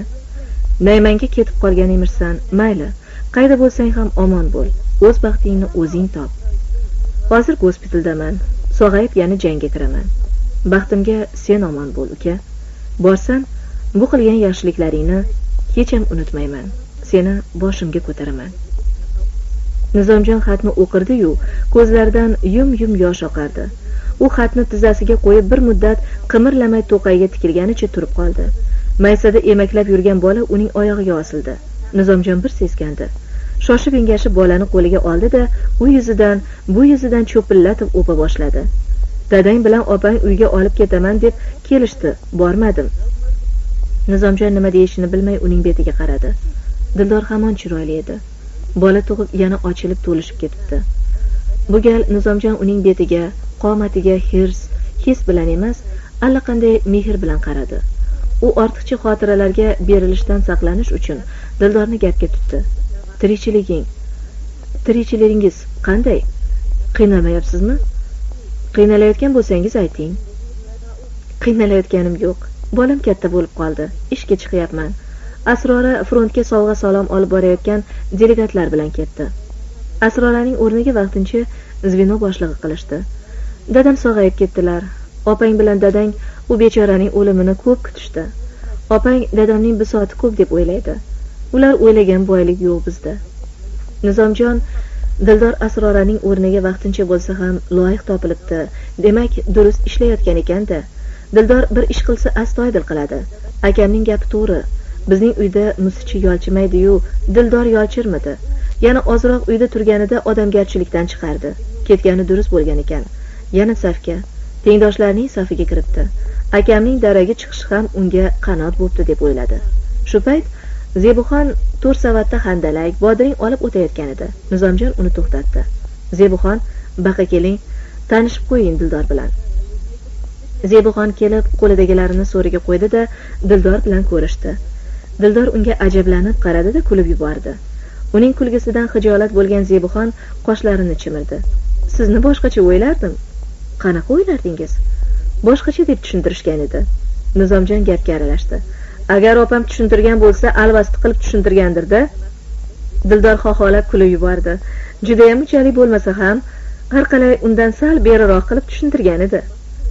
Alvasti bo'lmasa ham ajina deb tushuntirgandirda topdingiz topdingiz. Kulgi bahona ular orasidagi begonalik nari ketgandek bo'ldi. To'lanboy yelkasida ketmon bilan kelib qoldi. U nizomjonni ko'rib qovog'ini soldi. Qanaqa beg'am bo'lasan? Ikromjon tong qorong'isida to'qayga kirib ketganicha hali ham daragi yo'q. Biron joyda yiqilib qolgan bo'lmasin bir qarab qo'yish kerak edi. Nizomjon ertalab ham ikromjon amakini ko'rmagan edi. Kechasi kech yotgan kech uyg'ongan edi. U uyg'onganda ikromjon o'rnida yo'q edi. Nizomjonning yuragini vahm bosdi. Zebuxon dildorga u yoq bu yoqni ko'rsatib turing. Ikromjon amakidan bir xabar olib kelay. U shunday dediyu yugurganicha to'qay tarafga qarab ketdi. Ikromjon tursunboyni uchratgan kundan beri tinchini yo'qotgan edi. Bolasi ekanda ahvoli nima bo'ldi deb o'yladi. Uning qilmishlarini eslab qahr g'azab ichida qovurilgandi. U o'sha kundan beri to'qay kezib uni izlaydi topolmaydi. U endi tursunboyni uchratsa uning diliga insof solmoqchi af so'ramoqchi. Jangga yuborishlarini qonli urushda dog'ni yuvishni so'rashga unatmoqchi. U bu tong ham to'qayga qarab ketdi. Bu gal u miltiq olmadi. Otalik jur'ati bilan uni ko'ndirishni niyat qilgan edi. G'ira shira tong yorishib kelayotgan edi. Ikromjon qamishlar orasida uzoq kezdi. Ovoz chiqarib o'g'lini chaqirdi. Hech qandan javob bo'lmadi. Birdan qamish kapaga ko'zi tushib to'xtadi. Sekin borib kapi ichiga mo'raladi. Tursunboy to'zib ketgan to'nini boshiga qo'yib qimirlamay yotardi. Ikromjon ajib bir hayajon bilan tepasiga keldi. Engashib bolam bolam deb chaqirdi. Ammo tursunboy javob bermadi. U ota diydoridan ona mehridan yor birodarlar davrasidan olisda chaqirsa ovoz yetmaydigan joyda quvg'in bo'lib olamdan o'tgan edi ikromjon sovuq tanani bag'riga bosib qotib qolgan yelkalaridan siladi peshonalaridan o'pdi. Uning ko'z yoshlari tursunboyning muzdek sovuq yuzlarini yuvdi. Ikromjon kimsasiz to'qay orasida alamlarini ichini kuydirgan dardlarini tanidan chiqarib yuborgudek bo'lib o'kirib o'kirib yig'lardi. Tursunboyning bari qilmishlari endi joni bilan birga tanini tark qilgan edi. Endi u yolg'iz tana bo'lib ota bag'rida qolgan edi. Endi bu tana otaniki edi. U yoshlik paytlaridagidek beozor uxlayotganga o'xshardi. Yuzlari norasida yuzdek pok edi uning. Yigirma bir yil ardoqlab boqqan shamolni ravo ko'rmay joniga o'rab o'stirgan bolasi xoinlikdan qo'rqoqlikdan ona oldidagi hech qachon yuvib bo'lmaydigan gunohlardan pok bo'lolmay ota quchog'ida begonadek yotardi. Ikromjon yig'ladi yig'ladi yig'idan ko'z yoshlari quridi. Bolasining boshiga xashak to'plab yostiq qildi da uni asta yerga yotqizdi. Atrofda oftob yashnayapti. Yangi popuk chiqazgan qamishlar yel bilan o'ynashyapti. Osmon zaminda qaychiga o'xshab turna karvoni qo'y haydagan cho'pondek kurelab ketyapti. Osmon shu qadar so'ngsizmi? Uning ortida nimalar bor? Bu zangori yo'l qay tomonga olib boradi? Qiziq. Turnalar qayga uchayotgan ekan? Ikromjon telbaga o'xshab to turnalar ufqqa singib ketguncha qarab turdi.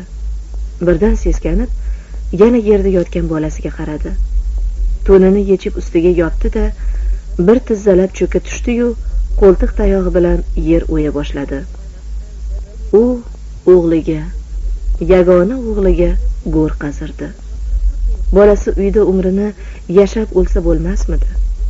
Yurt izzat bilan uni so'nggi yo'lga kuzatardi. Odamlar davra qurib ko'z yosh to'kib qabrga qo'yardi. Endi u to'qaydan chiqolmay sharmandalik yuzi qoralik bilan jon berdi. Uning go'ri ham boshqalarnikiga o'xshamasdi. Go'ri ketmon bilan emas qo'ltiq tayoq bilan qazilardi. Ikromjon ham alam ham nafrat bilan go'r qazirdi.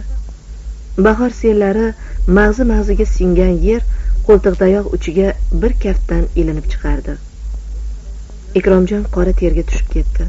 U qabrni tizza bo'yi qaziganda hali oftob o'chmagandi. U qaddini rostlab yana osmonga qaradi. Osmon toza unda na qush uchar na bulut suzardi. Yoniga qaradi. Uning choponi tagida tursunboy yotardi. Ikromjon birdan unga hasratli boqib turdi da yana yer o'yishga tushib ketdi. Oftob so'ndi. Ufqda qip qizil shafaq yondi. Qamishlar uchi o'chayotgan sham so'xtasiga o'xshab qoldi. Ikromjon qabrdan chiqib terlab turgan tanidan yaktagini yechdi da tursunboyni o'radi. Allaqanday g'ayritabiiy kuch bilan uni ikki qo'llab ko'tardi da bir tizzalab surilib qabr oldiga keltirdi. Cho'l ustini asta qorong'ilik bosib kelayotgan yoz oqshomida ota o'z bolasini shonsiz sharafsiz marosimsiz qabrga qo'ydi. Loy aralash tuproq tortdi. Oy singan qizil lagandek bo'lib bo'zarib chiqdi. U sekin sekin havolanib terak bo'yi ko'tarildi da qimirlamay osilib qoldi. Birin ketin yulduzlar ko'zi ravshanlasha boshladi. Osmoni zaminda arava orqasidan ko'tarilgan to'zondek bo'lib somonchi yo'li ko'rindi. Ikromjon qabr tepasidan ketolmadi. Har gal o'rnidan turib ketmoqchi bo'lardi da yana faryod urib o'zini qabr ustiga otardi. Oy yoritib turgan to'qay yalangligida ikromjon qabrni quchoqlab yotarkan kimdir uning yelkasidan ko'tardi. Dada dada turing ketamiz. Nizomjon ko'pdan beri uning ahvolini kuzatib turardi.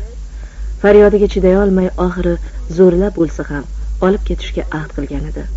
Yuring yuring ketamiz. Endi bas ketaylik. Ikromjon bosh ko'tarib unga qaradi. Hech narsa demay sudralib borib qo'ltiq tayog'ini oldi da chayqala chayqala oldinga tushib ketaverdi. To to'qaydan chiqishguncha ham ular bir birlariga churq etib og'iz ochishmadi. Nizomjon nima deya olardi? Ikromjon nima deya olardi? Ikromjonning bag'rini kuydirayotgan alam bu poyonsiz to'qaylarga oy nuri ojiz yoritib turgan so'ngsiz cho'llarga sig'masdi. Nizomjon allamahalgacha ikromjon amakini jannat xolani o'ylab uxlamay yotganidan ertalab juda kech uyg'ondi. Chodir tuynugidan oftob o'tib uning dumaloq nuri bordan ustida piyoladagi choydek qalqib turardi. Ikromjon hali ham pishillab uxlayapti. Uning bunaqa odati yo'q edi. Ikromjon hamisha tong yorishmay uyg'onib bir tizzasini quchoqlaganicha qimirlamay o'tirardi. Nima bo'ldi? Nizomjon buning sirini biladi. U charchagan holdan toygan. Ayniqsa kechagi dahshatli hodisa uni oyoqdan yiqayozgan edi. Mayli uxlasin. Miriqib uxlasin. Unga osonmi? Nizomjon bordorni shitirlatmay ohista kiyinib chodirdan chiqdi. Osmonda qitday ham bulut yo'q shamol ham esmaydi. Bak tagidan ko'tarilayotgan ko'm ko'k tutun buralmay tikka osmonga o'ralayapti xuddi so'ngsiz osmonga kulrang yumshoq ustun tirab qo'yganga o'xshaydi. So'rida to'lanboy bolasini yoniga o'tqizib nimalardir deyapti. Bola burnini torta torta ko'zini ishqab hiqillaydi tol tagida o'tirgan zebuxon bilan dildor qotib qotib kulishardi. Nizomjon ular oldiga yuvuqsiz borishdan andisha qilib krujkada suv olib chodir orqasiga o'tib ketdi da belbog'iga artina artina so'riga yaqinlashdi. Nima gap? Nimaga yig'layapti bu? dedi nizomjon to'lanboyga. So'rama boja. Jiyaningni birpas ko'targan edim naq manavi qiyomat qilib yubordi qizg'anyapti. Nizomjon bolaga qarab iljayib qo'ydi. Yig'lama o'g'lim. Urush tamom bo'lganda nizom pochchang bir do'ppi holva olib beradi. Maza qilasan. Ertaga o'zim senga bitta voyvoyakning bolasini tutib beraman. Bolaning ko'zlari yashnab ketdi. Urush qachon tamom bo'ladi? Yaqinda tamom bo'ladi. Askarlikka ketganlarning hammasi holva olib kelishadi. Ha u bir marta senga ikkita pechene bergan edim-ku. O'shanaqa pechenidan ancha olib kelishadi. Men ham yeyman sen ham yeysan. Bola dildorning qo'lidagi o'g'liga o'qrayib qarab qo'ydi. Unga bermaymiz a ozgina beramiz bo'ptimi? Nizomjon ota bolaning gaplariga kula kula tol tagiga qarab ketdi. Dildorning qo'lidan jiyanini olib osmonga tashlab o'ynatdi. To'lanboyning xotini dasturxon yozib choy damlab keldi. To'lanboy qo'lini yuvib yuqoriga chiqarkan u yoq bu yoqqa qarab oldi amaking ko'rinmaydi dalaga chiqib ketganmi yo'q uxlayaptilar e uyg'otmaysanmi g'aflat bosib yotaveradimi mayli uxlasinlar hali zamon tog'a kelib qoladilar uyg'otib chiq nizomjon o'rnidan turishga turib qo'ydiku uni qandoq qilib uyg'otish kerakligini bilmay o'ylanib qoldi. Keyin bolani qo'liga olib, chodir ichiga kirib ketdi. Ikromjon hamon uxlardi. Nizomjon bolani uning yostig'iga o'tkazib qo'ydi. Bola Ikromjon har pishillaganida qimirlayotgan mo'yloviga qarab turdi-da, birdaniga ikki qo'li bilan ushlab tortdi. Ikromjon cho'chib ko'zini ochdi. Avvaliga hayron bo'lib bolaga qarab turdi-yu, keyin iljayib o'zi unga mo'ylovini tutib berdi bola mo'ylovidan qulog'idan tortib rosa qiyqirib o'yin qildi ikromjon boshini ko'tarib bolani xuddi ukparni ushlayotgandek avaylab qo'liga ko'tardi da surilib qo'ltiq tayog'ini oldi. Nizomjon ularga qarab qimirlamay turardi. Ikromjon bolani bag'riga bosgancha tashqariga chiqdi. Dildorning cho'lga kelganiga ikki kun bo'lgan bo'lsa shu ikki kundan beri uning bolasi kattaning ham kichikning ham ermagi bo'lib qolgan edi. To'lanboyning o'g'li bu yerdagilarning mehrini shu bola olib qo'yayotgandek hamon dadasining pinjiga kirib unga xo'mrayib qarab turardi. Ikromjon so'riga o'tirarkan bolani to'niga yaxshilab o'rab oldi da afsuslangandek dedi. Senga beradigan bironta qand ham yo'q. To'lanboyning pinjiga tiqilib o'tirgan bola sekin sug'urilib chiqdi da ikromjonning tolga tirab qo'ygan qo'ltiq tayog'ini olib qochdi. Mana bo'lmasam mana bo'lmasam bola shunday deb qocharkan chodir oldiga yetganda uni ot qilib minib oldi. Chu ha chu. Hamma barobar kulib yubordi. To'lanboyning xotini unga musht o'qtaldi. Bola tilini chiqarib masxara qildi. Bu o'lgur hammani o'ziniki qilib olgan edida ichi kuyib ketyapti. To'lanboy odati bo'yicha salmoqlanib gap boshladi. Ey xotin sen buni aytasan. A bu bola ku. Men kam katta lo'mbozdek paytimda akam uylanganda uni kelindan qizg'onganman. To'yda chimildiqqa kelin kuyov oldiga kirib olib ertalabgacha chiqmaganman. Akam rahmatlik chimchilayverib sonimni momataloq qilib yuborgan. Uxlab qolganimda yangalar ayvonga olib chiqib qo'yishibdi. Ertasiga ham kirmoqchi edim dadam bir shapaloq urganlar. O'shanda kelin ayamni bir oygacha yomon ko'rib yurganman. Bu gap hammadan ham ikromjonga ta'sir qildi. Kulaverib ko'zlari yoshlanib ketdi. To'lanboyning xotini o'pkali ohangda dedi. Gapingiz qursin.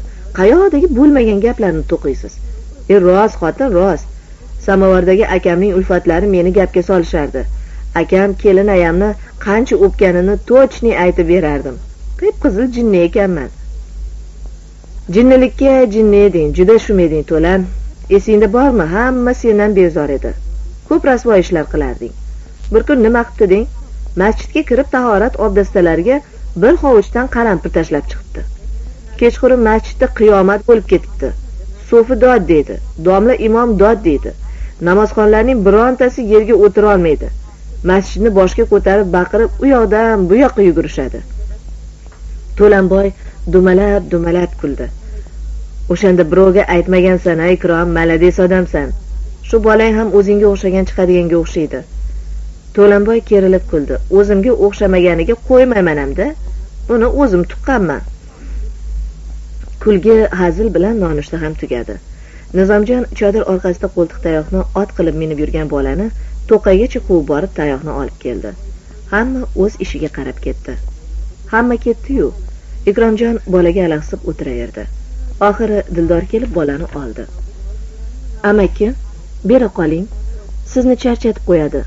Buvasiga o'rganib qolganda ishga ketganimda dadam bilan qoladi. Soqoli bor kishini ko'rsa o'zini otaveradi. Dildor uni olib ketayotibdi hamki u kallasini qiyshaytirib ikromjonga qarab qiyqiradi. U har qiyqirganda lablaridan so'lak oqib og'zi bir tarafga qiyshayib ketadi. Ikromjon to'nini tuzatmoqchi bo'lganida ko'pdan unutilgan ammo qadrdon bir hid dimog'iga urildi. Bu ona suti murg'ak bola hidi edi. Bu hid yasharib kelayotgan olam otayotgan tong erta ko'klamda qirdan keladigan iliq shabada yangi novda qo'ygan tol po'stlog'i tosh urilib tutashayotgan suv to'zani yomg'irdan keyin charaqlagan oftob hidiga o'xshardi. Ikromjon birdan ko'zlarini yumdi-yu huzur qilib nafas oldi. Boyatdan beri tol shoxida chug'urlashayotgan chumchuqlar gurr etib dasturxonga yopishishdi.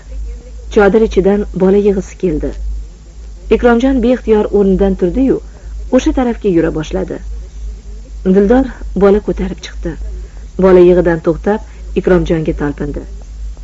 Ikromjonning yuzlarida ko'zlarida bir chiroyli tabassum porlab ketdi. Xotima. Inson bolasi ne kunlarni ko'rmaydi. Har bir odam o'z g'ami bilan bo'lsa hayotdan ko'z yumib ketganlarga umr bo'yi motam tutib o'tsa bu moddiy olam shu kunlarga yeta olarmidi? Hayot to'lqini ojizlarni qirg'oqqa yig'itib tashlaydi.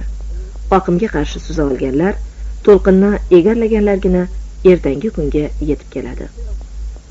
Yer kurrasida chumoladek mehnat qilayotganlardan ko'ra tuproq tagida yotganlar ko'p.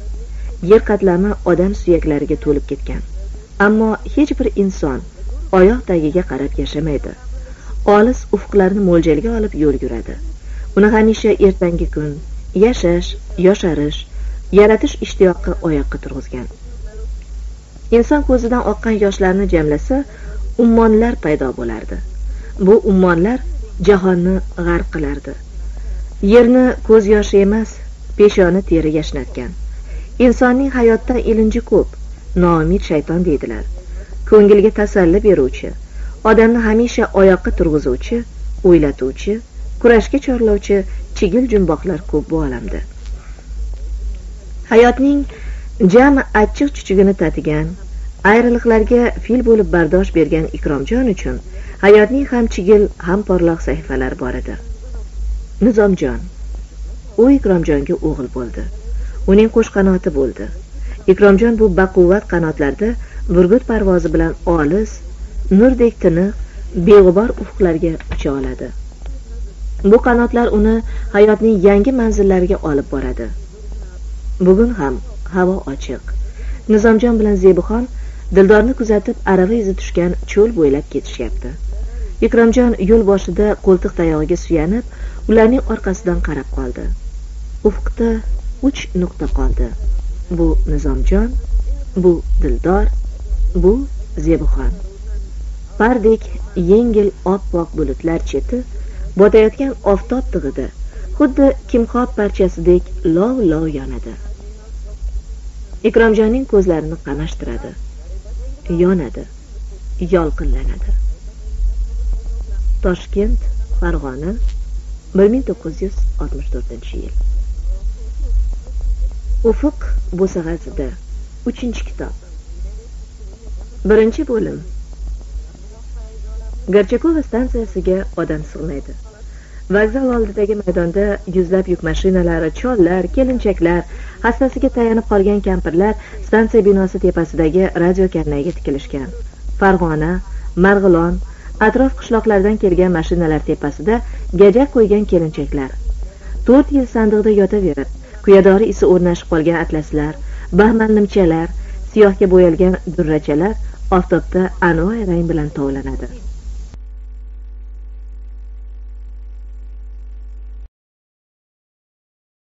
O'ttiz beshinchi trek. Bahor oftobi tom toshlarni qizdiradi. Yonoqlarini bo'yinlarini ter bosgan juvonlardan arzon atir qalampir munchoq hidi keladi. To'rt yil mehnatdan uzilmagan qo'llarga uzuk yarashmagandek bilaguzuklar birovnikidek erish tuyuladi. Ipak paypoq boldirlaridan sidirilib tushib ketayotgandek tuflining baland poshnasi hali u yoqqa hali bu yoqqa qiyshayib ketadi. Arqonda yurgan dorbozdek yo'lni mo'ljalga olib qadam bosishadi. Dildor ham shu yerda. U o'g'lini ko'tarib olgan. Issiqda tiqilinch orasidan nizomjonni qidiradi. Yangi etikchasi oyog'ini siqqanidan bola yerga tushishga unamaydi. Usti bordon bilan yopilgan so'rida inoyat oqsoqol bilan risolat o'tirishibdi. Dildor qaynotasining oldiga borgisi kelmay beriroqdan o'tirishga joy izlardi. Shu payt kimdir uni ikki ko'zini berkitib oldi. Nizom nizomjon bo'ldi qo'yib yubor o'zi qo'lim tolib turibdi. E o'le hali ham nizom desa yuraging tutdek to'kiladi ya menman. Bu asrora edi. Asrora uning ko'zlarini bo'shatib hiringlab kuldi. Dildor asrorani urush tugagan kundan beri ko'rmagan edi. Binoyiday bo'lib qopti. Labida qizil qizil surtishni ham eplolmabdi. Pomadani ikki lunjigacha survoribdi. Qora yuziga upa uncha yarashmabdi. Upa surtishni ham boplabsan sal evi bilanda. Qo'yaver dedi asrora bo'laveradi. Nima qilib atta turibsan yur u yoqqa boraylik. Asrora risolatlar o'tirgan so'rini ko'rsatdi. Dildor qoshlarini chimirdi. Qo'y o'sha jinoyat o'lgurning oldiga boramanmi shu yerda o'tiramiz. Bo'lmasa nizom o'lgurini topib kelay. Asrora shunday dediyu odamlar orasiga kirib yo'q bo'lib ketdi. Dildor uning orqasidan qarab qolarkan yuzida ko'zida allaqanday havasga o'xshash bir nima porlagandek bo'ldi asrora karimjonning kelishini kutib dunyodagi jami tashvishlarni unutgan gaplari ham allaqanday poyma poy qiliqlari o'ziga yarashmagandek yerda yurayotganga emas osmonda uchib yurganga o'xshardi. Kuniga pardozini necha marta yangilar qanaqaki kiyimi bo'lsa hammasini bir kunda kiyib bir kunda yechardi. Dildor bo'lsa azamjondan yo'lga chiqdim degan telegramma kelgan kunidan boshlab uy yig'ishtiradi. Devor oqlaydi kir yuvadi kechasi bolani uxlatib ish tikadi azamjonning kiyimlarini risolat bermagan edi. Dildorning o'zi yelib yugurib to'n tiktirdi etik buyurtirdi. Hozir tut tagidagi supaga gilam solib xontaxta ustiga topgan tutganini terib katta samovarga o't tashlab kelgan. Pillaga olgan oq shohini bayondas qilish uchun dazmollab ayvon qozig'iga ilib qo'ygan. Ayniqsa o'g'li shoshilib tinchitmaydi. Soqovlanib dadam keladi deb qo'ni qo'shnilarga hammadan oldin xabar berib chiqdi. Hozir ham parovoz qichqirganida dadda deb qiyqiradi.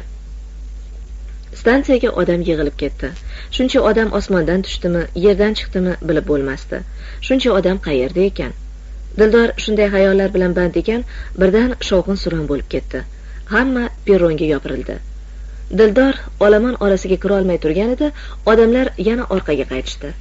Hamma yoqni shovqinga to'ldirib kelgan sostav tovar poyezdi ekan. To'xtamay o'tib ketdi. Asrora bilan nizomjon keldi. Endi asroraning yuzida boyagi quvnoqlik qolmagandi.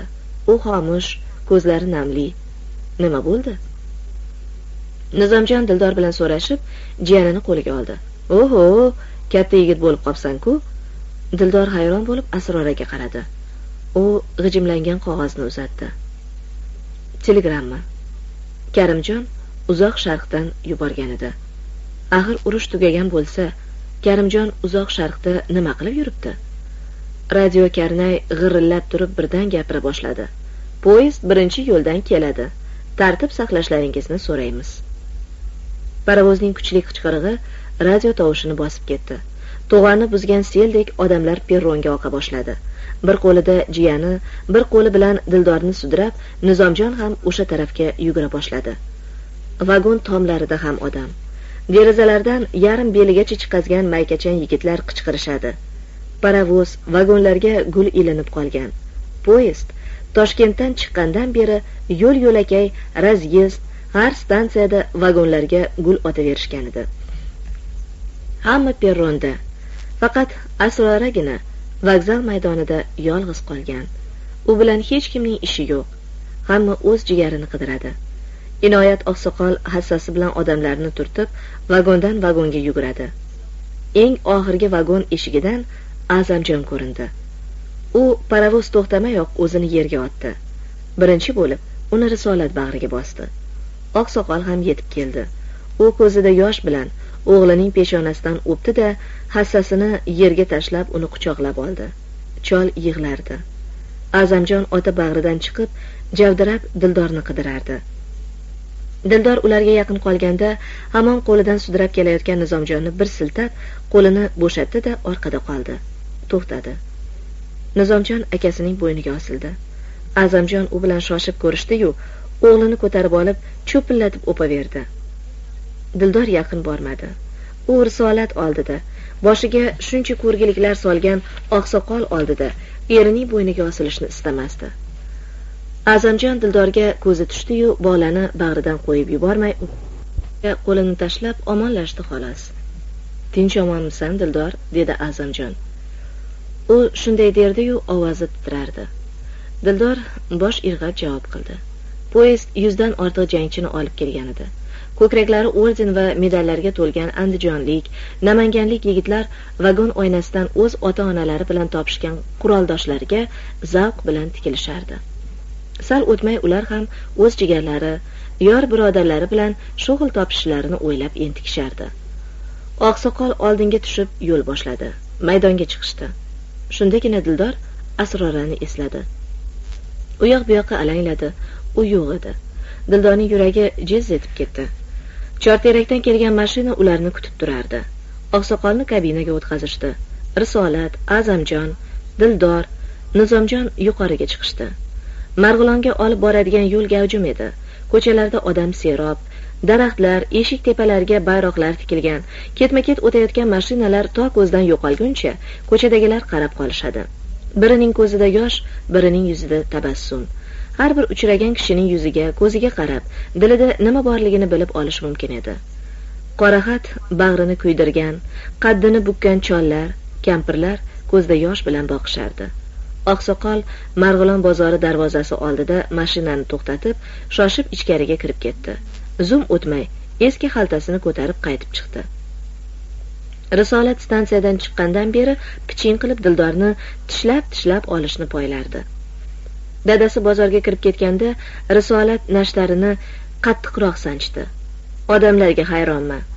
Yil o'n ikki oy qorasini ko'rsatmay bugun paydo bo'lib qoldi. Er shirinda er. Dildor zarda bilan o'girildi. Menga tegizib aytayotgan bo'lsangiz kerak a? Yaxshi odam o'zi bilib olaveradi. Dildor sal past keldi. Qo'ying opa shundoq kunni shundoq yaxshi kunni zimiston qilmang. Azamjon nima gapligini bilmay opasiga qaradi. Opa nima qilyapsizlar? Sen aralashma. Sening gaplardan xabaring yo'q. Bu manjalaqi bilan ikki og'iz gaplashib qo'yadigan payt keldi. Dildor shuncha bo'lib o'tgan gaplarni orqaga tashlab erining uyiga borib har qancha achchiq gapni yutib kechgacha keldi ketdini kutmoqchi edi. Mana hali mahallasiga yetmayoq turtkilashyapti. Bunaqa bo'ladigan bo'lsa bormaganiyam ma'qul. Mashina chorterakka qarab yo'l oldi. Uzoqdan qishloq imoratlari ko'rina boshladi. Do'ngdan o'tishdi. Yo'l ikkiga ayriladi. Dildor kabina tomini shapillatib ura boshladi. Shofyor tormoz berib derazadan bosh chiqardi. Nima gap? Birpas to'xtang dedi dildor. U shunday dediyu yerga gurs etib sakradi. Yuring yuring azamjon aka uyimiz bu yoqda. Azamjon hayron bo'ldi. Qayoqqa? Bilmaysizmi? Axir uyimiz allaqachon bo'lak bo'lgan. Risolat shovqin soldi. Qandoq turq sovuq xotinsan? Jigarni jigardan begona qilmoqchimisan? Dildor javob qilmadi. Risolatning betiga qarashni ham xohlamasdi. Kabinadan oqsoqol chiqdi. Nima gap? Risolat bidirlab ketdi. Voy bu tirnoqni etdan judo qilmoqchi. Asti qoni qo'shilmadi buning. Oqsoqol janjalning ma'nosiga tushunib muloyim gapga aralashdi. Axir jon bolam qanchagina qudrating bo'lsa bafurja gapirarsan. Bugun unaqa qilma uyga borsin. Undan keyin sen ham ko'chingni olib kelasan. Mana ering er degan izvoshning oldingi g'ildiragi bo'lsa xotin keyingi g'ildiragi. Dildor unga ham javob bermadi. Og'irlik bilan dedi. Azimjon aka uyingizdan bir umr qaytmas bo'lib chiqib ketganman. Men ilgarigi mushtipar dildor emasman. O'z yo'limni topib oldim. Agar bolam desangiz xotinim desangiz yuring uyga boraylik. Oqsoqol o'g'liga bo'ri qarash qildi. Azamjon ikki o't orasida qolgan edi nima qilsin? Ota so'zini qaytarsinmi? Uning dildorga yon bosgulik holi bor edi. Oqsoqol buni payqab qoldi. Ichkuyov bo'ladigan bolam yo'q. Nomard yigit ichkuyov bo'ladi. Xotin zotining urug'i hirotdan kelgani yo'q. Yosh yosh qizlar chollarga tegyapti. O'zingni bozorga solma. Dildor yana azamjonga qaradi. Oqsoqol qat'iy buyurdi chiq mashinaga. Yer kerak bo'lsa yalinib boradi. Azamjon beixtiyor mashinaga intildiyu yana to'xtadi. Endi risolat gapga aralashdi. Ukasiga o'ynash bo'lib xotin xotin bo'larmidi? Azamjonning tishlari g'ijirlab ketdi. Dildor qaltiradi. Ko'zlaridan o't chaqnadi. Shart burildi-yu qo'lidan bolani yulib oldi da pildiragancha ketdi. Nizomjon ham o'zini yerga otdi. Oqsoqol kabina eshigini qarsillatib yopib shofyorga hayda dedi. Kabina tepasida azamjon risolat notekis yo'ldan chayqala chayqala ketisharkan azamjon yo'l o'rtasida hayron turib qolgan ukasiga sertuproq yo'ldan orqasiga qaramay pildirab ketayotgan dildorga qarardi. Ukasiga o'ynash bo'lgan xotin so'zi uning yigitlik izzat nafsiga tekkan edi. Uning ko'z oldida go'zal vafodor dildor emas harom alvasti dildor sochlarini yozib turgandek edi. To uy ostonasiga yetguncha bola dada deb dildorning sochlarini to'zitib yuzlarini timdalab tashladi. Bola necha kunlardan beri sira ko'rmagan dadasini kutardi. Uning orzulari xayollari bir zumda shamolga uchib ketganini bilmasdi. Yulduz pagonli dada yulduzli shapka kiygan dada bir ko'rindiyu yana yo'q bo'ldi. Bola uyga ham dodlab kirdi. Ariq bo'yida ketmon yuvayotgan yunusali ota nevarasining bu xil tovushidan hayron qolib ketmonni joyida qoldirganicha eshikka chopdi. Nima gap? Dildor javob bermadi. Bolani yerga qo'ydi. O'zini ayvonga otib kulchi bo'lib oldi. Bola ko'chaga dadalab yugurdi. Chol yo'lakdan uni tutib keldi. Bola oyoqlarini tipirchilatib unga so'z bermasdi. Yunusali ota qizi bilan gaplashmoqchi bo'ldi-yu qizining o'zi bir nima demagani uchun uning ahvolidan nima gap bo'lganini bilib olgan edi. Ota bir zum o'ylanib qoldi. Endi nevarasi ham hurpayib olgan qaltirayotgan bobosiga ayvonda to'lg'anib yotgan onasiga qarab barmog'ini og'ziga solganicha javdirab turardi. Oxiri yunus ota qizining tepasiga keldi. Qo'y qizim qo'y endi. Bu kunlar ham o'tib ketar. Shundoq bo'lishini bilgan edim. Ammo ering urush ko'rdi musofirchilik ko'rdi yo'lini topib olgandir deb o'ylagan edim. Bo'lmabdida dildor bosh ko'tarib dadasiga qaramadi. Chol endi nevarasiga o'girildi. U hamon qo'lidan pufagi uchib ketgandek hayron hiqillab turibdi. Qizim mayli bolada nima ayb? Dadasining oldiga olib borish kerak. Axir bola sho'rlik uni qachondan beri kutadi? Kutaverib ko'zlari to'rt bo'ldi sho'rlikning. Dildor sapchib o'rnidan turdi-yu bolasini quchoqlab oldi. Yo'q yo'q bormaydi. Unga bermayman bolamni. Ota bosiq turib dedi. Undoq o'ylama. Bolaning dilini vayron qilma. Bola yana xarxasha qila boshladi. Dadamga dadamga boraman. Ana ko'rdingmi? Hozir oboray deb bu kecha dadasi bilan yotsin yupansin ko'nglini sindirma go'dakning. Dildor bolasini bag'ridan qo'yib yubordi. Bola chopganicha yo'lakdan chiqib ketdi. Yunusali ota qiziga birdam qarab turdi da og'ir yurakda bir dunyo alam bilan nevarasining orqasidan ketdi. Eshikka yetganda to'xtadi. Bolam qandoq qilamiz? Asli peshanang shundoq bo'lsa ilojimiz qancha? Dildor hovlida yolg'iz qoldi. Hali oftob o'chmagan boya dildor stansiyaga ketayotganida dadasi rayhonlarga suv ochib hovlini yog' tushsa yalagudek qilib supuribdi suv sepibdi poyandozga olingan oq shoxini darvozaxona ustunidagi kalit iladigan mixga osib qo'yibdi. Patnisdagi guruchni tozalabdi. Yonida ko'zoynagi qog'ozda bir gafgina kurmak. Samovar prakisiga qog'oz kiydirib bostirib qo'yibdi. Qoziqda yangi to'n taxtakachdan chiqqan to'ppi bularning bari azamjon uchun edi. Uch yildan oshdi. Dildor biron kunni ro'shnolik bilan o'tkazmadi. O'tgan har bir kun unga alam iztirob tashlab ketardi. Mana shu o'tgan alamli kunlarning nihoyasiga yetdim. Endi bari unutiladi bari tushdek elas elas esda qoladi deb o'ylagan edi. Bugun o'tgan alamli kunlar jam bo'lib uning yuragini changallab oldi. Butun orzularini yulib tashladi. Bu alamlarga shu birgina azamjon barham berishi kerak edi. Dildor zambarak og'zida bola ochgan chumchuqdek yashab kelganini bilmagandi. O'sha zambarak endi otildi. Otildi-yu uning ne ne mashaqqatlar bilan tiklagan inini ro'zg'orini ko'kka sovurgandagina bildi. Dildor alamini ko'z yoshidan oldi. Yig'ladi yig'ladi. Oxiri ko'zida yosh qolmadi. Holsizlanib ayvon labiga o'tirdi da atrofiga telbadek nazar tashladi. Atrof jimjit. Faqat olisdan chirmandaning taraqlagani yosh yalangning qiyqirig'i eshitiladi. Bu azamjonlar uyida. Uning kelishiga qishloqning uzoq yaqinlari yig'ilishgan. U yerda o'yin kulgi bu to'ydan faqat dildor benasib xolos. Shu bazm bu qiyqiriqlar bu yerda mana shu hovlida bo'lishi kerak edi. Bo'lmadi. Nega? Dala toshni kuydirgan saraton haroratini bag'riga yashirgan o'sha mash'um tutzor azamat yigitning pahlavon ko'ksiga bosh qo'ygan qoq tush pallasi u kunlar dildorga katta baxt tush kabi shirin hayot va'da qilgandi. Aldangan qiz hamon o'sha tush pallasi o'zini unutgan daqiqalarning dardini tortardi. Ayol kishiga vafo degan narsa qanchalar qimmatga tushishini ko'plar hali bilmaydi. Dildor hech kimni qoralay olmasdi. Hammasiga birgina o'zim aybliman deb bilardi. Agar u nizomjonga bevafolik qilmaganda bu kunlar boshiga tushmasdi. Ammo nizomjon qanchalar azob chekkan bo'lmasin bir marta ham uning yuziga solmadi. Oxiri dildor o'yinchoqqa aylandi. Uni erining ukasiga olib bermoqchi bo'ldilar. Bunga dildor qanchalik qarshi turmasin baribir yana ozgina kuch bilan rozi bo'lishi mumkin edi. Dildor shunaqa irodasiz edi. Bu gal ham uni nizomjon saqlab qoldi.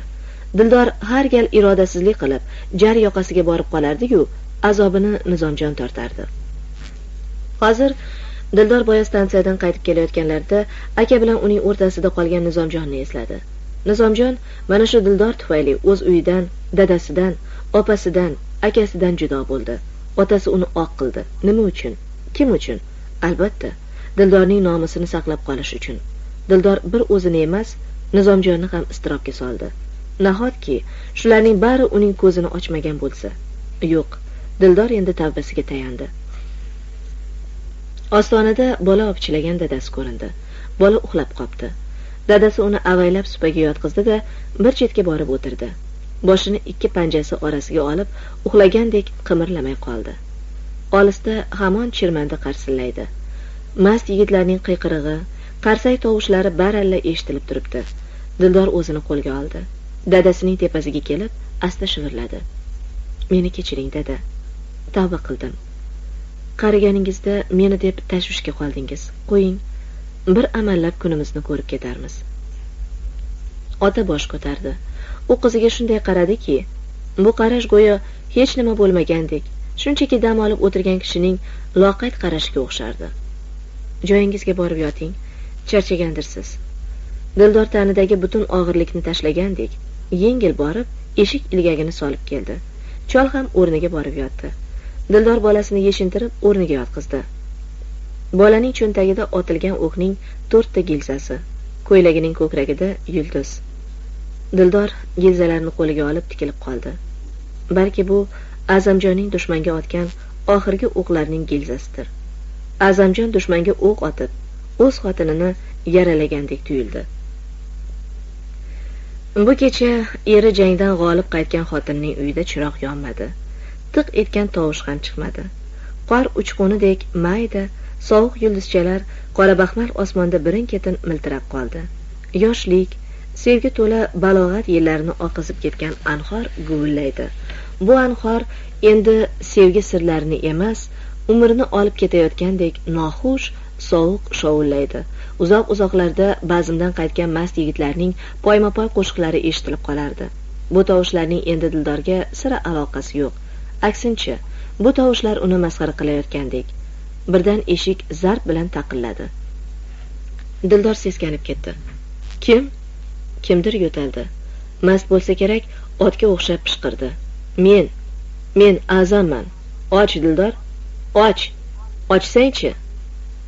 Dildor yeldek uchib eshikka yugurdi. Birdan hovli o'rtasida to'xtab qoldi. Uning yuragi gupillab urar baxtdanmi cho'chiganidanmi o'zi ham bilmasdi. Dildor dildorim och! Dildordan sado chiqmadi. Orqasiga qaytib yana supaga o'tirmoqchi edi. Eshik zarb bilan tag'in taraqladi. Dildor bu gal hech ikkilanmay eshik oldiga bordi. Nima deysiz? Nima qilasiz meni? Och och dildorim diydoringga bir to'yay ayol qalbidek yumshoq hech narsani oson kechiradigan qalb bo'lmaydi. Yig'lab yalinib aytilgan so'z har qanday xotin qalbini eritmay qo'ymaydi. Dildor titrab ketdi. Qo'llari beixtiyor eshik halqasiga bordi. Bordiyu allaqanday kuch qo'lini halqadan uzib oldi. Dildorda qandaydir kuch paydo bo'ldi. Tanidagi titroq ham allaqayga g'oyib bo'ldi. Keting. Dildor bu gapni sira ikkilanmay aytdi. O'z tovushining qat'iyligi unga yana kuch bag'ishlagandek bo'ldi. Azamjonning kayf aralash uni pisand qilmagani va ayni vaqtda hayratda qolganini ifoda qiladigan tovush keldi. Nima? Ikkovi ham jim qolishdi. Saldan keyin azamjon dedi. Esingni yig' dildor indamadi. Keyin pushaymon bo'lasan. O'rtada bolamiz bor. Dildor yana indamadi. Dildorning yuragi uzilib ketgandek bo'ldi ammo yana o'zini bosdi. Sal o'tmay azamjonning piqillab yig'lagani eshitildi. Dildor kuchining boricha o'zini bosishga urindi. Erining gaplaridan ta'sirlanmaslik uchun ikki qulog'ini kaftlari orasiga oldi. Azamjon ancha paytgacha jim qoldi tishlari g'ijilladi nimalardir deb kimnidir so'kdi. Kimni so'kayotganini dildor eshitmadi. Oxiri azamjon jahl bilan eshikni tepdi. Dildor sal orqaga chekindi da ovozining boricha butun qahru g'azabini yig'ib qichqirdi keting keting keting. Azamjon qahr bilan dedi uch taloqsan qo'ydim seni. Ko'cha tarafda notekis tashlangan qadam uzoqlashdi. Dildor hamon qimirlamay yo'lakda turardi. U shu turganicha qancha turganini bilmasdi. Supada yotgan dadasi yo'taldi. Shundagina dildor esini yig'ib orqasiga qaytdi. U supa yonidan o'tib ketayotganda chol boshini ko'tardi. To'g'ri qilding bolam. Shundoq qilishing kerak edi. Dildor indamadi. Bir og'iz gap aytgunday bo'lsa tomog'idan gap emas yig'i otilib chiqardi. U o'zini tutdi. Biroq bolasining yoniga yotarkan o'zini tutolmadi. O'ksib o'ksib yig'ladi. Ko'z yoshlaridan yostiq shalabbo bo'lib ketdi. Uning ahvolini dadasi bilib yotardi. Qay ota o'z bolasining baxtsizligidan azobidan bexabar qoladi deysiz. Nizomjon yo'l o'rtasida ancha turib qoldi. Mashina orqasidan chang purkab zumda g'oyib bo'ldi. Ammo bola ko'targan dildorning shitob bilan o'rikzordan o'tib so'qmoqqa chiqishi hali odam bo'yi kelmagan sariq sariqtorlar orasidan ketishi uning diliga allaqanday og'ir ko'ngilni ezuvchi bir mung tashlab ketgan edi. Nizomjon shu yoshga kirib biron marta shodlikka to'ymagan edi. Bugun akasi o'lim joyidan omon kelganda uni sog'ingan yarimta bo'lgan oila butun bo'lgan kunda ko'rgan kechirgan azoblar unutiladi gina qudrat orqadan ko'tarilib ketadi deb o'ylagan edi. Otasini opasini shu shodlik bahona kechirgan edi ammo bu shodlik unga tatimadi. Kindik qoni to'kilgan uy ona tobuti lopillab chiqqan ostona hamisha uni bag'riga chaqirardi. Oq qilingan bo'lsa da quvilgan bo'lsa da baribir bu uy uning uyi edi. Hech bir bola o'z otasini jigarlarini yomon deya olmaydi. Har qancha alam o'tgan bo'lsa ham ichiga tashlaydi. Alamlarini azoblarini ko'kragiga ko'madi. Nizomjon ham barcha alamlarni ko'ksiga ko'mib akasi keladigan kun hech narsa bo'lmagandek quvilgan ostonadan o'ynab kulib kirib kelgan edi zum o'tmay u yana o'z uyiga begona bo'ldi qo'ydi. Otasi bir og'iz bo'lsa da yur demadi ya risolat bo'lsa uning dilini vayron qilib azamjonga ukang xotiningning o'ynashi dedi. Azamjon unga yov bo'lib qaradi. Endi nizomjonning bu uyda qanaqa ilinji bor? Kimi bor? Nimasi bor? Tamom. Nizomjon ayrilish yo'lda nima qilarini bilmay turardi. Shu topda uning dunyoda hech kim qolmagandi. U asta joyidan qo'zg'aldi. Jigar ekan. Allaqanday ilinj uni uyi tarafga qaratdi. Ko'nglida hozir kimdir kelib qo'lidan tortadigandek uyiga sudraydigandek bo'lardi. Shuning uchun ham u dadil qadam tashlamas uzoq ketib qolsa topolmay qolishadigandek tuyulardi. U asta asta qadam tashlab anchagina nari ketib qoldi. Hech kim uni izlab kelmadi chaqirmadi. Nizomjon og'ir xo'rsinib qadamini tezlashtirdi. Marg'ilon yo'liga qarab ildam yurib ketdi. Guzardan o'tdi. Yo'l chetlariga xarsang yotqizilgan ko'chaga burilishi bilan orqadan yengil oyoq tovushi eshitilib o'girildi. Brezent shippakda yengil yer bosib adolat kelardi. Nizomjon to'xtadi. U o'z qiyofasining qay ahvoldaligini endi bildi. Adolatning hayron bo'lib qarab turganidan bilib qoldi. Nima bo'ldi? dedi cho'chib adolat. Nizomjon javobga og'iz ochdiyu iyagi qimirladi xolos. Tomog'idan ovoz chiqmadi. Qo'y qo'y gapirma. Yur asroralarnikiga kelyapsanmi? Yaxshi qipsan yur. Nizomjonning ko'zidan tirqirab yosh chiqib ketdi. U bola bo'lib yig'lamagan edi. Yig'laganda ham ko'z yoshini yashirgan edi. Hozir u o'zini tutolmadi. Nega yig'ladi? Muttasil ruhiy azob chekkan odam hamisha yangi zarbalarga cholg'anib turadi. Butun asabini kuchini boshiga yog'iladigan kulfatlarini daf qilishga tayyorlab turadi. Ana shunday paytda bir og'iz mehribon so'z bir og'iz iliq kalima asablar ostida yotgan ko'z yoshini siqib olib chiqadi. Nizomjon ham shunday bo'ldi. Taqdirning necha yillardan beri boshiga solayotgan berahm o'yinlari vidasini qotirib qo'ygan edi. Shu sodda shu to'pori qishloq qizining bir og'izgina so'zi uni ona tovushidek unutilgan unutilganu g'uborsizligi mayinligi mehribonligi bilan birdamgina gangitib qo'ygan edi. Nizomjon qachonlardan beri ana shunday bir iliq so'zning gadosi edi. Balki shu iliq so'z uning ko'z milklariga yosh tortib chiqdimikin? Ostonaga yetishganda adolat unga tanbeh berdi. Karim to'g'risida g'iring deb og'iz ochmaysan. Nizomjon hayron bo'ldi. Nega? Hali xabaring yo'qmi? Karimdan xat keldi. U hozir manjuriya chegarasida turibdi. Nizomjonning ko'ngli allanechuk bo'lib ketdi. U manjuriyaning qayerdaligini biladi. Nahotki yana urush bo'lsa? Nahotki yana qon to'kish portlashlar? Menga qara dedi adolat. Yaxshisi sen kirma. Hozir asrori telbadan battar bo'lib o'tiribdi. Rais opa ham shu yerda bo'lsalar kerak sen ketaver. Nizomjon katta tosh yo'lga chiqqandagina o'zining qilgan ishidan pushaymon bo'ldi. Nega asroraning oldiga kirmadi? Nega ikki og'iz iliq so'z bilan uni ovutmadim deb o'zini o'zi koyidi ko'ziga boya stansiyada bir gapirib o'n kulib yurgan asrora ko'rindi. Chorterakda ikki alamzada qoldi. Zirillama yo'lida dilavayron bo'lgan bir yigit o'z yog'iga o'zi qovurilib borardi. Nizomjon zirillamaga kelganda qosh qorayib qolgan simyog'ochlarda endi chiroq yona boshlagan edi. So'rilarda gurunglashib o'tirgan choyxo'rlarga bir bir salom berib naymanga ketadigan biron mashina bormikan deb alanglab turganida sartaroshxona oldida etigining qo'njini ustidan boldirini uqalab o'tirgan ummatali amakini ko'rib qoldi. Dadangni ko'rdingmi dedi ummatali amaki nizomjon uning gapidan qishloqqa borib dadangni ko'rib keldingmi? degan ma'no angladi. Ha dediyu boshqa gap aytmay serrayib turib qoldi. Ko'rgan bo'lsang yaxshi. Boya eshikka o'tib ketgan edi dedi ummatali amaki ana shundan keyingina u gap ikromjon to'g'risida ekanini tushundiyu uyga shoshildi. Hovlida chiroq yongan xayriyat ikromjon uyda ekan.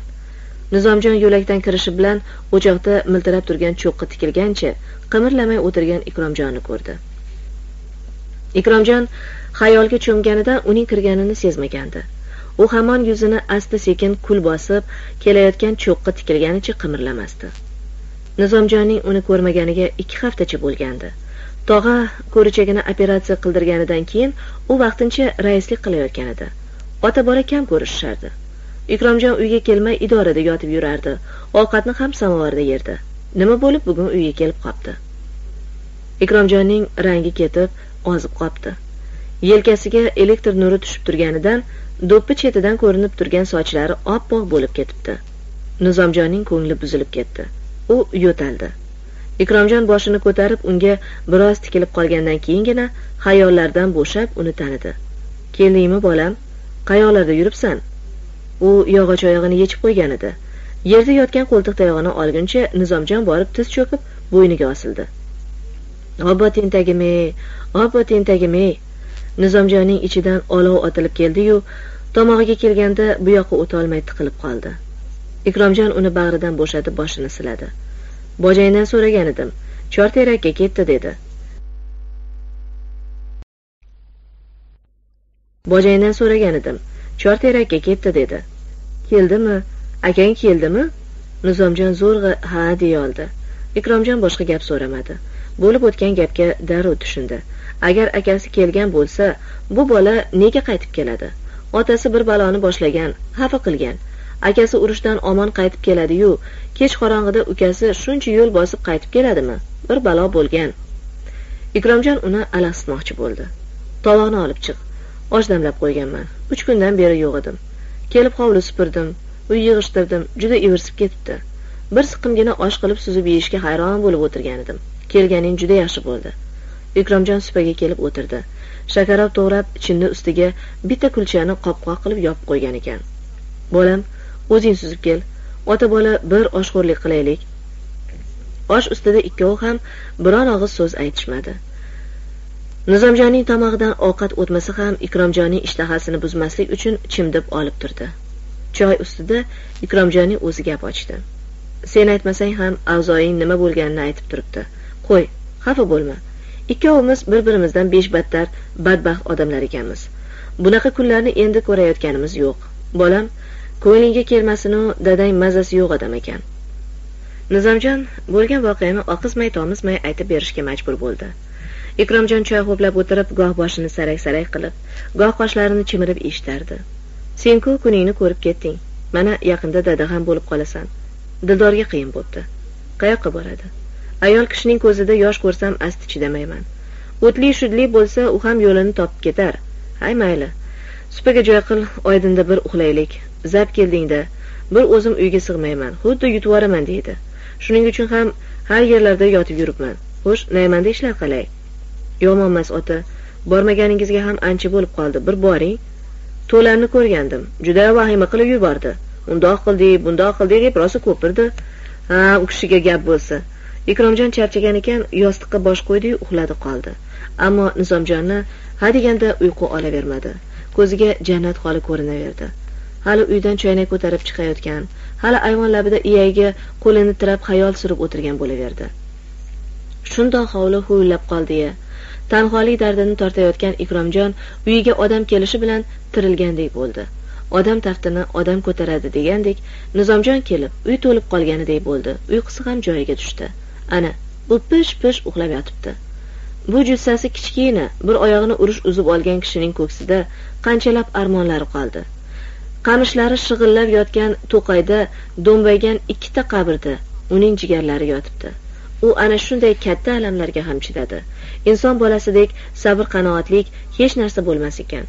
Nizomjon bu azamat kishining sabru bardoshiga qarab o'z dardlarini unutdi. Bu odam u uchun kattakon bir maktabga o'xshardi. Uning har bir qadami har bir so'zi unga kattakon saboqdek edi. Nizomjon qattiq charchagan ekan boshiga oftob kelganda uyg'ondi. Ikromjon amaki ko'rinmaydi. Nizomjon bosh ko'tarib u yoq bu yoqqa alanglab quloq soldi. Chorbog' tarafdan uning yo'talganini eshitib apil tapil kiyinib chorboqqa chiqdi. Ikromjonning qo'lida ketmon ko'pdan sug'orilmay suvsab ketgan behilarga suv ochyapti. Samovarga ikkitagina tarasha tashlab qo'ygin bolam nizomjon orqaga qaytdi. Samovar cho'g'i allaqachon kul bo'lgan pashshaga o'xshab g'ing'illab turibdi. U silkib kulini tushirdi da otashxonada qolgan bir ikki cho'g' ustiga kecha osh damlaganda o'choq oldiga surib suv sepib qo'yilgan ko'mirdan bir hovuch tashladi. Nizomjon tobetini yuvib kelguncha samovar surnay chalib dam o'tmay vaqirlab qaynab ketdi. U so'riga joy tayyorlab ikromjonning kelishini kutib o'tirdi. Hovli jimjit erkak kishi qanchalik mirishkor bo'lmasin hovli tutishni eplolmas ekan. Ilgari bu hovli qandoq orasida bo'lardi? Hamma narsa saranjom sarishta. Devorlar nurabdi. Bahor jalalari tushirib yuborgan tarnov tagidan bo'g'ot o'pirilibdi. Rayhon gultoji xo'rozlar yashnab turadigan gulzorda o'tgan yili bel bo'yi o'sgan giyohlar qovjiragancha hali ham turibdi. Tagidan chiqqanlar ham sug'orilmaganidan sarg'ayishga kepti. Kungay tarafda ikki uy bir ayvon. Ikromjon bu uyni o'g'lini uylantirish uchun qurdirgan edi. Chorboqqa orqa o'girgan ikki uy bir dahliz. Darvozaxona yonida ikkita kichik uy. Bu uyda ikromjon qish kechalari allamahalgacha o'rtoqlari bilan gaplashib o'tirardi. Jannat ularga choy tashib charchardi. Mana shuncha uy bo'sh huvillab yotibdi. Ikromjon hovliga oyda bir kelsa keladi kelmasa yo'q. U bu hovliga xotiniga aza tutish uchungina kelsa kerak. U har kelganda hamma xonalarga kirar deraza chetiga o'tirib bu uyda bo'lib o'tgan voqealarni bir bir eslar. Yana boshqasiga kirib yana o'shanday qimirlamay o'tirardi. Jannat unga shu hovlida to'qqiz marta olam quvonchiga teng baxt berdi. Ikromjon shu ostonadan to'qqiz marta bola ko'tarib oftobdek yarqirab kirdi. Sakkiz marta quvonchini kafanlab shu ostonadan olib chiqib tuproqqa ko'mib keldi. Uning jami quvonchu alamlarini teng bo'lishgan xotini qamishlar sovuq shovullagan to'qay yoqasida yakka qabr bo'lib yotibdi. Unga shodliklar tuganmas baxt va'da qilgan yolg'izi odam oyog'i yetmagan changalzorlar orasida botqoqda qolib ketdi. Bu odam shuncha bola ko'rib qum qismlagan qo'ldek bo'shab qoldi. Ikromjon chorbog'dan chiqib ketmonni ariqqa tashladi da qo'lini belbog'iga arta arta so'riga kelib o'tirdi. Nizomjon unga choy quyib uzatdi. Dada tunkani moylatmasa bo'lmas narigi uyning tomini ham shuvatish kerak ekan. Ikromjon qo'l siltadi. Nima qilasan? Moylatib nima qilasan? Nizomjon hayron bo'ldi. Nurab ketyapti. O'rtoqlarimni olib kelsam ikki kunda u yoq bu yog'ini eplashtirib qo'yardik hojati yo'q bolam hojati yo'q. Kechadan beri bir narsa ko'nglimga kelib turibdi. Tog'iga aytsam shu uyni olsa bolalarga bog'cha qilib bersin. Senga uy kerak emas naymanda uying bor. Men har qayda yotib yuradigan odamman. U bir gapni aytolmay peshonasini uqalab iyagini ishqaladi. Mening bolalarim yayramadi bu uyda. Boshqalarning bolasi yayrasin hech bo'lmasa. Uning bu tovushida shunchalar o'kinch shunchalar dard bor ediki buni faqat ikromjonning kechmishidan xabardor odamgina sezishi mumkin edi. Nizomjonning bag'ri o'rtanib ketdi. Bo'yniga osilib soqollaridan silagisi keldi. Ota bola jimgina o'tirib choy ichishdiyu ikromjon darrov o'rnidan tura qoldi. Naymanga ketasanmi? dedi u nizomjonning betiga qaramay. Ketsam deyman yumushingiz yo'qmi? Mayli boraver. Bugun erta o'zim ham o'tib qolarman. Ota bola eshikka qulf urib ko'chaga chiqishdi. Ummatali tut tagida oyog'ini uqalab o'tirardi. Yana oyog'ini uqalab qolsang oshna nima bo'ldi? E bo'lmayapti. Bu kecha mijja qoqmadim. Yomon qiynayapti. Idoradan telefon qilgan edim bolam boyqish azizxon kechasi farg'onadan doktor olib keldi. Chortoqqa borsin deyapti. Bormasam bo'lmaydi. Bolam bechorani yana ovora qiladigan bo'ldim. O'zi olib borib tashlamoqchi. Tog'aning ahvoli qalay. Kecha borgan edim yaxshi. Bir ikki kunda chiqib qolar. Ummatali qoldi. Ota bola guzarda ajralishdi. Ikromjon idoraga qarab keta turib nimadir demoqchi bo'lib qoldi. Biroz o'ylanib turib yana eshikni ochib kirib ketdi. Naymanga ketadigan mashina bo'lavermagandan nizomjon betoqat bo'lib turgan edi idora orqasidagi saroydan temir bochka yuklagan mashina chiqdi. Hamma yog'i moyga qorishgan to'lanboy kuzovda u yoq bu yoqqa alanglab kimnidir qidirardi. To'lanboyning xotini klub oldidagi skameykada tugun ko'tarib o'tirgan edi. Mashinaga qo'l ko'tarib o'rtaga tushganda ko'rib qoldi. To'lanboy o'zini yerga otib xotinining qo'lidagi tugunni oldi. Nizomjon indam yurib ular oldiga bordi. Er xotin uni ko'rib hayron bo'lib qolishdi. Ha? Nima qilib yuribsan boja qachon kelding? Qishlog'ingga bordingmi o'zi? Nizomjon bordim dediyu boshqa gap aytmadi. Kelganing yaxshi bo'pti hozir yuvinib olay birga ketamiz. To'lanboy tolzor tarafga o'tib ketdi. To'lanboyning xotini to'yga ketayotgandek kiyinib olgan qo'lida qo'sha qo'sha tilla uzuk qulog'ida qashqar baldoq tizzasidagi tog'aradan hali sovimagan somsa hidi kelib turibdi. Zebuxonning opasi kiyinishni juda o'rniga qo'yardi. Yoshi ellikka yaqinlashib qolgan bo'lsa ham yuzida bitta ajin yo'q. Shuncha urush yillari ham qoshidan o'sma uzmadi erkaklar bilan barobar sholi chopig'ida ham o'tog'ida ham baribir qoshida o'sma yuzida ellik edi. To'lanboy ham o'ziga yetarcha tabiatli kishi. Biron mahal soqoli o'sganini hech kim ko'rmagan. Xullas er xotin ishni ham oliftagarchilikni ham o'rniga qo'yishardi. To'lanboy bozor kunlari marg'ilonga tushib xotiniga yarashadigan narsalarni qidirib yurardi.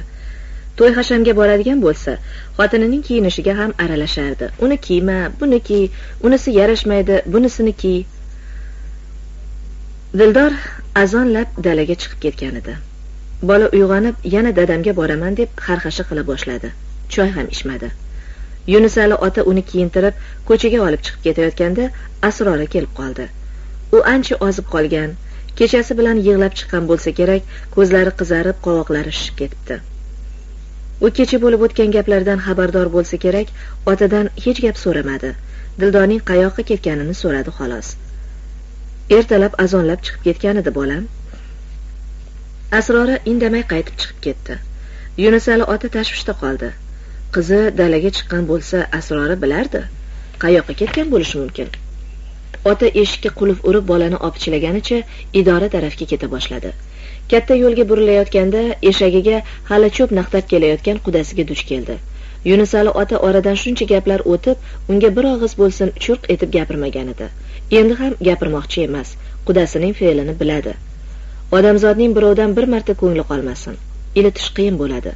Inoyat oqsoqolning o'g'lim dildor bilan o'ynashib qo'yib zakundan qo'rqib uylangan bolasi ham haromi deganini eshitgan. U shu gapni eshitganda dunyo ko'ziga qorong'i bo'lib ketgan edi. Ota tabiatan yuvosh odam bo'lganidan shu gapni ham ichiga yutib ketgan edi. Bu gapni kuyovim aytmagan-ku deb indamay qo'ya qolgan edi. Kechagi voqea uni o'tsiz tutatib yubordi. Qizi bilan barobar tortgan azoblari alamlari uchun oqsoqolni tishlab tishlab olmoqchi bo'ldi. Darrov bu niyatidan qaytdi. Avval kuyovim bilan gaplashay qani u nima? deydi. Yunusali ota qudasining betiga ham qaramay indamay o'tib ketayotgan edi oqsoqolning o'zi eshak nuqtasini tortib to'xtadi. A quda bolalarga qo'shilib arazlab yuribsizmi? Ay bo'ladi. Shundoq bolam o'lim og'zidan qaytib keladi-yu, sevinish o'rniga to'rsayib yurish sizga yarashmaydi. Axir azam sizning ham bolangiz. Yuring uyga. Bolalarning oldida gaplashaylik. Nima qilasiz go'dakni ota diydoridan mahrum qilib? Yunusali ota indamadi. Bola yotsirab oqsoqol olib ketmoqchiday buvasining orqasiga bekinib oldi. Shundoq bo'lsin quda. Oqsoqol shunday dediyu eshakka hali cho'p nuqtadi. Eshak pildirab o'tib ketdi. Yunusali ota qayoqqa borishini bilmay har dam hayol bo'lib turganidan keyin idora tarafga yo'l oldi. Ular yonidan gurillab o'tib ketgan yuk mashinasi sal nariga o'tib to'xtadi. Shofyor kabinadan tushib cho'ntagidan ikkita qip qizil olma chiqazdi da bolaning qo'liga berib yelkasiga qoqdi. Voy bu malades bo'lib ketibsan-ku. Dadang mana unaqa giroy. Frontdan senga nima olib keldi? Bola ko'kragidagi yulduzni ikkita gilzani cho'ntagidan olib ko'rsatdi. Iya amaza qilibsan-ku. Meni ham shunaqa giroy dadam bo'lsa maza qilardim. Shofyor uni erkalab yana mashinasiga o'tirdi-yu gurillatib haydab ketdi. Dadasi sha'niga aytilgan maqtovlardan bola quvonib ketdi. Buvasining oldiga tushib dadam mana unaqa yuradi dadam mana unaqa chopadi deb u yoqdan bu yoqqa chopar. To'xtab buvasiga xuddi askarlardek chez berib qimirlamay turib qolardi. Yunusali ota nevarasining qiliqlarini ko'rib ich ichidan ezilib ketardi. Nahotki dildor eridan ajrab ketadi? Unda bolasi nima bo'ladi? Axir bu bola tili chiqqanidan beri dadasini yo'qlaydi. Kelishini kutib yo'l poylaydi. Yo'q. Nima bo'lsa ham ularning boshini bir joyga qovushtirib qo'yish kerak. Hech bo'lmasa mana shu bola uchun ular birga yashashlari kerak. Har qancha og'irlikka chidab birlashishlari kerak. Yunusali ota nevarasini opichlab oqsoqolnikiga yo'l oldi. Ko'prikning naryog'ida ishkomga poyasi kesib olingan keksa tol yonida dildor bilan azamjon turardi. Azamjon nimadir deb tinmay gapiradi. Dildor yerga qaragancha qimirlamay turibdi. Yunusali ota to'xtadi. Ularning gaplariga xalaqit bermaslik uchun o'rikzor tarafga burilayotganda nevarasi ularni ko'rib qoldi-yu qiyqirib yubordi. Dada dada! Ota bolani yerga qo'yishga majbur bo'ldi. Uning hayhaylashiga qaramay bola pildiraganicha ular tarafga uchib ketdi. Azimjon azimjon! Bola orqasiga qaramasdi. Zumda ko'prikdan o'tib dadasiga otildi. Bo'yniga osilib furashkasini olib kiydi. Dada bolaning bu holatiga ham havas ham tashvish bilan qarab turgan yunusali ota orqasiga qaytib ketdi. Azamjon dildorning ko'nglini ovlamoqchi bo'lardi. Axir o'ylasangchi dildor dadam qarib qolgan narsa besh kunligi bormi yo'qmi? Nima qilay tashlab ketaymi? Dildor indamasdi. O'zing g'alati bo'lib qolibsan. Axir dadam bilan opam senga nima yomonlik qildi? Uyim joyim bo'la turib qarib hassaga tayanib qolgan dadamni tashlab senikiga ko'chib ketaymi? Bormayman. Xotin kishi uyidan chiqib ketadi. Azamjon erkaklik sha'ni to'g'risida uzoq gapirdi. Dildor churq etmay uning bari gaplarini eshitdi. Mana shu bor gapim shu. Xohlasang shundoq bo'ladi. Xohlamasang o'zing bilasan. Dildor boshini ko'tarib dedi. Bor gapingiz shumi? Shu dedi azamjon. Bo'lmasa endi mendan eshiting. Dildor birdam tik qoldi. Mana shu bir necha daqiqada azamjon bilan uchrashgan birinchi kunidan to shu topdagi uchrashuvgacha bo'lgan voqealarni esladi. Shu o'tgan davr ichida uni ko'p narsaga o'rgatgan bo'shashgan qishloq qizini bir so'zli cho'rtkasal qilib qo'ydi. Kuchga g'ayratga to'lib gapira boshladi. Dadam bilan opam nima yomonlik qildi deb so'radingiz? Men javob beray. Siz eshiting. Opangiz bilan dadangiz uchun siz allaqachon o'lgan edingiz. Allaqachon sizning janozangizni o'qib bo'lishgan ular. Meni ukangizga olib bermoqchi bo'lishdi. Ko'p olishishdi men bilan. Yaxshiyam nizom insofli ekan. Hamma narsadan kechdiyu o'zini sizni mening nomusimni saqlab qoldi. Agar dadangiz bilan opangizning gapiga kirganda kecha siz ona qishlog'ingizga kelmasdingiz. Ukasiga xotin bo'lgan xotiningizning betiga tuflardingiz. Gunohim sizga xiyonat qilmaganimmi? Nizom sizga nima yomonlik qildi? Kecha ko'rdingizmi? Yetti yot begonadek ko'cha o'rtasida qoldi. Na dadangiz na opangiz uni yur dedi. Sizchi siz nega uni uyga chaqirmadingiz? Sizga qilgan yaxshiligiga bu mukofotingizmi? Erkaklik sha'ningizni gapiryapsiz. Sizning shu erkaklik sha'ningizni kim saqladi? Ayol boshim bilan men saqladimmi? Xo'sh mening ayollik sha'nimni kim saqlaydi? Sizga yo'liqqan kunimni qarg'ab yashayapman. Dadam qarib qolgan besh kunligi qolgan dadamning deyapsiz. O'sha uchun yashamoqchisiz. Manavi kechagina beshikdan chiqqan hali dunyoning nimaligini bilmaydigan bola uchun yashamoqchimassiz siz tobutga qarab emas beshikka qarab yashashingiz kerak edi. Ne deb urushga borib keldingiz? Latta puttaga to'lgan dadangizning hujrasini mudofaa qilgani borganmidingiz? Boshqalar bolalarining umrini saqlashga borib kelganda siz okopda yotib shu hujrani o'ylabsiz. Dildor o'rtanib kuyib yonib gapirardi. Uning har bir gapi azamjon ko'ksiga o'q bo'lib qadalardi. Bu gaplarni unga o'z xotini aytyapti. Boshqa odam aytganda uning boya o'zi aytgan erkaklik sha'ni ikki panjasidan musht tugardi. Uning tishlari g'ijirladi ko'zlaridan o't chaqnadi. Ammo dildor uning bu holatidan zarracha cho'chimadi. Gapini qanday gapirayotgan bo'lsa o'shandoq davom ettirdi. Siz bir meni emas uch kishini baxtsiz qildingiz. Mana bu go'dak jigaringiz nizomni ham badbaxt qilgan odamsiz. Ochig'ini aytay. Men nizomni sevardim. Oraga siz suqildingizu bir birimizdan begona qildingiz. Frontdan yozgan xatingiz esingizdami ukangizning odamgarchiligiga ming marta ta'zim qilgan edingiz. Bizning uyimizda yuvosh befahm musicha ham bola ochmaydi deb yozganingiz esingizdami qani endi ham shu gapni aytib ko'ringchi. Azamjonning oyog'ida darmon qolmadi. Hamon bo'yniga osilib turgan bolani asta yerga qo'ydi-yu holsizlanib to'nkaga o'tirdi. Shu o'tirgancha qimirlamay uzoq jim qoldi. Dildorning bari gaplari haqiqat edi. Bu gaplarga biron javob topishga azamjonda so'z yo'q edi. Hozir u ikki o't orasida kalovlab qolgan edi. Dadasining fe'lini biladi. Agar u dildor bilan bo'ladigan bo'lsa uni albatta oq qiladi. Butun qishloqqa dod solib nomard bolani la'natlaydi. Bordiyu ota uyida qolsa bolasi qancha jabru jafolarga bardosh bergan uni kutgan xotini nima bo'ladi odamlar nima deyishadi shumi uni yigitlik sha'ni. Dildor hamon tik turganicha undan javob kutyapti.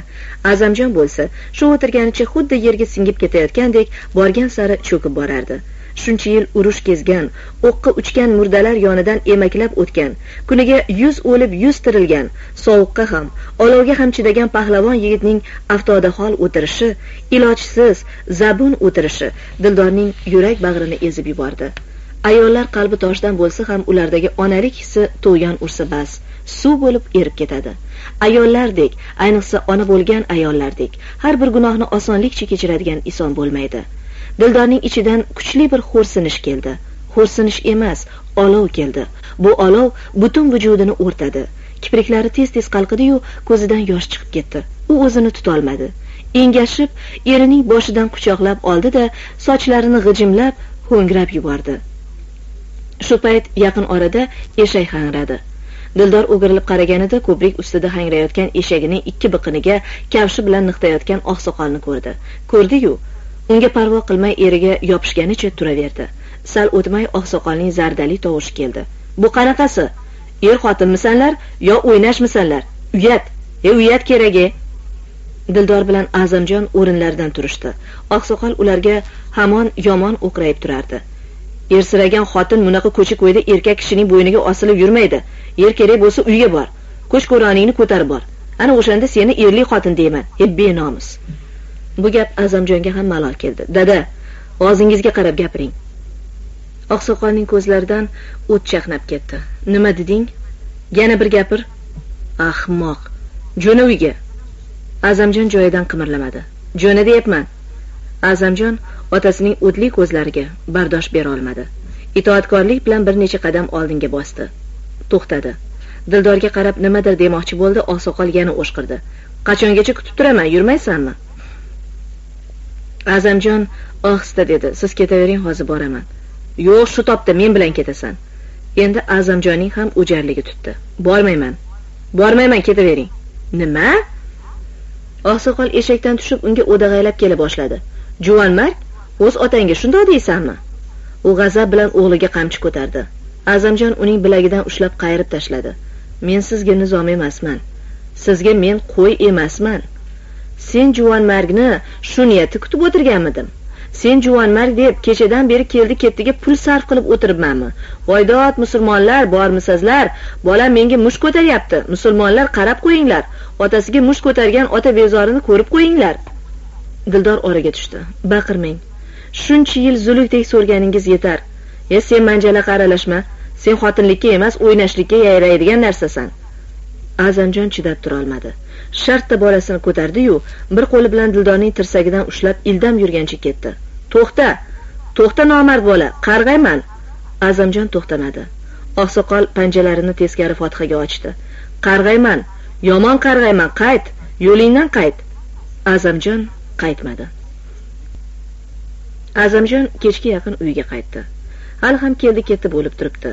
Inoyat oqsoqol to'rsayib olgan undan qayoqqa bording? Nima qilding? deb so'ramadi. Oshxonada g'imirsib yurgan risolat ukasining oldiga bir choynak choy keltirib o'zi ham yoniga o'tirdi. Sen bola nima qilib qo'yding? Nima qilibman dedi o'zini bilmaslikka solib azamjon. Risolat gapini nimadan boshlashini bilmay birpas chaynalib turdi. O'sha yoqqa bordingmi? O'sha benomusnikiga ya. Yuzingga oyoq tirab ketgan o'sha bettiq qattiq xotiningniki bor deymi? Azamjon qizarib ketdi. Bo'ldi. Bitta frontdan kelib yana boshqa frontga yo'liqyapmanmi risolat yana bo'sh kelmadi. Menga baribir yashaydigan sen. Mening uyim boshqa ro'zg'orim boshqa. Shunaqa ekan nega aralashasiz? O'rtada qari dadam bor. Bittang undoq qilib ketding. Endi sen ham cholning yuziga oyoq tiramoqchimisan mayli. Qanaqa o'g'illigingni yurt ko'rsin bilsin bilib qo'ysin. O'tirishini qara bukchayib qaltiroq bo'lib qolganini qara. Azamjon bu gal indamadi. Risolat gapim joyiga borib tegdi deb o'yladi. Ust ustiga bosib tushmoqchi bo'ldi. Dadamni hurmat qilmasang onam rahmatlikning arvohini ranjitma. Onam bo'lganda dadam shu alfozga tusharmidi? Azamjon sapchib o'rnidan turib ketdi. Onamni gapirmalaring. Onamni sil qilib o'ldirgansanlar onam bechoraning yuzida biron marta quvonch ko'rmaganman. Dadam sen uni adoyi tamom qilgansanlar o'ldirgansanlar. Risolat undan bu xil gaplarni kutmagan edi. Qo'rqib o'rnidan turib ketdi. Bo'layotgan gaplarni oqsoqol eshitib o'tirgan edi. Hassasini do'qillatib o'dag'aylab o'g'lining tepasiga keldi. Urushdan shunaqa zo'r bo'lib keldingmi? Nemisdan ortgan o'qingni dadang bilan opangga otgani keldingmi? Bu uyda mening aytganim bo'ladi. Azamjon istehzoli kuldi. Bu gaplar u bola paytimda o'tardi. Endi o'tib ketdi bu gaplar. Dada men yo'q paytlarda bo'lgan gaplarni bir eslab ko'ring. Hech jahonda bola ham ota uyidan ketib qoladimi?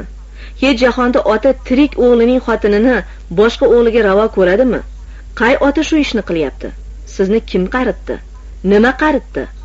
Bola chaqani boqaman deb qariganingiz yo'q. Sizni pul mol qaritdi. Ovozingni o'chir ablah birov eshitadi. Mayli eshitsin. Agar xotinimga yana biron og'iz gap aytadigan bo'lsangiz men ham nizomning ishini qilaman. Birdan oqsoqol o'rnidan turib ketdi. Uning rangi oqargan soqollari tinmay silkinardi. Mayli tashlab ket tashlab ket nomard bola.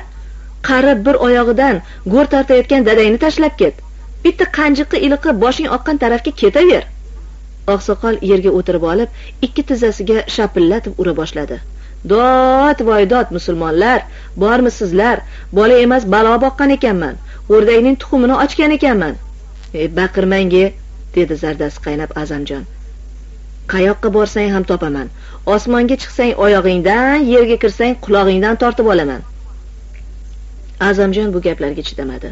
Shart o'rnidan turdi-yu uyga kirib opasi kecha boshiga kiydirgan do'ppi bilan dadasi yelkasiga tashlagan to'nni uloqtirib qoziqdagi kitilini oldi.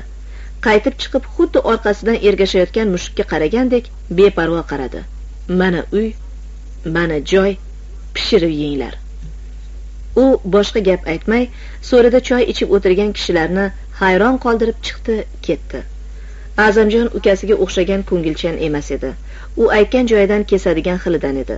Ukasi har gal uydan chiqib ketayotganida ko'ngli allanechuk bo'lib ketar kimdir bir og'iz iliq gap aytsa qaytib kelgudek bo'lardi. Ammo azamjonning uydan chiqib ketayotganida eti jimirlashmadi ham. Nizomjon bo'lsa hatto zanjirdagi itning ham bo'yniga osilib yig'lamoqdan beri bo'lgandi. Azamjon jahl ustida har qanday ishdan toymasdi. Oradan uch to'rt kun o'tib qilgan ishidan pushaymon bo'lib yurgan paytlari ko'p bo'lgan. U kecha stansiyadan qaytar ekan opasining bir og'iz gapi bilan uch yil yo'liga ko'z tikkan xotinini yo'l o'rtasida tashlab ketdi. Xotiniga nisbatan yuragida yongan o'tni sira o'chmasa kerak deb o'ylagan azamjon yarim kechasi xotinining eshigiga yig'lab keldi. U jangda kezarkan bu uyni xayolan necha martalab ko'rgan sog'ingan edi. Har qalay kecha xunuk ish bo'ldi. Xotini shunday qilishi kerakmidi? Albatta dildor andak yengillik qilib qo'ydi. Nima bo'lganda ham eri bilan uyga kelishi har qancha gapi bo'lsa xotirjam gaplashishi mumkin edi-ku. Azamjon bu gaplar shunchalik gazak olib ketishini o'ylamagan edi. Yo'l o'rtasida o'g'li ko'zlarini javdiratib qarab qoldi. Tug'ilganida ham yo'lga kirib tili chiqqanida ham ko'rmagan ota o'z bolasini bir necha minut bag'riga bosdi xolos. Aft basharasiga ham durustgina qarab ulgurganicha yo'q. Ko'zlari qanaqa qoshlari qanaqa o'ziga o'xshaydimi? Mana shunday xayollar kechasi mehmonlar tarqaguncha ham ko'nglidan ketmadi. Qaynatasi bolani olib kelgan edi u payt azamjon ancha kayf qilib qolgan. Uning ustiga opasi ukamning mehri bolasiga tushib qolmasin deb uni unga biylatmadi. Bolada nima gunoh? Sog'ingan dadasiga yaqin kelolmay atrofida aylanishib yurdi. Oxiri bo'lmadi. Bola dadasiga borib suykaldi azamjon kayf bilan uni o'par yelkasiga mindirib u yoqdan bu yoqqa chopardi. Umrida bilmagan qo'lansa aroq hidi bolani behuzur qildiyu dadasining yelkasidan tushib uyimga ketaman deb xarxasha qila boshladi. Shundagina yunusali ota uni opichib uyiga qaytarib olib ketdi. To uyga yetguncha bola buvasining yelkasida uxlab qolgan edi. Azamjonning dimog'ida bola hidi qoldi chidamadi. Dadasining opasining hayhaylashiga qaramay ular ketidan ketdi. Ammo dildor unga eshikni ochmadi. Kayf va hirs uni boshlab kelgandek tuyulgan edi. Bu xil muomala azamjonga malol keldi. Uning yigitlik hissini haqoratlash bo'lib tuyuldi-yu og'ziga nima kelsa shuni dedi. Dildor eshik ochmagan tun azamjon alam sitam bilan uyiga qaytdi. Yechinmay supadagi ko'rpachaga o'zini tashladi. Ertalab tong saharda uyg'ongan azamjon kechasi bo'lib o'tgan hodisalarni bir bir eslab o'z qilmishidan o'zi uyaldi. Beg'ubor tong nafasini shimirarkan bolalik yillari qaytib kelgandek bo'lardi. Hamma yoq sokin daraxtlar ham shitirlamaydi. Endi ko'z ochgan qushlar olamini uyg'otmoqchidek chug'urlashadi tinmagur anhor hamon shovullaydi bunday sokin va tarovat to'la tong kishilar ko'ngliga faqat yaxshilik soladi. Ikki qo'li qonga belangan jallod ham bu xil nafis tongda hayotida kechgan eng lazzatli eng mo'tabar onlarni eslaydi. Azamjon xuddi yoqimli kuy tinglayotgandek goh ko'zlarini yumar goh yuzlarida ajib bir tabassum bilan azim teraklar uchiga zar surkayotgan quyosh shu'lasiga tikilib qolardi. Shu tongda shu ezgu ertada u umrining buyog'ini dildorsiz o'g'lisiz o'tkazish mumkin emasligini tuydi. To'ppa to'g'ri dildorlarnikiga qarab ketdi. Qo'rg'on jimjit. Azamjon kecha quvilgan ostona oldida ancha kutib turdi. Kecha tepganida darvozaning bir qanotiga poshnasining izi tushib qolibdi. Shundagina u kecha qilgan ishi dildorga qanchalik ta'sir qilganini bildi. Andisha bilan darvozani itarganida ochilib ketdi. Dildor bolasining dorga yoyib qo'yilgan ko'ylakchalarini olayotgan ekan uni ko'rib joyidan qimirlay olmay qoldi. Kel ham demadi ket ham demadi. U o'zini butunlay yo'qotib qo'ygan edi. Ikkovlari shu alfozda bir birlariga tikilganlaricha ancha turib qolishdi. Oxiri azamjon darvozani bekitib orqaga chekindi.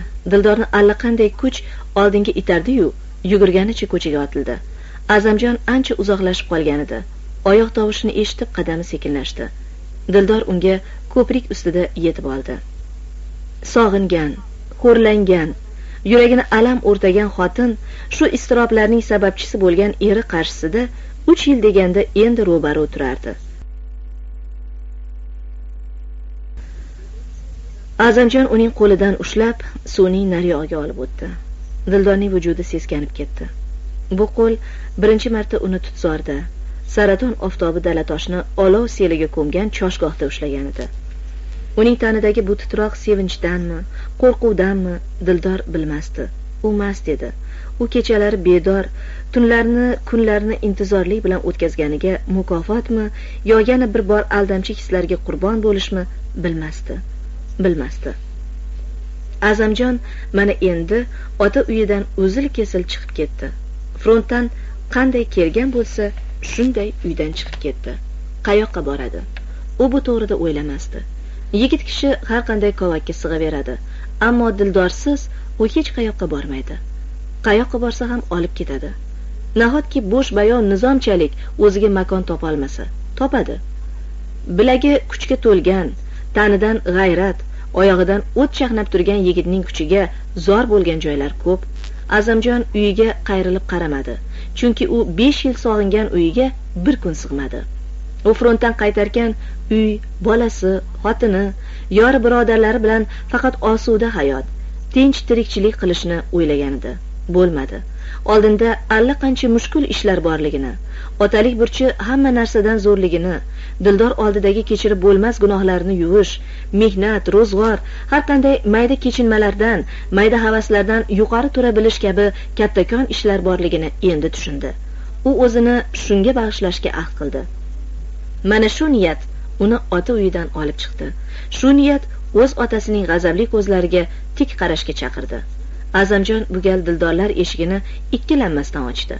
Xuddi o'z uyiga kirib kelayotgandek to'ppa to'g'ri ayvon labiga keldiyu kitelini so'riga uloqtirib tut tagida begonasirab turgan o'g'lini dast ko'tarib oldi.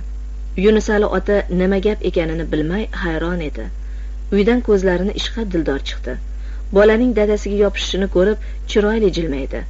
Qizlik yillarida dildor shunaqa jilmayardi. Uning shu jilmayishi balki azamjonning yuragiga o'shanda o't solgandir. Bolani qo'yib azamjon ochiq yuz bilan qaynotasiga salom berdi. Keldim. Keldim ota. O'z bolamga o'zim ota bo'lmoqchiman. Shunga qaror qildim. Mendan o'tgan bo'lsa kechiring. Shundoq bo'lib qoldi. Dildor uning qaroriga tushundi. Kecha qoziqda qolgan oq shohini uning oyog'i tagiga yozdi. Azamjon qo'lida bola bilan poyandoz ustidan yurib ayvonga chiqdi. Bu uy endi uning uyi edi. Biroq otasi bilan yonma yon turish unga qandoq kulfatlar keltirishini hali bilmasdi. Inoyat oqsoqol osonlikcha jon beradiganlardan emasligini u bilardi. Azamjon avvaliga bu yerdan ketish dildorni ham bolasini ham olib uzoqroq joyga ketishni niyat qilgandi. O'ylab qarasa bu qochish nomardlarcha qochish bo'ladi. Shuning uchun ham o'z qishlog'ida o'z kolxozida qolib otaga so'z bermay yashash kerak. Azamjon nima bo'lsa tosh kelsa kemirib suv kelsa shimirib yashashga. Ammo tanlagan yo'lidan qaytmaslikka ahd qildi. Azamjon esini tanib yigit bo'lgan yillardan buyon qanchadan qancha niyatlar qilgan. U shu niyatlarning birontasini yuzaga chiqazmagan chiqazish qayoqda barini unutgan edi. Har qalay u ayriliq ko'rdi o'lim ko'rdi ota bo'ldi. Ahdini unutmas endi. Charosga yana rang kirib qoldi. Chorterak bog'larida shaftolalar g'arq pishgan bolalar qo'lida dum bermay uzilgan handalaklar qishloqda har kuni bir xushxabar. Kimningdir eri kimningdir bolasi urushdan kelyapti. Chollarning kuni tug'di. Kuniga ikki uch xonadonda ziyofat yeydilar. Qoraxat olganlarning uyi jimjit. Ularning yetim bolalari to'y bo'layotgan uylar eshigi oldida yelkalarini qisib allaqanday havas o'kinch bilan o'yin kulgiga qarab turardilar. Dadalarining medallarini taqib yulduzli shapkalarni kiyib olgan bolalar orqasidan ergashadilar. Bir marta bo'lsa ham ushlab ko'rishni so'raydilar. Birovning uyida to'y birovnikida aza.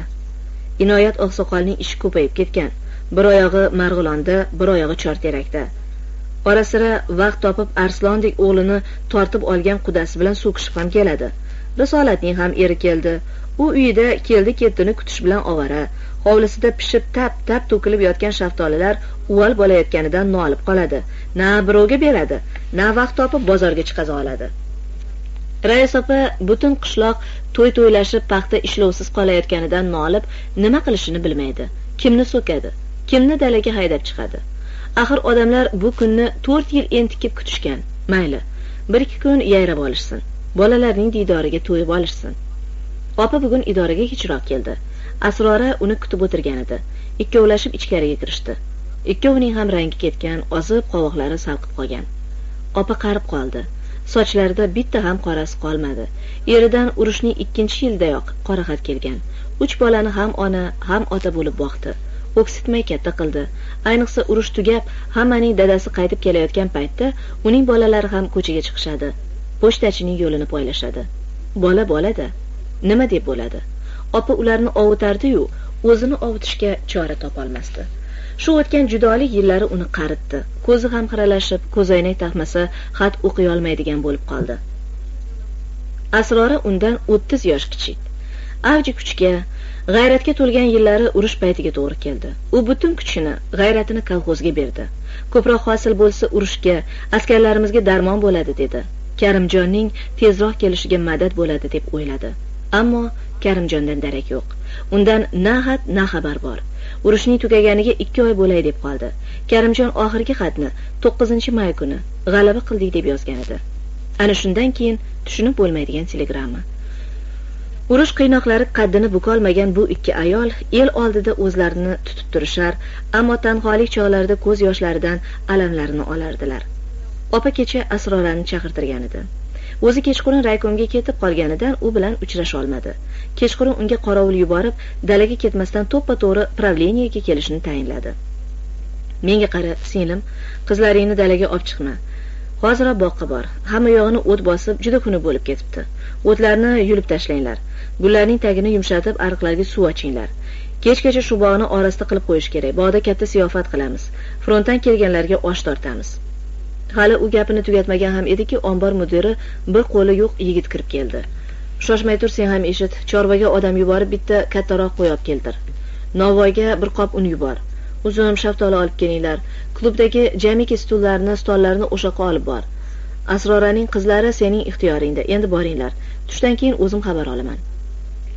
Asrora ombor mudiri bilan chiqib ketdi. Ulardan keyin opa tashqariga chiqib qorovulni chaqirdi. Mana bu ro'yxatdagi kishilarni kechqurun soat oltiga boqqa chaqiring. Opa buxgalteriyaga kirdi. Bugungi marosim oddiy marosimlardan emasdi. Opa shu masalada kecha raykomga borib qishloq odamlarini to'y to'ylashib dala ishlari qolib ketayotgani ularga bir nima deyishga ko'ngli bo'lmayotganini aytgan edi. Raykom sekretari yaxshi bir maslahatni o'rtaga tashladi. Bu opaga juda ma'qul tushdi. Frontdan qaytganlarni bir joyga to'plab ularga osh tuz tortib dala ishlariga yordam berishlarini so'raydigan bo'ldi. Asrora opa aytganda ham ziyoda qilib bog'ni tozalatdi. Supurib suv sepilgan bog' elektr yorug'ida judayam ajoyib bo'lib ketdi. Stollar yasatilgan alvon rang shoftolilar uzum olmalar handalaklar stolni yashnatib yuborgan edi. Kabobchining qo'rasidan ko'tarilgan oqish tutun daraxtlar orasida suzib yuradi. Uning hidi unutilgan urushdan oldin bo'ladigan kolxoz to'ylarini esga solardi. Ko'ksi orden medallarga to'lgan yigitlar g'ijim ro'molga o'rangan xotinlarni yetaklab bolalarini opichlab bog' darvozasidan kirib kelishardi. Opa ham kiyingan uning ham ko'kragida bir emas ikki lenin ordeni asroraning ham pardozi joyiga kelib qolgan uning ham ko'kragida hurmat belgisi bir medal. Brigada qizlarining hammasi ikki uch martadan hukumat mukofotiga sazovor bo'lgan edilar. Faqat o'zi bilan o'zi ovora bo'lib qolgan dildorgina bu hurmatlardan chetda edi. Bog' ichi odamga to'ldi. Opa mehmonlarni dasturxonga taklif qildi. Hamma stol atrofiga birin ketin o'rnashib oldi. Opa to'rga chiqib o'tirganlarga birma bir qarab po'kagi ochilmagan vino shishasiga vilka bilan urib shovqinni bosdi da gapira boshladi. Ruxsat eting aziz qahramonlarimiz sharafiga atalgan ziyofatimizni ochiq deb e'lon qilishga opa chapaklar bosilguncha kutib turdi. Aziz birodarlar hamqishloq qahramon jangchilar. Omon eson g'alaba bilan qaytib kelishingizni butun qishloq kolxoz a'zolari nomidan tabriklayman. Siz chinakam qahramonlarcha jang qildingiz. Dushmanni yovuz fashistni o'z uyasigacha quvib borib tor mor qildingiz. Rahmat. Siz bilan birga ketgan hamqishloqlarimizdan qirq uch kishi qahramonlarcha shahid bo'ldilar. Biz ularning nomini unutmaymiz. Hamisha eslab turamiz. Ularning sag'irlarini boshini silaymiz.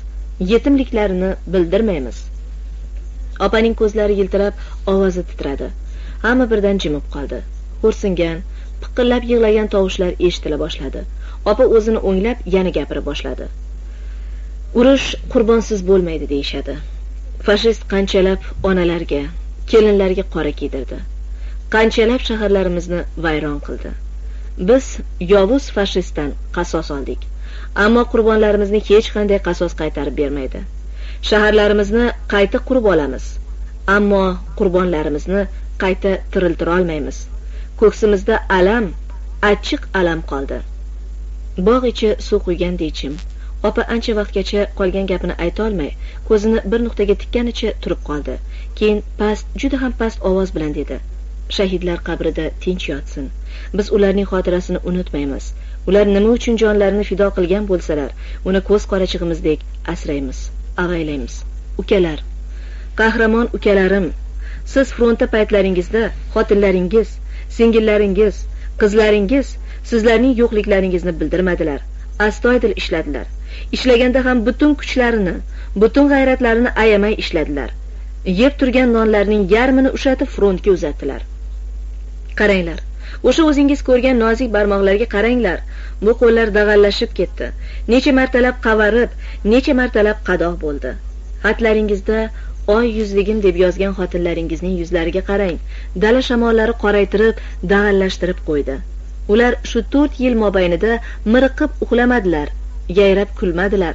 Hamma vaqt ikki ko'zlari ikki quloqlari front yo'liga qadalib turdi. Qish sovuqlarida ham. Saraton jaziramasida ham daladan beri kelmadilar. Siz keldingizu u kunlar unut bo'ldi. Mana shu kunni keltirish uchun siz u tarafdan biz bu tarafdan front ochib kurashdik. Opa unchalik gapga usta emasdi.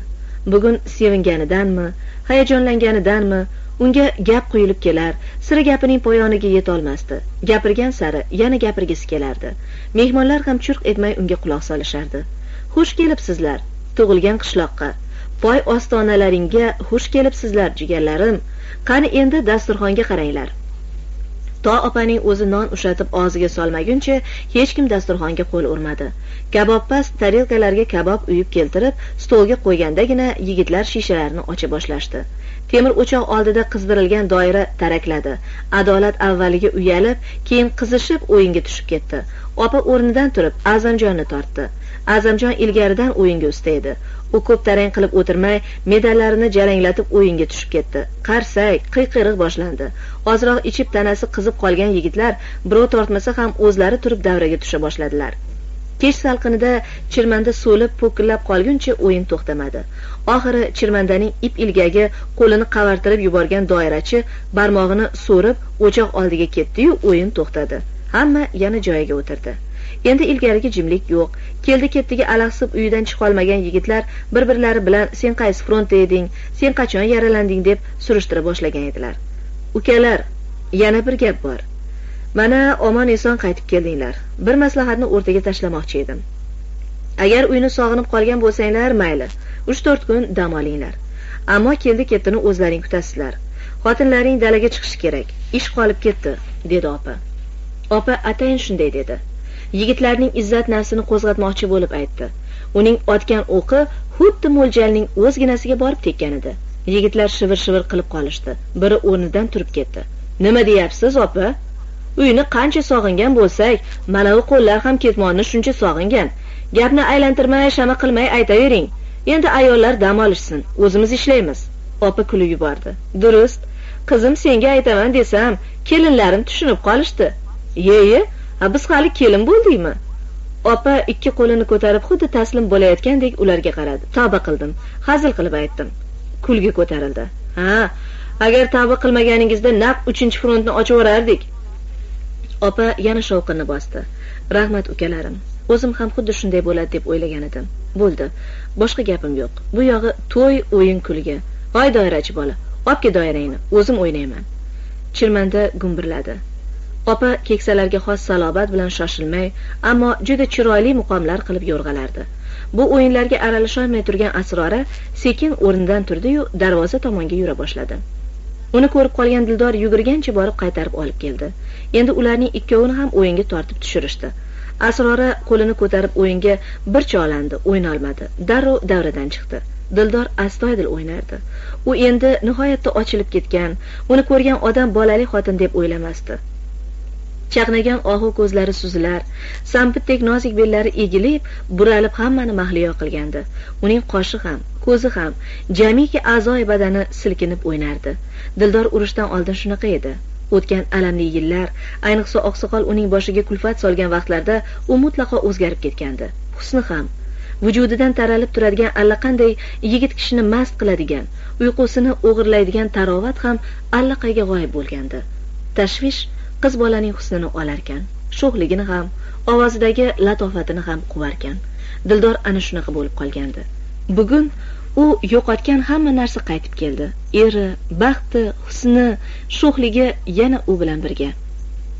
Azamjon uning o'yinlarini ko'rmagan edi. Frontga ketayotganda u sochlari jamalak qizcha edi. Otpuskaga kelganda dildor to'lishib qolgan yuziga bilinar bilinmas husnbuzar toshgan qarashlari ish qidirganday allaqanday sarmast qomatiga husniga anday bino qo'ygan payti edi. Ana o'shanda azamjon uni ko'rib tinchini yo'qotdi. Unga uylandi yana ketdi. O'sha tongdek beg'ubor tushdek allaqanday xotirada saqlab bo'lmaydigan kunlar jangda yurgan baxtga to'ymagan yigitni shu paytgacha tamshantirib kelardi. O'sha ko'z ochib yumguncha o'tgan kunlarda azamjon dildorning husniga ham sho'xligiga ham to'yolmay qolgan edi. Keldi kelib uning ko'zida yosh yuzida so'lg'inlik g'ijimlarini ko'rdi. Bu yaqin ora qishloqda dildordan go'zal dildordek lobar juvon bo'lmasa kerak azamjon baxtiyor. U o'z xotinining husnidan mast edi. Dildor yo'rg'alar muqom ustiga muqom qilardi. Yigitlar qiyqirib chapak chalishardi. Hatto tumsayib o'tirgan asrora ham beixtiyor chapakchalar o'rtog'ining husni latofatiga mahliyo edi. Bazm alla pallagacha tinmadi. Chirmandaning taraklashi yigit qizlarning qiyqirig'i chorterakning uzoq uzoqlarigacha eshitilardi chorterak bu kunlarni qachonlardan beri orziqib kutardi? 1945 yilning butun yoz oylari temir yo'l liniyalarida passajir poyezdlari jadvaldan tashqari harakat qila boshlagan edi. Frontdan keluvchilar urush bo'lib o'tgan yerlarga qaytib ketayotgan haloyiqning son sanog'i yo'q. Garchakova stansiyasiga toshkent tarafdan faqat kechasi soat uch yarimda keladigan passajir poyezdi endi kuniga uch to'rt mahal o'tadi. Poyezdning qachon kelishi qachon namangan tarafdan qaytib o'tishini stansiya boshliqlari ham aniq bilishmaydi. Shuning uchun ham frontdan qaytayotgan bolalarini kutganlar ertayu kech stansiyada. Harbiy komissariyat xodimlari raykom ray ispolkom vakillari vokzal binosidan alohida xona ajratib navbatchilik qilishadi. Vokzal maydoni atrofida omonat qurilgan choyxona oshxonalarda odam ko'p. Yer o'choq temir o'choqlar tagidan tutun burqsiydi samovarchilarning qo'li qo'liga tegmaydi. Hamma yoq qizil alvon hamma yoq gul. Ikki uch kunlab shu so'rilarda bolasini kutib yotganlarning son sanog'i yo'q. Poyezd kelishi bilan hamma ichib turgan choyini yeb turgan oshini tashlab perronga yuguradi. Birov quvnab birov g'amgin qaytib chiqadi. Mana shunday quvonchli kunlarning birida garchekovaga kelgan passajir poyezdidan o'n choqli yigit tushdi. Bir pasda perron shovqin suronga kulgi yig'isiga to'ldi. Bir zumda yuk mashinalari kelganlarni farg'onaning to'rt tarafiga olib ketdi. Perronda bir yigit qoldi. Uning ko'ksida yigirma oltita orden medal. Uni hech kim kutgani chiqmadi. Ikki yuk xaltasini yerga qo'yib yigit birdan u yoq bu yoqqa alanglab turdi da xaltasini sekin yana yelkasiga olib asta vokzal maydoniga yura boshladi. Oblast harbiy komissariatining vakili uning harakatlarini kuzatib turgandi. Ikki soldat bilan istiqboliga chiqdi. Salom o'rtoq serjant dedi u. Qayerga borasiz? Yigit chorterakka borishini aytdi. Komissariat vakili uning yelkasidagi yuk xaltasini olib chetda turgan qora mk mashinasi oldiga borib eshikni ochdi. Marhamat mana olib borib qo'yadi. Yigit gangib qolganidanmi bunaqa bo'lishini kutmaganidanmi unga nima deyishini bilmay mashinaga chiqdi. Mashina gurillab marg'ilon tarafga yo'l oldi. Qorong'i tushishiga hiyla bor edi. Marg'ilon yo'li urushdan oldin qandoq bo'lsa hali ham o'shandoq. Bironta yangi imorat tushmabdi. Tosh yo'l ancha nurab qopti mashina sartaroshxona oldidan o'tayotganda yigitning ko'zi yo'lakda to'r xaltani to'latib bolalar o'yinchog'i olib ketayotgan kampirga tushdiyu shofyordan to'xtatishni iltimos qildi. To mashina to'xtashiga ham sabr qilmay o'zini pastga otdi. Kampir choyxona oldiga borib qolgan edi. Yigit halloslaganicha unga yetib oldi. "Buvi, buvijon!" Kampir o'girildi. yigit turgan joyida qotib qoldi nima deysan bolam buvingga o'xshatdingmi yigit hamon qimirlamay turardi. Odam odamga o'xshaydi bolam. Buvingga o'xshasam o'xshagandirman. Yigit hijolatlikdan qip qizarib ketdi. Kampir muloyim iljayib hech yo'q bolam deb nari ketdi. So'rida choy ichib o'tirgan ikki uch kishi ularning gapidan xabardor edi. Ulardan biri gap qotdi. Uka bu qoratepalik malika degan kampir. O'zing qayoqning bolasisan?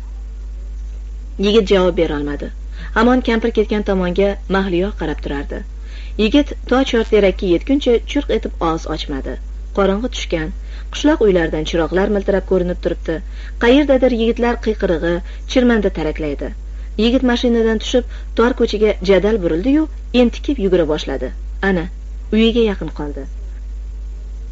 Ayvon shiftiga ilingan chiroq devor oshi ko'rinib turibdi.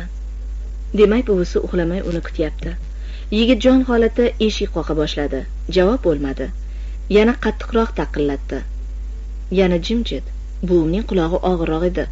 Balki eshitmayotgandir deb devorga tirmashib hovliga qaradi. hamma yoq supurilgan suv sepilgan ariq chetlarida namozshom gullari ochilib yotibdi qo'shni hovlining eshigi ochilib birov bosh chiqazdi qorong'i bo'lganidan kimligini bilib bo'lmasdi kimsiz dedi ayol kishi men menman xolmajonman dedi yigit ayol yugura kelib unga o'zini otdi. Voy bo'yginangdan xolang o'rgilsin. Keldingmi? Omon eson keldingmi? Xolmajon shoshib so'radi. Buvim qani? Xotin javob bermadi. Qorong'ida og'ir xo'rsingani eshitildi. Xolmajonning yuragi shuv etib ketdi. Nima gap? Tinchlikmi? Oh xolaginang aylansin. Buviginang bundan to'rt yil oldin olamdan o'tgan. Xolmajonning yelkasidagi xalta tushib ketdi. Bu xaltada buvisiga atab olgan to'rt metr qora baxmal ro'mol kalish bor edi. Buvisi qora baxmaldan kamzul kiyishni juda yaxshi ko'rardi. To'rt yil bo'pti olamdan o'tganiga. Axir yaqin yaqinlarda ham undan xat kelib turardi-ku. Bu xatlarni kim yozgan? Voy bolam yur biznikiga. Men darrov borib asroradan uyingning kalitini olib kelaman. Kolxozning bog'ida qiyomat bazm bo'lyapti. Hamma o'rtoqlaring o'sha yoqda. Urushdan kelganlarga opa osh qilib beryapti. Bora qol sen ham o'sha yoqqa bolam. Asroragina baraka topsin. Har kuni qizlar bilan kelib uyingni yig'ishtirib supurib sidirib kechqurun chirog'ingni yoqib ketadi. Umridan baraka topsin. U bechora ham kuyib yonib yuribdi. Karimjon yana allaqayoqqa ketganmish. Halmajon bo'shashib qoldi. Qayoqqa boradi. Endi qandoq yashaydi? Bu yoqqa kir bolam choypoy qilib beraman. Sen damingni olib turguningcha men yugurib borib asroradan kalitni olib kelaman. Yo'q yo'q ovora bo'lmang o'zim boraman. Xolmajon og'ir og'ir qadam tashlab kolxoz bog'i tarafga yura boshladi. Kampir uning orqasidan boshini sarak sarak qilib achinib qarab qoldi. Kecha nihoyatda oydin edi. Quyuq daraxtlar orasidan yo'lga oppoq tangachalar sochilgan. Jo'jasi ko'payib iniga sig'may qolgan qushlar har zamon bir patirlab qo'yishadi. Yo'lni kesib o'tgan ariqchalardan suvlar chuldirab ombor tagiga kirib ketadi. Devorlardan osilgan olchalar oydinda chaqnaydi paxsa devor kovaklarida yiltiroq qurtning chirog'i miltiraydi qayerdadir bola yig'laydi. Olmajonning tepasidan bo'g'otni changitib mushuk o'zini yerga otdi. Yaqin o'rtada chuchitilgan zig'ir yog'ining hidi anqib ketdi. Chap tarafdagi devorda lop etib olov sakradi-yu zum o'tmay so'ndi daraxt uchlari tom bo'g'atlari birdamgina yorishdi. Birov tandirga g'o'zapoya tashladi shekilli. Bularning bari ko'pdan unutilgan ona qishloq manzarasi bolalik tuyg'ularini uyg'otadigan qadrdon hidlar edi. Xolmajon bu manzara-yu bu islarga parvo qilmasdi. Hozir uning ko'nglini hech narsa bilan yoritib bo'lmasdi. Tug'ilishi bilan ona diydoridan benasib bo'lgan esini tanimay otadan judo bo'lgan onadek bo'lib qolgan qadrdoni mehriboni dunyodagi jami odamlardan yaxshi hammasidan a'lo buvisidan judo bo'lishi uni tamoman yangitib qo'ygan edi. Ona qabriga tuproq tortilganda hali unga ism qo'yilmagan edi. Ona uni tug'diyu o'ldi. Ota uzoqda fin o'rmonlarida jon berdi. Unda xolmajon hali yosh bola edi. Endi o'zi voyaga yetib yurt ishiga yaragan qo'liga qurol olib jangga kirganida buvisi ko'z yumdi. U farzand bo'lib onasini ham dadasini ham buvisini ham qabrga o'z qo'li bilan qo'ya olmadi. Bu judoliklar yo'qotishlar xolmajon qalbida hech o'chmas dog' armonu afsus bo'lib qoldi. U endi butun umr bo'yi bu armon dardini tortadi. Shu uch muhtaram kishilarning qarzi bo'ynida qoldi. Xolmajon atrof oy nuriga burkangan butun dala butun yurt yoz og'ushida yayragan tunda dog'u hasratda o'rtanib borardi. Osmonda asta suzayotgan oyning gardishi unga nurli barkash emas qishda chelak betida qotgan muz kulchasi bo'ldi. Tun qushlarining nag'masi unga tasalli bermaydi. Aksincha farzandlik burchini o'tamagan bolaga ta'nadek bo'lib tuyuladi. Olmajon bog' darvozasi oldida to'xtadi. Ichkaridan kabob hidi kelardi qiyqiriq o'yin kulgi hech kim orqasiga qaramaydi. Davra olib o'rtada o'ynayotganga qiyqirib xushomad qilishadi. Xolmajon birdan ko'nglidagi og'ir hislarni quvib shu quvnoq shu bearmon odamlarga mahliyo bo'lgancha turib qoldi. Darvoza orqasiga o'tirib ko'ksidagi o'n olti orden o'n medalni bitta bitta bo'shatib oldi da xaltachasiga solib qo'ydi. Kim biladi balki odamlar jarang jurunglaringni pisanda qilib keldingmi deb o'ylashlari mumkin dedimi? Har qalay xolmajon odamlarga yaltirab ko'rinishni istamadi. Ichkariga kirdi. Azamjon uch medalini atayin bir biriga tegib jaranglasin deb silkinib tebranib o'ynardi. Dildor bo'lsa undan qochgandek har turli muqom bilan o'ynardi. Xolmajon to'xtadi. Yuragi shig' etib ketdi. U dildorni sevardi. Sevardiyu yuragini unga ochishdan qo'rqardi. Urushga ketayotganida ataylab dildorlar eshigi oldidan ikki uch marta aylanib o'tgandi. Dildor chiqmagan o'shanda. Uni uzoqdan bo'lsa ham bir ko'rsam deb tol tagida qancha kutib o'tirgan edi? Kim bilibdi deysiz? Urush tugaguncha bu qiz nizomni sevib undan keyin sevmagan kishisiga tegishini. Endi u azamjonning xotini. Axir azam juda bema'ni bola ku dildorning bundan keyingi hayoti nima bo'ladi? Azam uni albatta xo'rlaydi. Xolmajon gospitalda yaralanib yotarkan azamjon tasodifan uchrashib qolgandi. O'shanda dildor sha'niga aytgan juda ham xunuk og'izga olib bo'lmaydigan gapni esladi. O'shandan beri xolmat uni yomon ko'radi. Ko'rishga ko'zi yo'q. U jangda yurib ham o'z xotinini yomon gaplar bilan haqorat qilgan.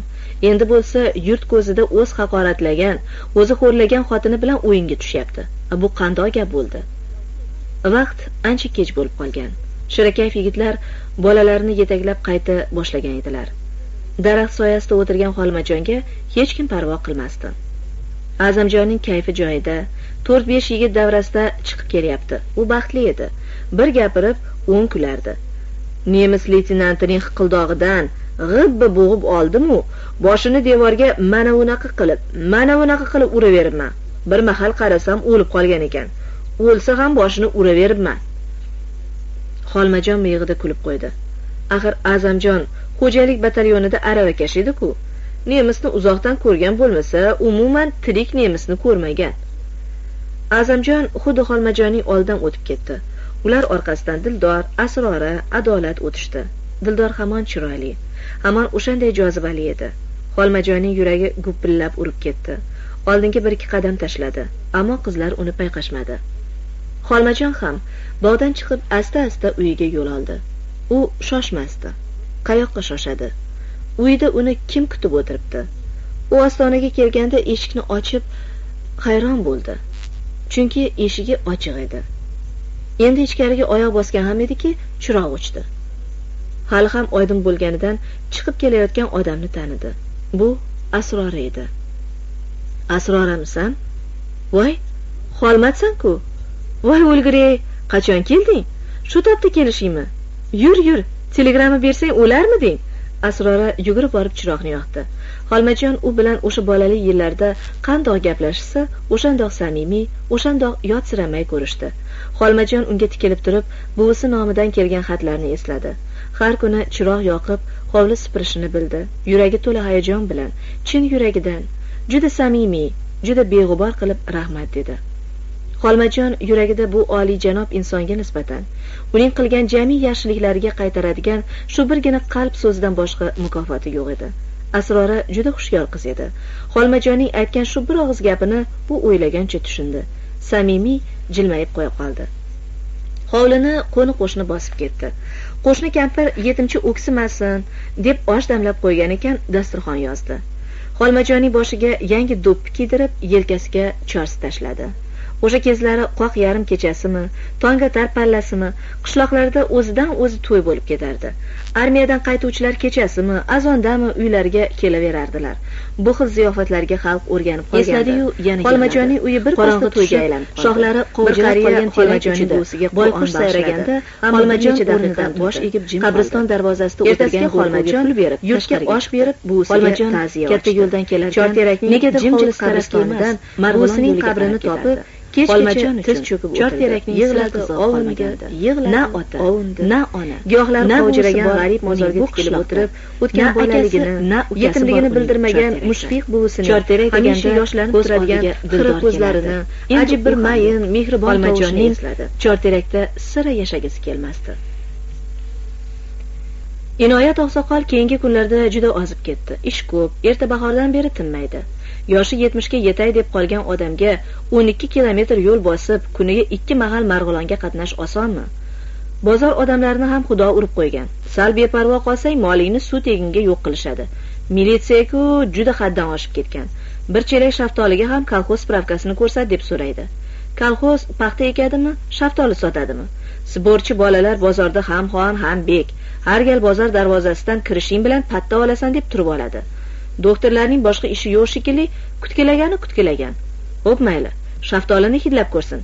Nega sotadigan odamni yechintirib qaraydi? Oqsoqol mana shunaqa bozor mashmashalari bilan ovora.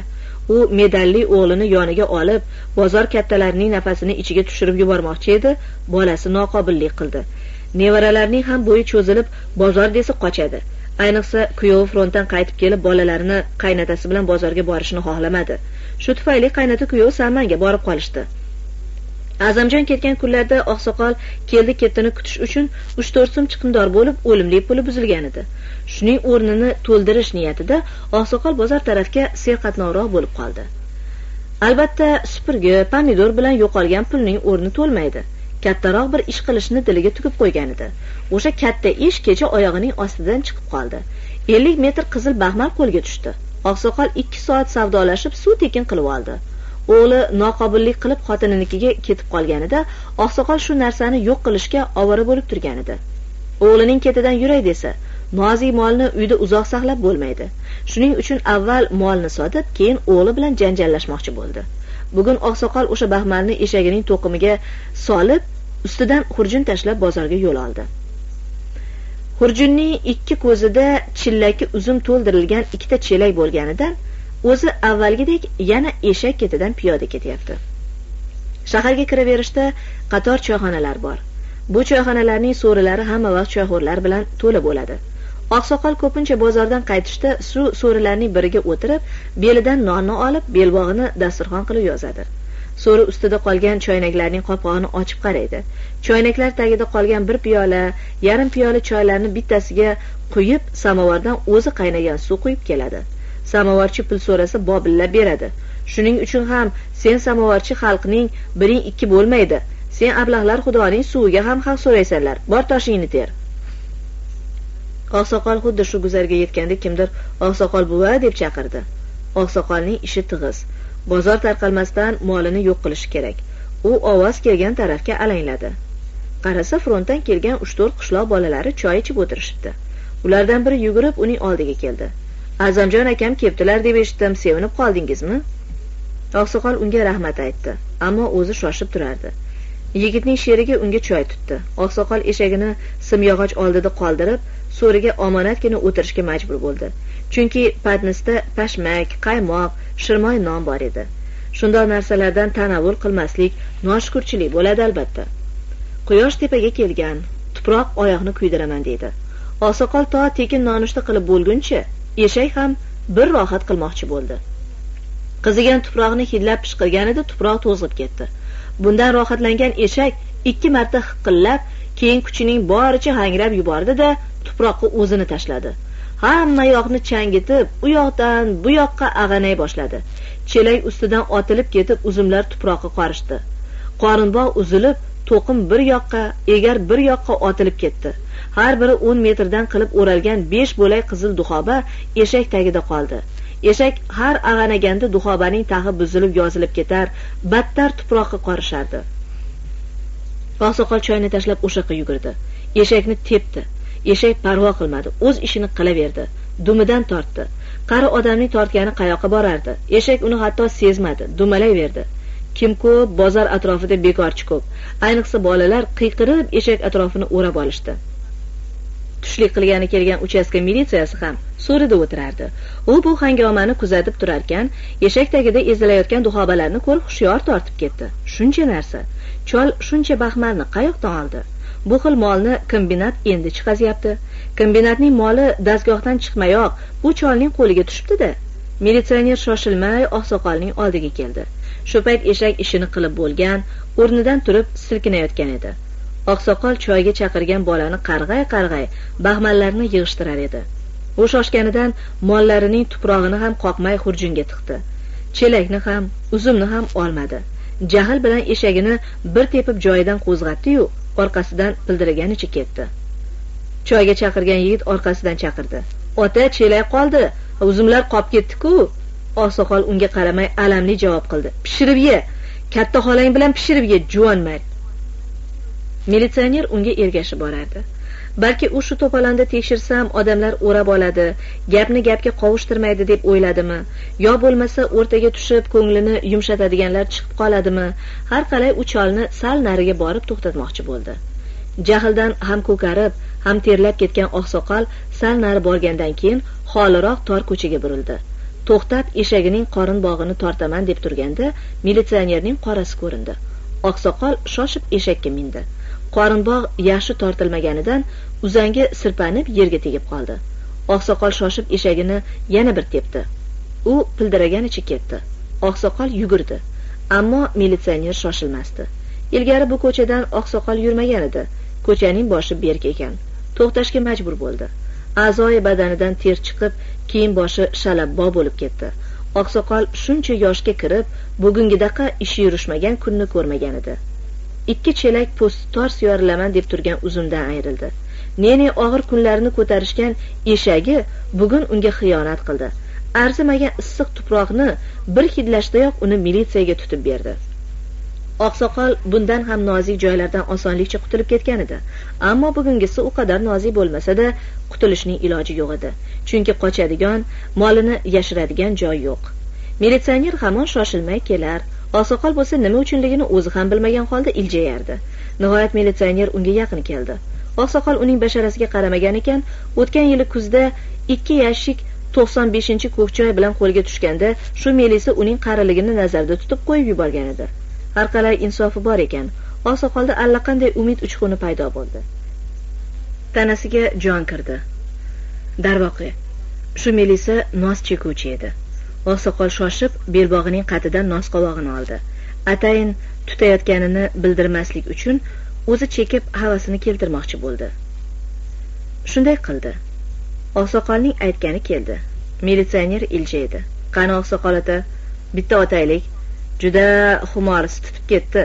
Xo'p xo'p bolangni aylanay xo'p. Nos kerak bo'lsa o'zimga ayt. Mendan boshqaning nosini chekma. Militsioner kaftiga to'ldirib nos to'kdi da tilining tagiga tashladi. Yo'l bo'lsin otaxon. Shundoq shundoq. Eshakni sovutib yuribman. Shu payt to'g'ridagi eshikdan bir bola chiqib militsionerga o'zini urdi. Dada dada nima olib keldingiz? Militsioner yonidan bitta bodring chiqarib o'g'liga berdi. Bola yana yugurganicha eshikka kirib ketdi. Oqsoqol umrida bunaqa qo'lga tushmagan edi. Shuncha yil bozorga aylanishib shuncha taqiq molni qo'ldan o'tkazib bunaqa bo'lmagan edi. Tumonat oldida eshagi molini ko'rsatib qo'ydi. O'zi boshi berk ko'chaga kirib qoldi. O'z oyog'i bilan militsiyaning eshigiga kelib to'xtadi. Oqsoqol darrov tilga kirdi. Ko'changni topishga topib uyingni topolmay turgan edim yaxshiyam o'zing kelib qolding. Ishingiz bormidi ota judayam. Unaqa zarur ishim yo'q ediku bir ko'rib qo'yishim kerak edi. Ukang keldi ukaginang frontdan omon eson keldi. Shuni aytib qo'ymoqchi edim. Ukaginang ordenlarini jaranglatib keldi. Keldi keti bilan ancha chiqimdor bo'lyapman. Bisotda ozroq baxmal bor edi. Bolangni to'y qilsang ko'rpa qavitarsan begonaga ketmasin deb senga olib kelayotgan edim. Militsioner kulib yubordi. Oqsoqol ota bu gapni qo'ying. Baxmalni qayerdan oldingiz? Shuni ayting. Bisotdan bisotdan chiqdi uka. Qani bo'lmasam o'sha bisotdan chiqqan molni bir ko'rib qo'yay. Oqsoqol o'zini u yoq bu yoqqa tashlab ko'rdi. Bo'lmadi. Oxiri eshakning to'qimini ko'tarib baxmalni ko'rsatdi. Obbo oqsoqol atay otingizni inoyat oqsoqol emas jinoyat oqsoqol deb bekorga aytishmagan ekan. Axir bu o'zimizning kombinatdan yaqinda chiqqan baxmalku oqsoqol indamay turaverdi. Operpunktga boramiz. O'sha yerda qayerning moli ekanligini aniqlab berishadi. Oqsoqol shoshib qoldi. Qo'y ukajon qo'y bolangdan aylanay qo'y. Shatta o'zing bir balo qilib qo'ya qol. Mayli ozrog'ini ol. O'sha turqi sovuqlaringni oldiga olib borma. Nima deyapsiz? Pora bermoqchimisiz? Pora emas padarka ha padarka uka. Militsionerning endi astoydil jahli chiqib ketdi. Bo'ldi. Maynabozchilikni bas qiling ketdik. Oqsoqol joyidan qimirlamay turardi. Rost aytyapsanmi? Esing bormi uka? Sal miyasi yo'g'roq melisa ekansan. Tayyor shuncha pulli baxmalni olmasang ko'r bo'lasan. Yuring deyapman. U yonidan hushtagini olib og'ziga soldi. Voy qo'y qo'y chalma. Nima qilasan odam yig'ib? O'zimiz til topishib ketamiz. Militsioner jahl bilan eshakni bir tepdi. Eshak oqsoqoldan boshqaga ko'nmas ekan joyidan jilmadi. Ko'nmadingmi? Pushaymon bo'lasan bola. Hozir dod solaman. Boshimga odam yig'ib melisa meni pasqamga olib kelib pora so'rayapti deyman. Undan battarini aytsangiz ham qo'rqmayman ketdik. Oqsoqol yurishga majbur bo'ldi. Sal nariga borib yana to'xtadi. Voy rostdan olib ketyapsanmi? Militsioner javob qilmadi ketaverdi. Qarg'ayman dedi oqsoqol. Baribir qarg'ishingiz o'zingizga uradi. Yomon qarg'ayman. Qanaqa qarg'asangiz ham baribir menga. Oqsoqol nima qilishini bilmasdi. Nima desa bu o'jar militsioner uni qo'yib yuborarkan. Menga qara ha nima deysiz? Bolang o'lsin deb qarg'ayman. Militsioner titrab ketdi. Uning bir bolasi frontda o'lib dilidan hali alami ketmagandi. Peshonasida bittagina olti yashar bolasi bor edi xolos. U shu bolasini yeru ko'kka ishonmas bola ham otasiga o'rganib qolganidan kechasi u bilan yotardi. Tungi smenaga ketgan paytlarida bola necha marta uyg'onib dadasini so'rardi. Oqsoqol shu bolani qarg'amoqchi. Nima dedingiz? Bolang o'lsin deb qarg'ayman. Tobuti shu ko'chadan lopillab chiqsin deb qarg'ayman. Militsionerning a'zoyi badanidan ter chiqib ketdi. Ko'zi oldi xiralashdi. Gandiraklab yelkasini devorga urib oldi. Oqsoqol aytgan gapi qanchalik ta'sir qilganini ko'rib yana avjga chiqdi. Ha shunaqa deb qarg'ayman qo'yib yuborsang duo qilaman. Militsioner unga o'qrayib qaradi. Rasvo odam ekansiz. Boring yo'qoling. Xo'p xo'p baxmalni olasanmi? Yo'qol iflos. Oqsoqol yigitlardek chaqqonlik bilan eshakka mindiyu kavushining uchi bilan ikki biqiniga nuqdi. Eshak ham shuni kutib turgan ekan pildiragancha ketdi. Ko'cha boshiga yetganda oqsoqol orqasiga qaradi. Militsioner hamon qimirlamay turardi. U necha yillardan beri militsiyada ishlab hali bunaqa muttahamni ko'rmagan edi. U nechalab jinoyatchilarni tutgan hech kim uni gapga ko'ndira olmagan edi. Oqsoqol uning yuragini changallab oldi. Noiloj qoldi. Umrida birinchi marta jinoyatchini qo'ldan chiqardi. U qilib qo'ygan ishiga o'zi ham hayron edi. Jahl bilan yerga bir tupurdi-yu orqasiga burilib ketdi. U yo'l yo'lakay so'kinib borardi. Ablah iflos yaramas muttaham haromxo'r o'g'ri. Правление majlisi ertalab soat sakkizga chaqirilgan edi. Odamlar birin ketin idora oldiga so'riga yig'ilisha boshlashgan. Soldatlik kiyimlarini yechib yaktak to'ppi kiygan jangchi yigitlar ketmonni ariqqa tashlab narigi so'rida o'tirishibdi. Azamjon ham o'shalar to'dasida. Правление ikki masalani muhokama qilmoqchi. Opaning arizasi va jangdan qaytgan yigitlarni alohida brigada qilish yoki ularni boshqa brigadalarga taqsimlash. Zinada opa paydo bo'ldi. U yoq bu yoqqa qarab azamjonni topdida uni imlab ichkariga chaqirdi. Azamjon nima gapligiga hayron bo'lib ketidan ichkariga kirdi. Idorada asrora qishloq sovetining raisi va ray ijroqo'm vakili o'tirishardi. Azamjon ular bilan ko'rishib bir chetga borib o'tirdi. Opa bir ikki marta gapga og'iz juftladiyu gapira olmadi azamjon hayron bo'ldi. Oxiri opa o'rnidan turib uni yana tashqariga imladi koridorga chiqishdi. Menga qara uka dadangni ishi chatoq militsiya qamab qo'yibdi. Kecha bozordan olib ketishgan ekan. Azamjonning eti jimirlashib ko'zi tindi. Shu gapni aytib qo'ymoqchi edim. Marg'ilonga tushib bir xabar olib qo'y. Azamjon bugun правление majlisiga katta umidlar allaqancha rejalar bilan kelgan edi. U shuncha yoshga kirgan bo'lsa uning biron yaxshi kunini dadasi tatitmagan. Hamma vaqt nimadir qiladiyu to'yni aziga aylantiradi. Axir to'rt yil urushda yurib sog'ingan ostonasiga intilib kelayotganida ham eshigiga yetmasdan uni qon qildi. Uyining qorasi ko'rinmasdanoq xotinidan bolasidan ukasidan judo qildi. Etni tandan judo qilib bo'lmas ekan nima qilsa ham dadasi boqib o'stirgan dadasi axir. Urush bo'lmasa so'kib bo'lmasa. Azamjon bo'shashib tashqariga chiqdi. Odamlarga ham aralashmay bir chekkaga borib boshini egib o'tiraverdi. Uning bu holati frontdan qaytgan jangchidan ko'ra qamoqdan qaytgan mahbusga o'xshardi. U odamlar ko'ziga qaray olmasdi. Uni shu topda ikki narsa ezardi qari odamning qamoqda yotishi shu qamalgan odamning bolasi ekanligi. Qorovul chiqib hammani choyxona orqasida tayyorlangan joyga taklif qildi. Keng maydonga skameykalar qo'yilgan yuqoridagi stolga qizil alvon yozilgan. Qishloq sovetining raisi majlisni ochdi. U kolxozga yangi kuchlar kelgani dalalar ularning kuchiga zoriqib turganini uzoq shoshilmay gapirdi. Shundan keyin правление jangchi o'rtoqlarni brigadalarga taqsimlaganini aytdi. Opa o'rnidan turib kim qaysi brigadaga qo'yilganini e'lon qildi. Ajab azamjonni hech qaysi brigadaga kiritishmabdi. Nega? Balki dadasining qamalgani uchundir. Yer yorilmadiyu azamjon yerga kirib ketmadi. O'tirgan yerida cho'kib ketayotgandek borgan sari kichrayib ketayotganga o'xshardi. Qishloq sovetining raisi yana o'rnidan turdi. Uning qo'lida qog'oz hamma jimib qoldi. O'rtoqlar opa raislikdan bo'shatishimizni so'rab ariza berdilar. Shu masalani sizning muhokamangizga tashlayman. G'ovur g'uvur gap boshlandi. Birov tushmasin birov o'zi yaxshi edi deb luqma tashlay boshladi. Kimdir o'rniga kim bo'ladi? deb qichqirdi. Shuni gaplashmoqchi edik dedi qishloq sovetining raisi. Avval opaning arizasini muhokama qilaylik. Opa arizada qarib qolganlarini katta xo'jalikka rahbarlik qilish og'irlik qilayotganini aytibdilar.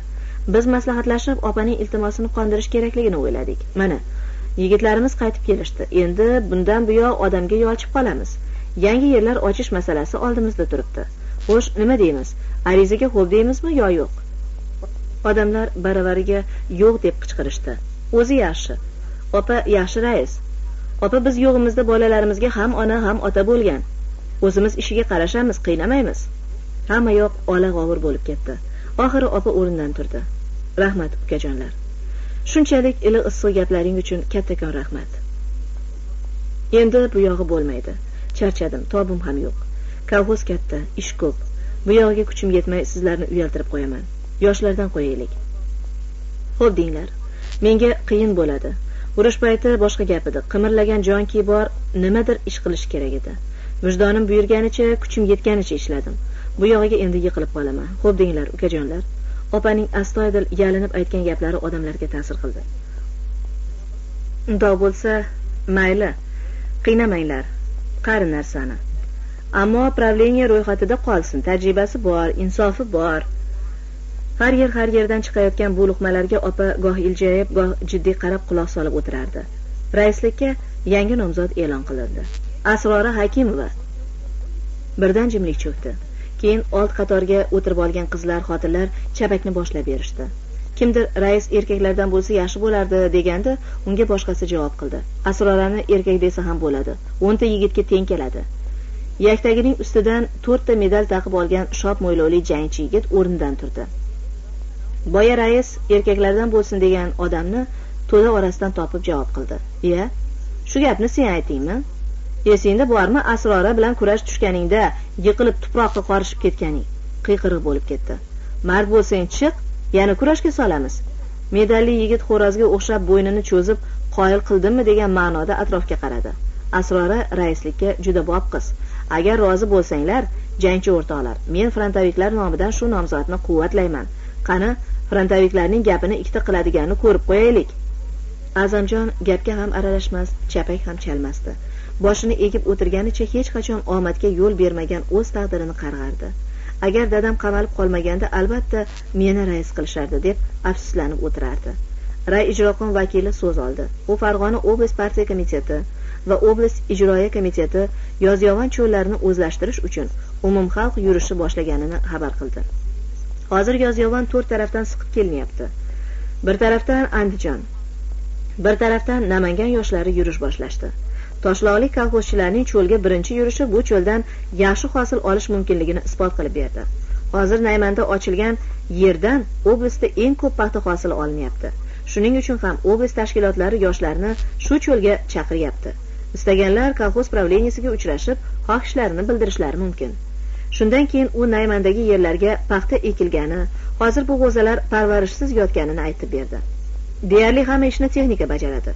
Turkiston harbiy okrugi o'z ixtiyoridagi mashinalarni cho'lni o'zlashtirishga beryapti. Frontchi o'rtoqlar bu mashinalarni boshqarishda aktiv qatnashishlari kerak. Boya asrorani yoqlab chiqqan medalli yigit yana o'rnidan turdi. O'zimizning kolxoz nima bo'ladi? Jang bo'lgan paytlarda tinmay eshelonlar kelib turdi. Hozir ham o'sha yerlardan eshelonlar kelib turibdi. Kuniga rayonimiz bo'yicha ellikdan ortiq jangchi qaytyapti yigitlarimiz hali ko'p kelishadi. Kolxozimizga ham cho'lga ham odam yetarli bo'ladi. Bu tarafdan xotirjam bo'ling. Azamjonning ko'nglida umid uchquni yilt etib ketdi. U ham shu cho'lga ketsa nima qilarkin? Bu yerda uning qadriga yetishmayapti xo'rlashyapti u kallasiga kelgan fikrni aniq o'ylab ko'rmayoq o'rnidan turib qichqirdi. Men boraman meni yozing. Hamma gur etib orqaga o'girildi. Asrora undan bu xil gapni kutmagan edi. Siz bormaysiz. Правление sizni mexanizatsiya bo'yicha injenerlikka tayinlamoqchi. Istamayman dedi azamjon qat'iy. Ketaman. Xotin kishi rais bo'lgan kolxozda ishlamayman. Orqada xotinlar orasida o'tirgan dildor seskanib ketdi. Azamjon nima qilmoqchi? Uyini bola chaqalarini tashlab ketmoqchimi? Nega undan o'z xotinidan bir og'iz so'ramadi? Nima? Azamjon ilgarigicha uni pisand qilmoqchi emasmi? Uni yuvosh bo'sh bayov xotin deb o'ylayaptimi? Yo'q. Dildor u o'ylaganlardan emas. U o'z haqini tanigan endi o'zini birovga oyoq osti qildirib qo'ymaydi. Dildor ham o'rnidan turdi. Men bormayman. Azamjon hali joyiga o'tirmagan edi xotinining o'rnidan turib unga ters gap aytganidan g'azabi keldi. Nahotki? O'z xotini ham unga qarshi bo'lsa. Nahotki u o'z eriga yaxshi kunni ravo ko'rmasa bu qandoq gap? Sen bormasang o'zim ketaman. U shunday dediyu to'nini qo'ltiqlab yig'indan chiqib ketdi. Kallada ming xil o'ylar bilan dala kezarkan o'zidan o'zi goh dildor bilan goh dadasi bilan urishardi. Ba'zan olisda yongan cho'g'dek milt etib nizomjon esiga kelib qolardi. Nahotki shu kichkinagina nimjongina ukasichalik bir so'zli bo'lolmasa axir u aytgan joyidan kesdi. Dadasining zulmidan qarg'ishlaridan qo'rqmadi ketdi. Ketib baxtini topib oldi. Azamjon ukasichalik bo'lolmaydimi? Nizomjon unga qat'iylik berdi. Uning ishlari bir so'zliligi unga qanot bo'ldiyu agar dildor ko'nmagan taqdirda ham o'zi yo'lga chiqishga ahd qilib qo'ydi. Ko'nsaku haya ko'nmasa etagimni qoqib chiqaman ketaman. U o'ylab o'ylab yurib yurib charchadi. Tegirmon oldiga kelib xarsangga o'tirdi. Tegirmon guvillaydi suv to'zonlari uning betlariga sachraydi. Devorlardan un to'zoniga belangan oppoq tol novdasidan achigan xamir isi keladi. Qosh ko'zi un gardiga belangan tegirmonchi chol chiqdi. Etagiga yuz ko'zini artib uning yoniga kelib o'tirdi. Cholning qovog'i soliq. Yig'lagan bo'lsa kerak ko'zlari qizarib ketgan. U o'tirarkan o'zidan o'zi gapirardi. Ey xudo bandalaringda shuncha qasding bormidi? Muncha qiynamasang muncha qiynamasang. Azamjonning eti seskanib ketdi. Cholning o'g'liga bir gap bo'lgan deb o'yladi. Qoraxat keldimikin? Cholning lochindek o'g'li bor edi. Nahotki? Nahotki? Chol qimirlamay o'tirar oftobda don talashayotgan chumchuqlardan musichalardan ko'zini uzmasdi. Tegirmonchining o'g'li urushdan oldin kolxozda suvchi edi. Azamjon o'rtoqlari bilan quloq boshiga borib baliq tutishardi. Tegirmonchining o'g'li sarimsoq piyoz bilan baliq qovurib berardi. Tol shoxida doimo dutor ilig'liq bo'lar. Suvning namidan ipi bo'shashib ketaverganidan u bir marshning yarmiga yetmay yana sozlanardi. Demak shu bola ham o'qqa uchibdida. Shu topda azamjonning xayolidan ming xil o'y o'tdi. Chol boshini ko'tardi. G'amgin ko'zlarini azamjonga uzoq tikib xo'rsindi qandoq qilasan endi bolam? Ko'rgilik ekan. Kelmasingdan yana ketadigan bo'lib qolding. Azamjon uning gapiga tushunmadi. Yo chol uning yozyovonga ketishini eshitdimikin? Gitler o'lib yaponi chiqibdi endi. Azamjon cholning gaplariga tushunmadi. Nima deyapsiz ota? Iya xabaring yo'qmi? Urushdan kelgan bolalar gurra gurra vayankomatga ketishyaptiku. Yapon degani bilan urush boshlanibdi. Azamjonning vujudi karaxt bo'lib qoldi. Nima deyishini nima qilishini bilmay esankiradi chol yana gapirdi. Usmonginamdan xat olgan edim. Bugun erta borib qolaman deb yozgan edi. Yana qon yana o'q. Ey xudo bu qanaqasi bo'ldi? Azamjon o'rnidan turdi. Demak urush boshlangan. Eski frontchilar yana safarga otlanishgan. Azamjon malol kelib o'rnidan turdi. Endi cho'lga ketish kerak. Yangi yer ochayotganlarni voyankomat chaqirmaydi. Tezroq cho'lga jo'nab qolish kerak. U orqaga qaytar ekan qishloq yigitlariga duch keldi. Nima gapligini tashvishlanib so'radi. Qo'rqma oshnam bizni olmas ekan sen bilan bizsiz bir yoqlik qilishar ekan. Borib ketmoningni chopaver. Rostdan urushmi? Yapon bilan yolg'ondakasi urushib bo'ladimi? Yigitlar o'tib ketishdi. Azamjon qayoqqa borishini bilmay yo'l o'rtasida turib qoldi. Azamjon yozyovonda nima qilishini hali bilmasdi. Agar u yerda ham uni xafa qilishsa qo'riq yeringni onangga beray deydiyu choponini yelkasiga tashlab ketaveradi. Azamjon hali ko'chib bormagan joyida halitdan o'zini omonat sezardi. Dildor nimalar bo'layotganini bilolmasdi u boshidan shuncha og'ir kunlar o'tgan bo'lishiga qaramasdan haligacha pishmagan edi. Darrov jahli chiqar bir lov etib yana o'chib qolardi. Ana shu xususiyati unga qancha qora kunlar soldi. Bugun ertalabki tumonat orasida erining yuziga oyoq tirab u boraman degan joyga bormayman deganida fikrida qat'iy edi. Endi u bu fikridan qaytdi. Er qayoqqa boshlasa xotin o'sha yoqqa borishi kerak. Dildor shu yoshga kirib birovning dilini og'ritmagan. Uning dilini og'ritganlar ko'p bo'lgan. Dildor aqalli javob uchun alamini bosish uchun bir og'iz achchiq javob qilmagan. Uyiga kelganda nega alamini olmaganidan o'zini o'zi koyirdi. Bugun ham shundoq bo'ldi. O'zini unutib azamjonni o'ylab ketdi. Bechora xotinim yo'q demaydi deb shu gapni aytgandir. Mening ters javobim ko'ngliga qattiq botgandir. Yigit boshini ham qilib qo'ydim. Nega bunaqa qildim axir? Dildor ana shunday ko'ngilni buzadigan o'ylar bilan band edi. Birdan urush xabari keldi. Bu sovuq xabar xalqni bir chayqatdi. Hammaning yuzida ko'zida tashvish. Diydor ko'rishganlar hijron azoblarini orqaga tashlab baxtdan mast bo'lgan kishilar yana hushyor tortib ketishdi. Hammaning ko'ziga olovlar qonsirab yotgan askarlar ko'rindi. Bombalarning portlashi ajal urug'ini sochayotgan samolyotlar gurillashi eshitilib qoldi. Dildor o'zini unutdi. Eri yana shinel kiyadimi? Yana bolasini tirik yetim qilib tashlab ketadimi? Nega uni xafa qildim? Nega dilini og'ritdim? Atrofida parvona bo'lib aylansam bo'lmasmidi? U albatta ketadi. Shuncha olis yo'ldan sog' omon kelib nima ro'shnolik ko'rdi? Bir yoqda dadasining xarxashasi opasining alamli gaplari. Dildorning o'zi unga nimalar demadi nimalar qilmadi? Ostonadan quvladi. Tumonat o'rtasida uning betiga sapchidi. Urush xabari. Dildorning ko'ziga dunyoni qop qorong'i qilib qo'ydi. Azamjon qayoqqa borsa boraman. Istasa jangga ham birga ketaman. Undan bir qadam ham jilmayman. U nima bo'lsa men ham shu. Dildor uyga keldi. Dadasi nevarasini tizzasiga o'tqazib qimirlamay o'tiribdi. Bola uxlab qolgan. Kuyovingiz kelmadimi? Dadasi bolani uyg'otib yubormaslik uchun yo'q ishorasini qildi. Yunusali ota urush xabarini eshitmagan bo'lsa kerak xotirjam o'tirardi. Nevarasini bag'riga bosib pish pish uxlashini eshitar. Bola hididan mast bir holda olamning lazzatini surayotgandek edi. U dildor yuzidagi hayajonni sezmadi. Dildor yana ko'chaga yugurdi. Guzarga chiqdi samovarda ham yo'q. Tanish bilishlardan so'radi ko'rdim degan odam bo'lmadi. Birdan dildorning yuragini vahm bosdi. Ketgan. Albatta ketgan. Yo frontga yo cho'lga. Uning tarvuzi qo'ltig'idan tushdi. Yuragi siqilib yo'l chetida o'tirgancha qoldi. Katta yo'ldan gur gur mashinalar o'tib turibdi. Birov hayajonda birov xotirjam eskirib toshbaqa qiyofasiga kirgan mk mashinasi orqasidan ko'tarilgan changni ustiga shopirib to'xtadi. Undan asrora tushdi. Nima qilib o'tiribsan? Dildor etagini qoqib o'rnidan turdi. Azam qani? Dildor bosh chayqadi. Qani chiq mashinaga. U bir so'z demay mashinaning orqasiga chiqdi. Asrori ham bezovta ko'rinardi. Mashina правление oldida to'xtab ularni tashlab o'tib ketdi. Ikkovi ichkariga kirishdi. Asrori o'ychan ko'zlarini o'rtog'iga ma'yus tikdi. Ey o'rtoqjon senga havasim keladi. Seni qarayu. Uning nimasiga havasi keladi? Ahvolini ko'rib turibdi-ku. Dildor hayron bo'lib yelkasini qisdi. Ering bor bolang bor. Mening nimam bor? Kimim bor? Dildor nima deyishini bilmay dedi. Axir sen ham karimni kutyapsan. Karim uzoqda yapon bilan olishyapti.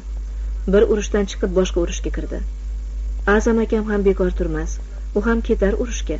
Yo'q dedi asrora hozir rayonga tushdim. Frontga hech kimni olishmasmish. Frontchilar dalaga chiqishsin yoz yovonni o'zlashtirishsin deyishyapti. Bir ikki kundan keyin rayonimizdan yuz o'ttiz kishi yozyovonga ketishadi. Uy joy hamma narsa tayyor ekan. Agar borging kelsa mayli kolxoz rozi. Nima bizni haydayapsizlarmi? Sen rais bo'lib birinchi ishni meni haydashdan boshlamoqchimisan. Durust yaxshi o'rtoq ekansan. Asrora unga yotig'i bilan tushuntirmoqchi bo'ldi.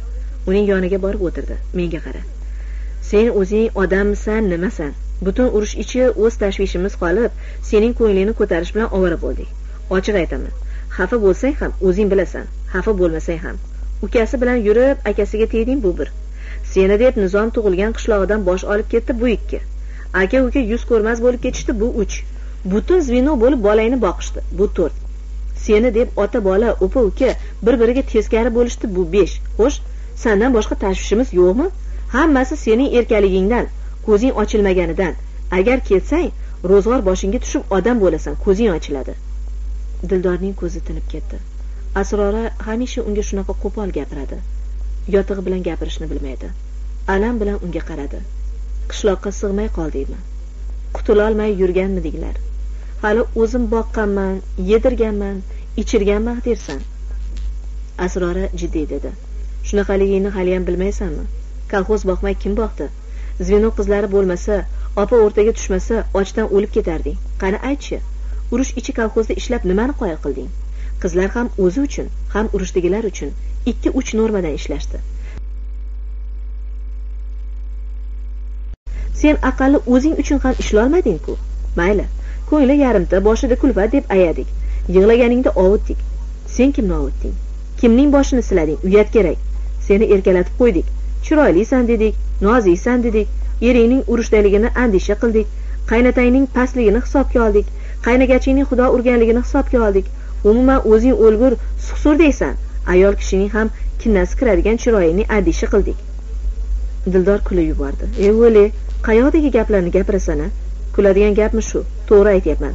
Bu yerda tursalaring senlarga ro'shnolik yo'q. Qaynatang bilan qaynagaching kun bermaydi. Shartta ko'rpa ko'tarib qolsalaring qutulasanlar. Nima yozyovon qochib ketibdimi? Chaqirsa ovoz yetadigan joy. Sizlarni hech kim majbur qilayotgani yo'q. O'ylab yaxshilab o'ylab ko'ringlar. Menimcha azamjon to'g'ri o'ylabdi o'sha yerda ikkovlaringning ham baxt topib ketishlaringga ko'zim yetib turibdi. Agar karimjon omon eson qaytib kelsa raisligini ham tashlayman ketaman. Hammamiz ketamiz. Ana o'sha yerda o'zimizni ko'rsatamiz. Ming'ayib yuradigan ammamning buzog'i nizom nima bo'ldi? Yo'lini topib ketibdiku. Necha marta gazetaga yozildi. Kecha radioda ham gapirishdi. Bu yerda devoriy gazetaga ham oti yozilmagan edi. Xo'sh nima deysan? Dildor indamadi. U asroraning gaplarini taniga singdirishga urinardi. Aytgan gaplari rost. Urush ichi boshqalarga tovon bo'lib yashadi. Inoyat oqsoqolga o'yinchoq bo'ldi. Ukasiga o'ptirib akasiga tegdi. Yeridan qora xat kelganda yana ukasiga tegmoqchi bo'ldi. Dildor shu paytgacha o'z qilmishini muhokama qilmagan qilgan ishini dilga solmagan edi. Boshqalar dilga solib yurishgan ekan. Dillaridan endi tillariga chiqdi. U shu bir necha minut ichida yashab o'tkazgan umrining to'rt yilini ko'z oldiga keltirdi. Asroraning gaplarini rad qilishga urinib ko'rdi. Uni yolg'onchi qilishga bahonalar qidirdi. Ammo bironta bahona topolmasdi. Topgan bahonalari shu qadar asossiz ediki gapirishga og'iz juflashi bilanoq ichida uqalanib ketardi. U faqat birgina gap ayta oldi xolos. Hammasini ichingga tashlab yurgan ekansan da. Bo'lmasamchi? Urushga borgan ham bormagan ham hisob beradi. Sen nima deysan? Agar bironta bahona topolsang hamma gunohingni kechishlari uchun o'zim kafil turib beraman. Qani ayt? Dildorning boshi egildi. Asrora uni bosib bosib ezib yanchib gapirardi. Karimjonning bu urushdan u urushga ketishiga ham shu dildor sababchidek alamini undan olmoqchi bo'lardi. Menga qara azam durust bola ekan bilmadim. Durustligidanmi bitta bolasini o'ylaganidanmi sen bilan yashab ketdi. Agar men uning o'rnida bo'lsam orqangga bitta tepib bor aravangni tort menga sendaqa xotin kerak emas derdim. Dildor unga yoshli ko'zlari bilan zardali qaradi. Ha sen shunaqa qilasan. Sening qo'lingdan bunaqa ish keladi. Seni rais qilishayotganda men o'lgur nega qo'l ko'tardim? Boshimga balo kelsin deb qo'l ko'targan ekanman. Sen qo'l ko'tarmasang ham rais qilishaverardi. Sening qo'ling ko'tarildi nimayu ko'tarilmadi nima? Sen kolxoz uchun hech gap emassan. Asrora derazadan uchib tushgan chumchuq parini stoldan puflab uchirib yubordi. Mana shunaqa narsasan. Dildor chidamadi. Ovozining boricha g'azabi nafrati asabining boricha qichqirdi. Bo'ldi bo'ldi bas ketaman. Mutlaqo ketaman. Qoralaringni ko'rmaydigan bo'lib ketaman. Juda yaxshi qilasan dedi asrora xotirjamlik bilan. Dildor shart o'rnidan turdi-yu eshikni qarsillatib yopib chiqib ketdi.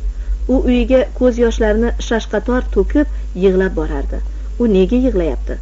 O'z qilmishigami asroraning to'ppa to'g'ri yurakka borib sanchiladigan nayzadek tig'dor gaplarigami o'zi bilmasdi. Har qalay asrora unga kimligini aytdi. Oyna tutib o'z basharasiga qarashga majbur qildi. Dildor hali ham o'zini o'zi tanimasdi.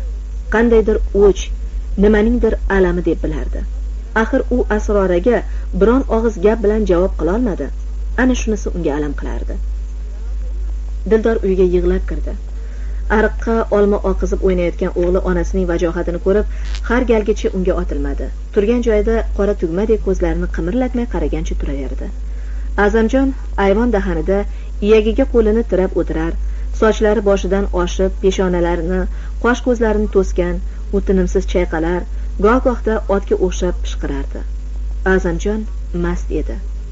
Samovarning otashxonasiga mahsi kiydirib o't oldirayotgan dadasi hayronlikda turib qoldi. Nima bo'ldi? Kuyovi frontdan kelganidan beri bu uyning osoyishtaligi buzildi. Har kuni urush har kuni yig'i. Bugun kuyovi g'irt mast bo'lib keldi. Ketidan qizi yig'lab kirdi. Nima gap o'zi? Yunusali ota shu kungacha ularni bordi keldi gaplariga aralashmay chidab kelardi. Endi chidamadi. U ohista yurib kuyovining tepasiga keldi. Nima gap bolam? Tinchinglar buzilib qoldi. Azamjon bosh ko'tarmadi. Javob o'rniga boshini chayqab pishqirdi. Chol javob kutib uzoq turdi. Bunaqada turmushlaringning shirasi ketadi. Avji o'ynab kuladigan paytlaringda janjaldan bo'shamasanglar keyini qiyin bo'ladi. Erkak odam bir so'zli bo'ladi.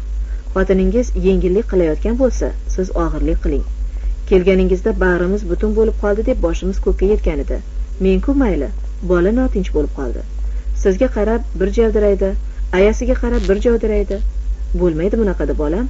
O'zingizni ushlang. Ro'zg'orchilikda har gap o'tadi.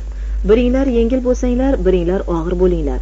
Qarsakni ikki qo'ldan chiqarish kerak. Azamjon yana indamadi. Undan javob bo'lavermagach chol ularni o'z hollariga tashlab chiqib ketmoqchi bo'ldi.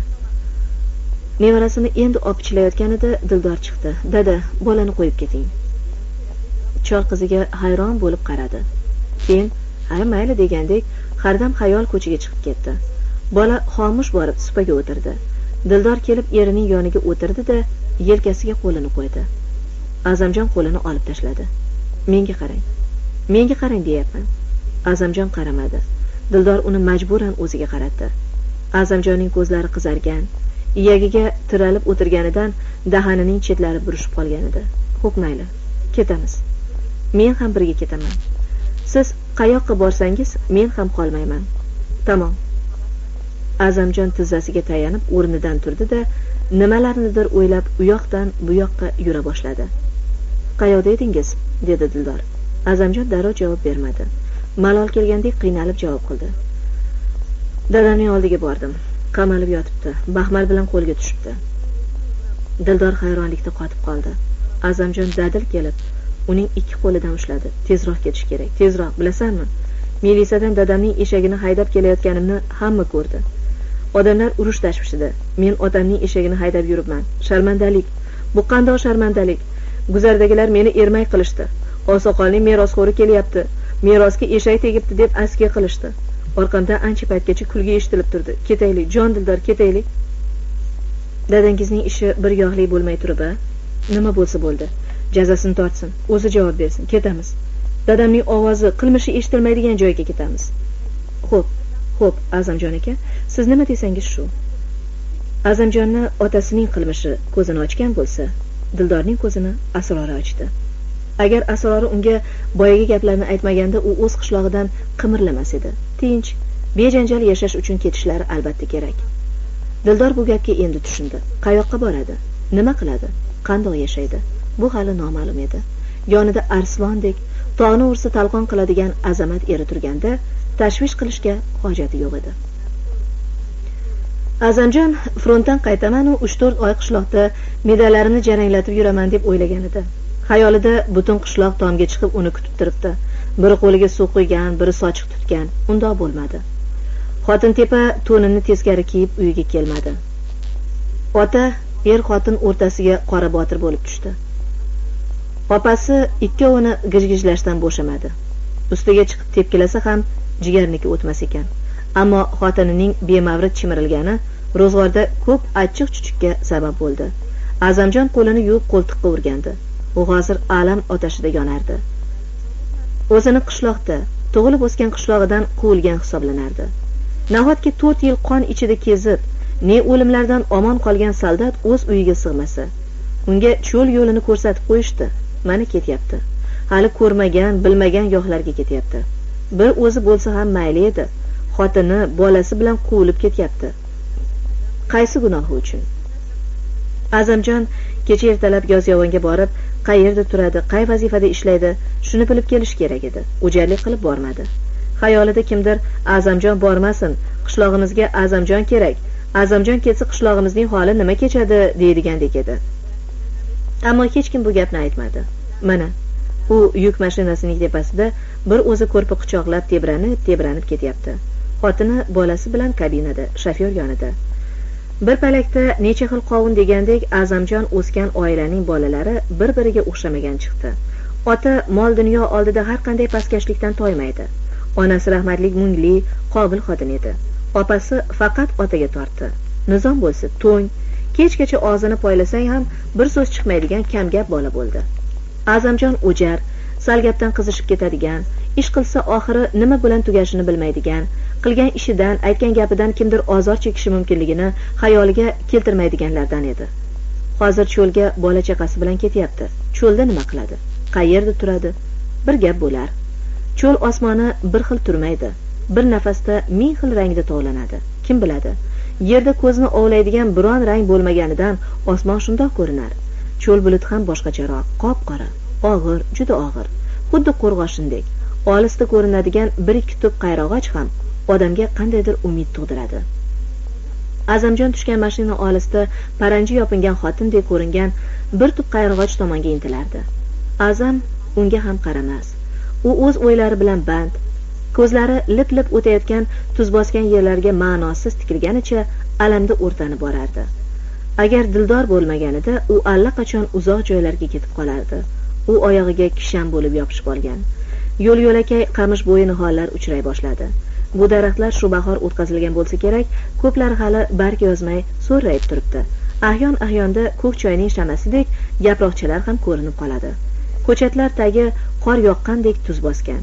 Umuman sho'r qoplagan keng cho'l ovqati chala yeyilgan hamda yuvilmay qolgan oftobda qolgan laganga o'xshardi. Yo'l chetlarida ahyon ahyonda uchragan artezian quduqlaridan otilib chiqayotgan shaffof suv osmonga uchib ketayotibdimi yerga kirib ketayotibdimi bilib bo'lmasdi. Aqalli bir bo'yra yer namlanmasachi. Azamjon bu yerlar qachon suv ichadiyu? Qachon bir giyoh unadi deb dilidan o'tkazardi. U yo'lga chiqqanda shamollar bo'ronlar quturgan cho'lda yo bo'rilar bilan olishib yo toshqinlarni to'sib ikki kundayoq kimligimni ko'rsataman deb o'ylagan edi. Hozirgi manzara tamoman hafsalasini pir qildi agar xotini bilan bolasini ola kelmaganda allaqachon orqaga qaytardi. Mashina shu ko'yi taqirliklardan qorako'l terisidek jivir jivir qumliklardan olib o'tib kanal bo'yiga chiqdi. Ko'prik ustida baland poshnali tuflisini yechib olgan bir ayol mashinaga qo'l ko'tardi. Shofyor to'satdan tormoz berganida orqadan ko'chgan to'zon azamjonning ustiga yopirildi. Mashina joyidan qo'zg'algandagina to'zon tarqaldi. Yonida boyagi ayol o'tirardi. Azamjon zimdan unga ko'z qirini tashladi. U qo'rqibmi yotsirabmi unga qaramasdi. Sumkasini quchoqlaganicha suv yoqasidagi tanlari bujmaygan tollarga tikilib borardi. Uning eynida qora ko'ylak shundoq issiq kunda qora ko'ylak kiyishidan azadorligi bilinib turardi. Yoshi o'n to'qqiz yigirmalardan oshmagan. Bola og'iz solmagan ko'kraklari mashina tebranishidan erkak zotini bezovta qiladigan g'alati silginardi ayol azamjonning ko'ksidagi medallari jiringlaganidanmi yo boshqa sababdanmi beixtiyor o'girildi. Shunda azamjon uning ko'zlarini ko'rdi. Bu ko'zlar uncha muncha ko'zlardan emasdi. Azamjon birinchi marta vokzalda dildorning ko'zlarini ko'rganda ham bunchalik bo'lmagandi. Yuragi shuv etib ketdiyu nafas ham ololmay qoldi. Oppoq tomoqlarga shamolda tegib o'ynayotgan o'rimga qo'nmagan sochlar shamol yoqasini har silkiganda ochilib yopilayotgan yelkalar hamon titrab turgan ko'kraklar hozirgina yig'idan bo'shagandek nam tortib turgan kipriklaru chimchilab qo'ygandek bejirim burun. Ayniqsa oq o'rik po'stidek bilinar bilinmas sepkili bor tomoqlari azamjonning yigitlik qonini ko'pirtirib yubordi. Qaydadir yashiringan bo'ydoq vahshiyligi yuzaga chiqdi. Mashina yo'lni kesib o'tayotgan podaga signal berganda cho'chib o'ziga keldiyu atrofga qaradi. Mashina qishloqcha o'rtasida borardi. Ayol kishi har narsani biladi. Ayniqsa yonida begona erkak o'tirganda uning ko'nglida nimalar bo'layotganini va nimalar bo'lishini avvaldan biladi ko'zidan ovozidan biladi. Mashina suvsizlikdan daraxtga yolchimagan qishloqni oralab yana cho'l qo'yniga kirdi. Bidala zog' uchmaydi.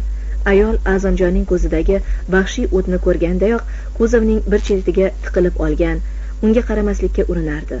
Uzoq yo'l. Tokay shunday ketadi. Ayol o'girilib bir qaradi.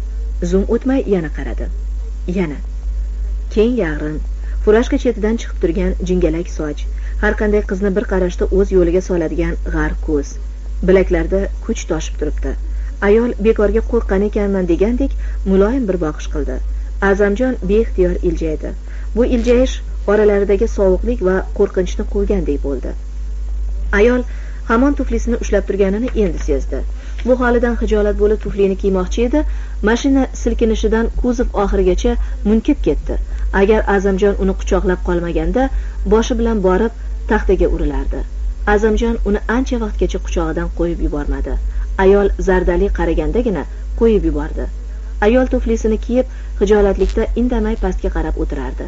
Azamjon esa yana shunday tasodifni kutardi. Yo'l tekis mashina silkinmasdi. Ayol o'rnidan turib kabina tepasini urmoqchi bo'lganda azamjon uning bilagidan ushladi. Shoshmang otingizni aytib keting. Nima qilasiz otimni? Yomon kishi ekansizku. Aytib keting kim bilan birga kelganimni bilib qolay. Ayol tubsiz ummonlarni bag'riga singdirgan nildek qora ko'zlarini unga tikkancha birdan turib qoldi. Azamjon o'zini tutolmadi. Yigitlik o'ti qaynab turgan ko'ksini uning ko'ksiga bosib tomoqlarining tagiga boshini suqdi. Ayol undan qutulish uchun harchand urinsa ham baquvvat bilaklari belidan ayrilib olmasdi. Ayol oxiri zarb bilan kabina tomini shapillatib ura boshladi. Hansiragan azamjon uni bag'ridan bo'shatib alamdanmi ehtirosdanmi tepib turgan ko'ksiga qaradi. Otingizni kimligingizni aytib keting qidirib topaman. Albatta topaman. Mashina to'xtadi. Ayol sakrab pastga tushdi da sumkasini kovlab pul qidira boshladi. To u pul chiqazguncha mashina joyidan qo'zg'aldi. Bir zumda ayolning qorayib kichrayib ortda qolayotgan gavdasini chang bosib ketdi. Kun tepadan tig' urayotganda mashina obodgina bir qishloqqa kirib keldi. Usti shifer bilan yopilgan pishiq g'isht uylar tanasi etik qo'njidek bo'lib qolgan tollar qishloqqa binoydek husn berib turardi. Azamjon o'zini pastga otib kabina eshigini ochdiyu qiynalmadingmi jonim deb dildorning qo'lidan bolani oldi. Chorterakdan kelganlar samovarni to'ldirib gurunglashib o'tirishardi. Azamjon ham yuklarini tushirib ular to'dasiga qo'shildi.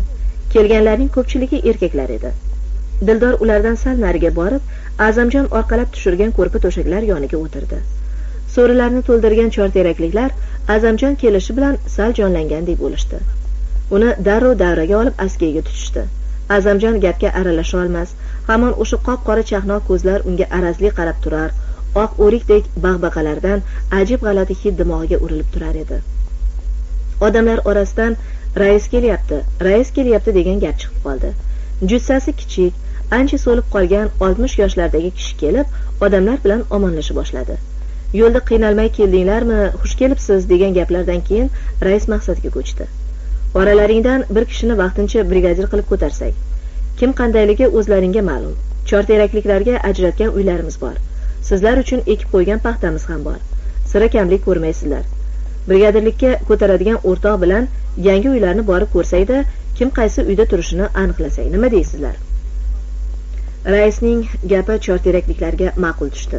Kimdir xolmajon brigadir bo'lsin yana birov azamjon bo'lsin degan taklifni o'rtaga tashladi. Rais har ikkala taklifni o'rtaga tashlaganda xolmajon sakkiz ovoz ortiq oldi.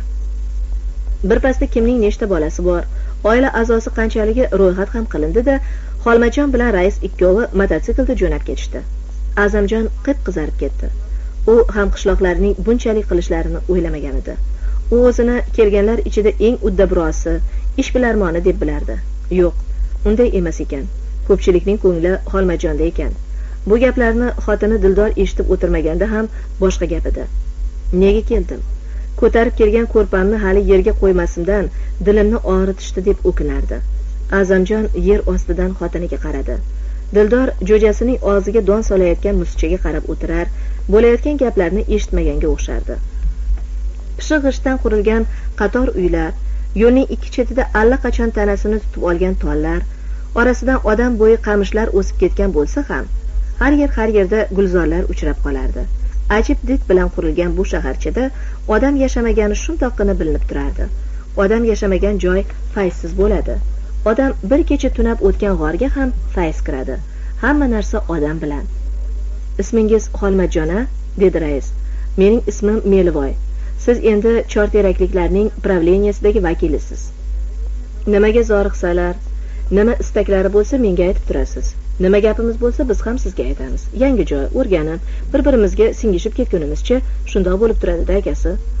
Melvoy aka mototsiklni ko'cha boshida qoldirib kolyaskadan olgan bir xalta kalitni arang ko'targanicha birinchi uyning eshigini ochdi.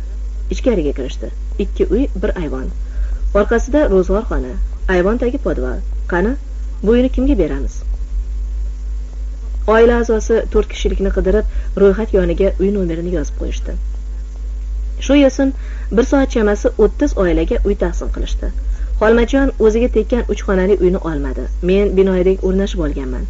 Malika ayamning uyi menga juda bopti shu uyni azamjonga beraylik. Boya brigadirlikka nomzodi qo'yilgan yigit. Nazarimda sal dili og'rib qolganday tuyuldi. Zora uy bahonasi bilan dilining chikili yozilib ketsa.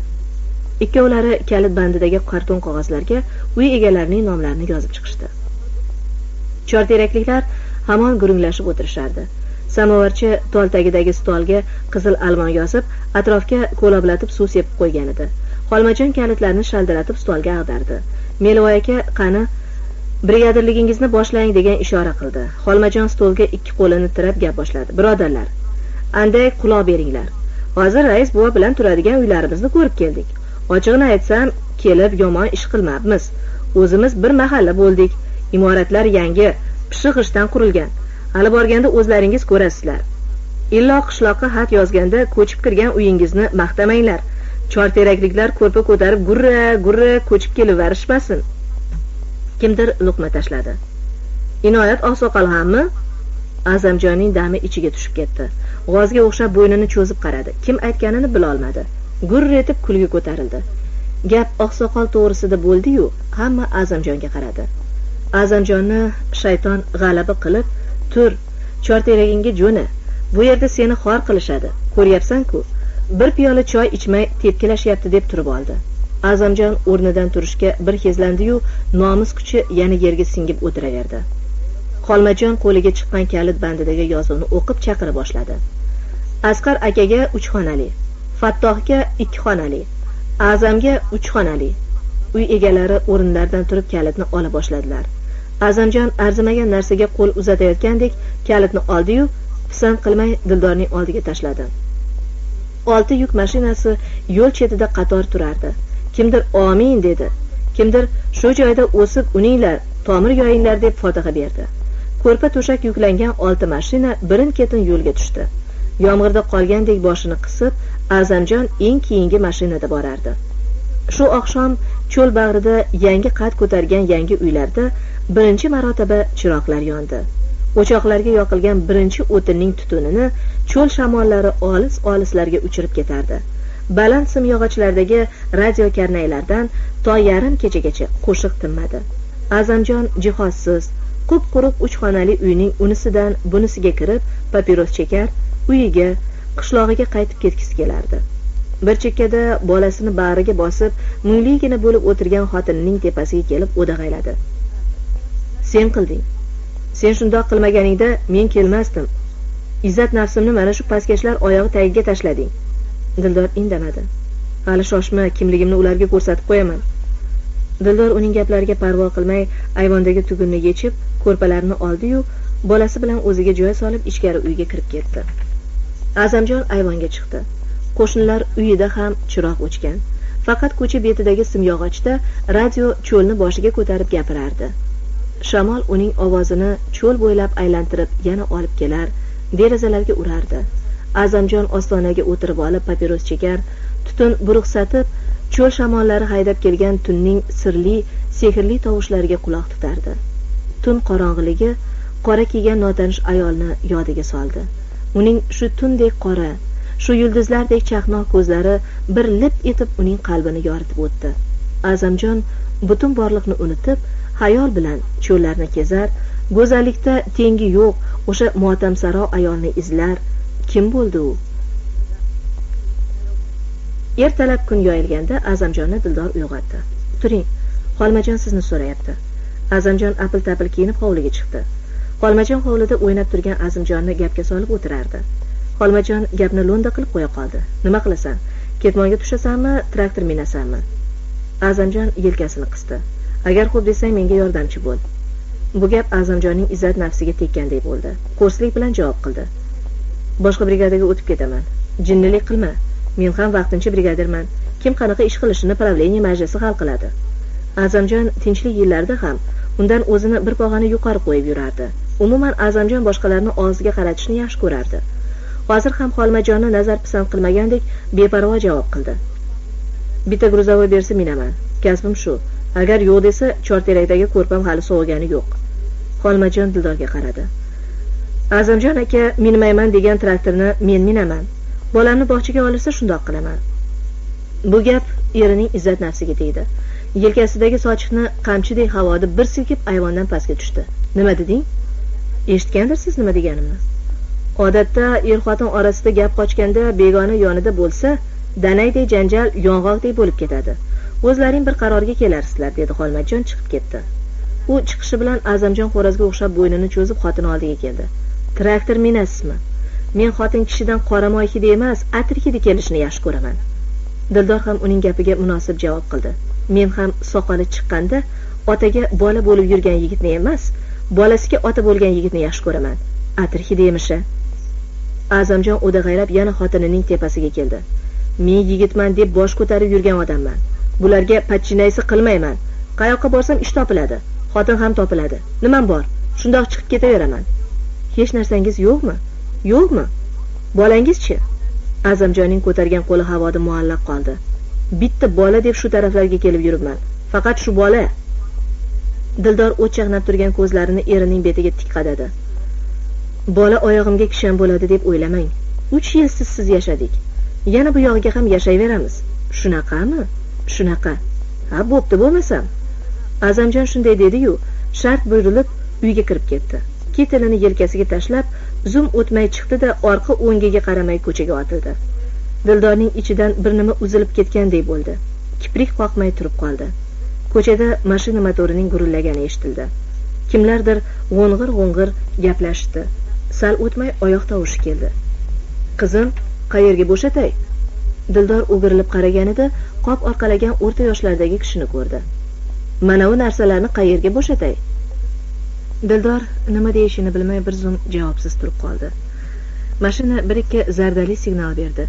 Kelgan kishi imorat soya tashlagan tomonga qopni bo'shatdi. Sabzi piyoz kartoshka bitta karam ikkita handalak. U qopni silkita silkita chiqib ketdi da yana kirdi. Bu gal kichkinagina yashikchada bodring pomidor bir hovuchgina gilos uchta non olib kirgan edi. Yashikni ayvon dahaniga qo'yib chiqib ketdi. Sal o'tmay mashina gurillab ovozi uzoqlashdi. Dildorning birinchi bor uydan uzoqlashishi ota uyidan qishlog'idan nari ketgan birinchi tongi ana shundoq otdi. Bu cho'lda ota uyidan uzoqda eri bilan birinchi bor mustaqil ro'zg'or tutishi. Bu uning birinchi bor yangi uyida nonushta qilishi. Negadir dildorning ko'ziga yosh kelmadi yig'lamadi. Kuchanib handalak ko'tarib turgan o'g'liga bir qaradi da uyga kirib choynak olib chiqdi. Yangi uylar bir biriga tutashgan bo'lib devori darvozaxonasi yo'q edi. Kimning hovlisida nima qilayotgani shundoqqina bilinib turardi. Qo'shni hovlilarda xotinlar g'imirsib yurishar nonushtaga tayyorlik ko'rishardi. Dildor allaqachon qo'ygan qumg'on necha qaynab necha sovigan ostidagi cho'g' ham o'chib bo'lgan edi. U imorat qurilganda to'planib qolgan payrahalarni yoqib yana qumg'on osdi ona bola hech narsa bo'lmagandek nonushta qilishdi da indamay kecha yig'in bo'lgan tarafga yo'l olishdi. Katta tol tagidan abdulla baqiroqning ovozi kelardi. Yangi kelgan chor terakliklar majlisga. Hali telefon bo'lmagani uchun bir mehnat kuni hisobi shu abdulla baqiroq telefon o'rnini bosib odamlarni majlisga ishga chaqirardi. Abdulla baqiroq hamon qichqirardi. Azam inoyatov dildor yunusova rais meliboy akaga uchrashinglar.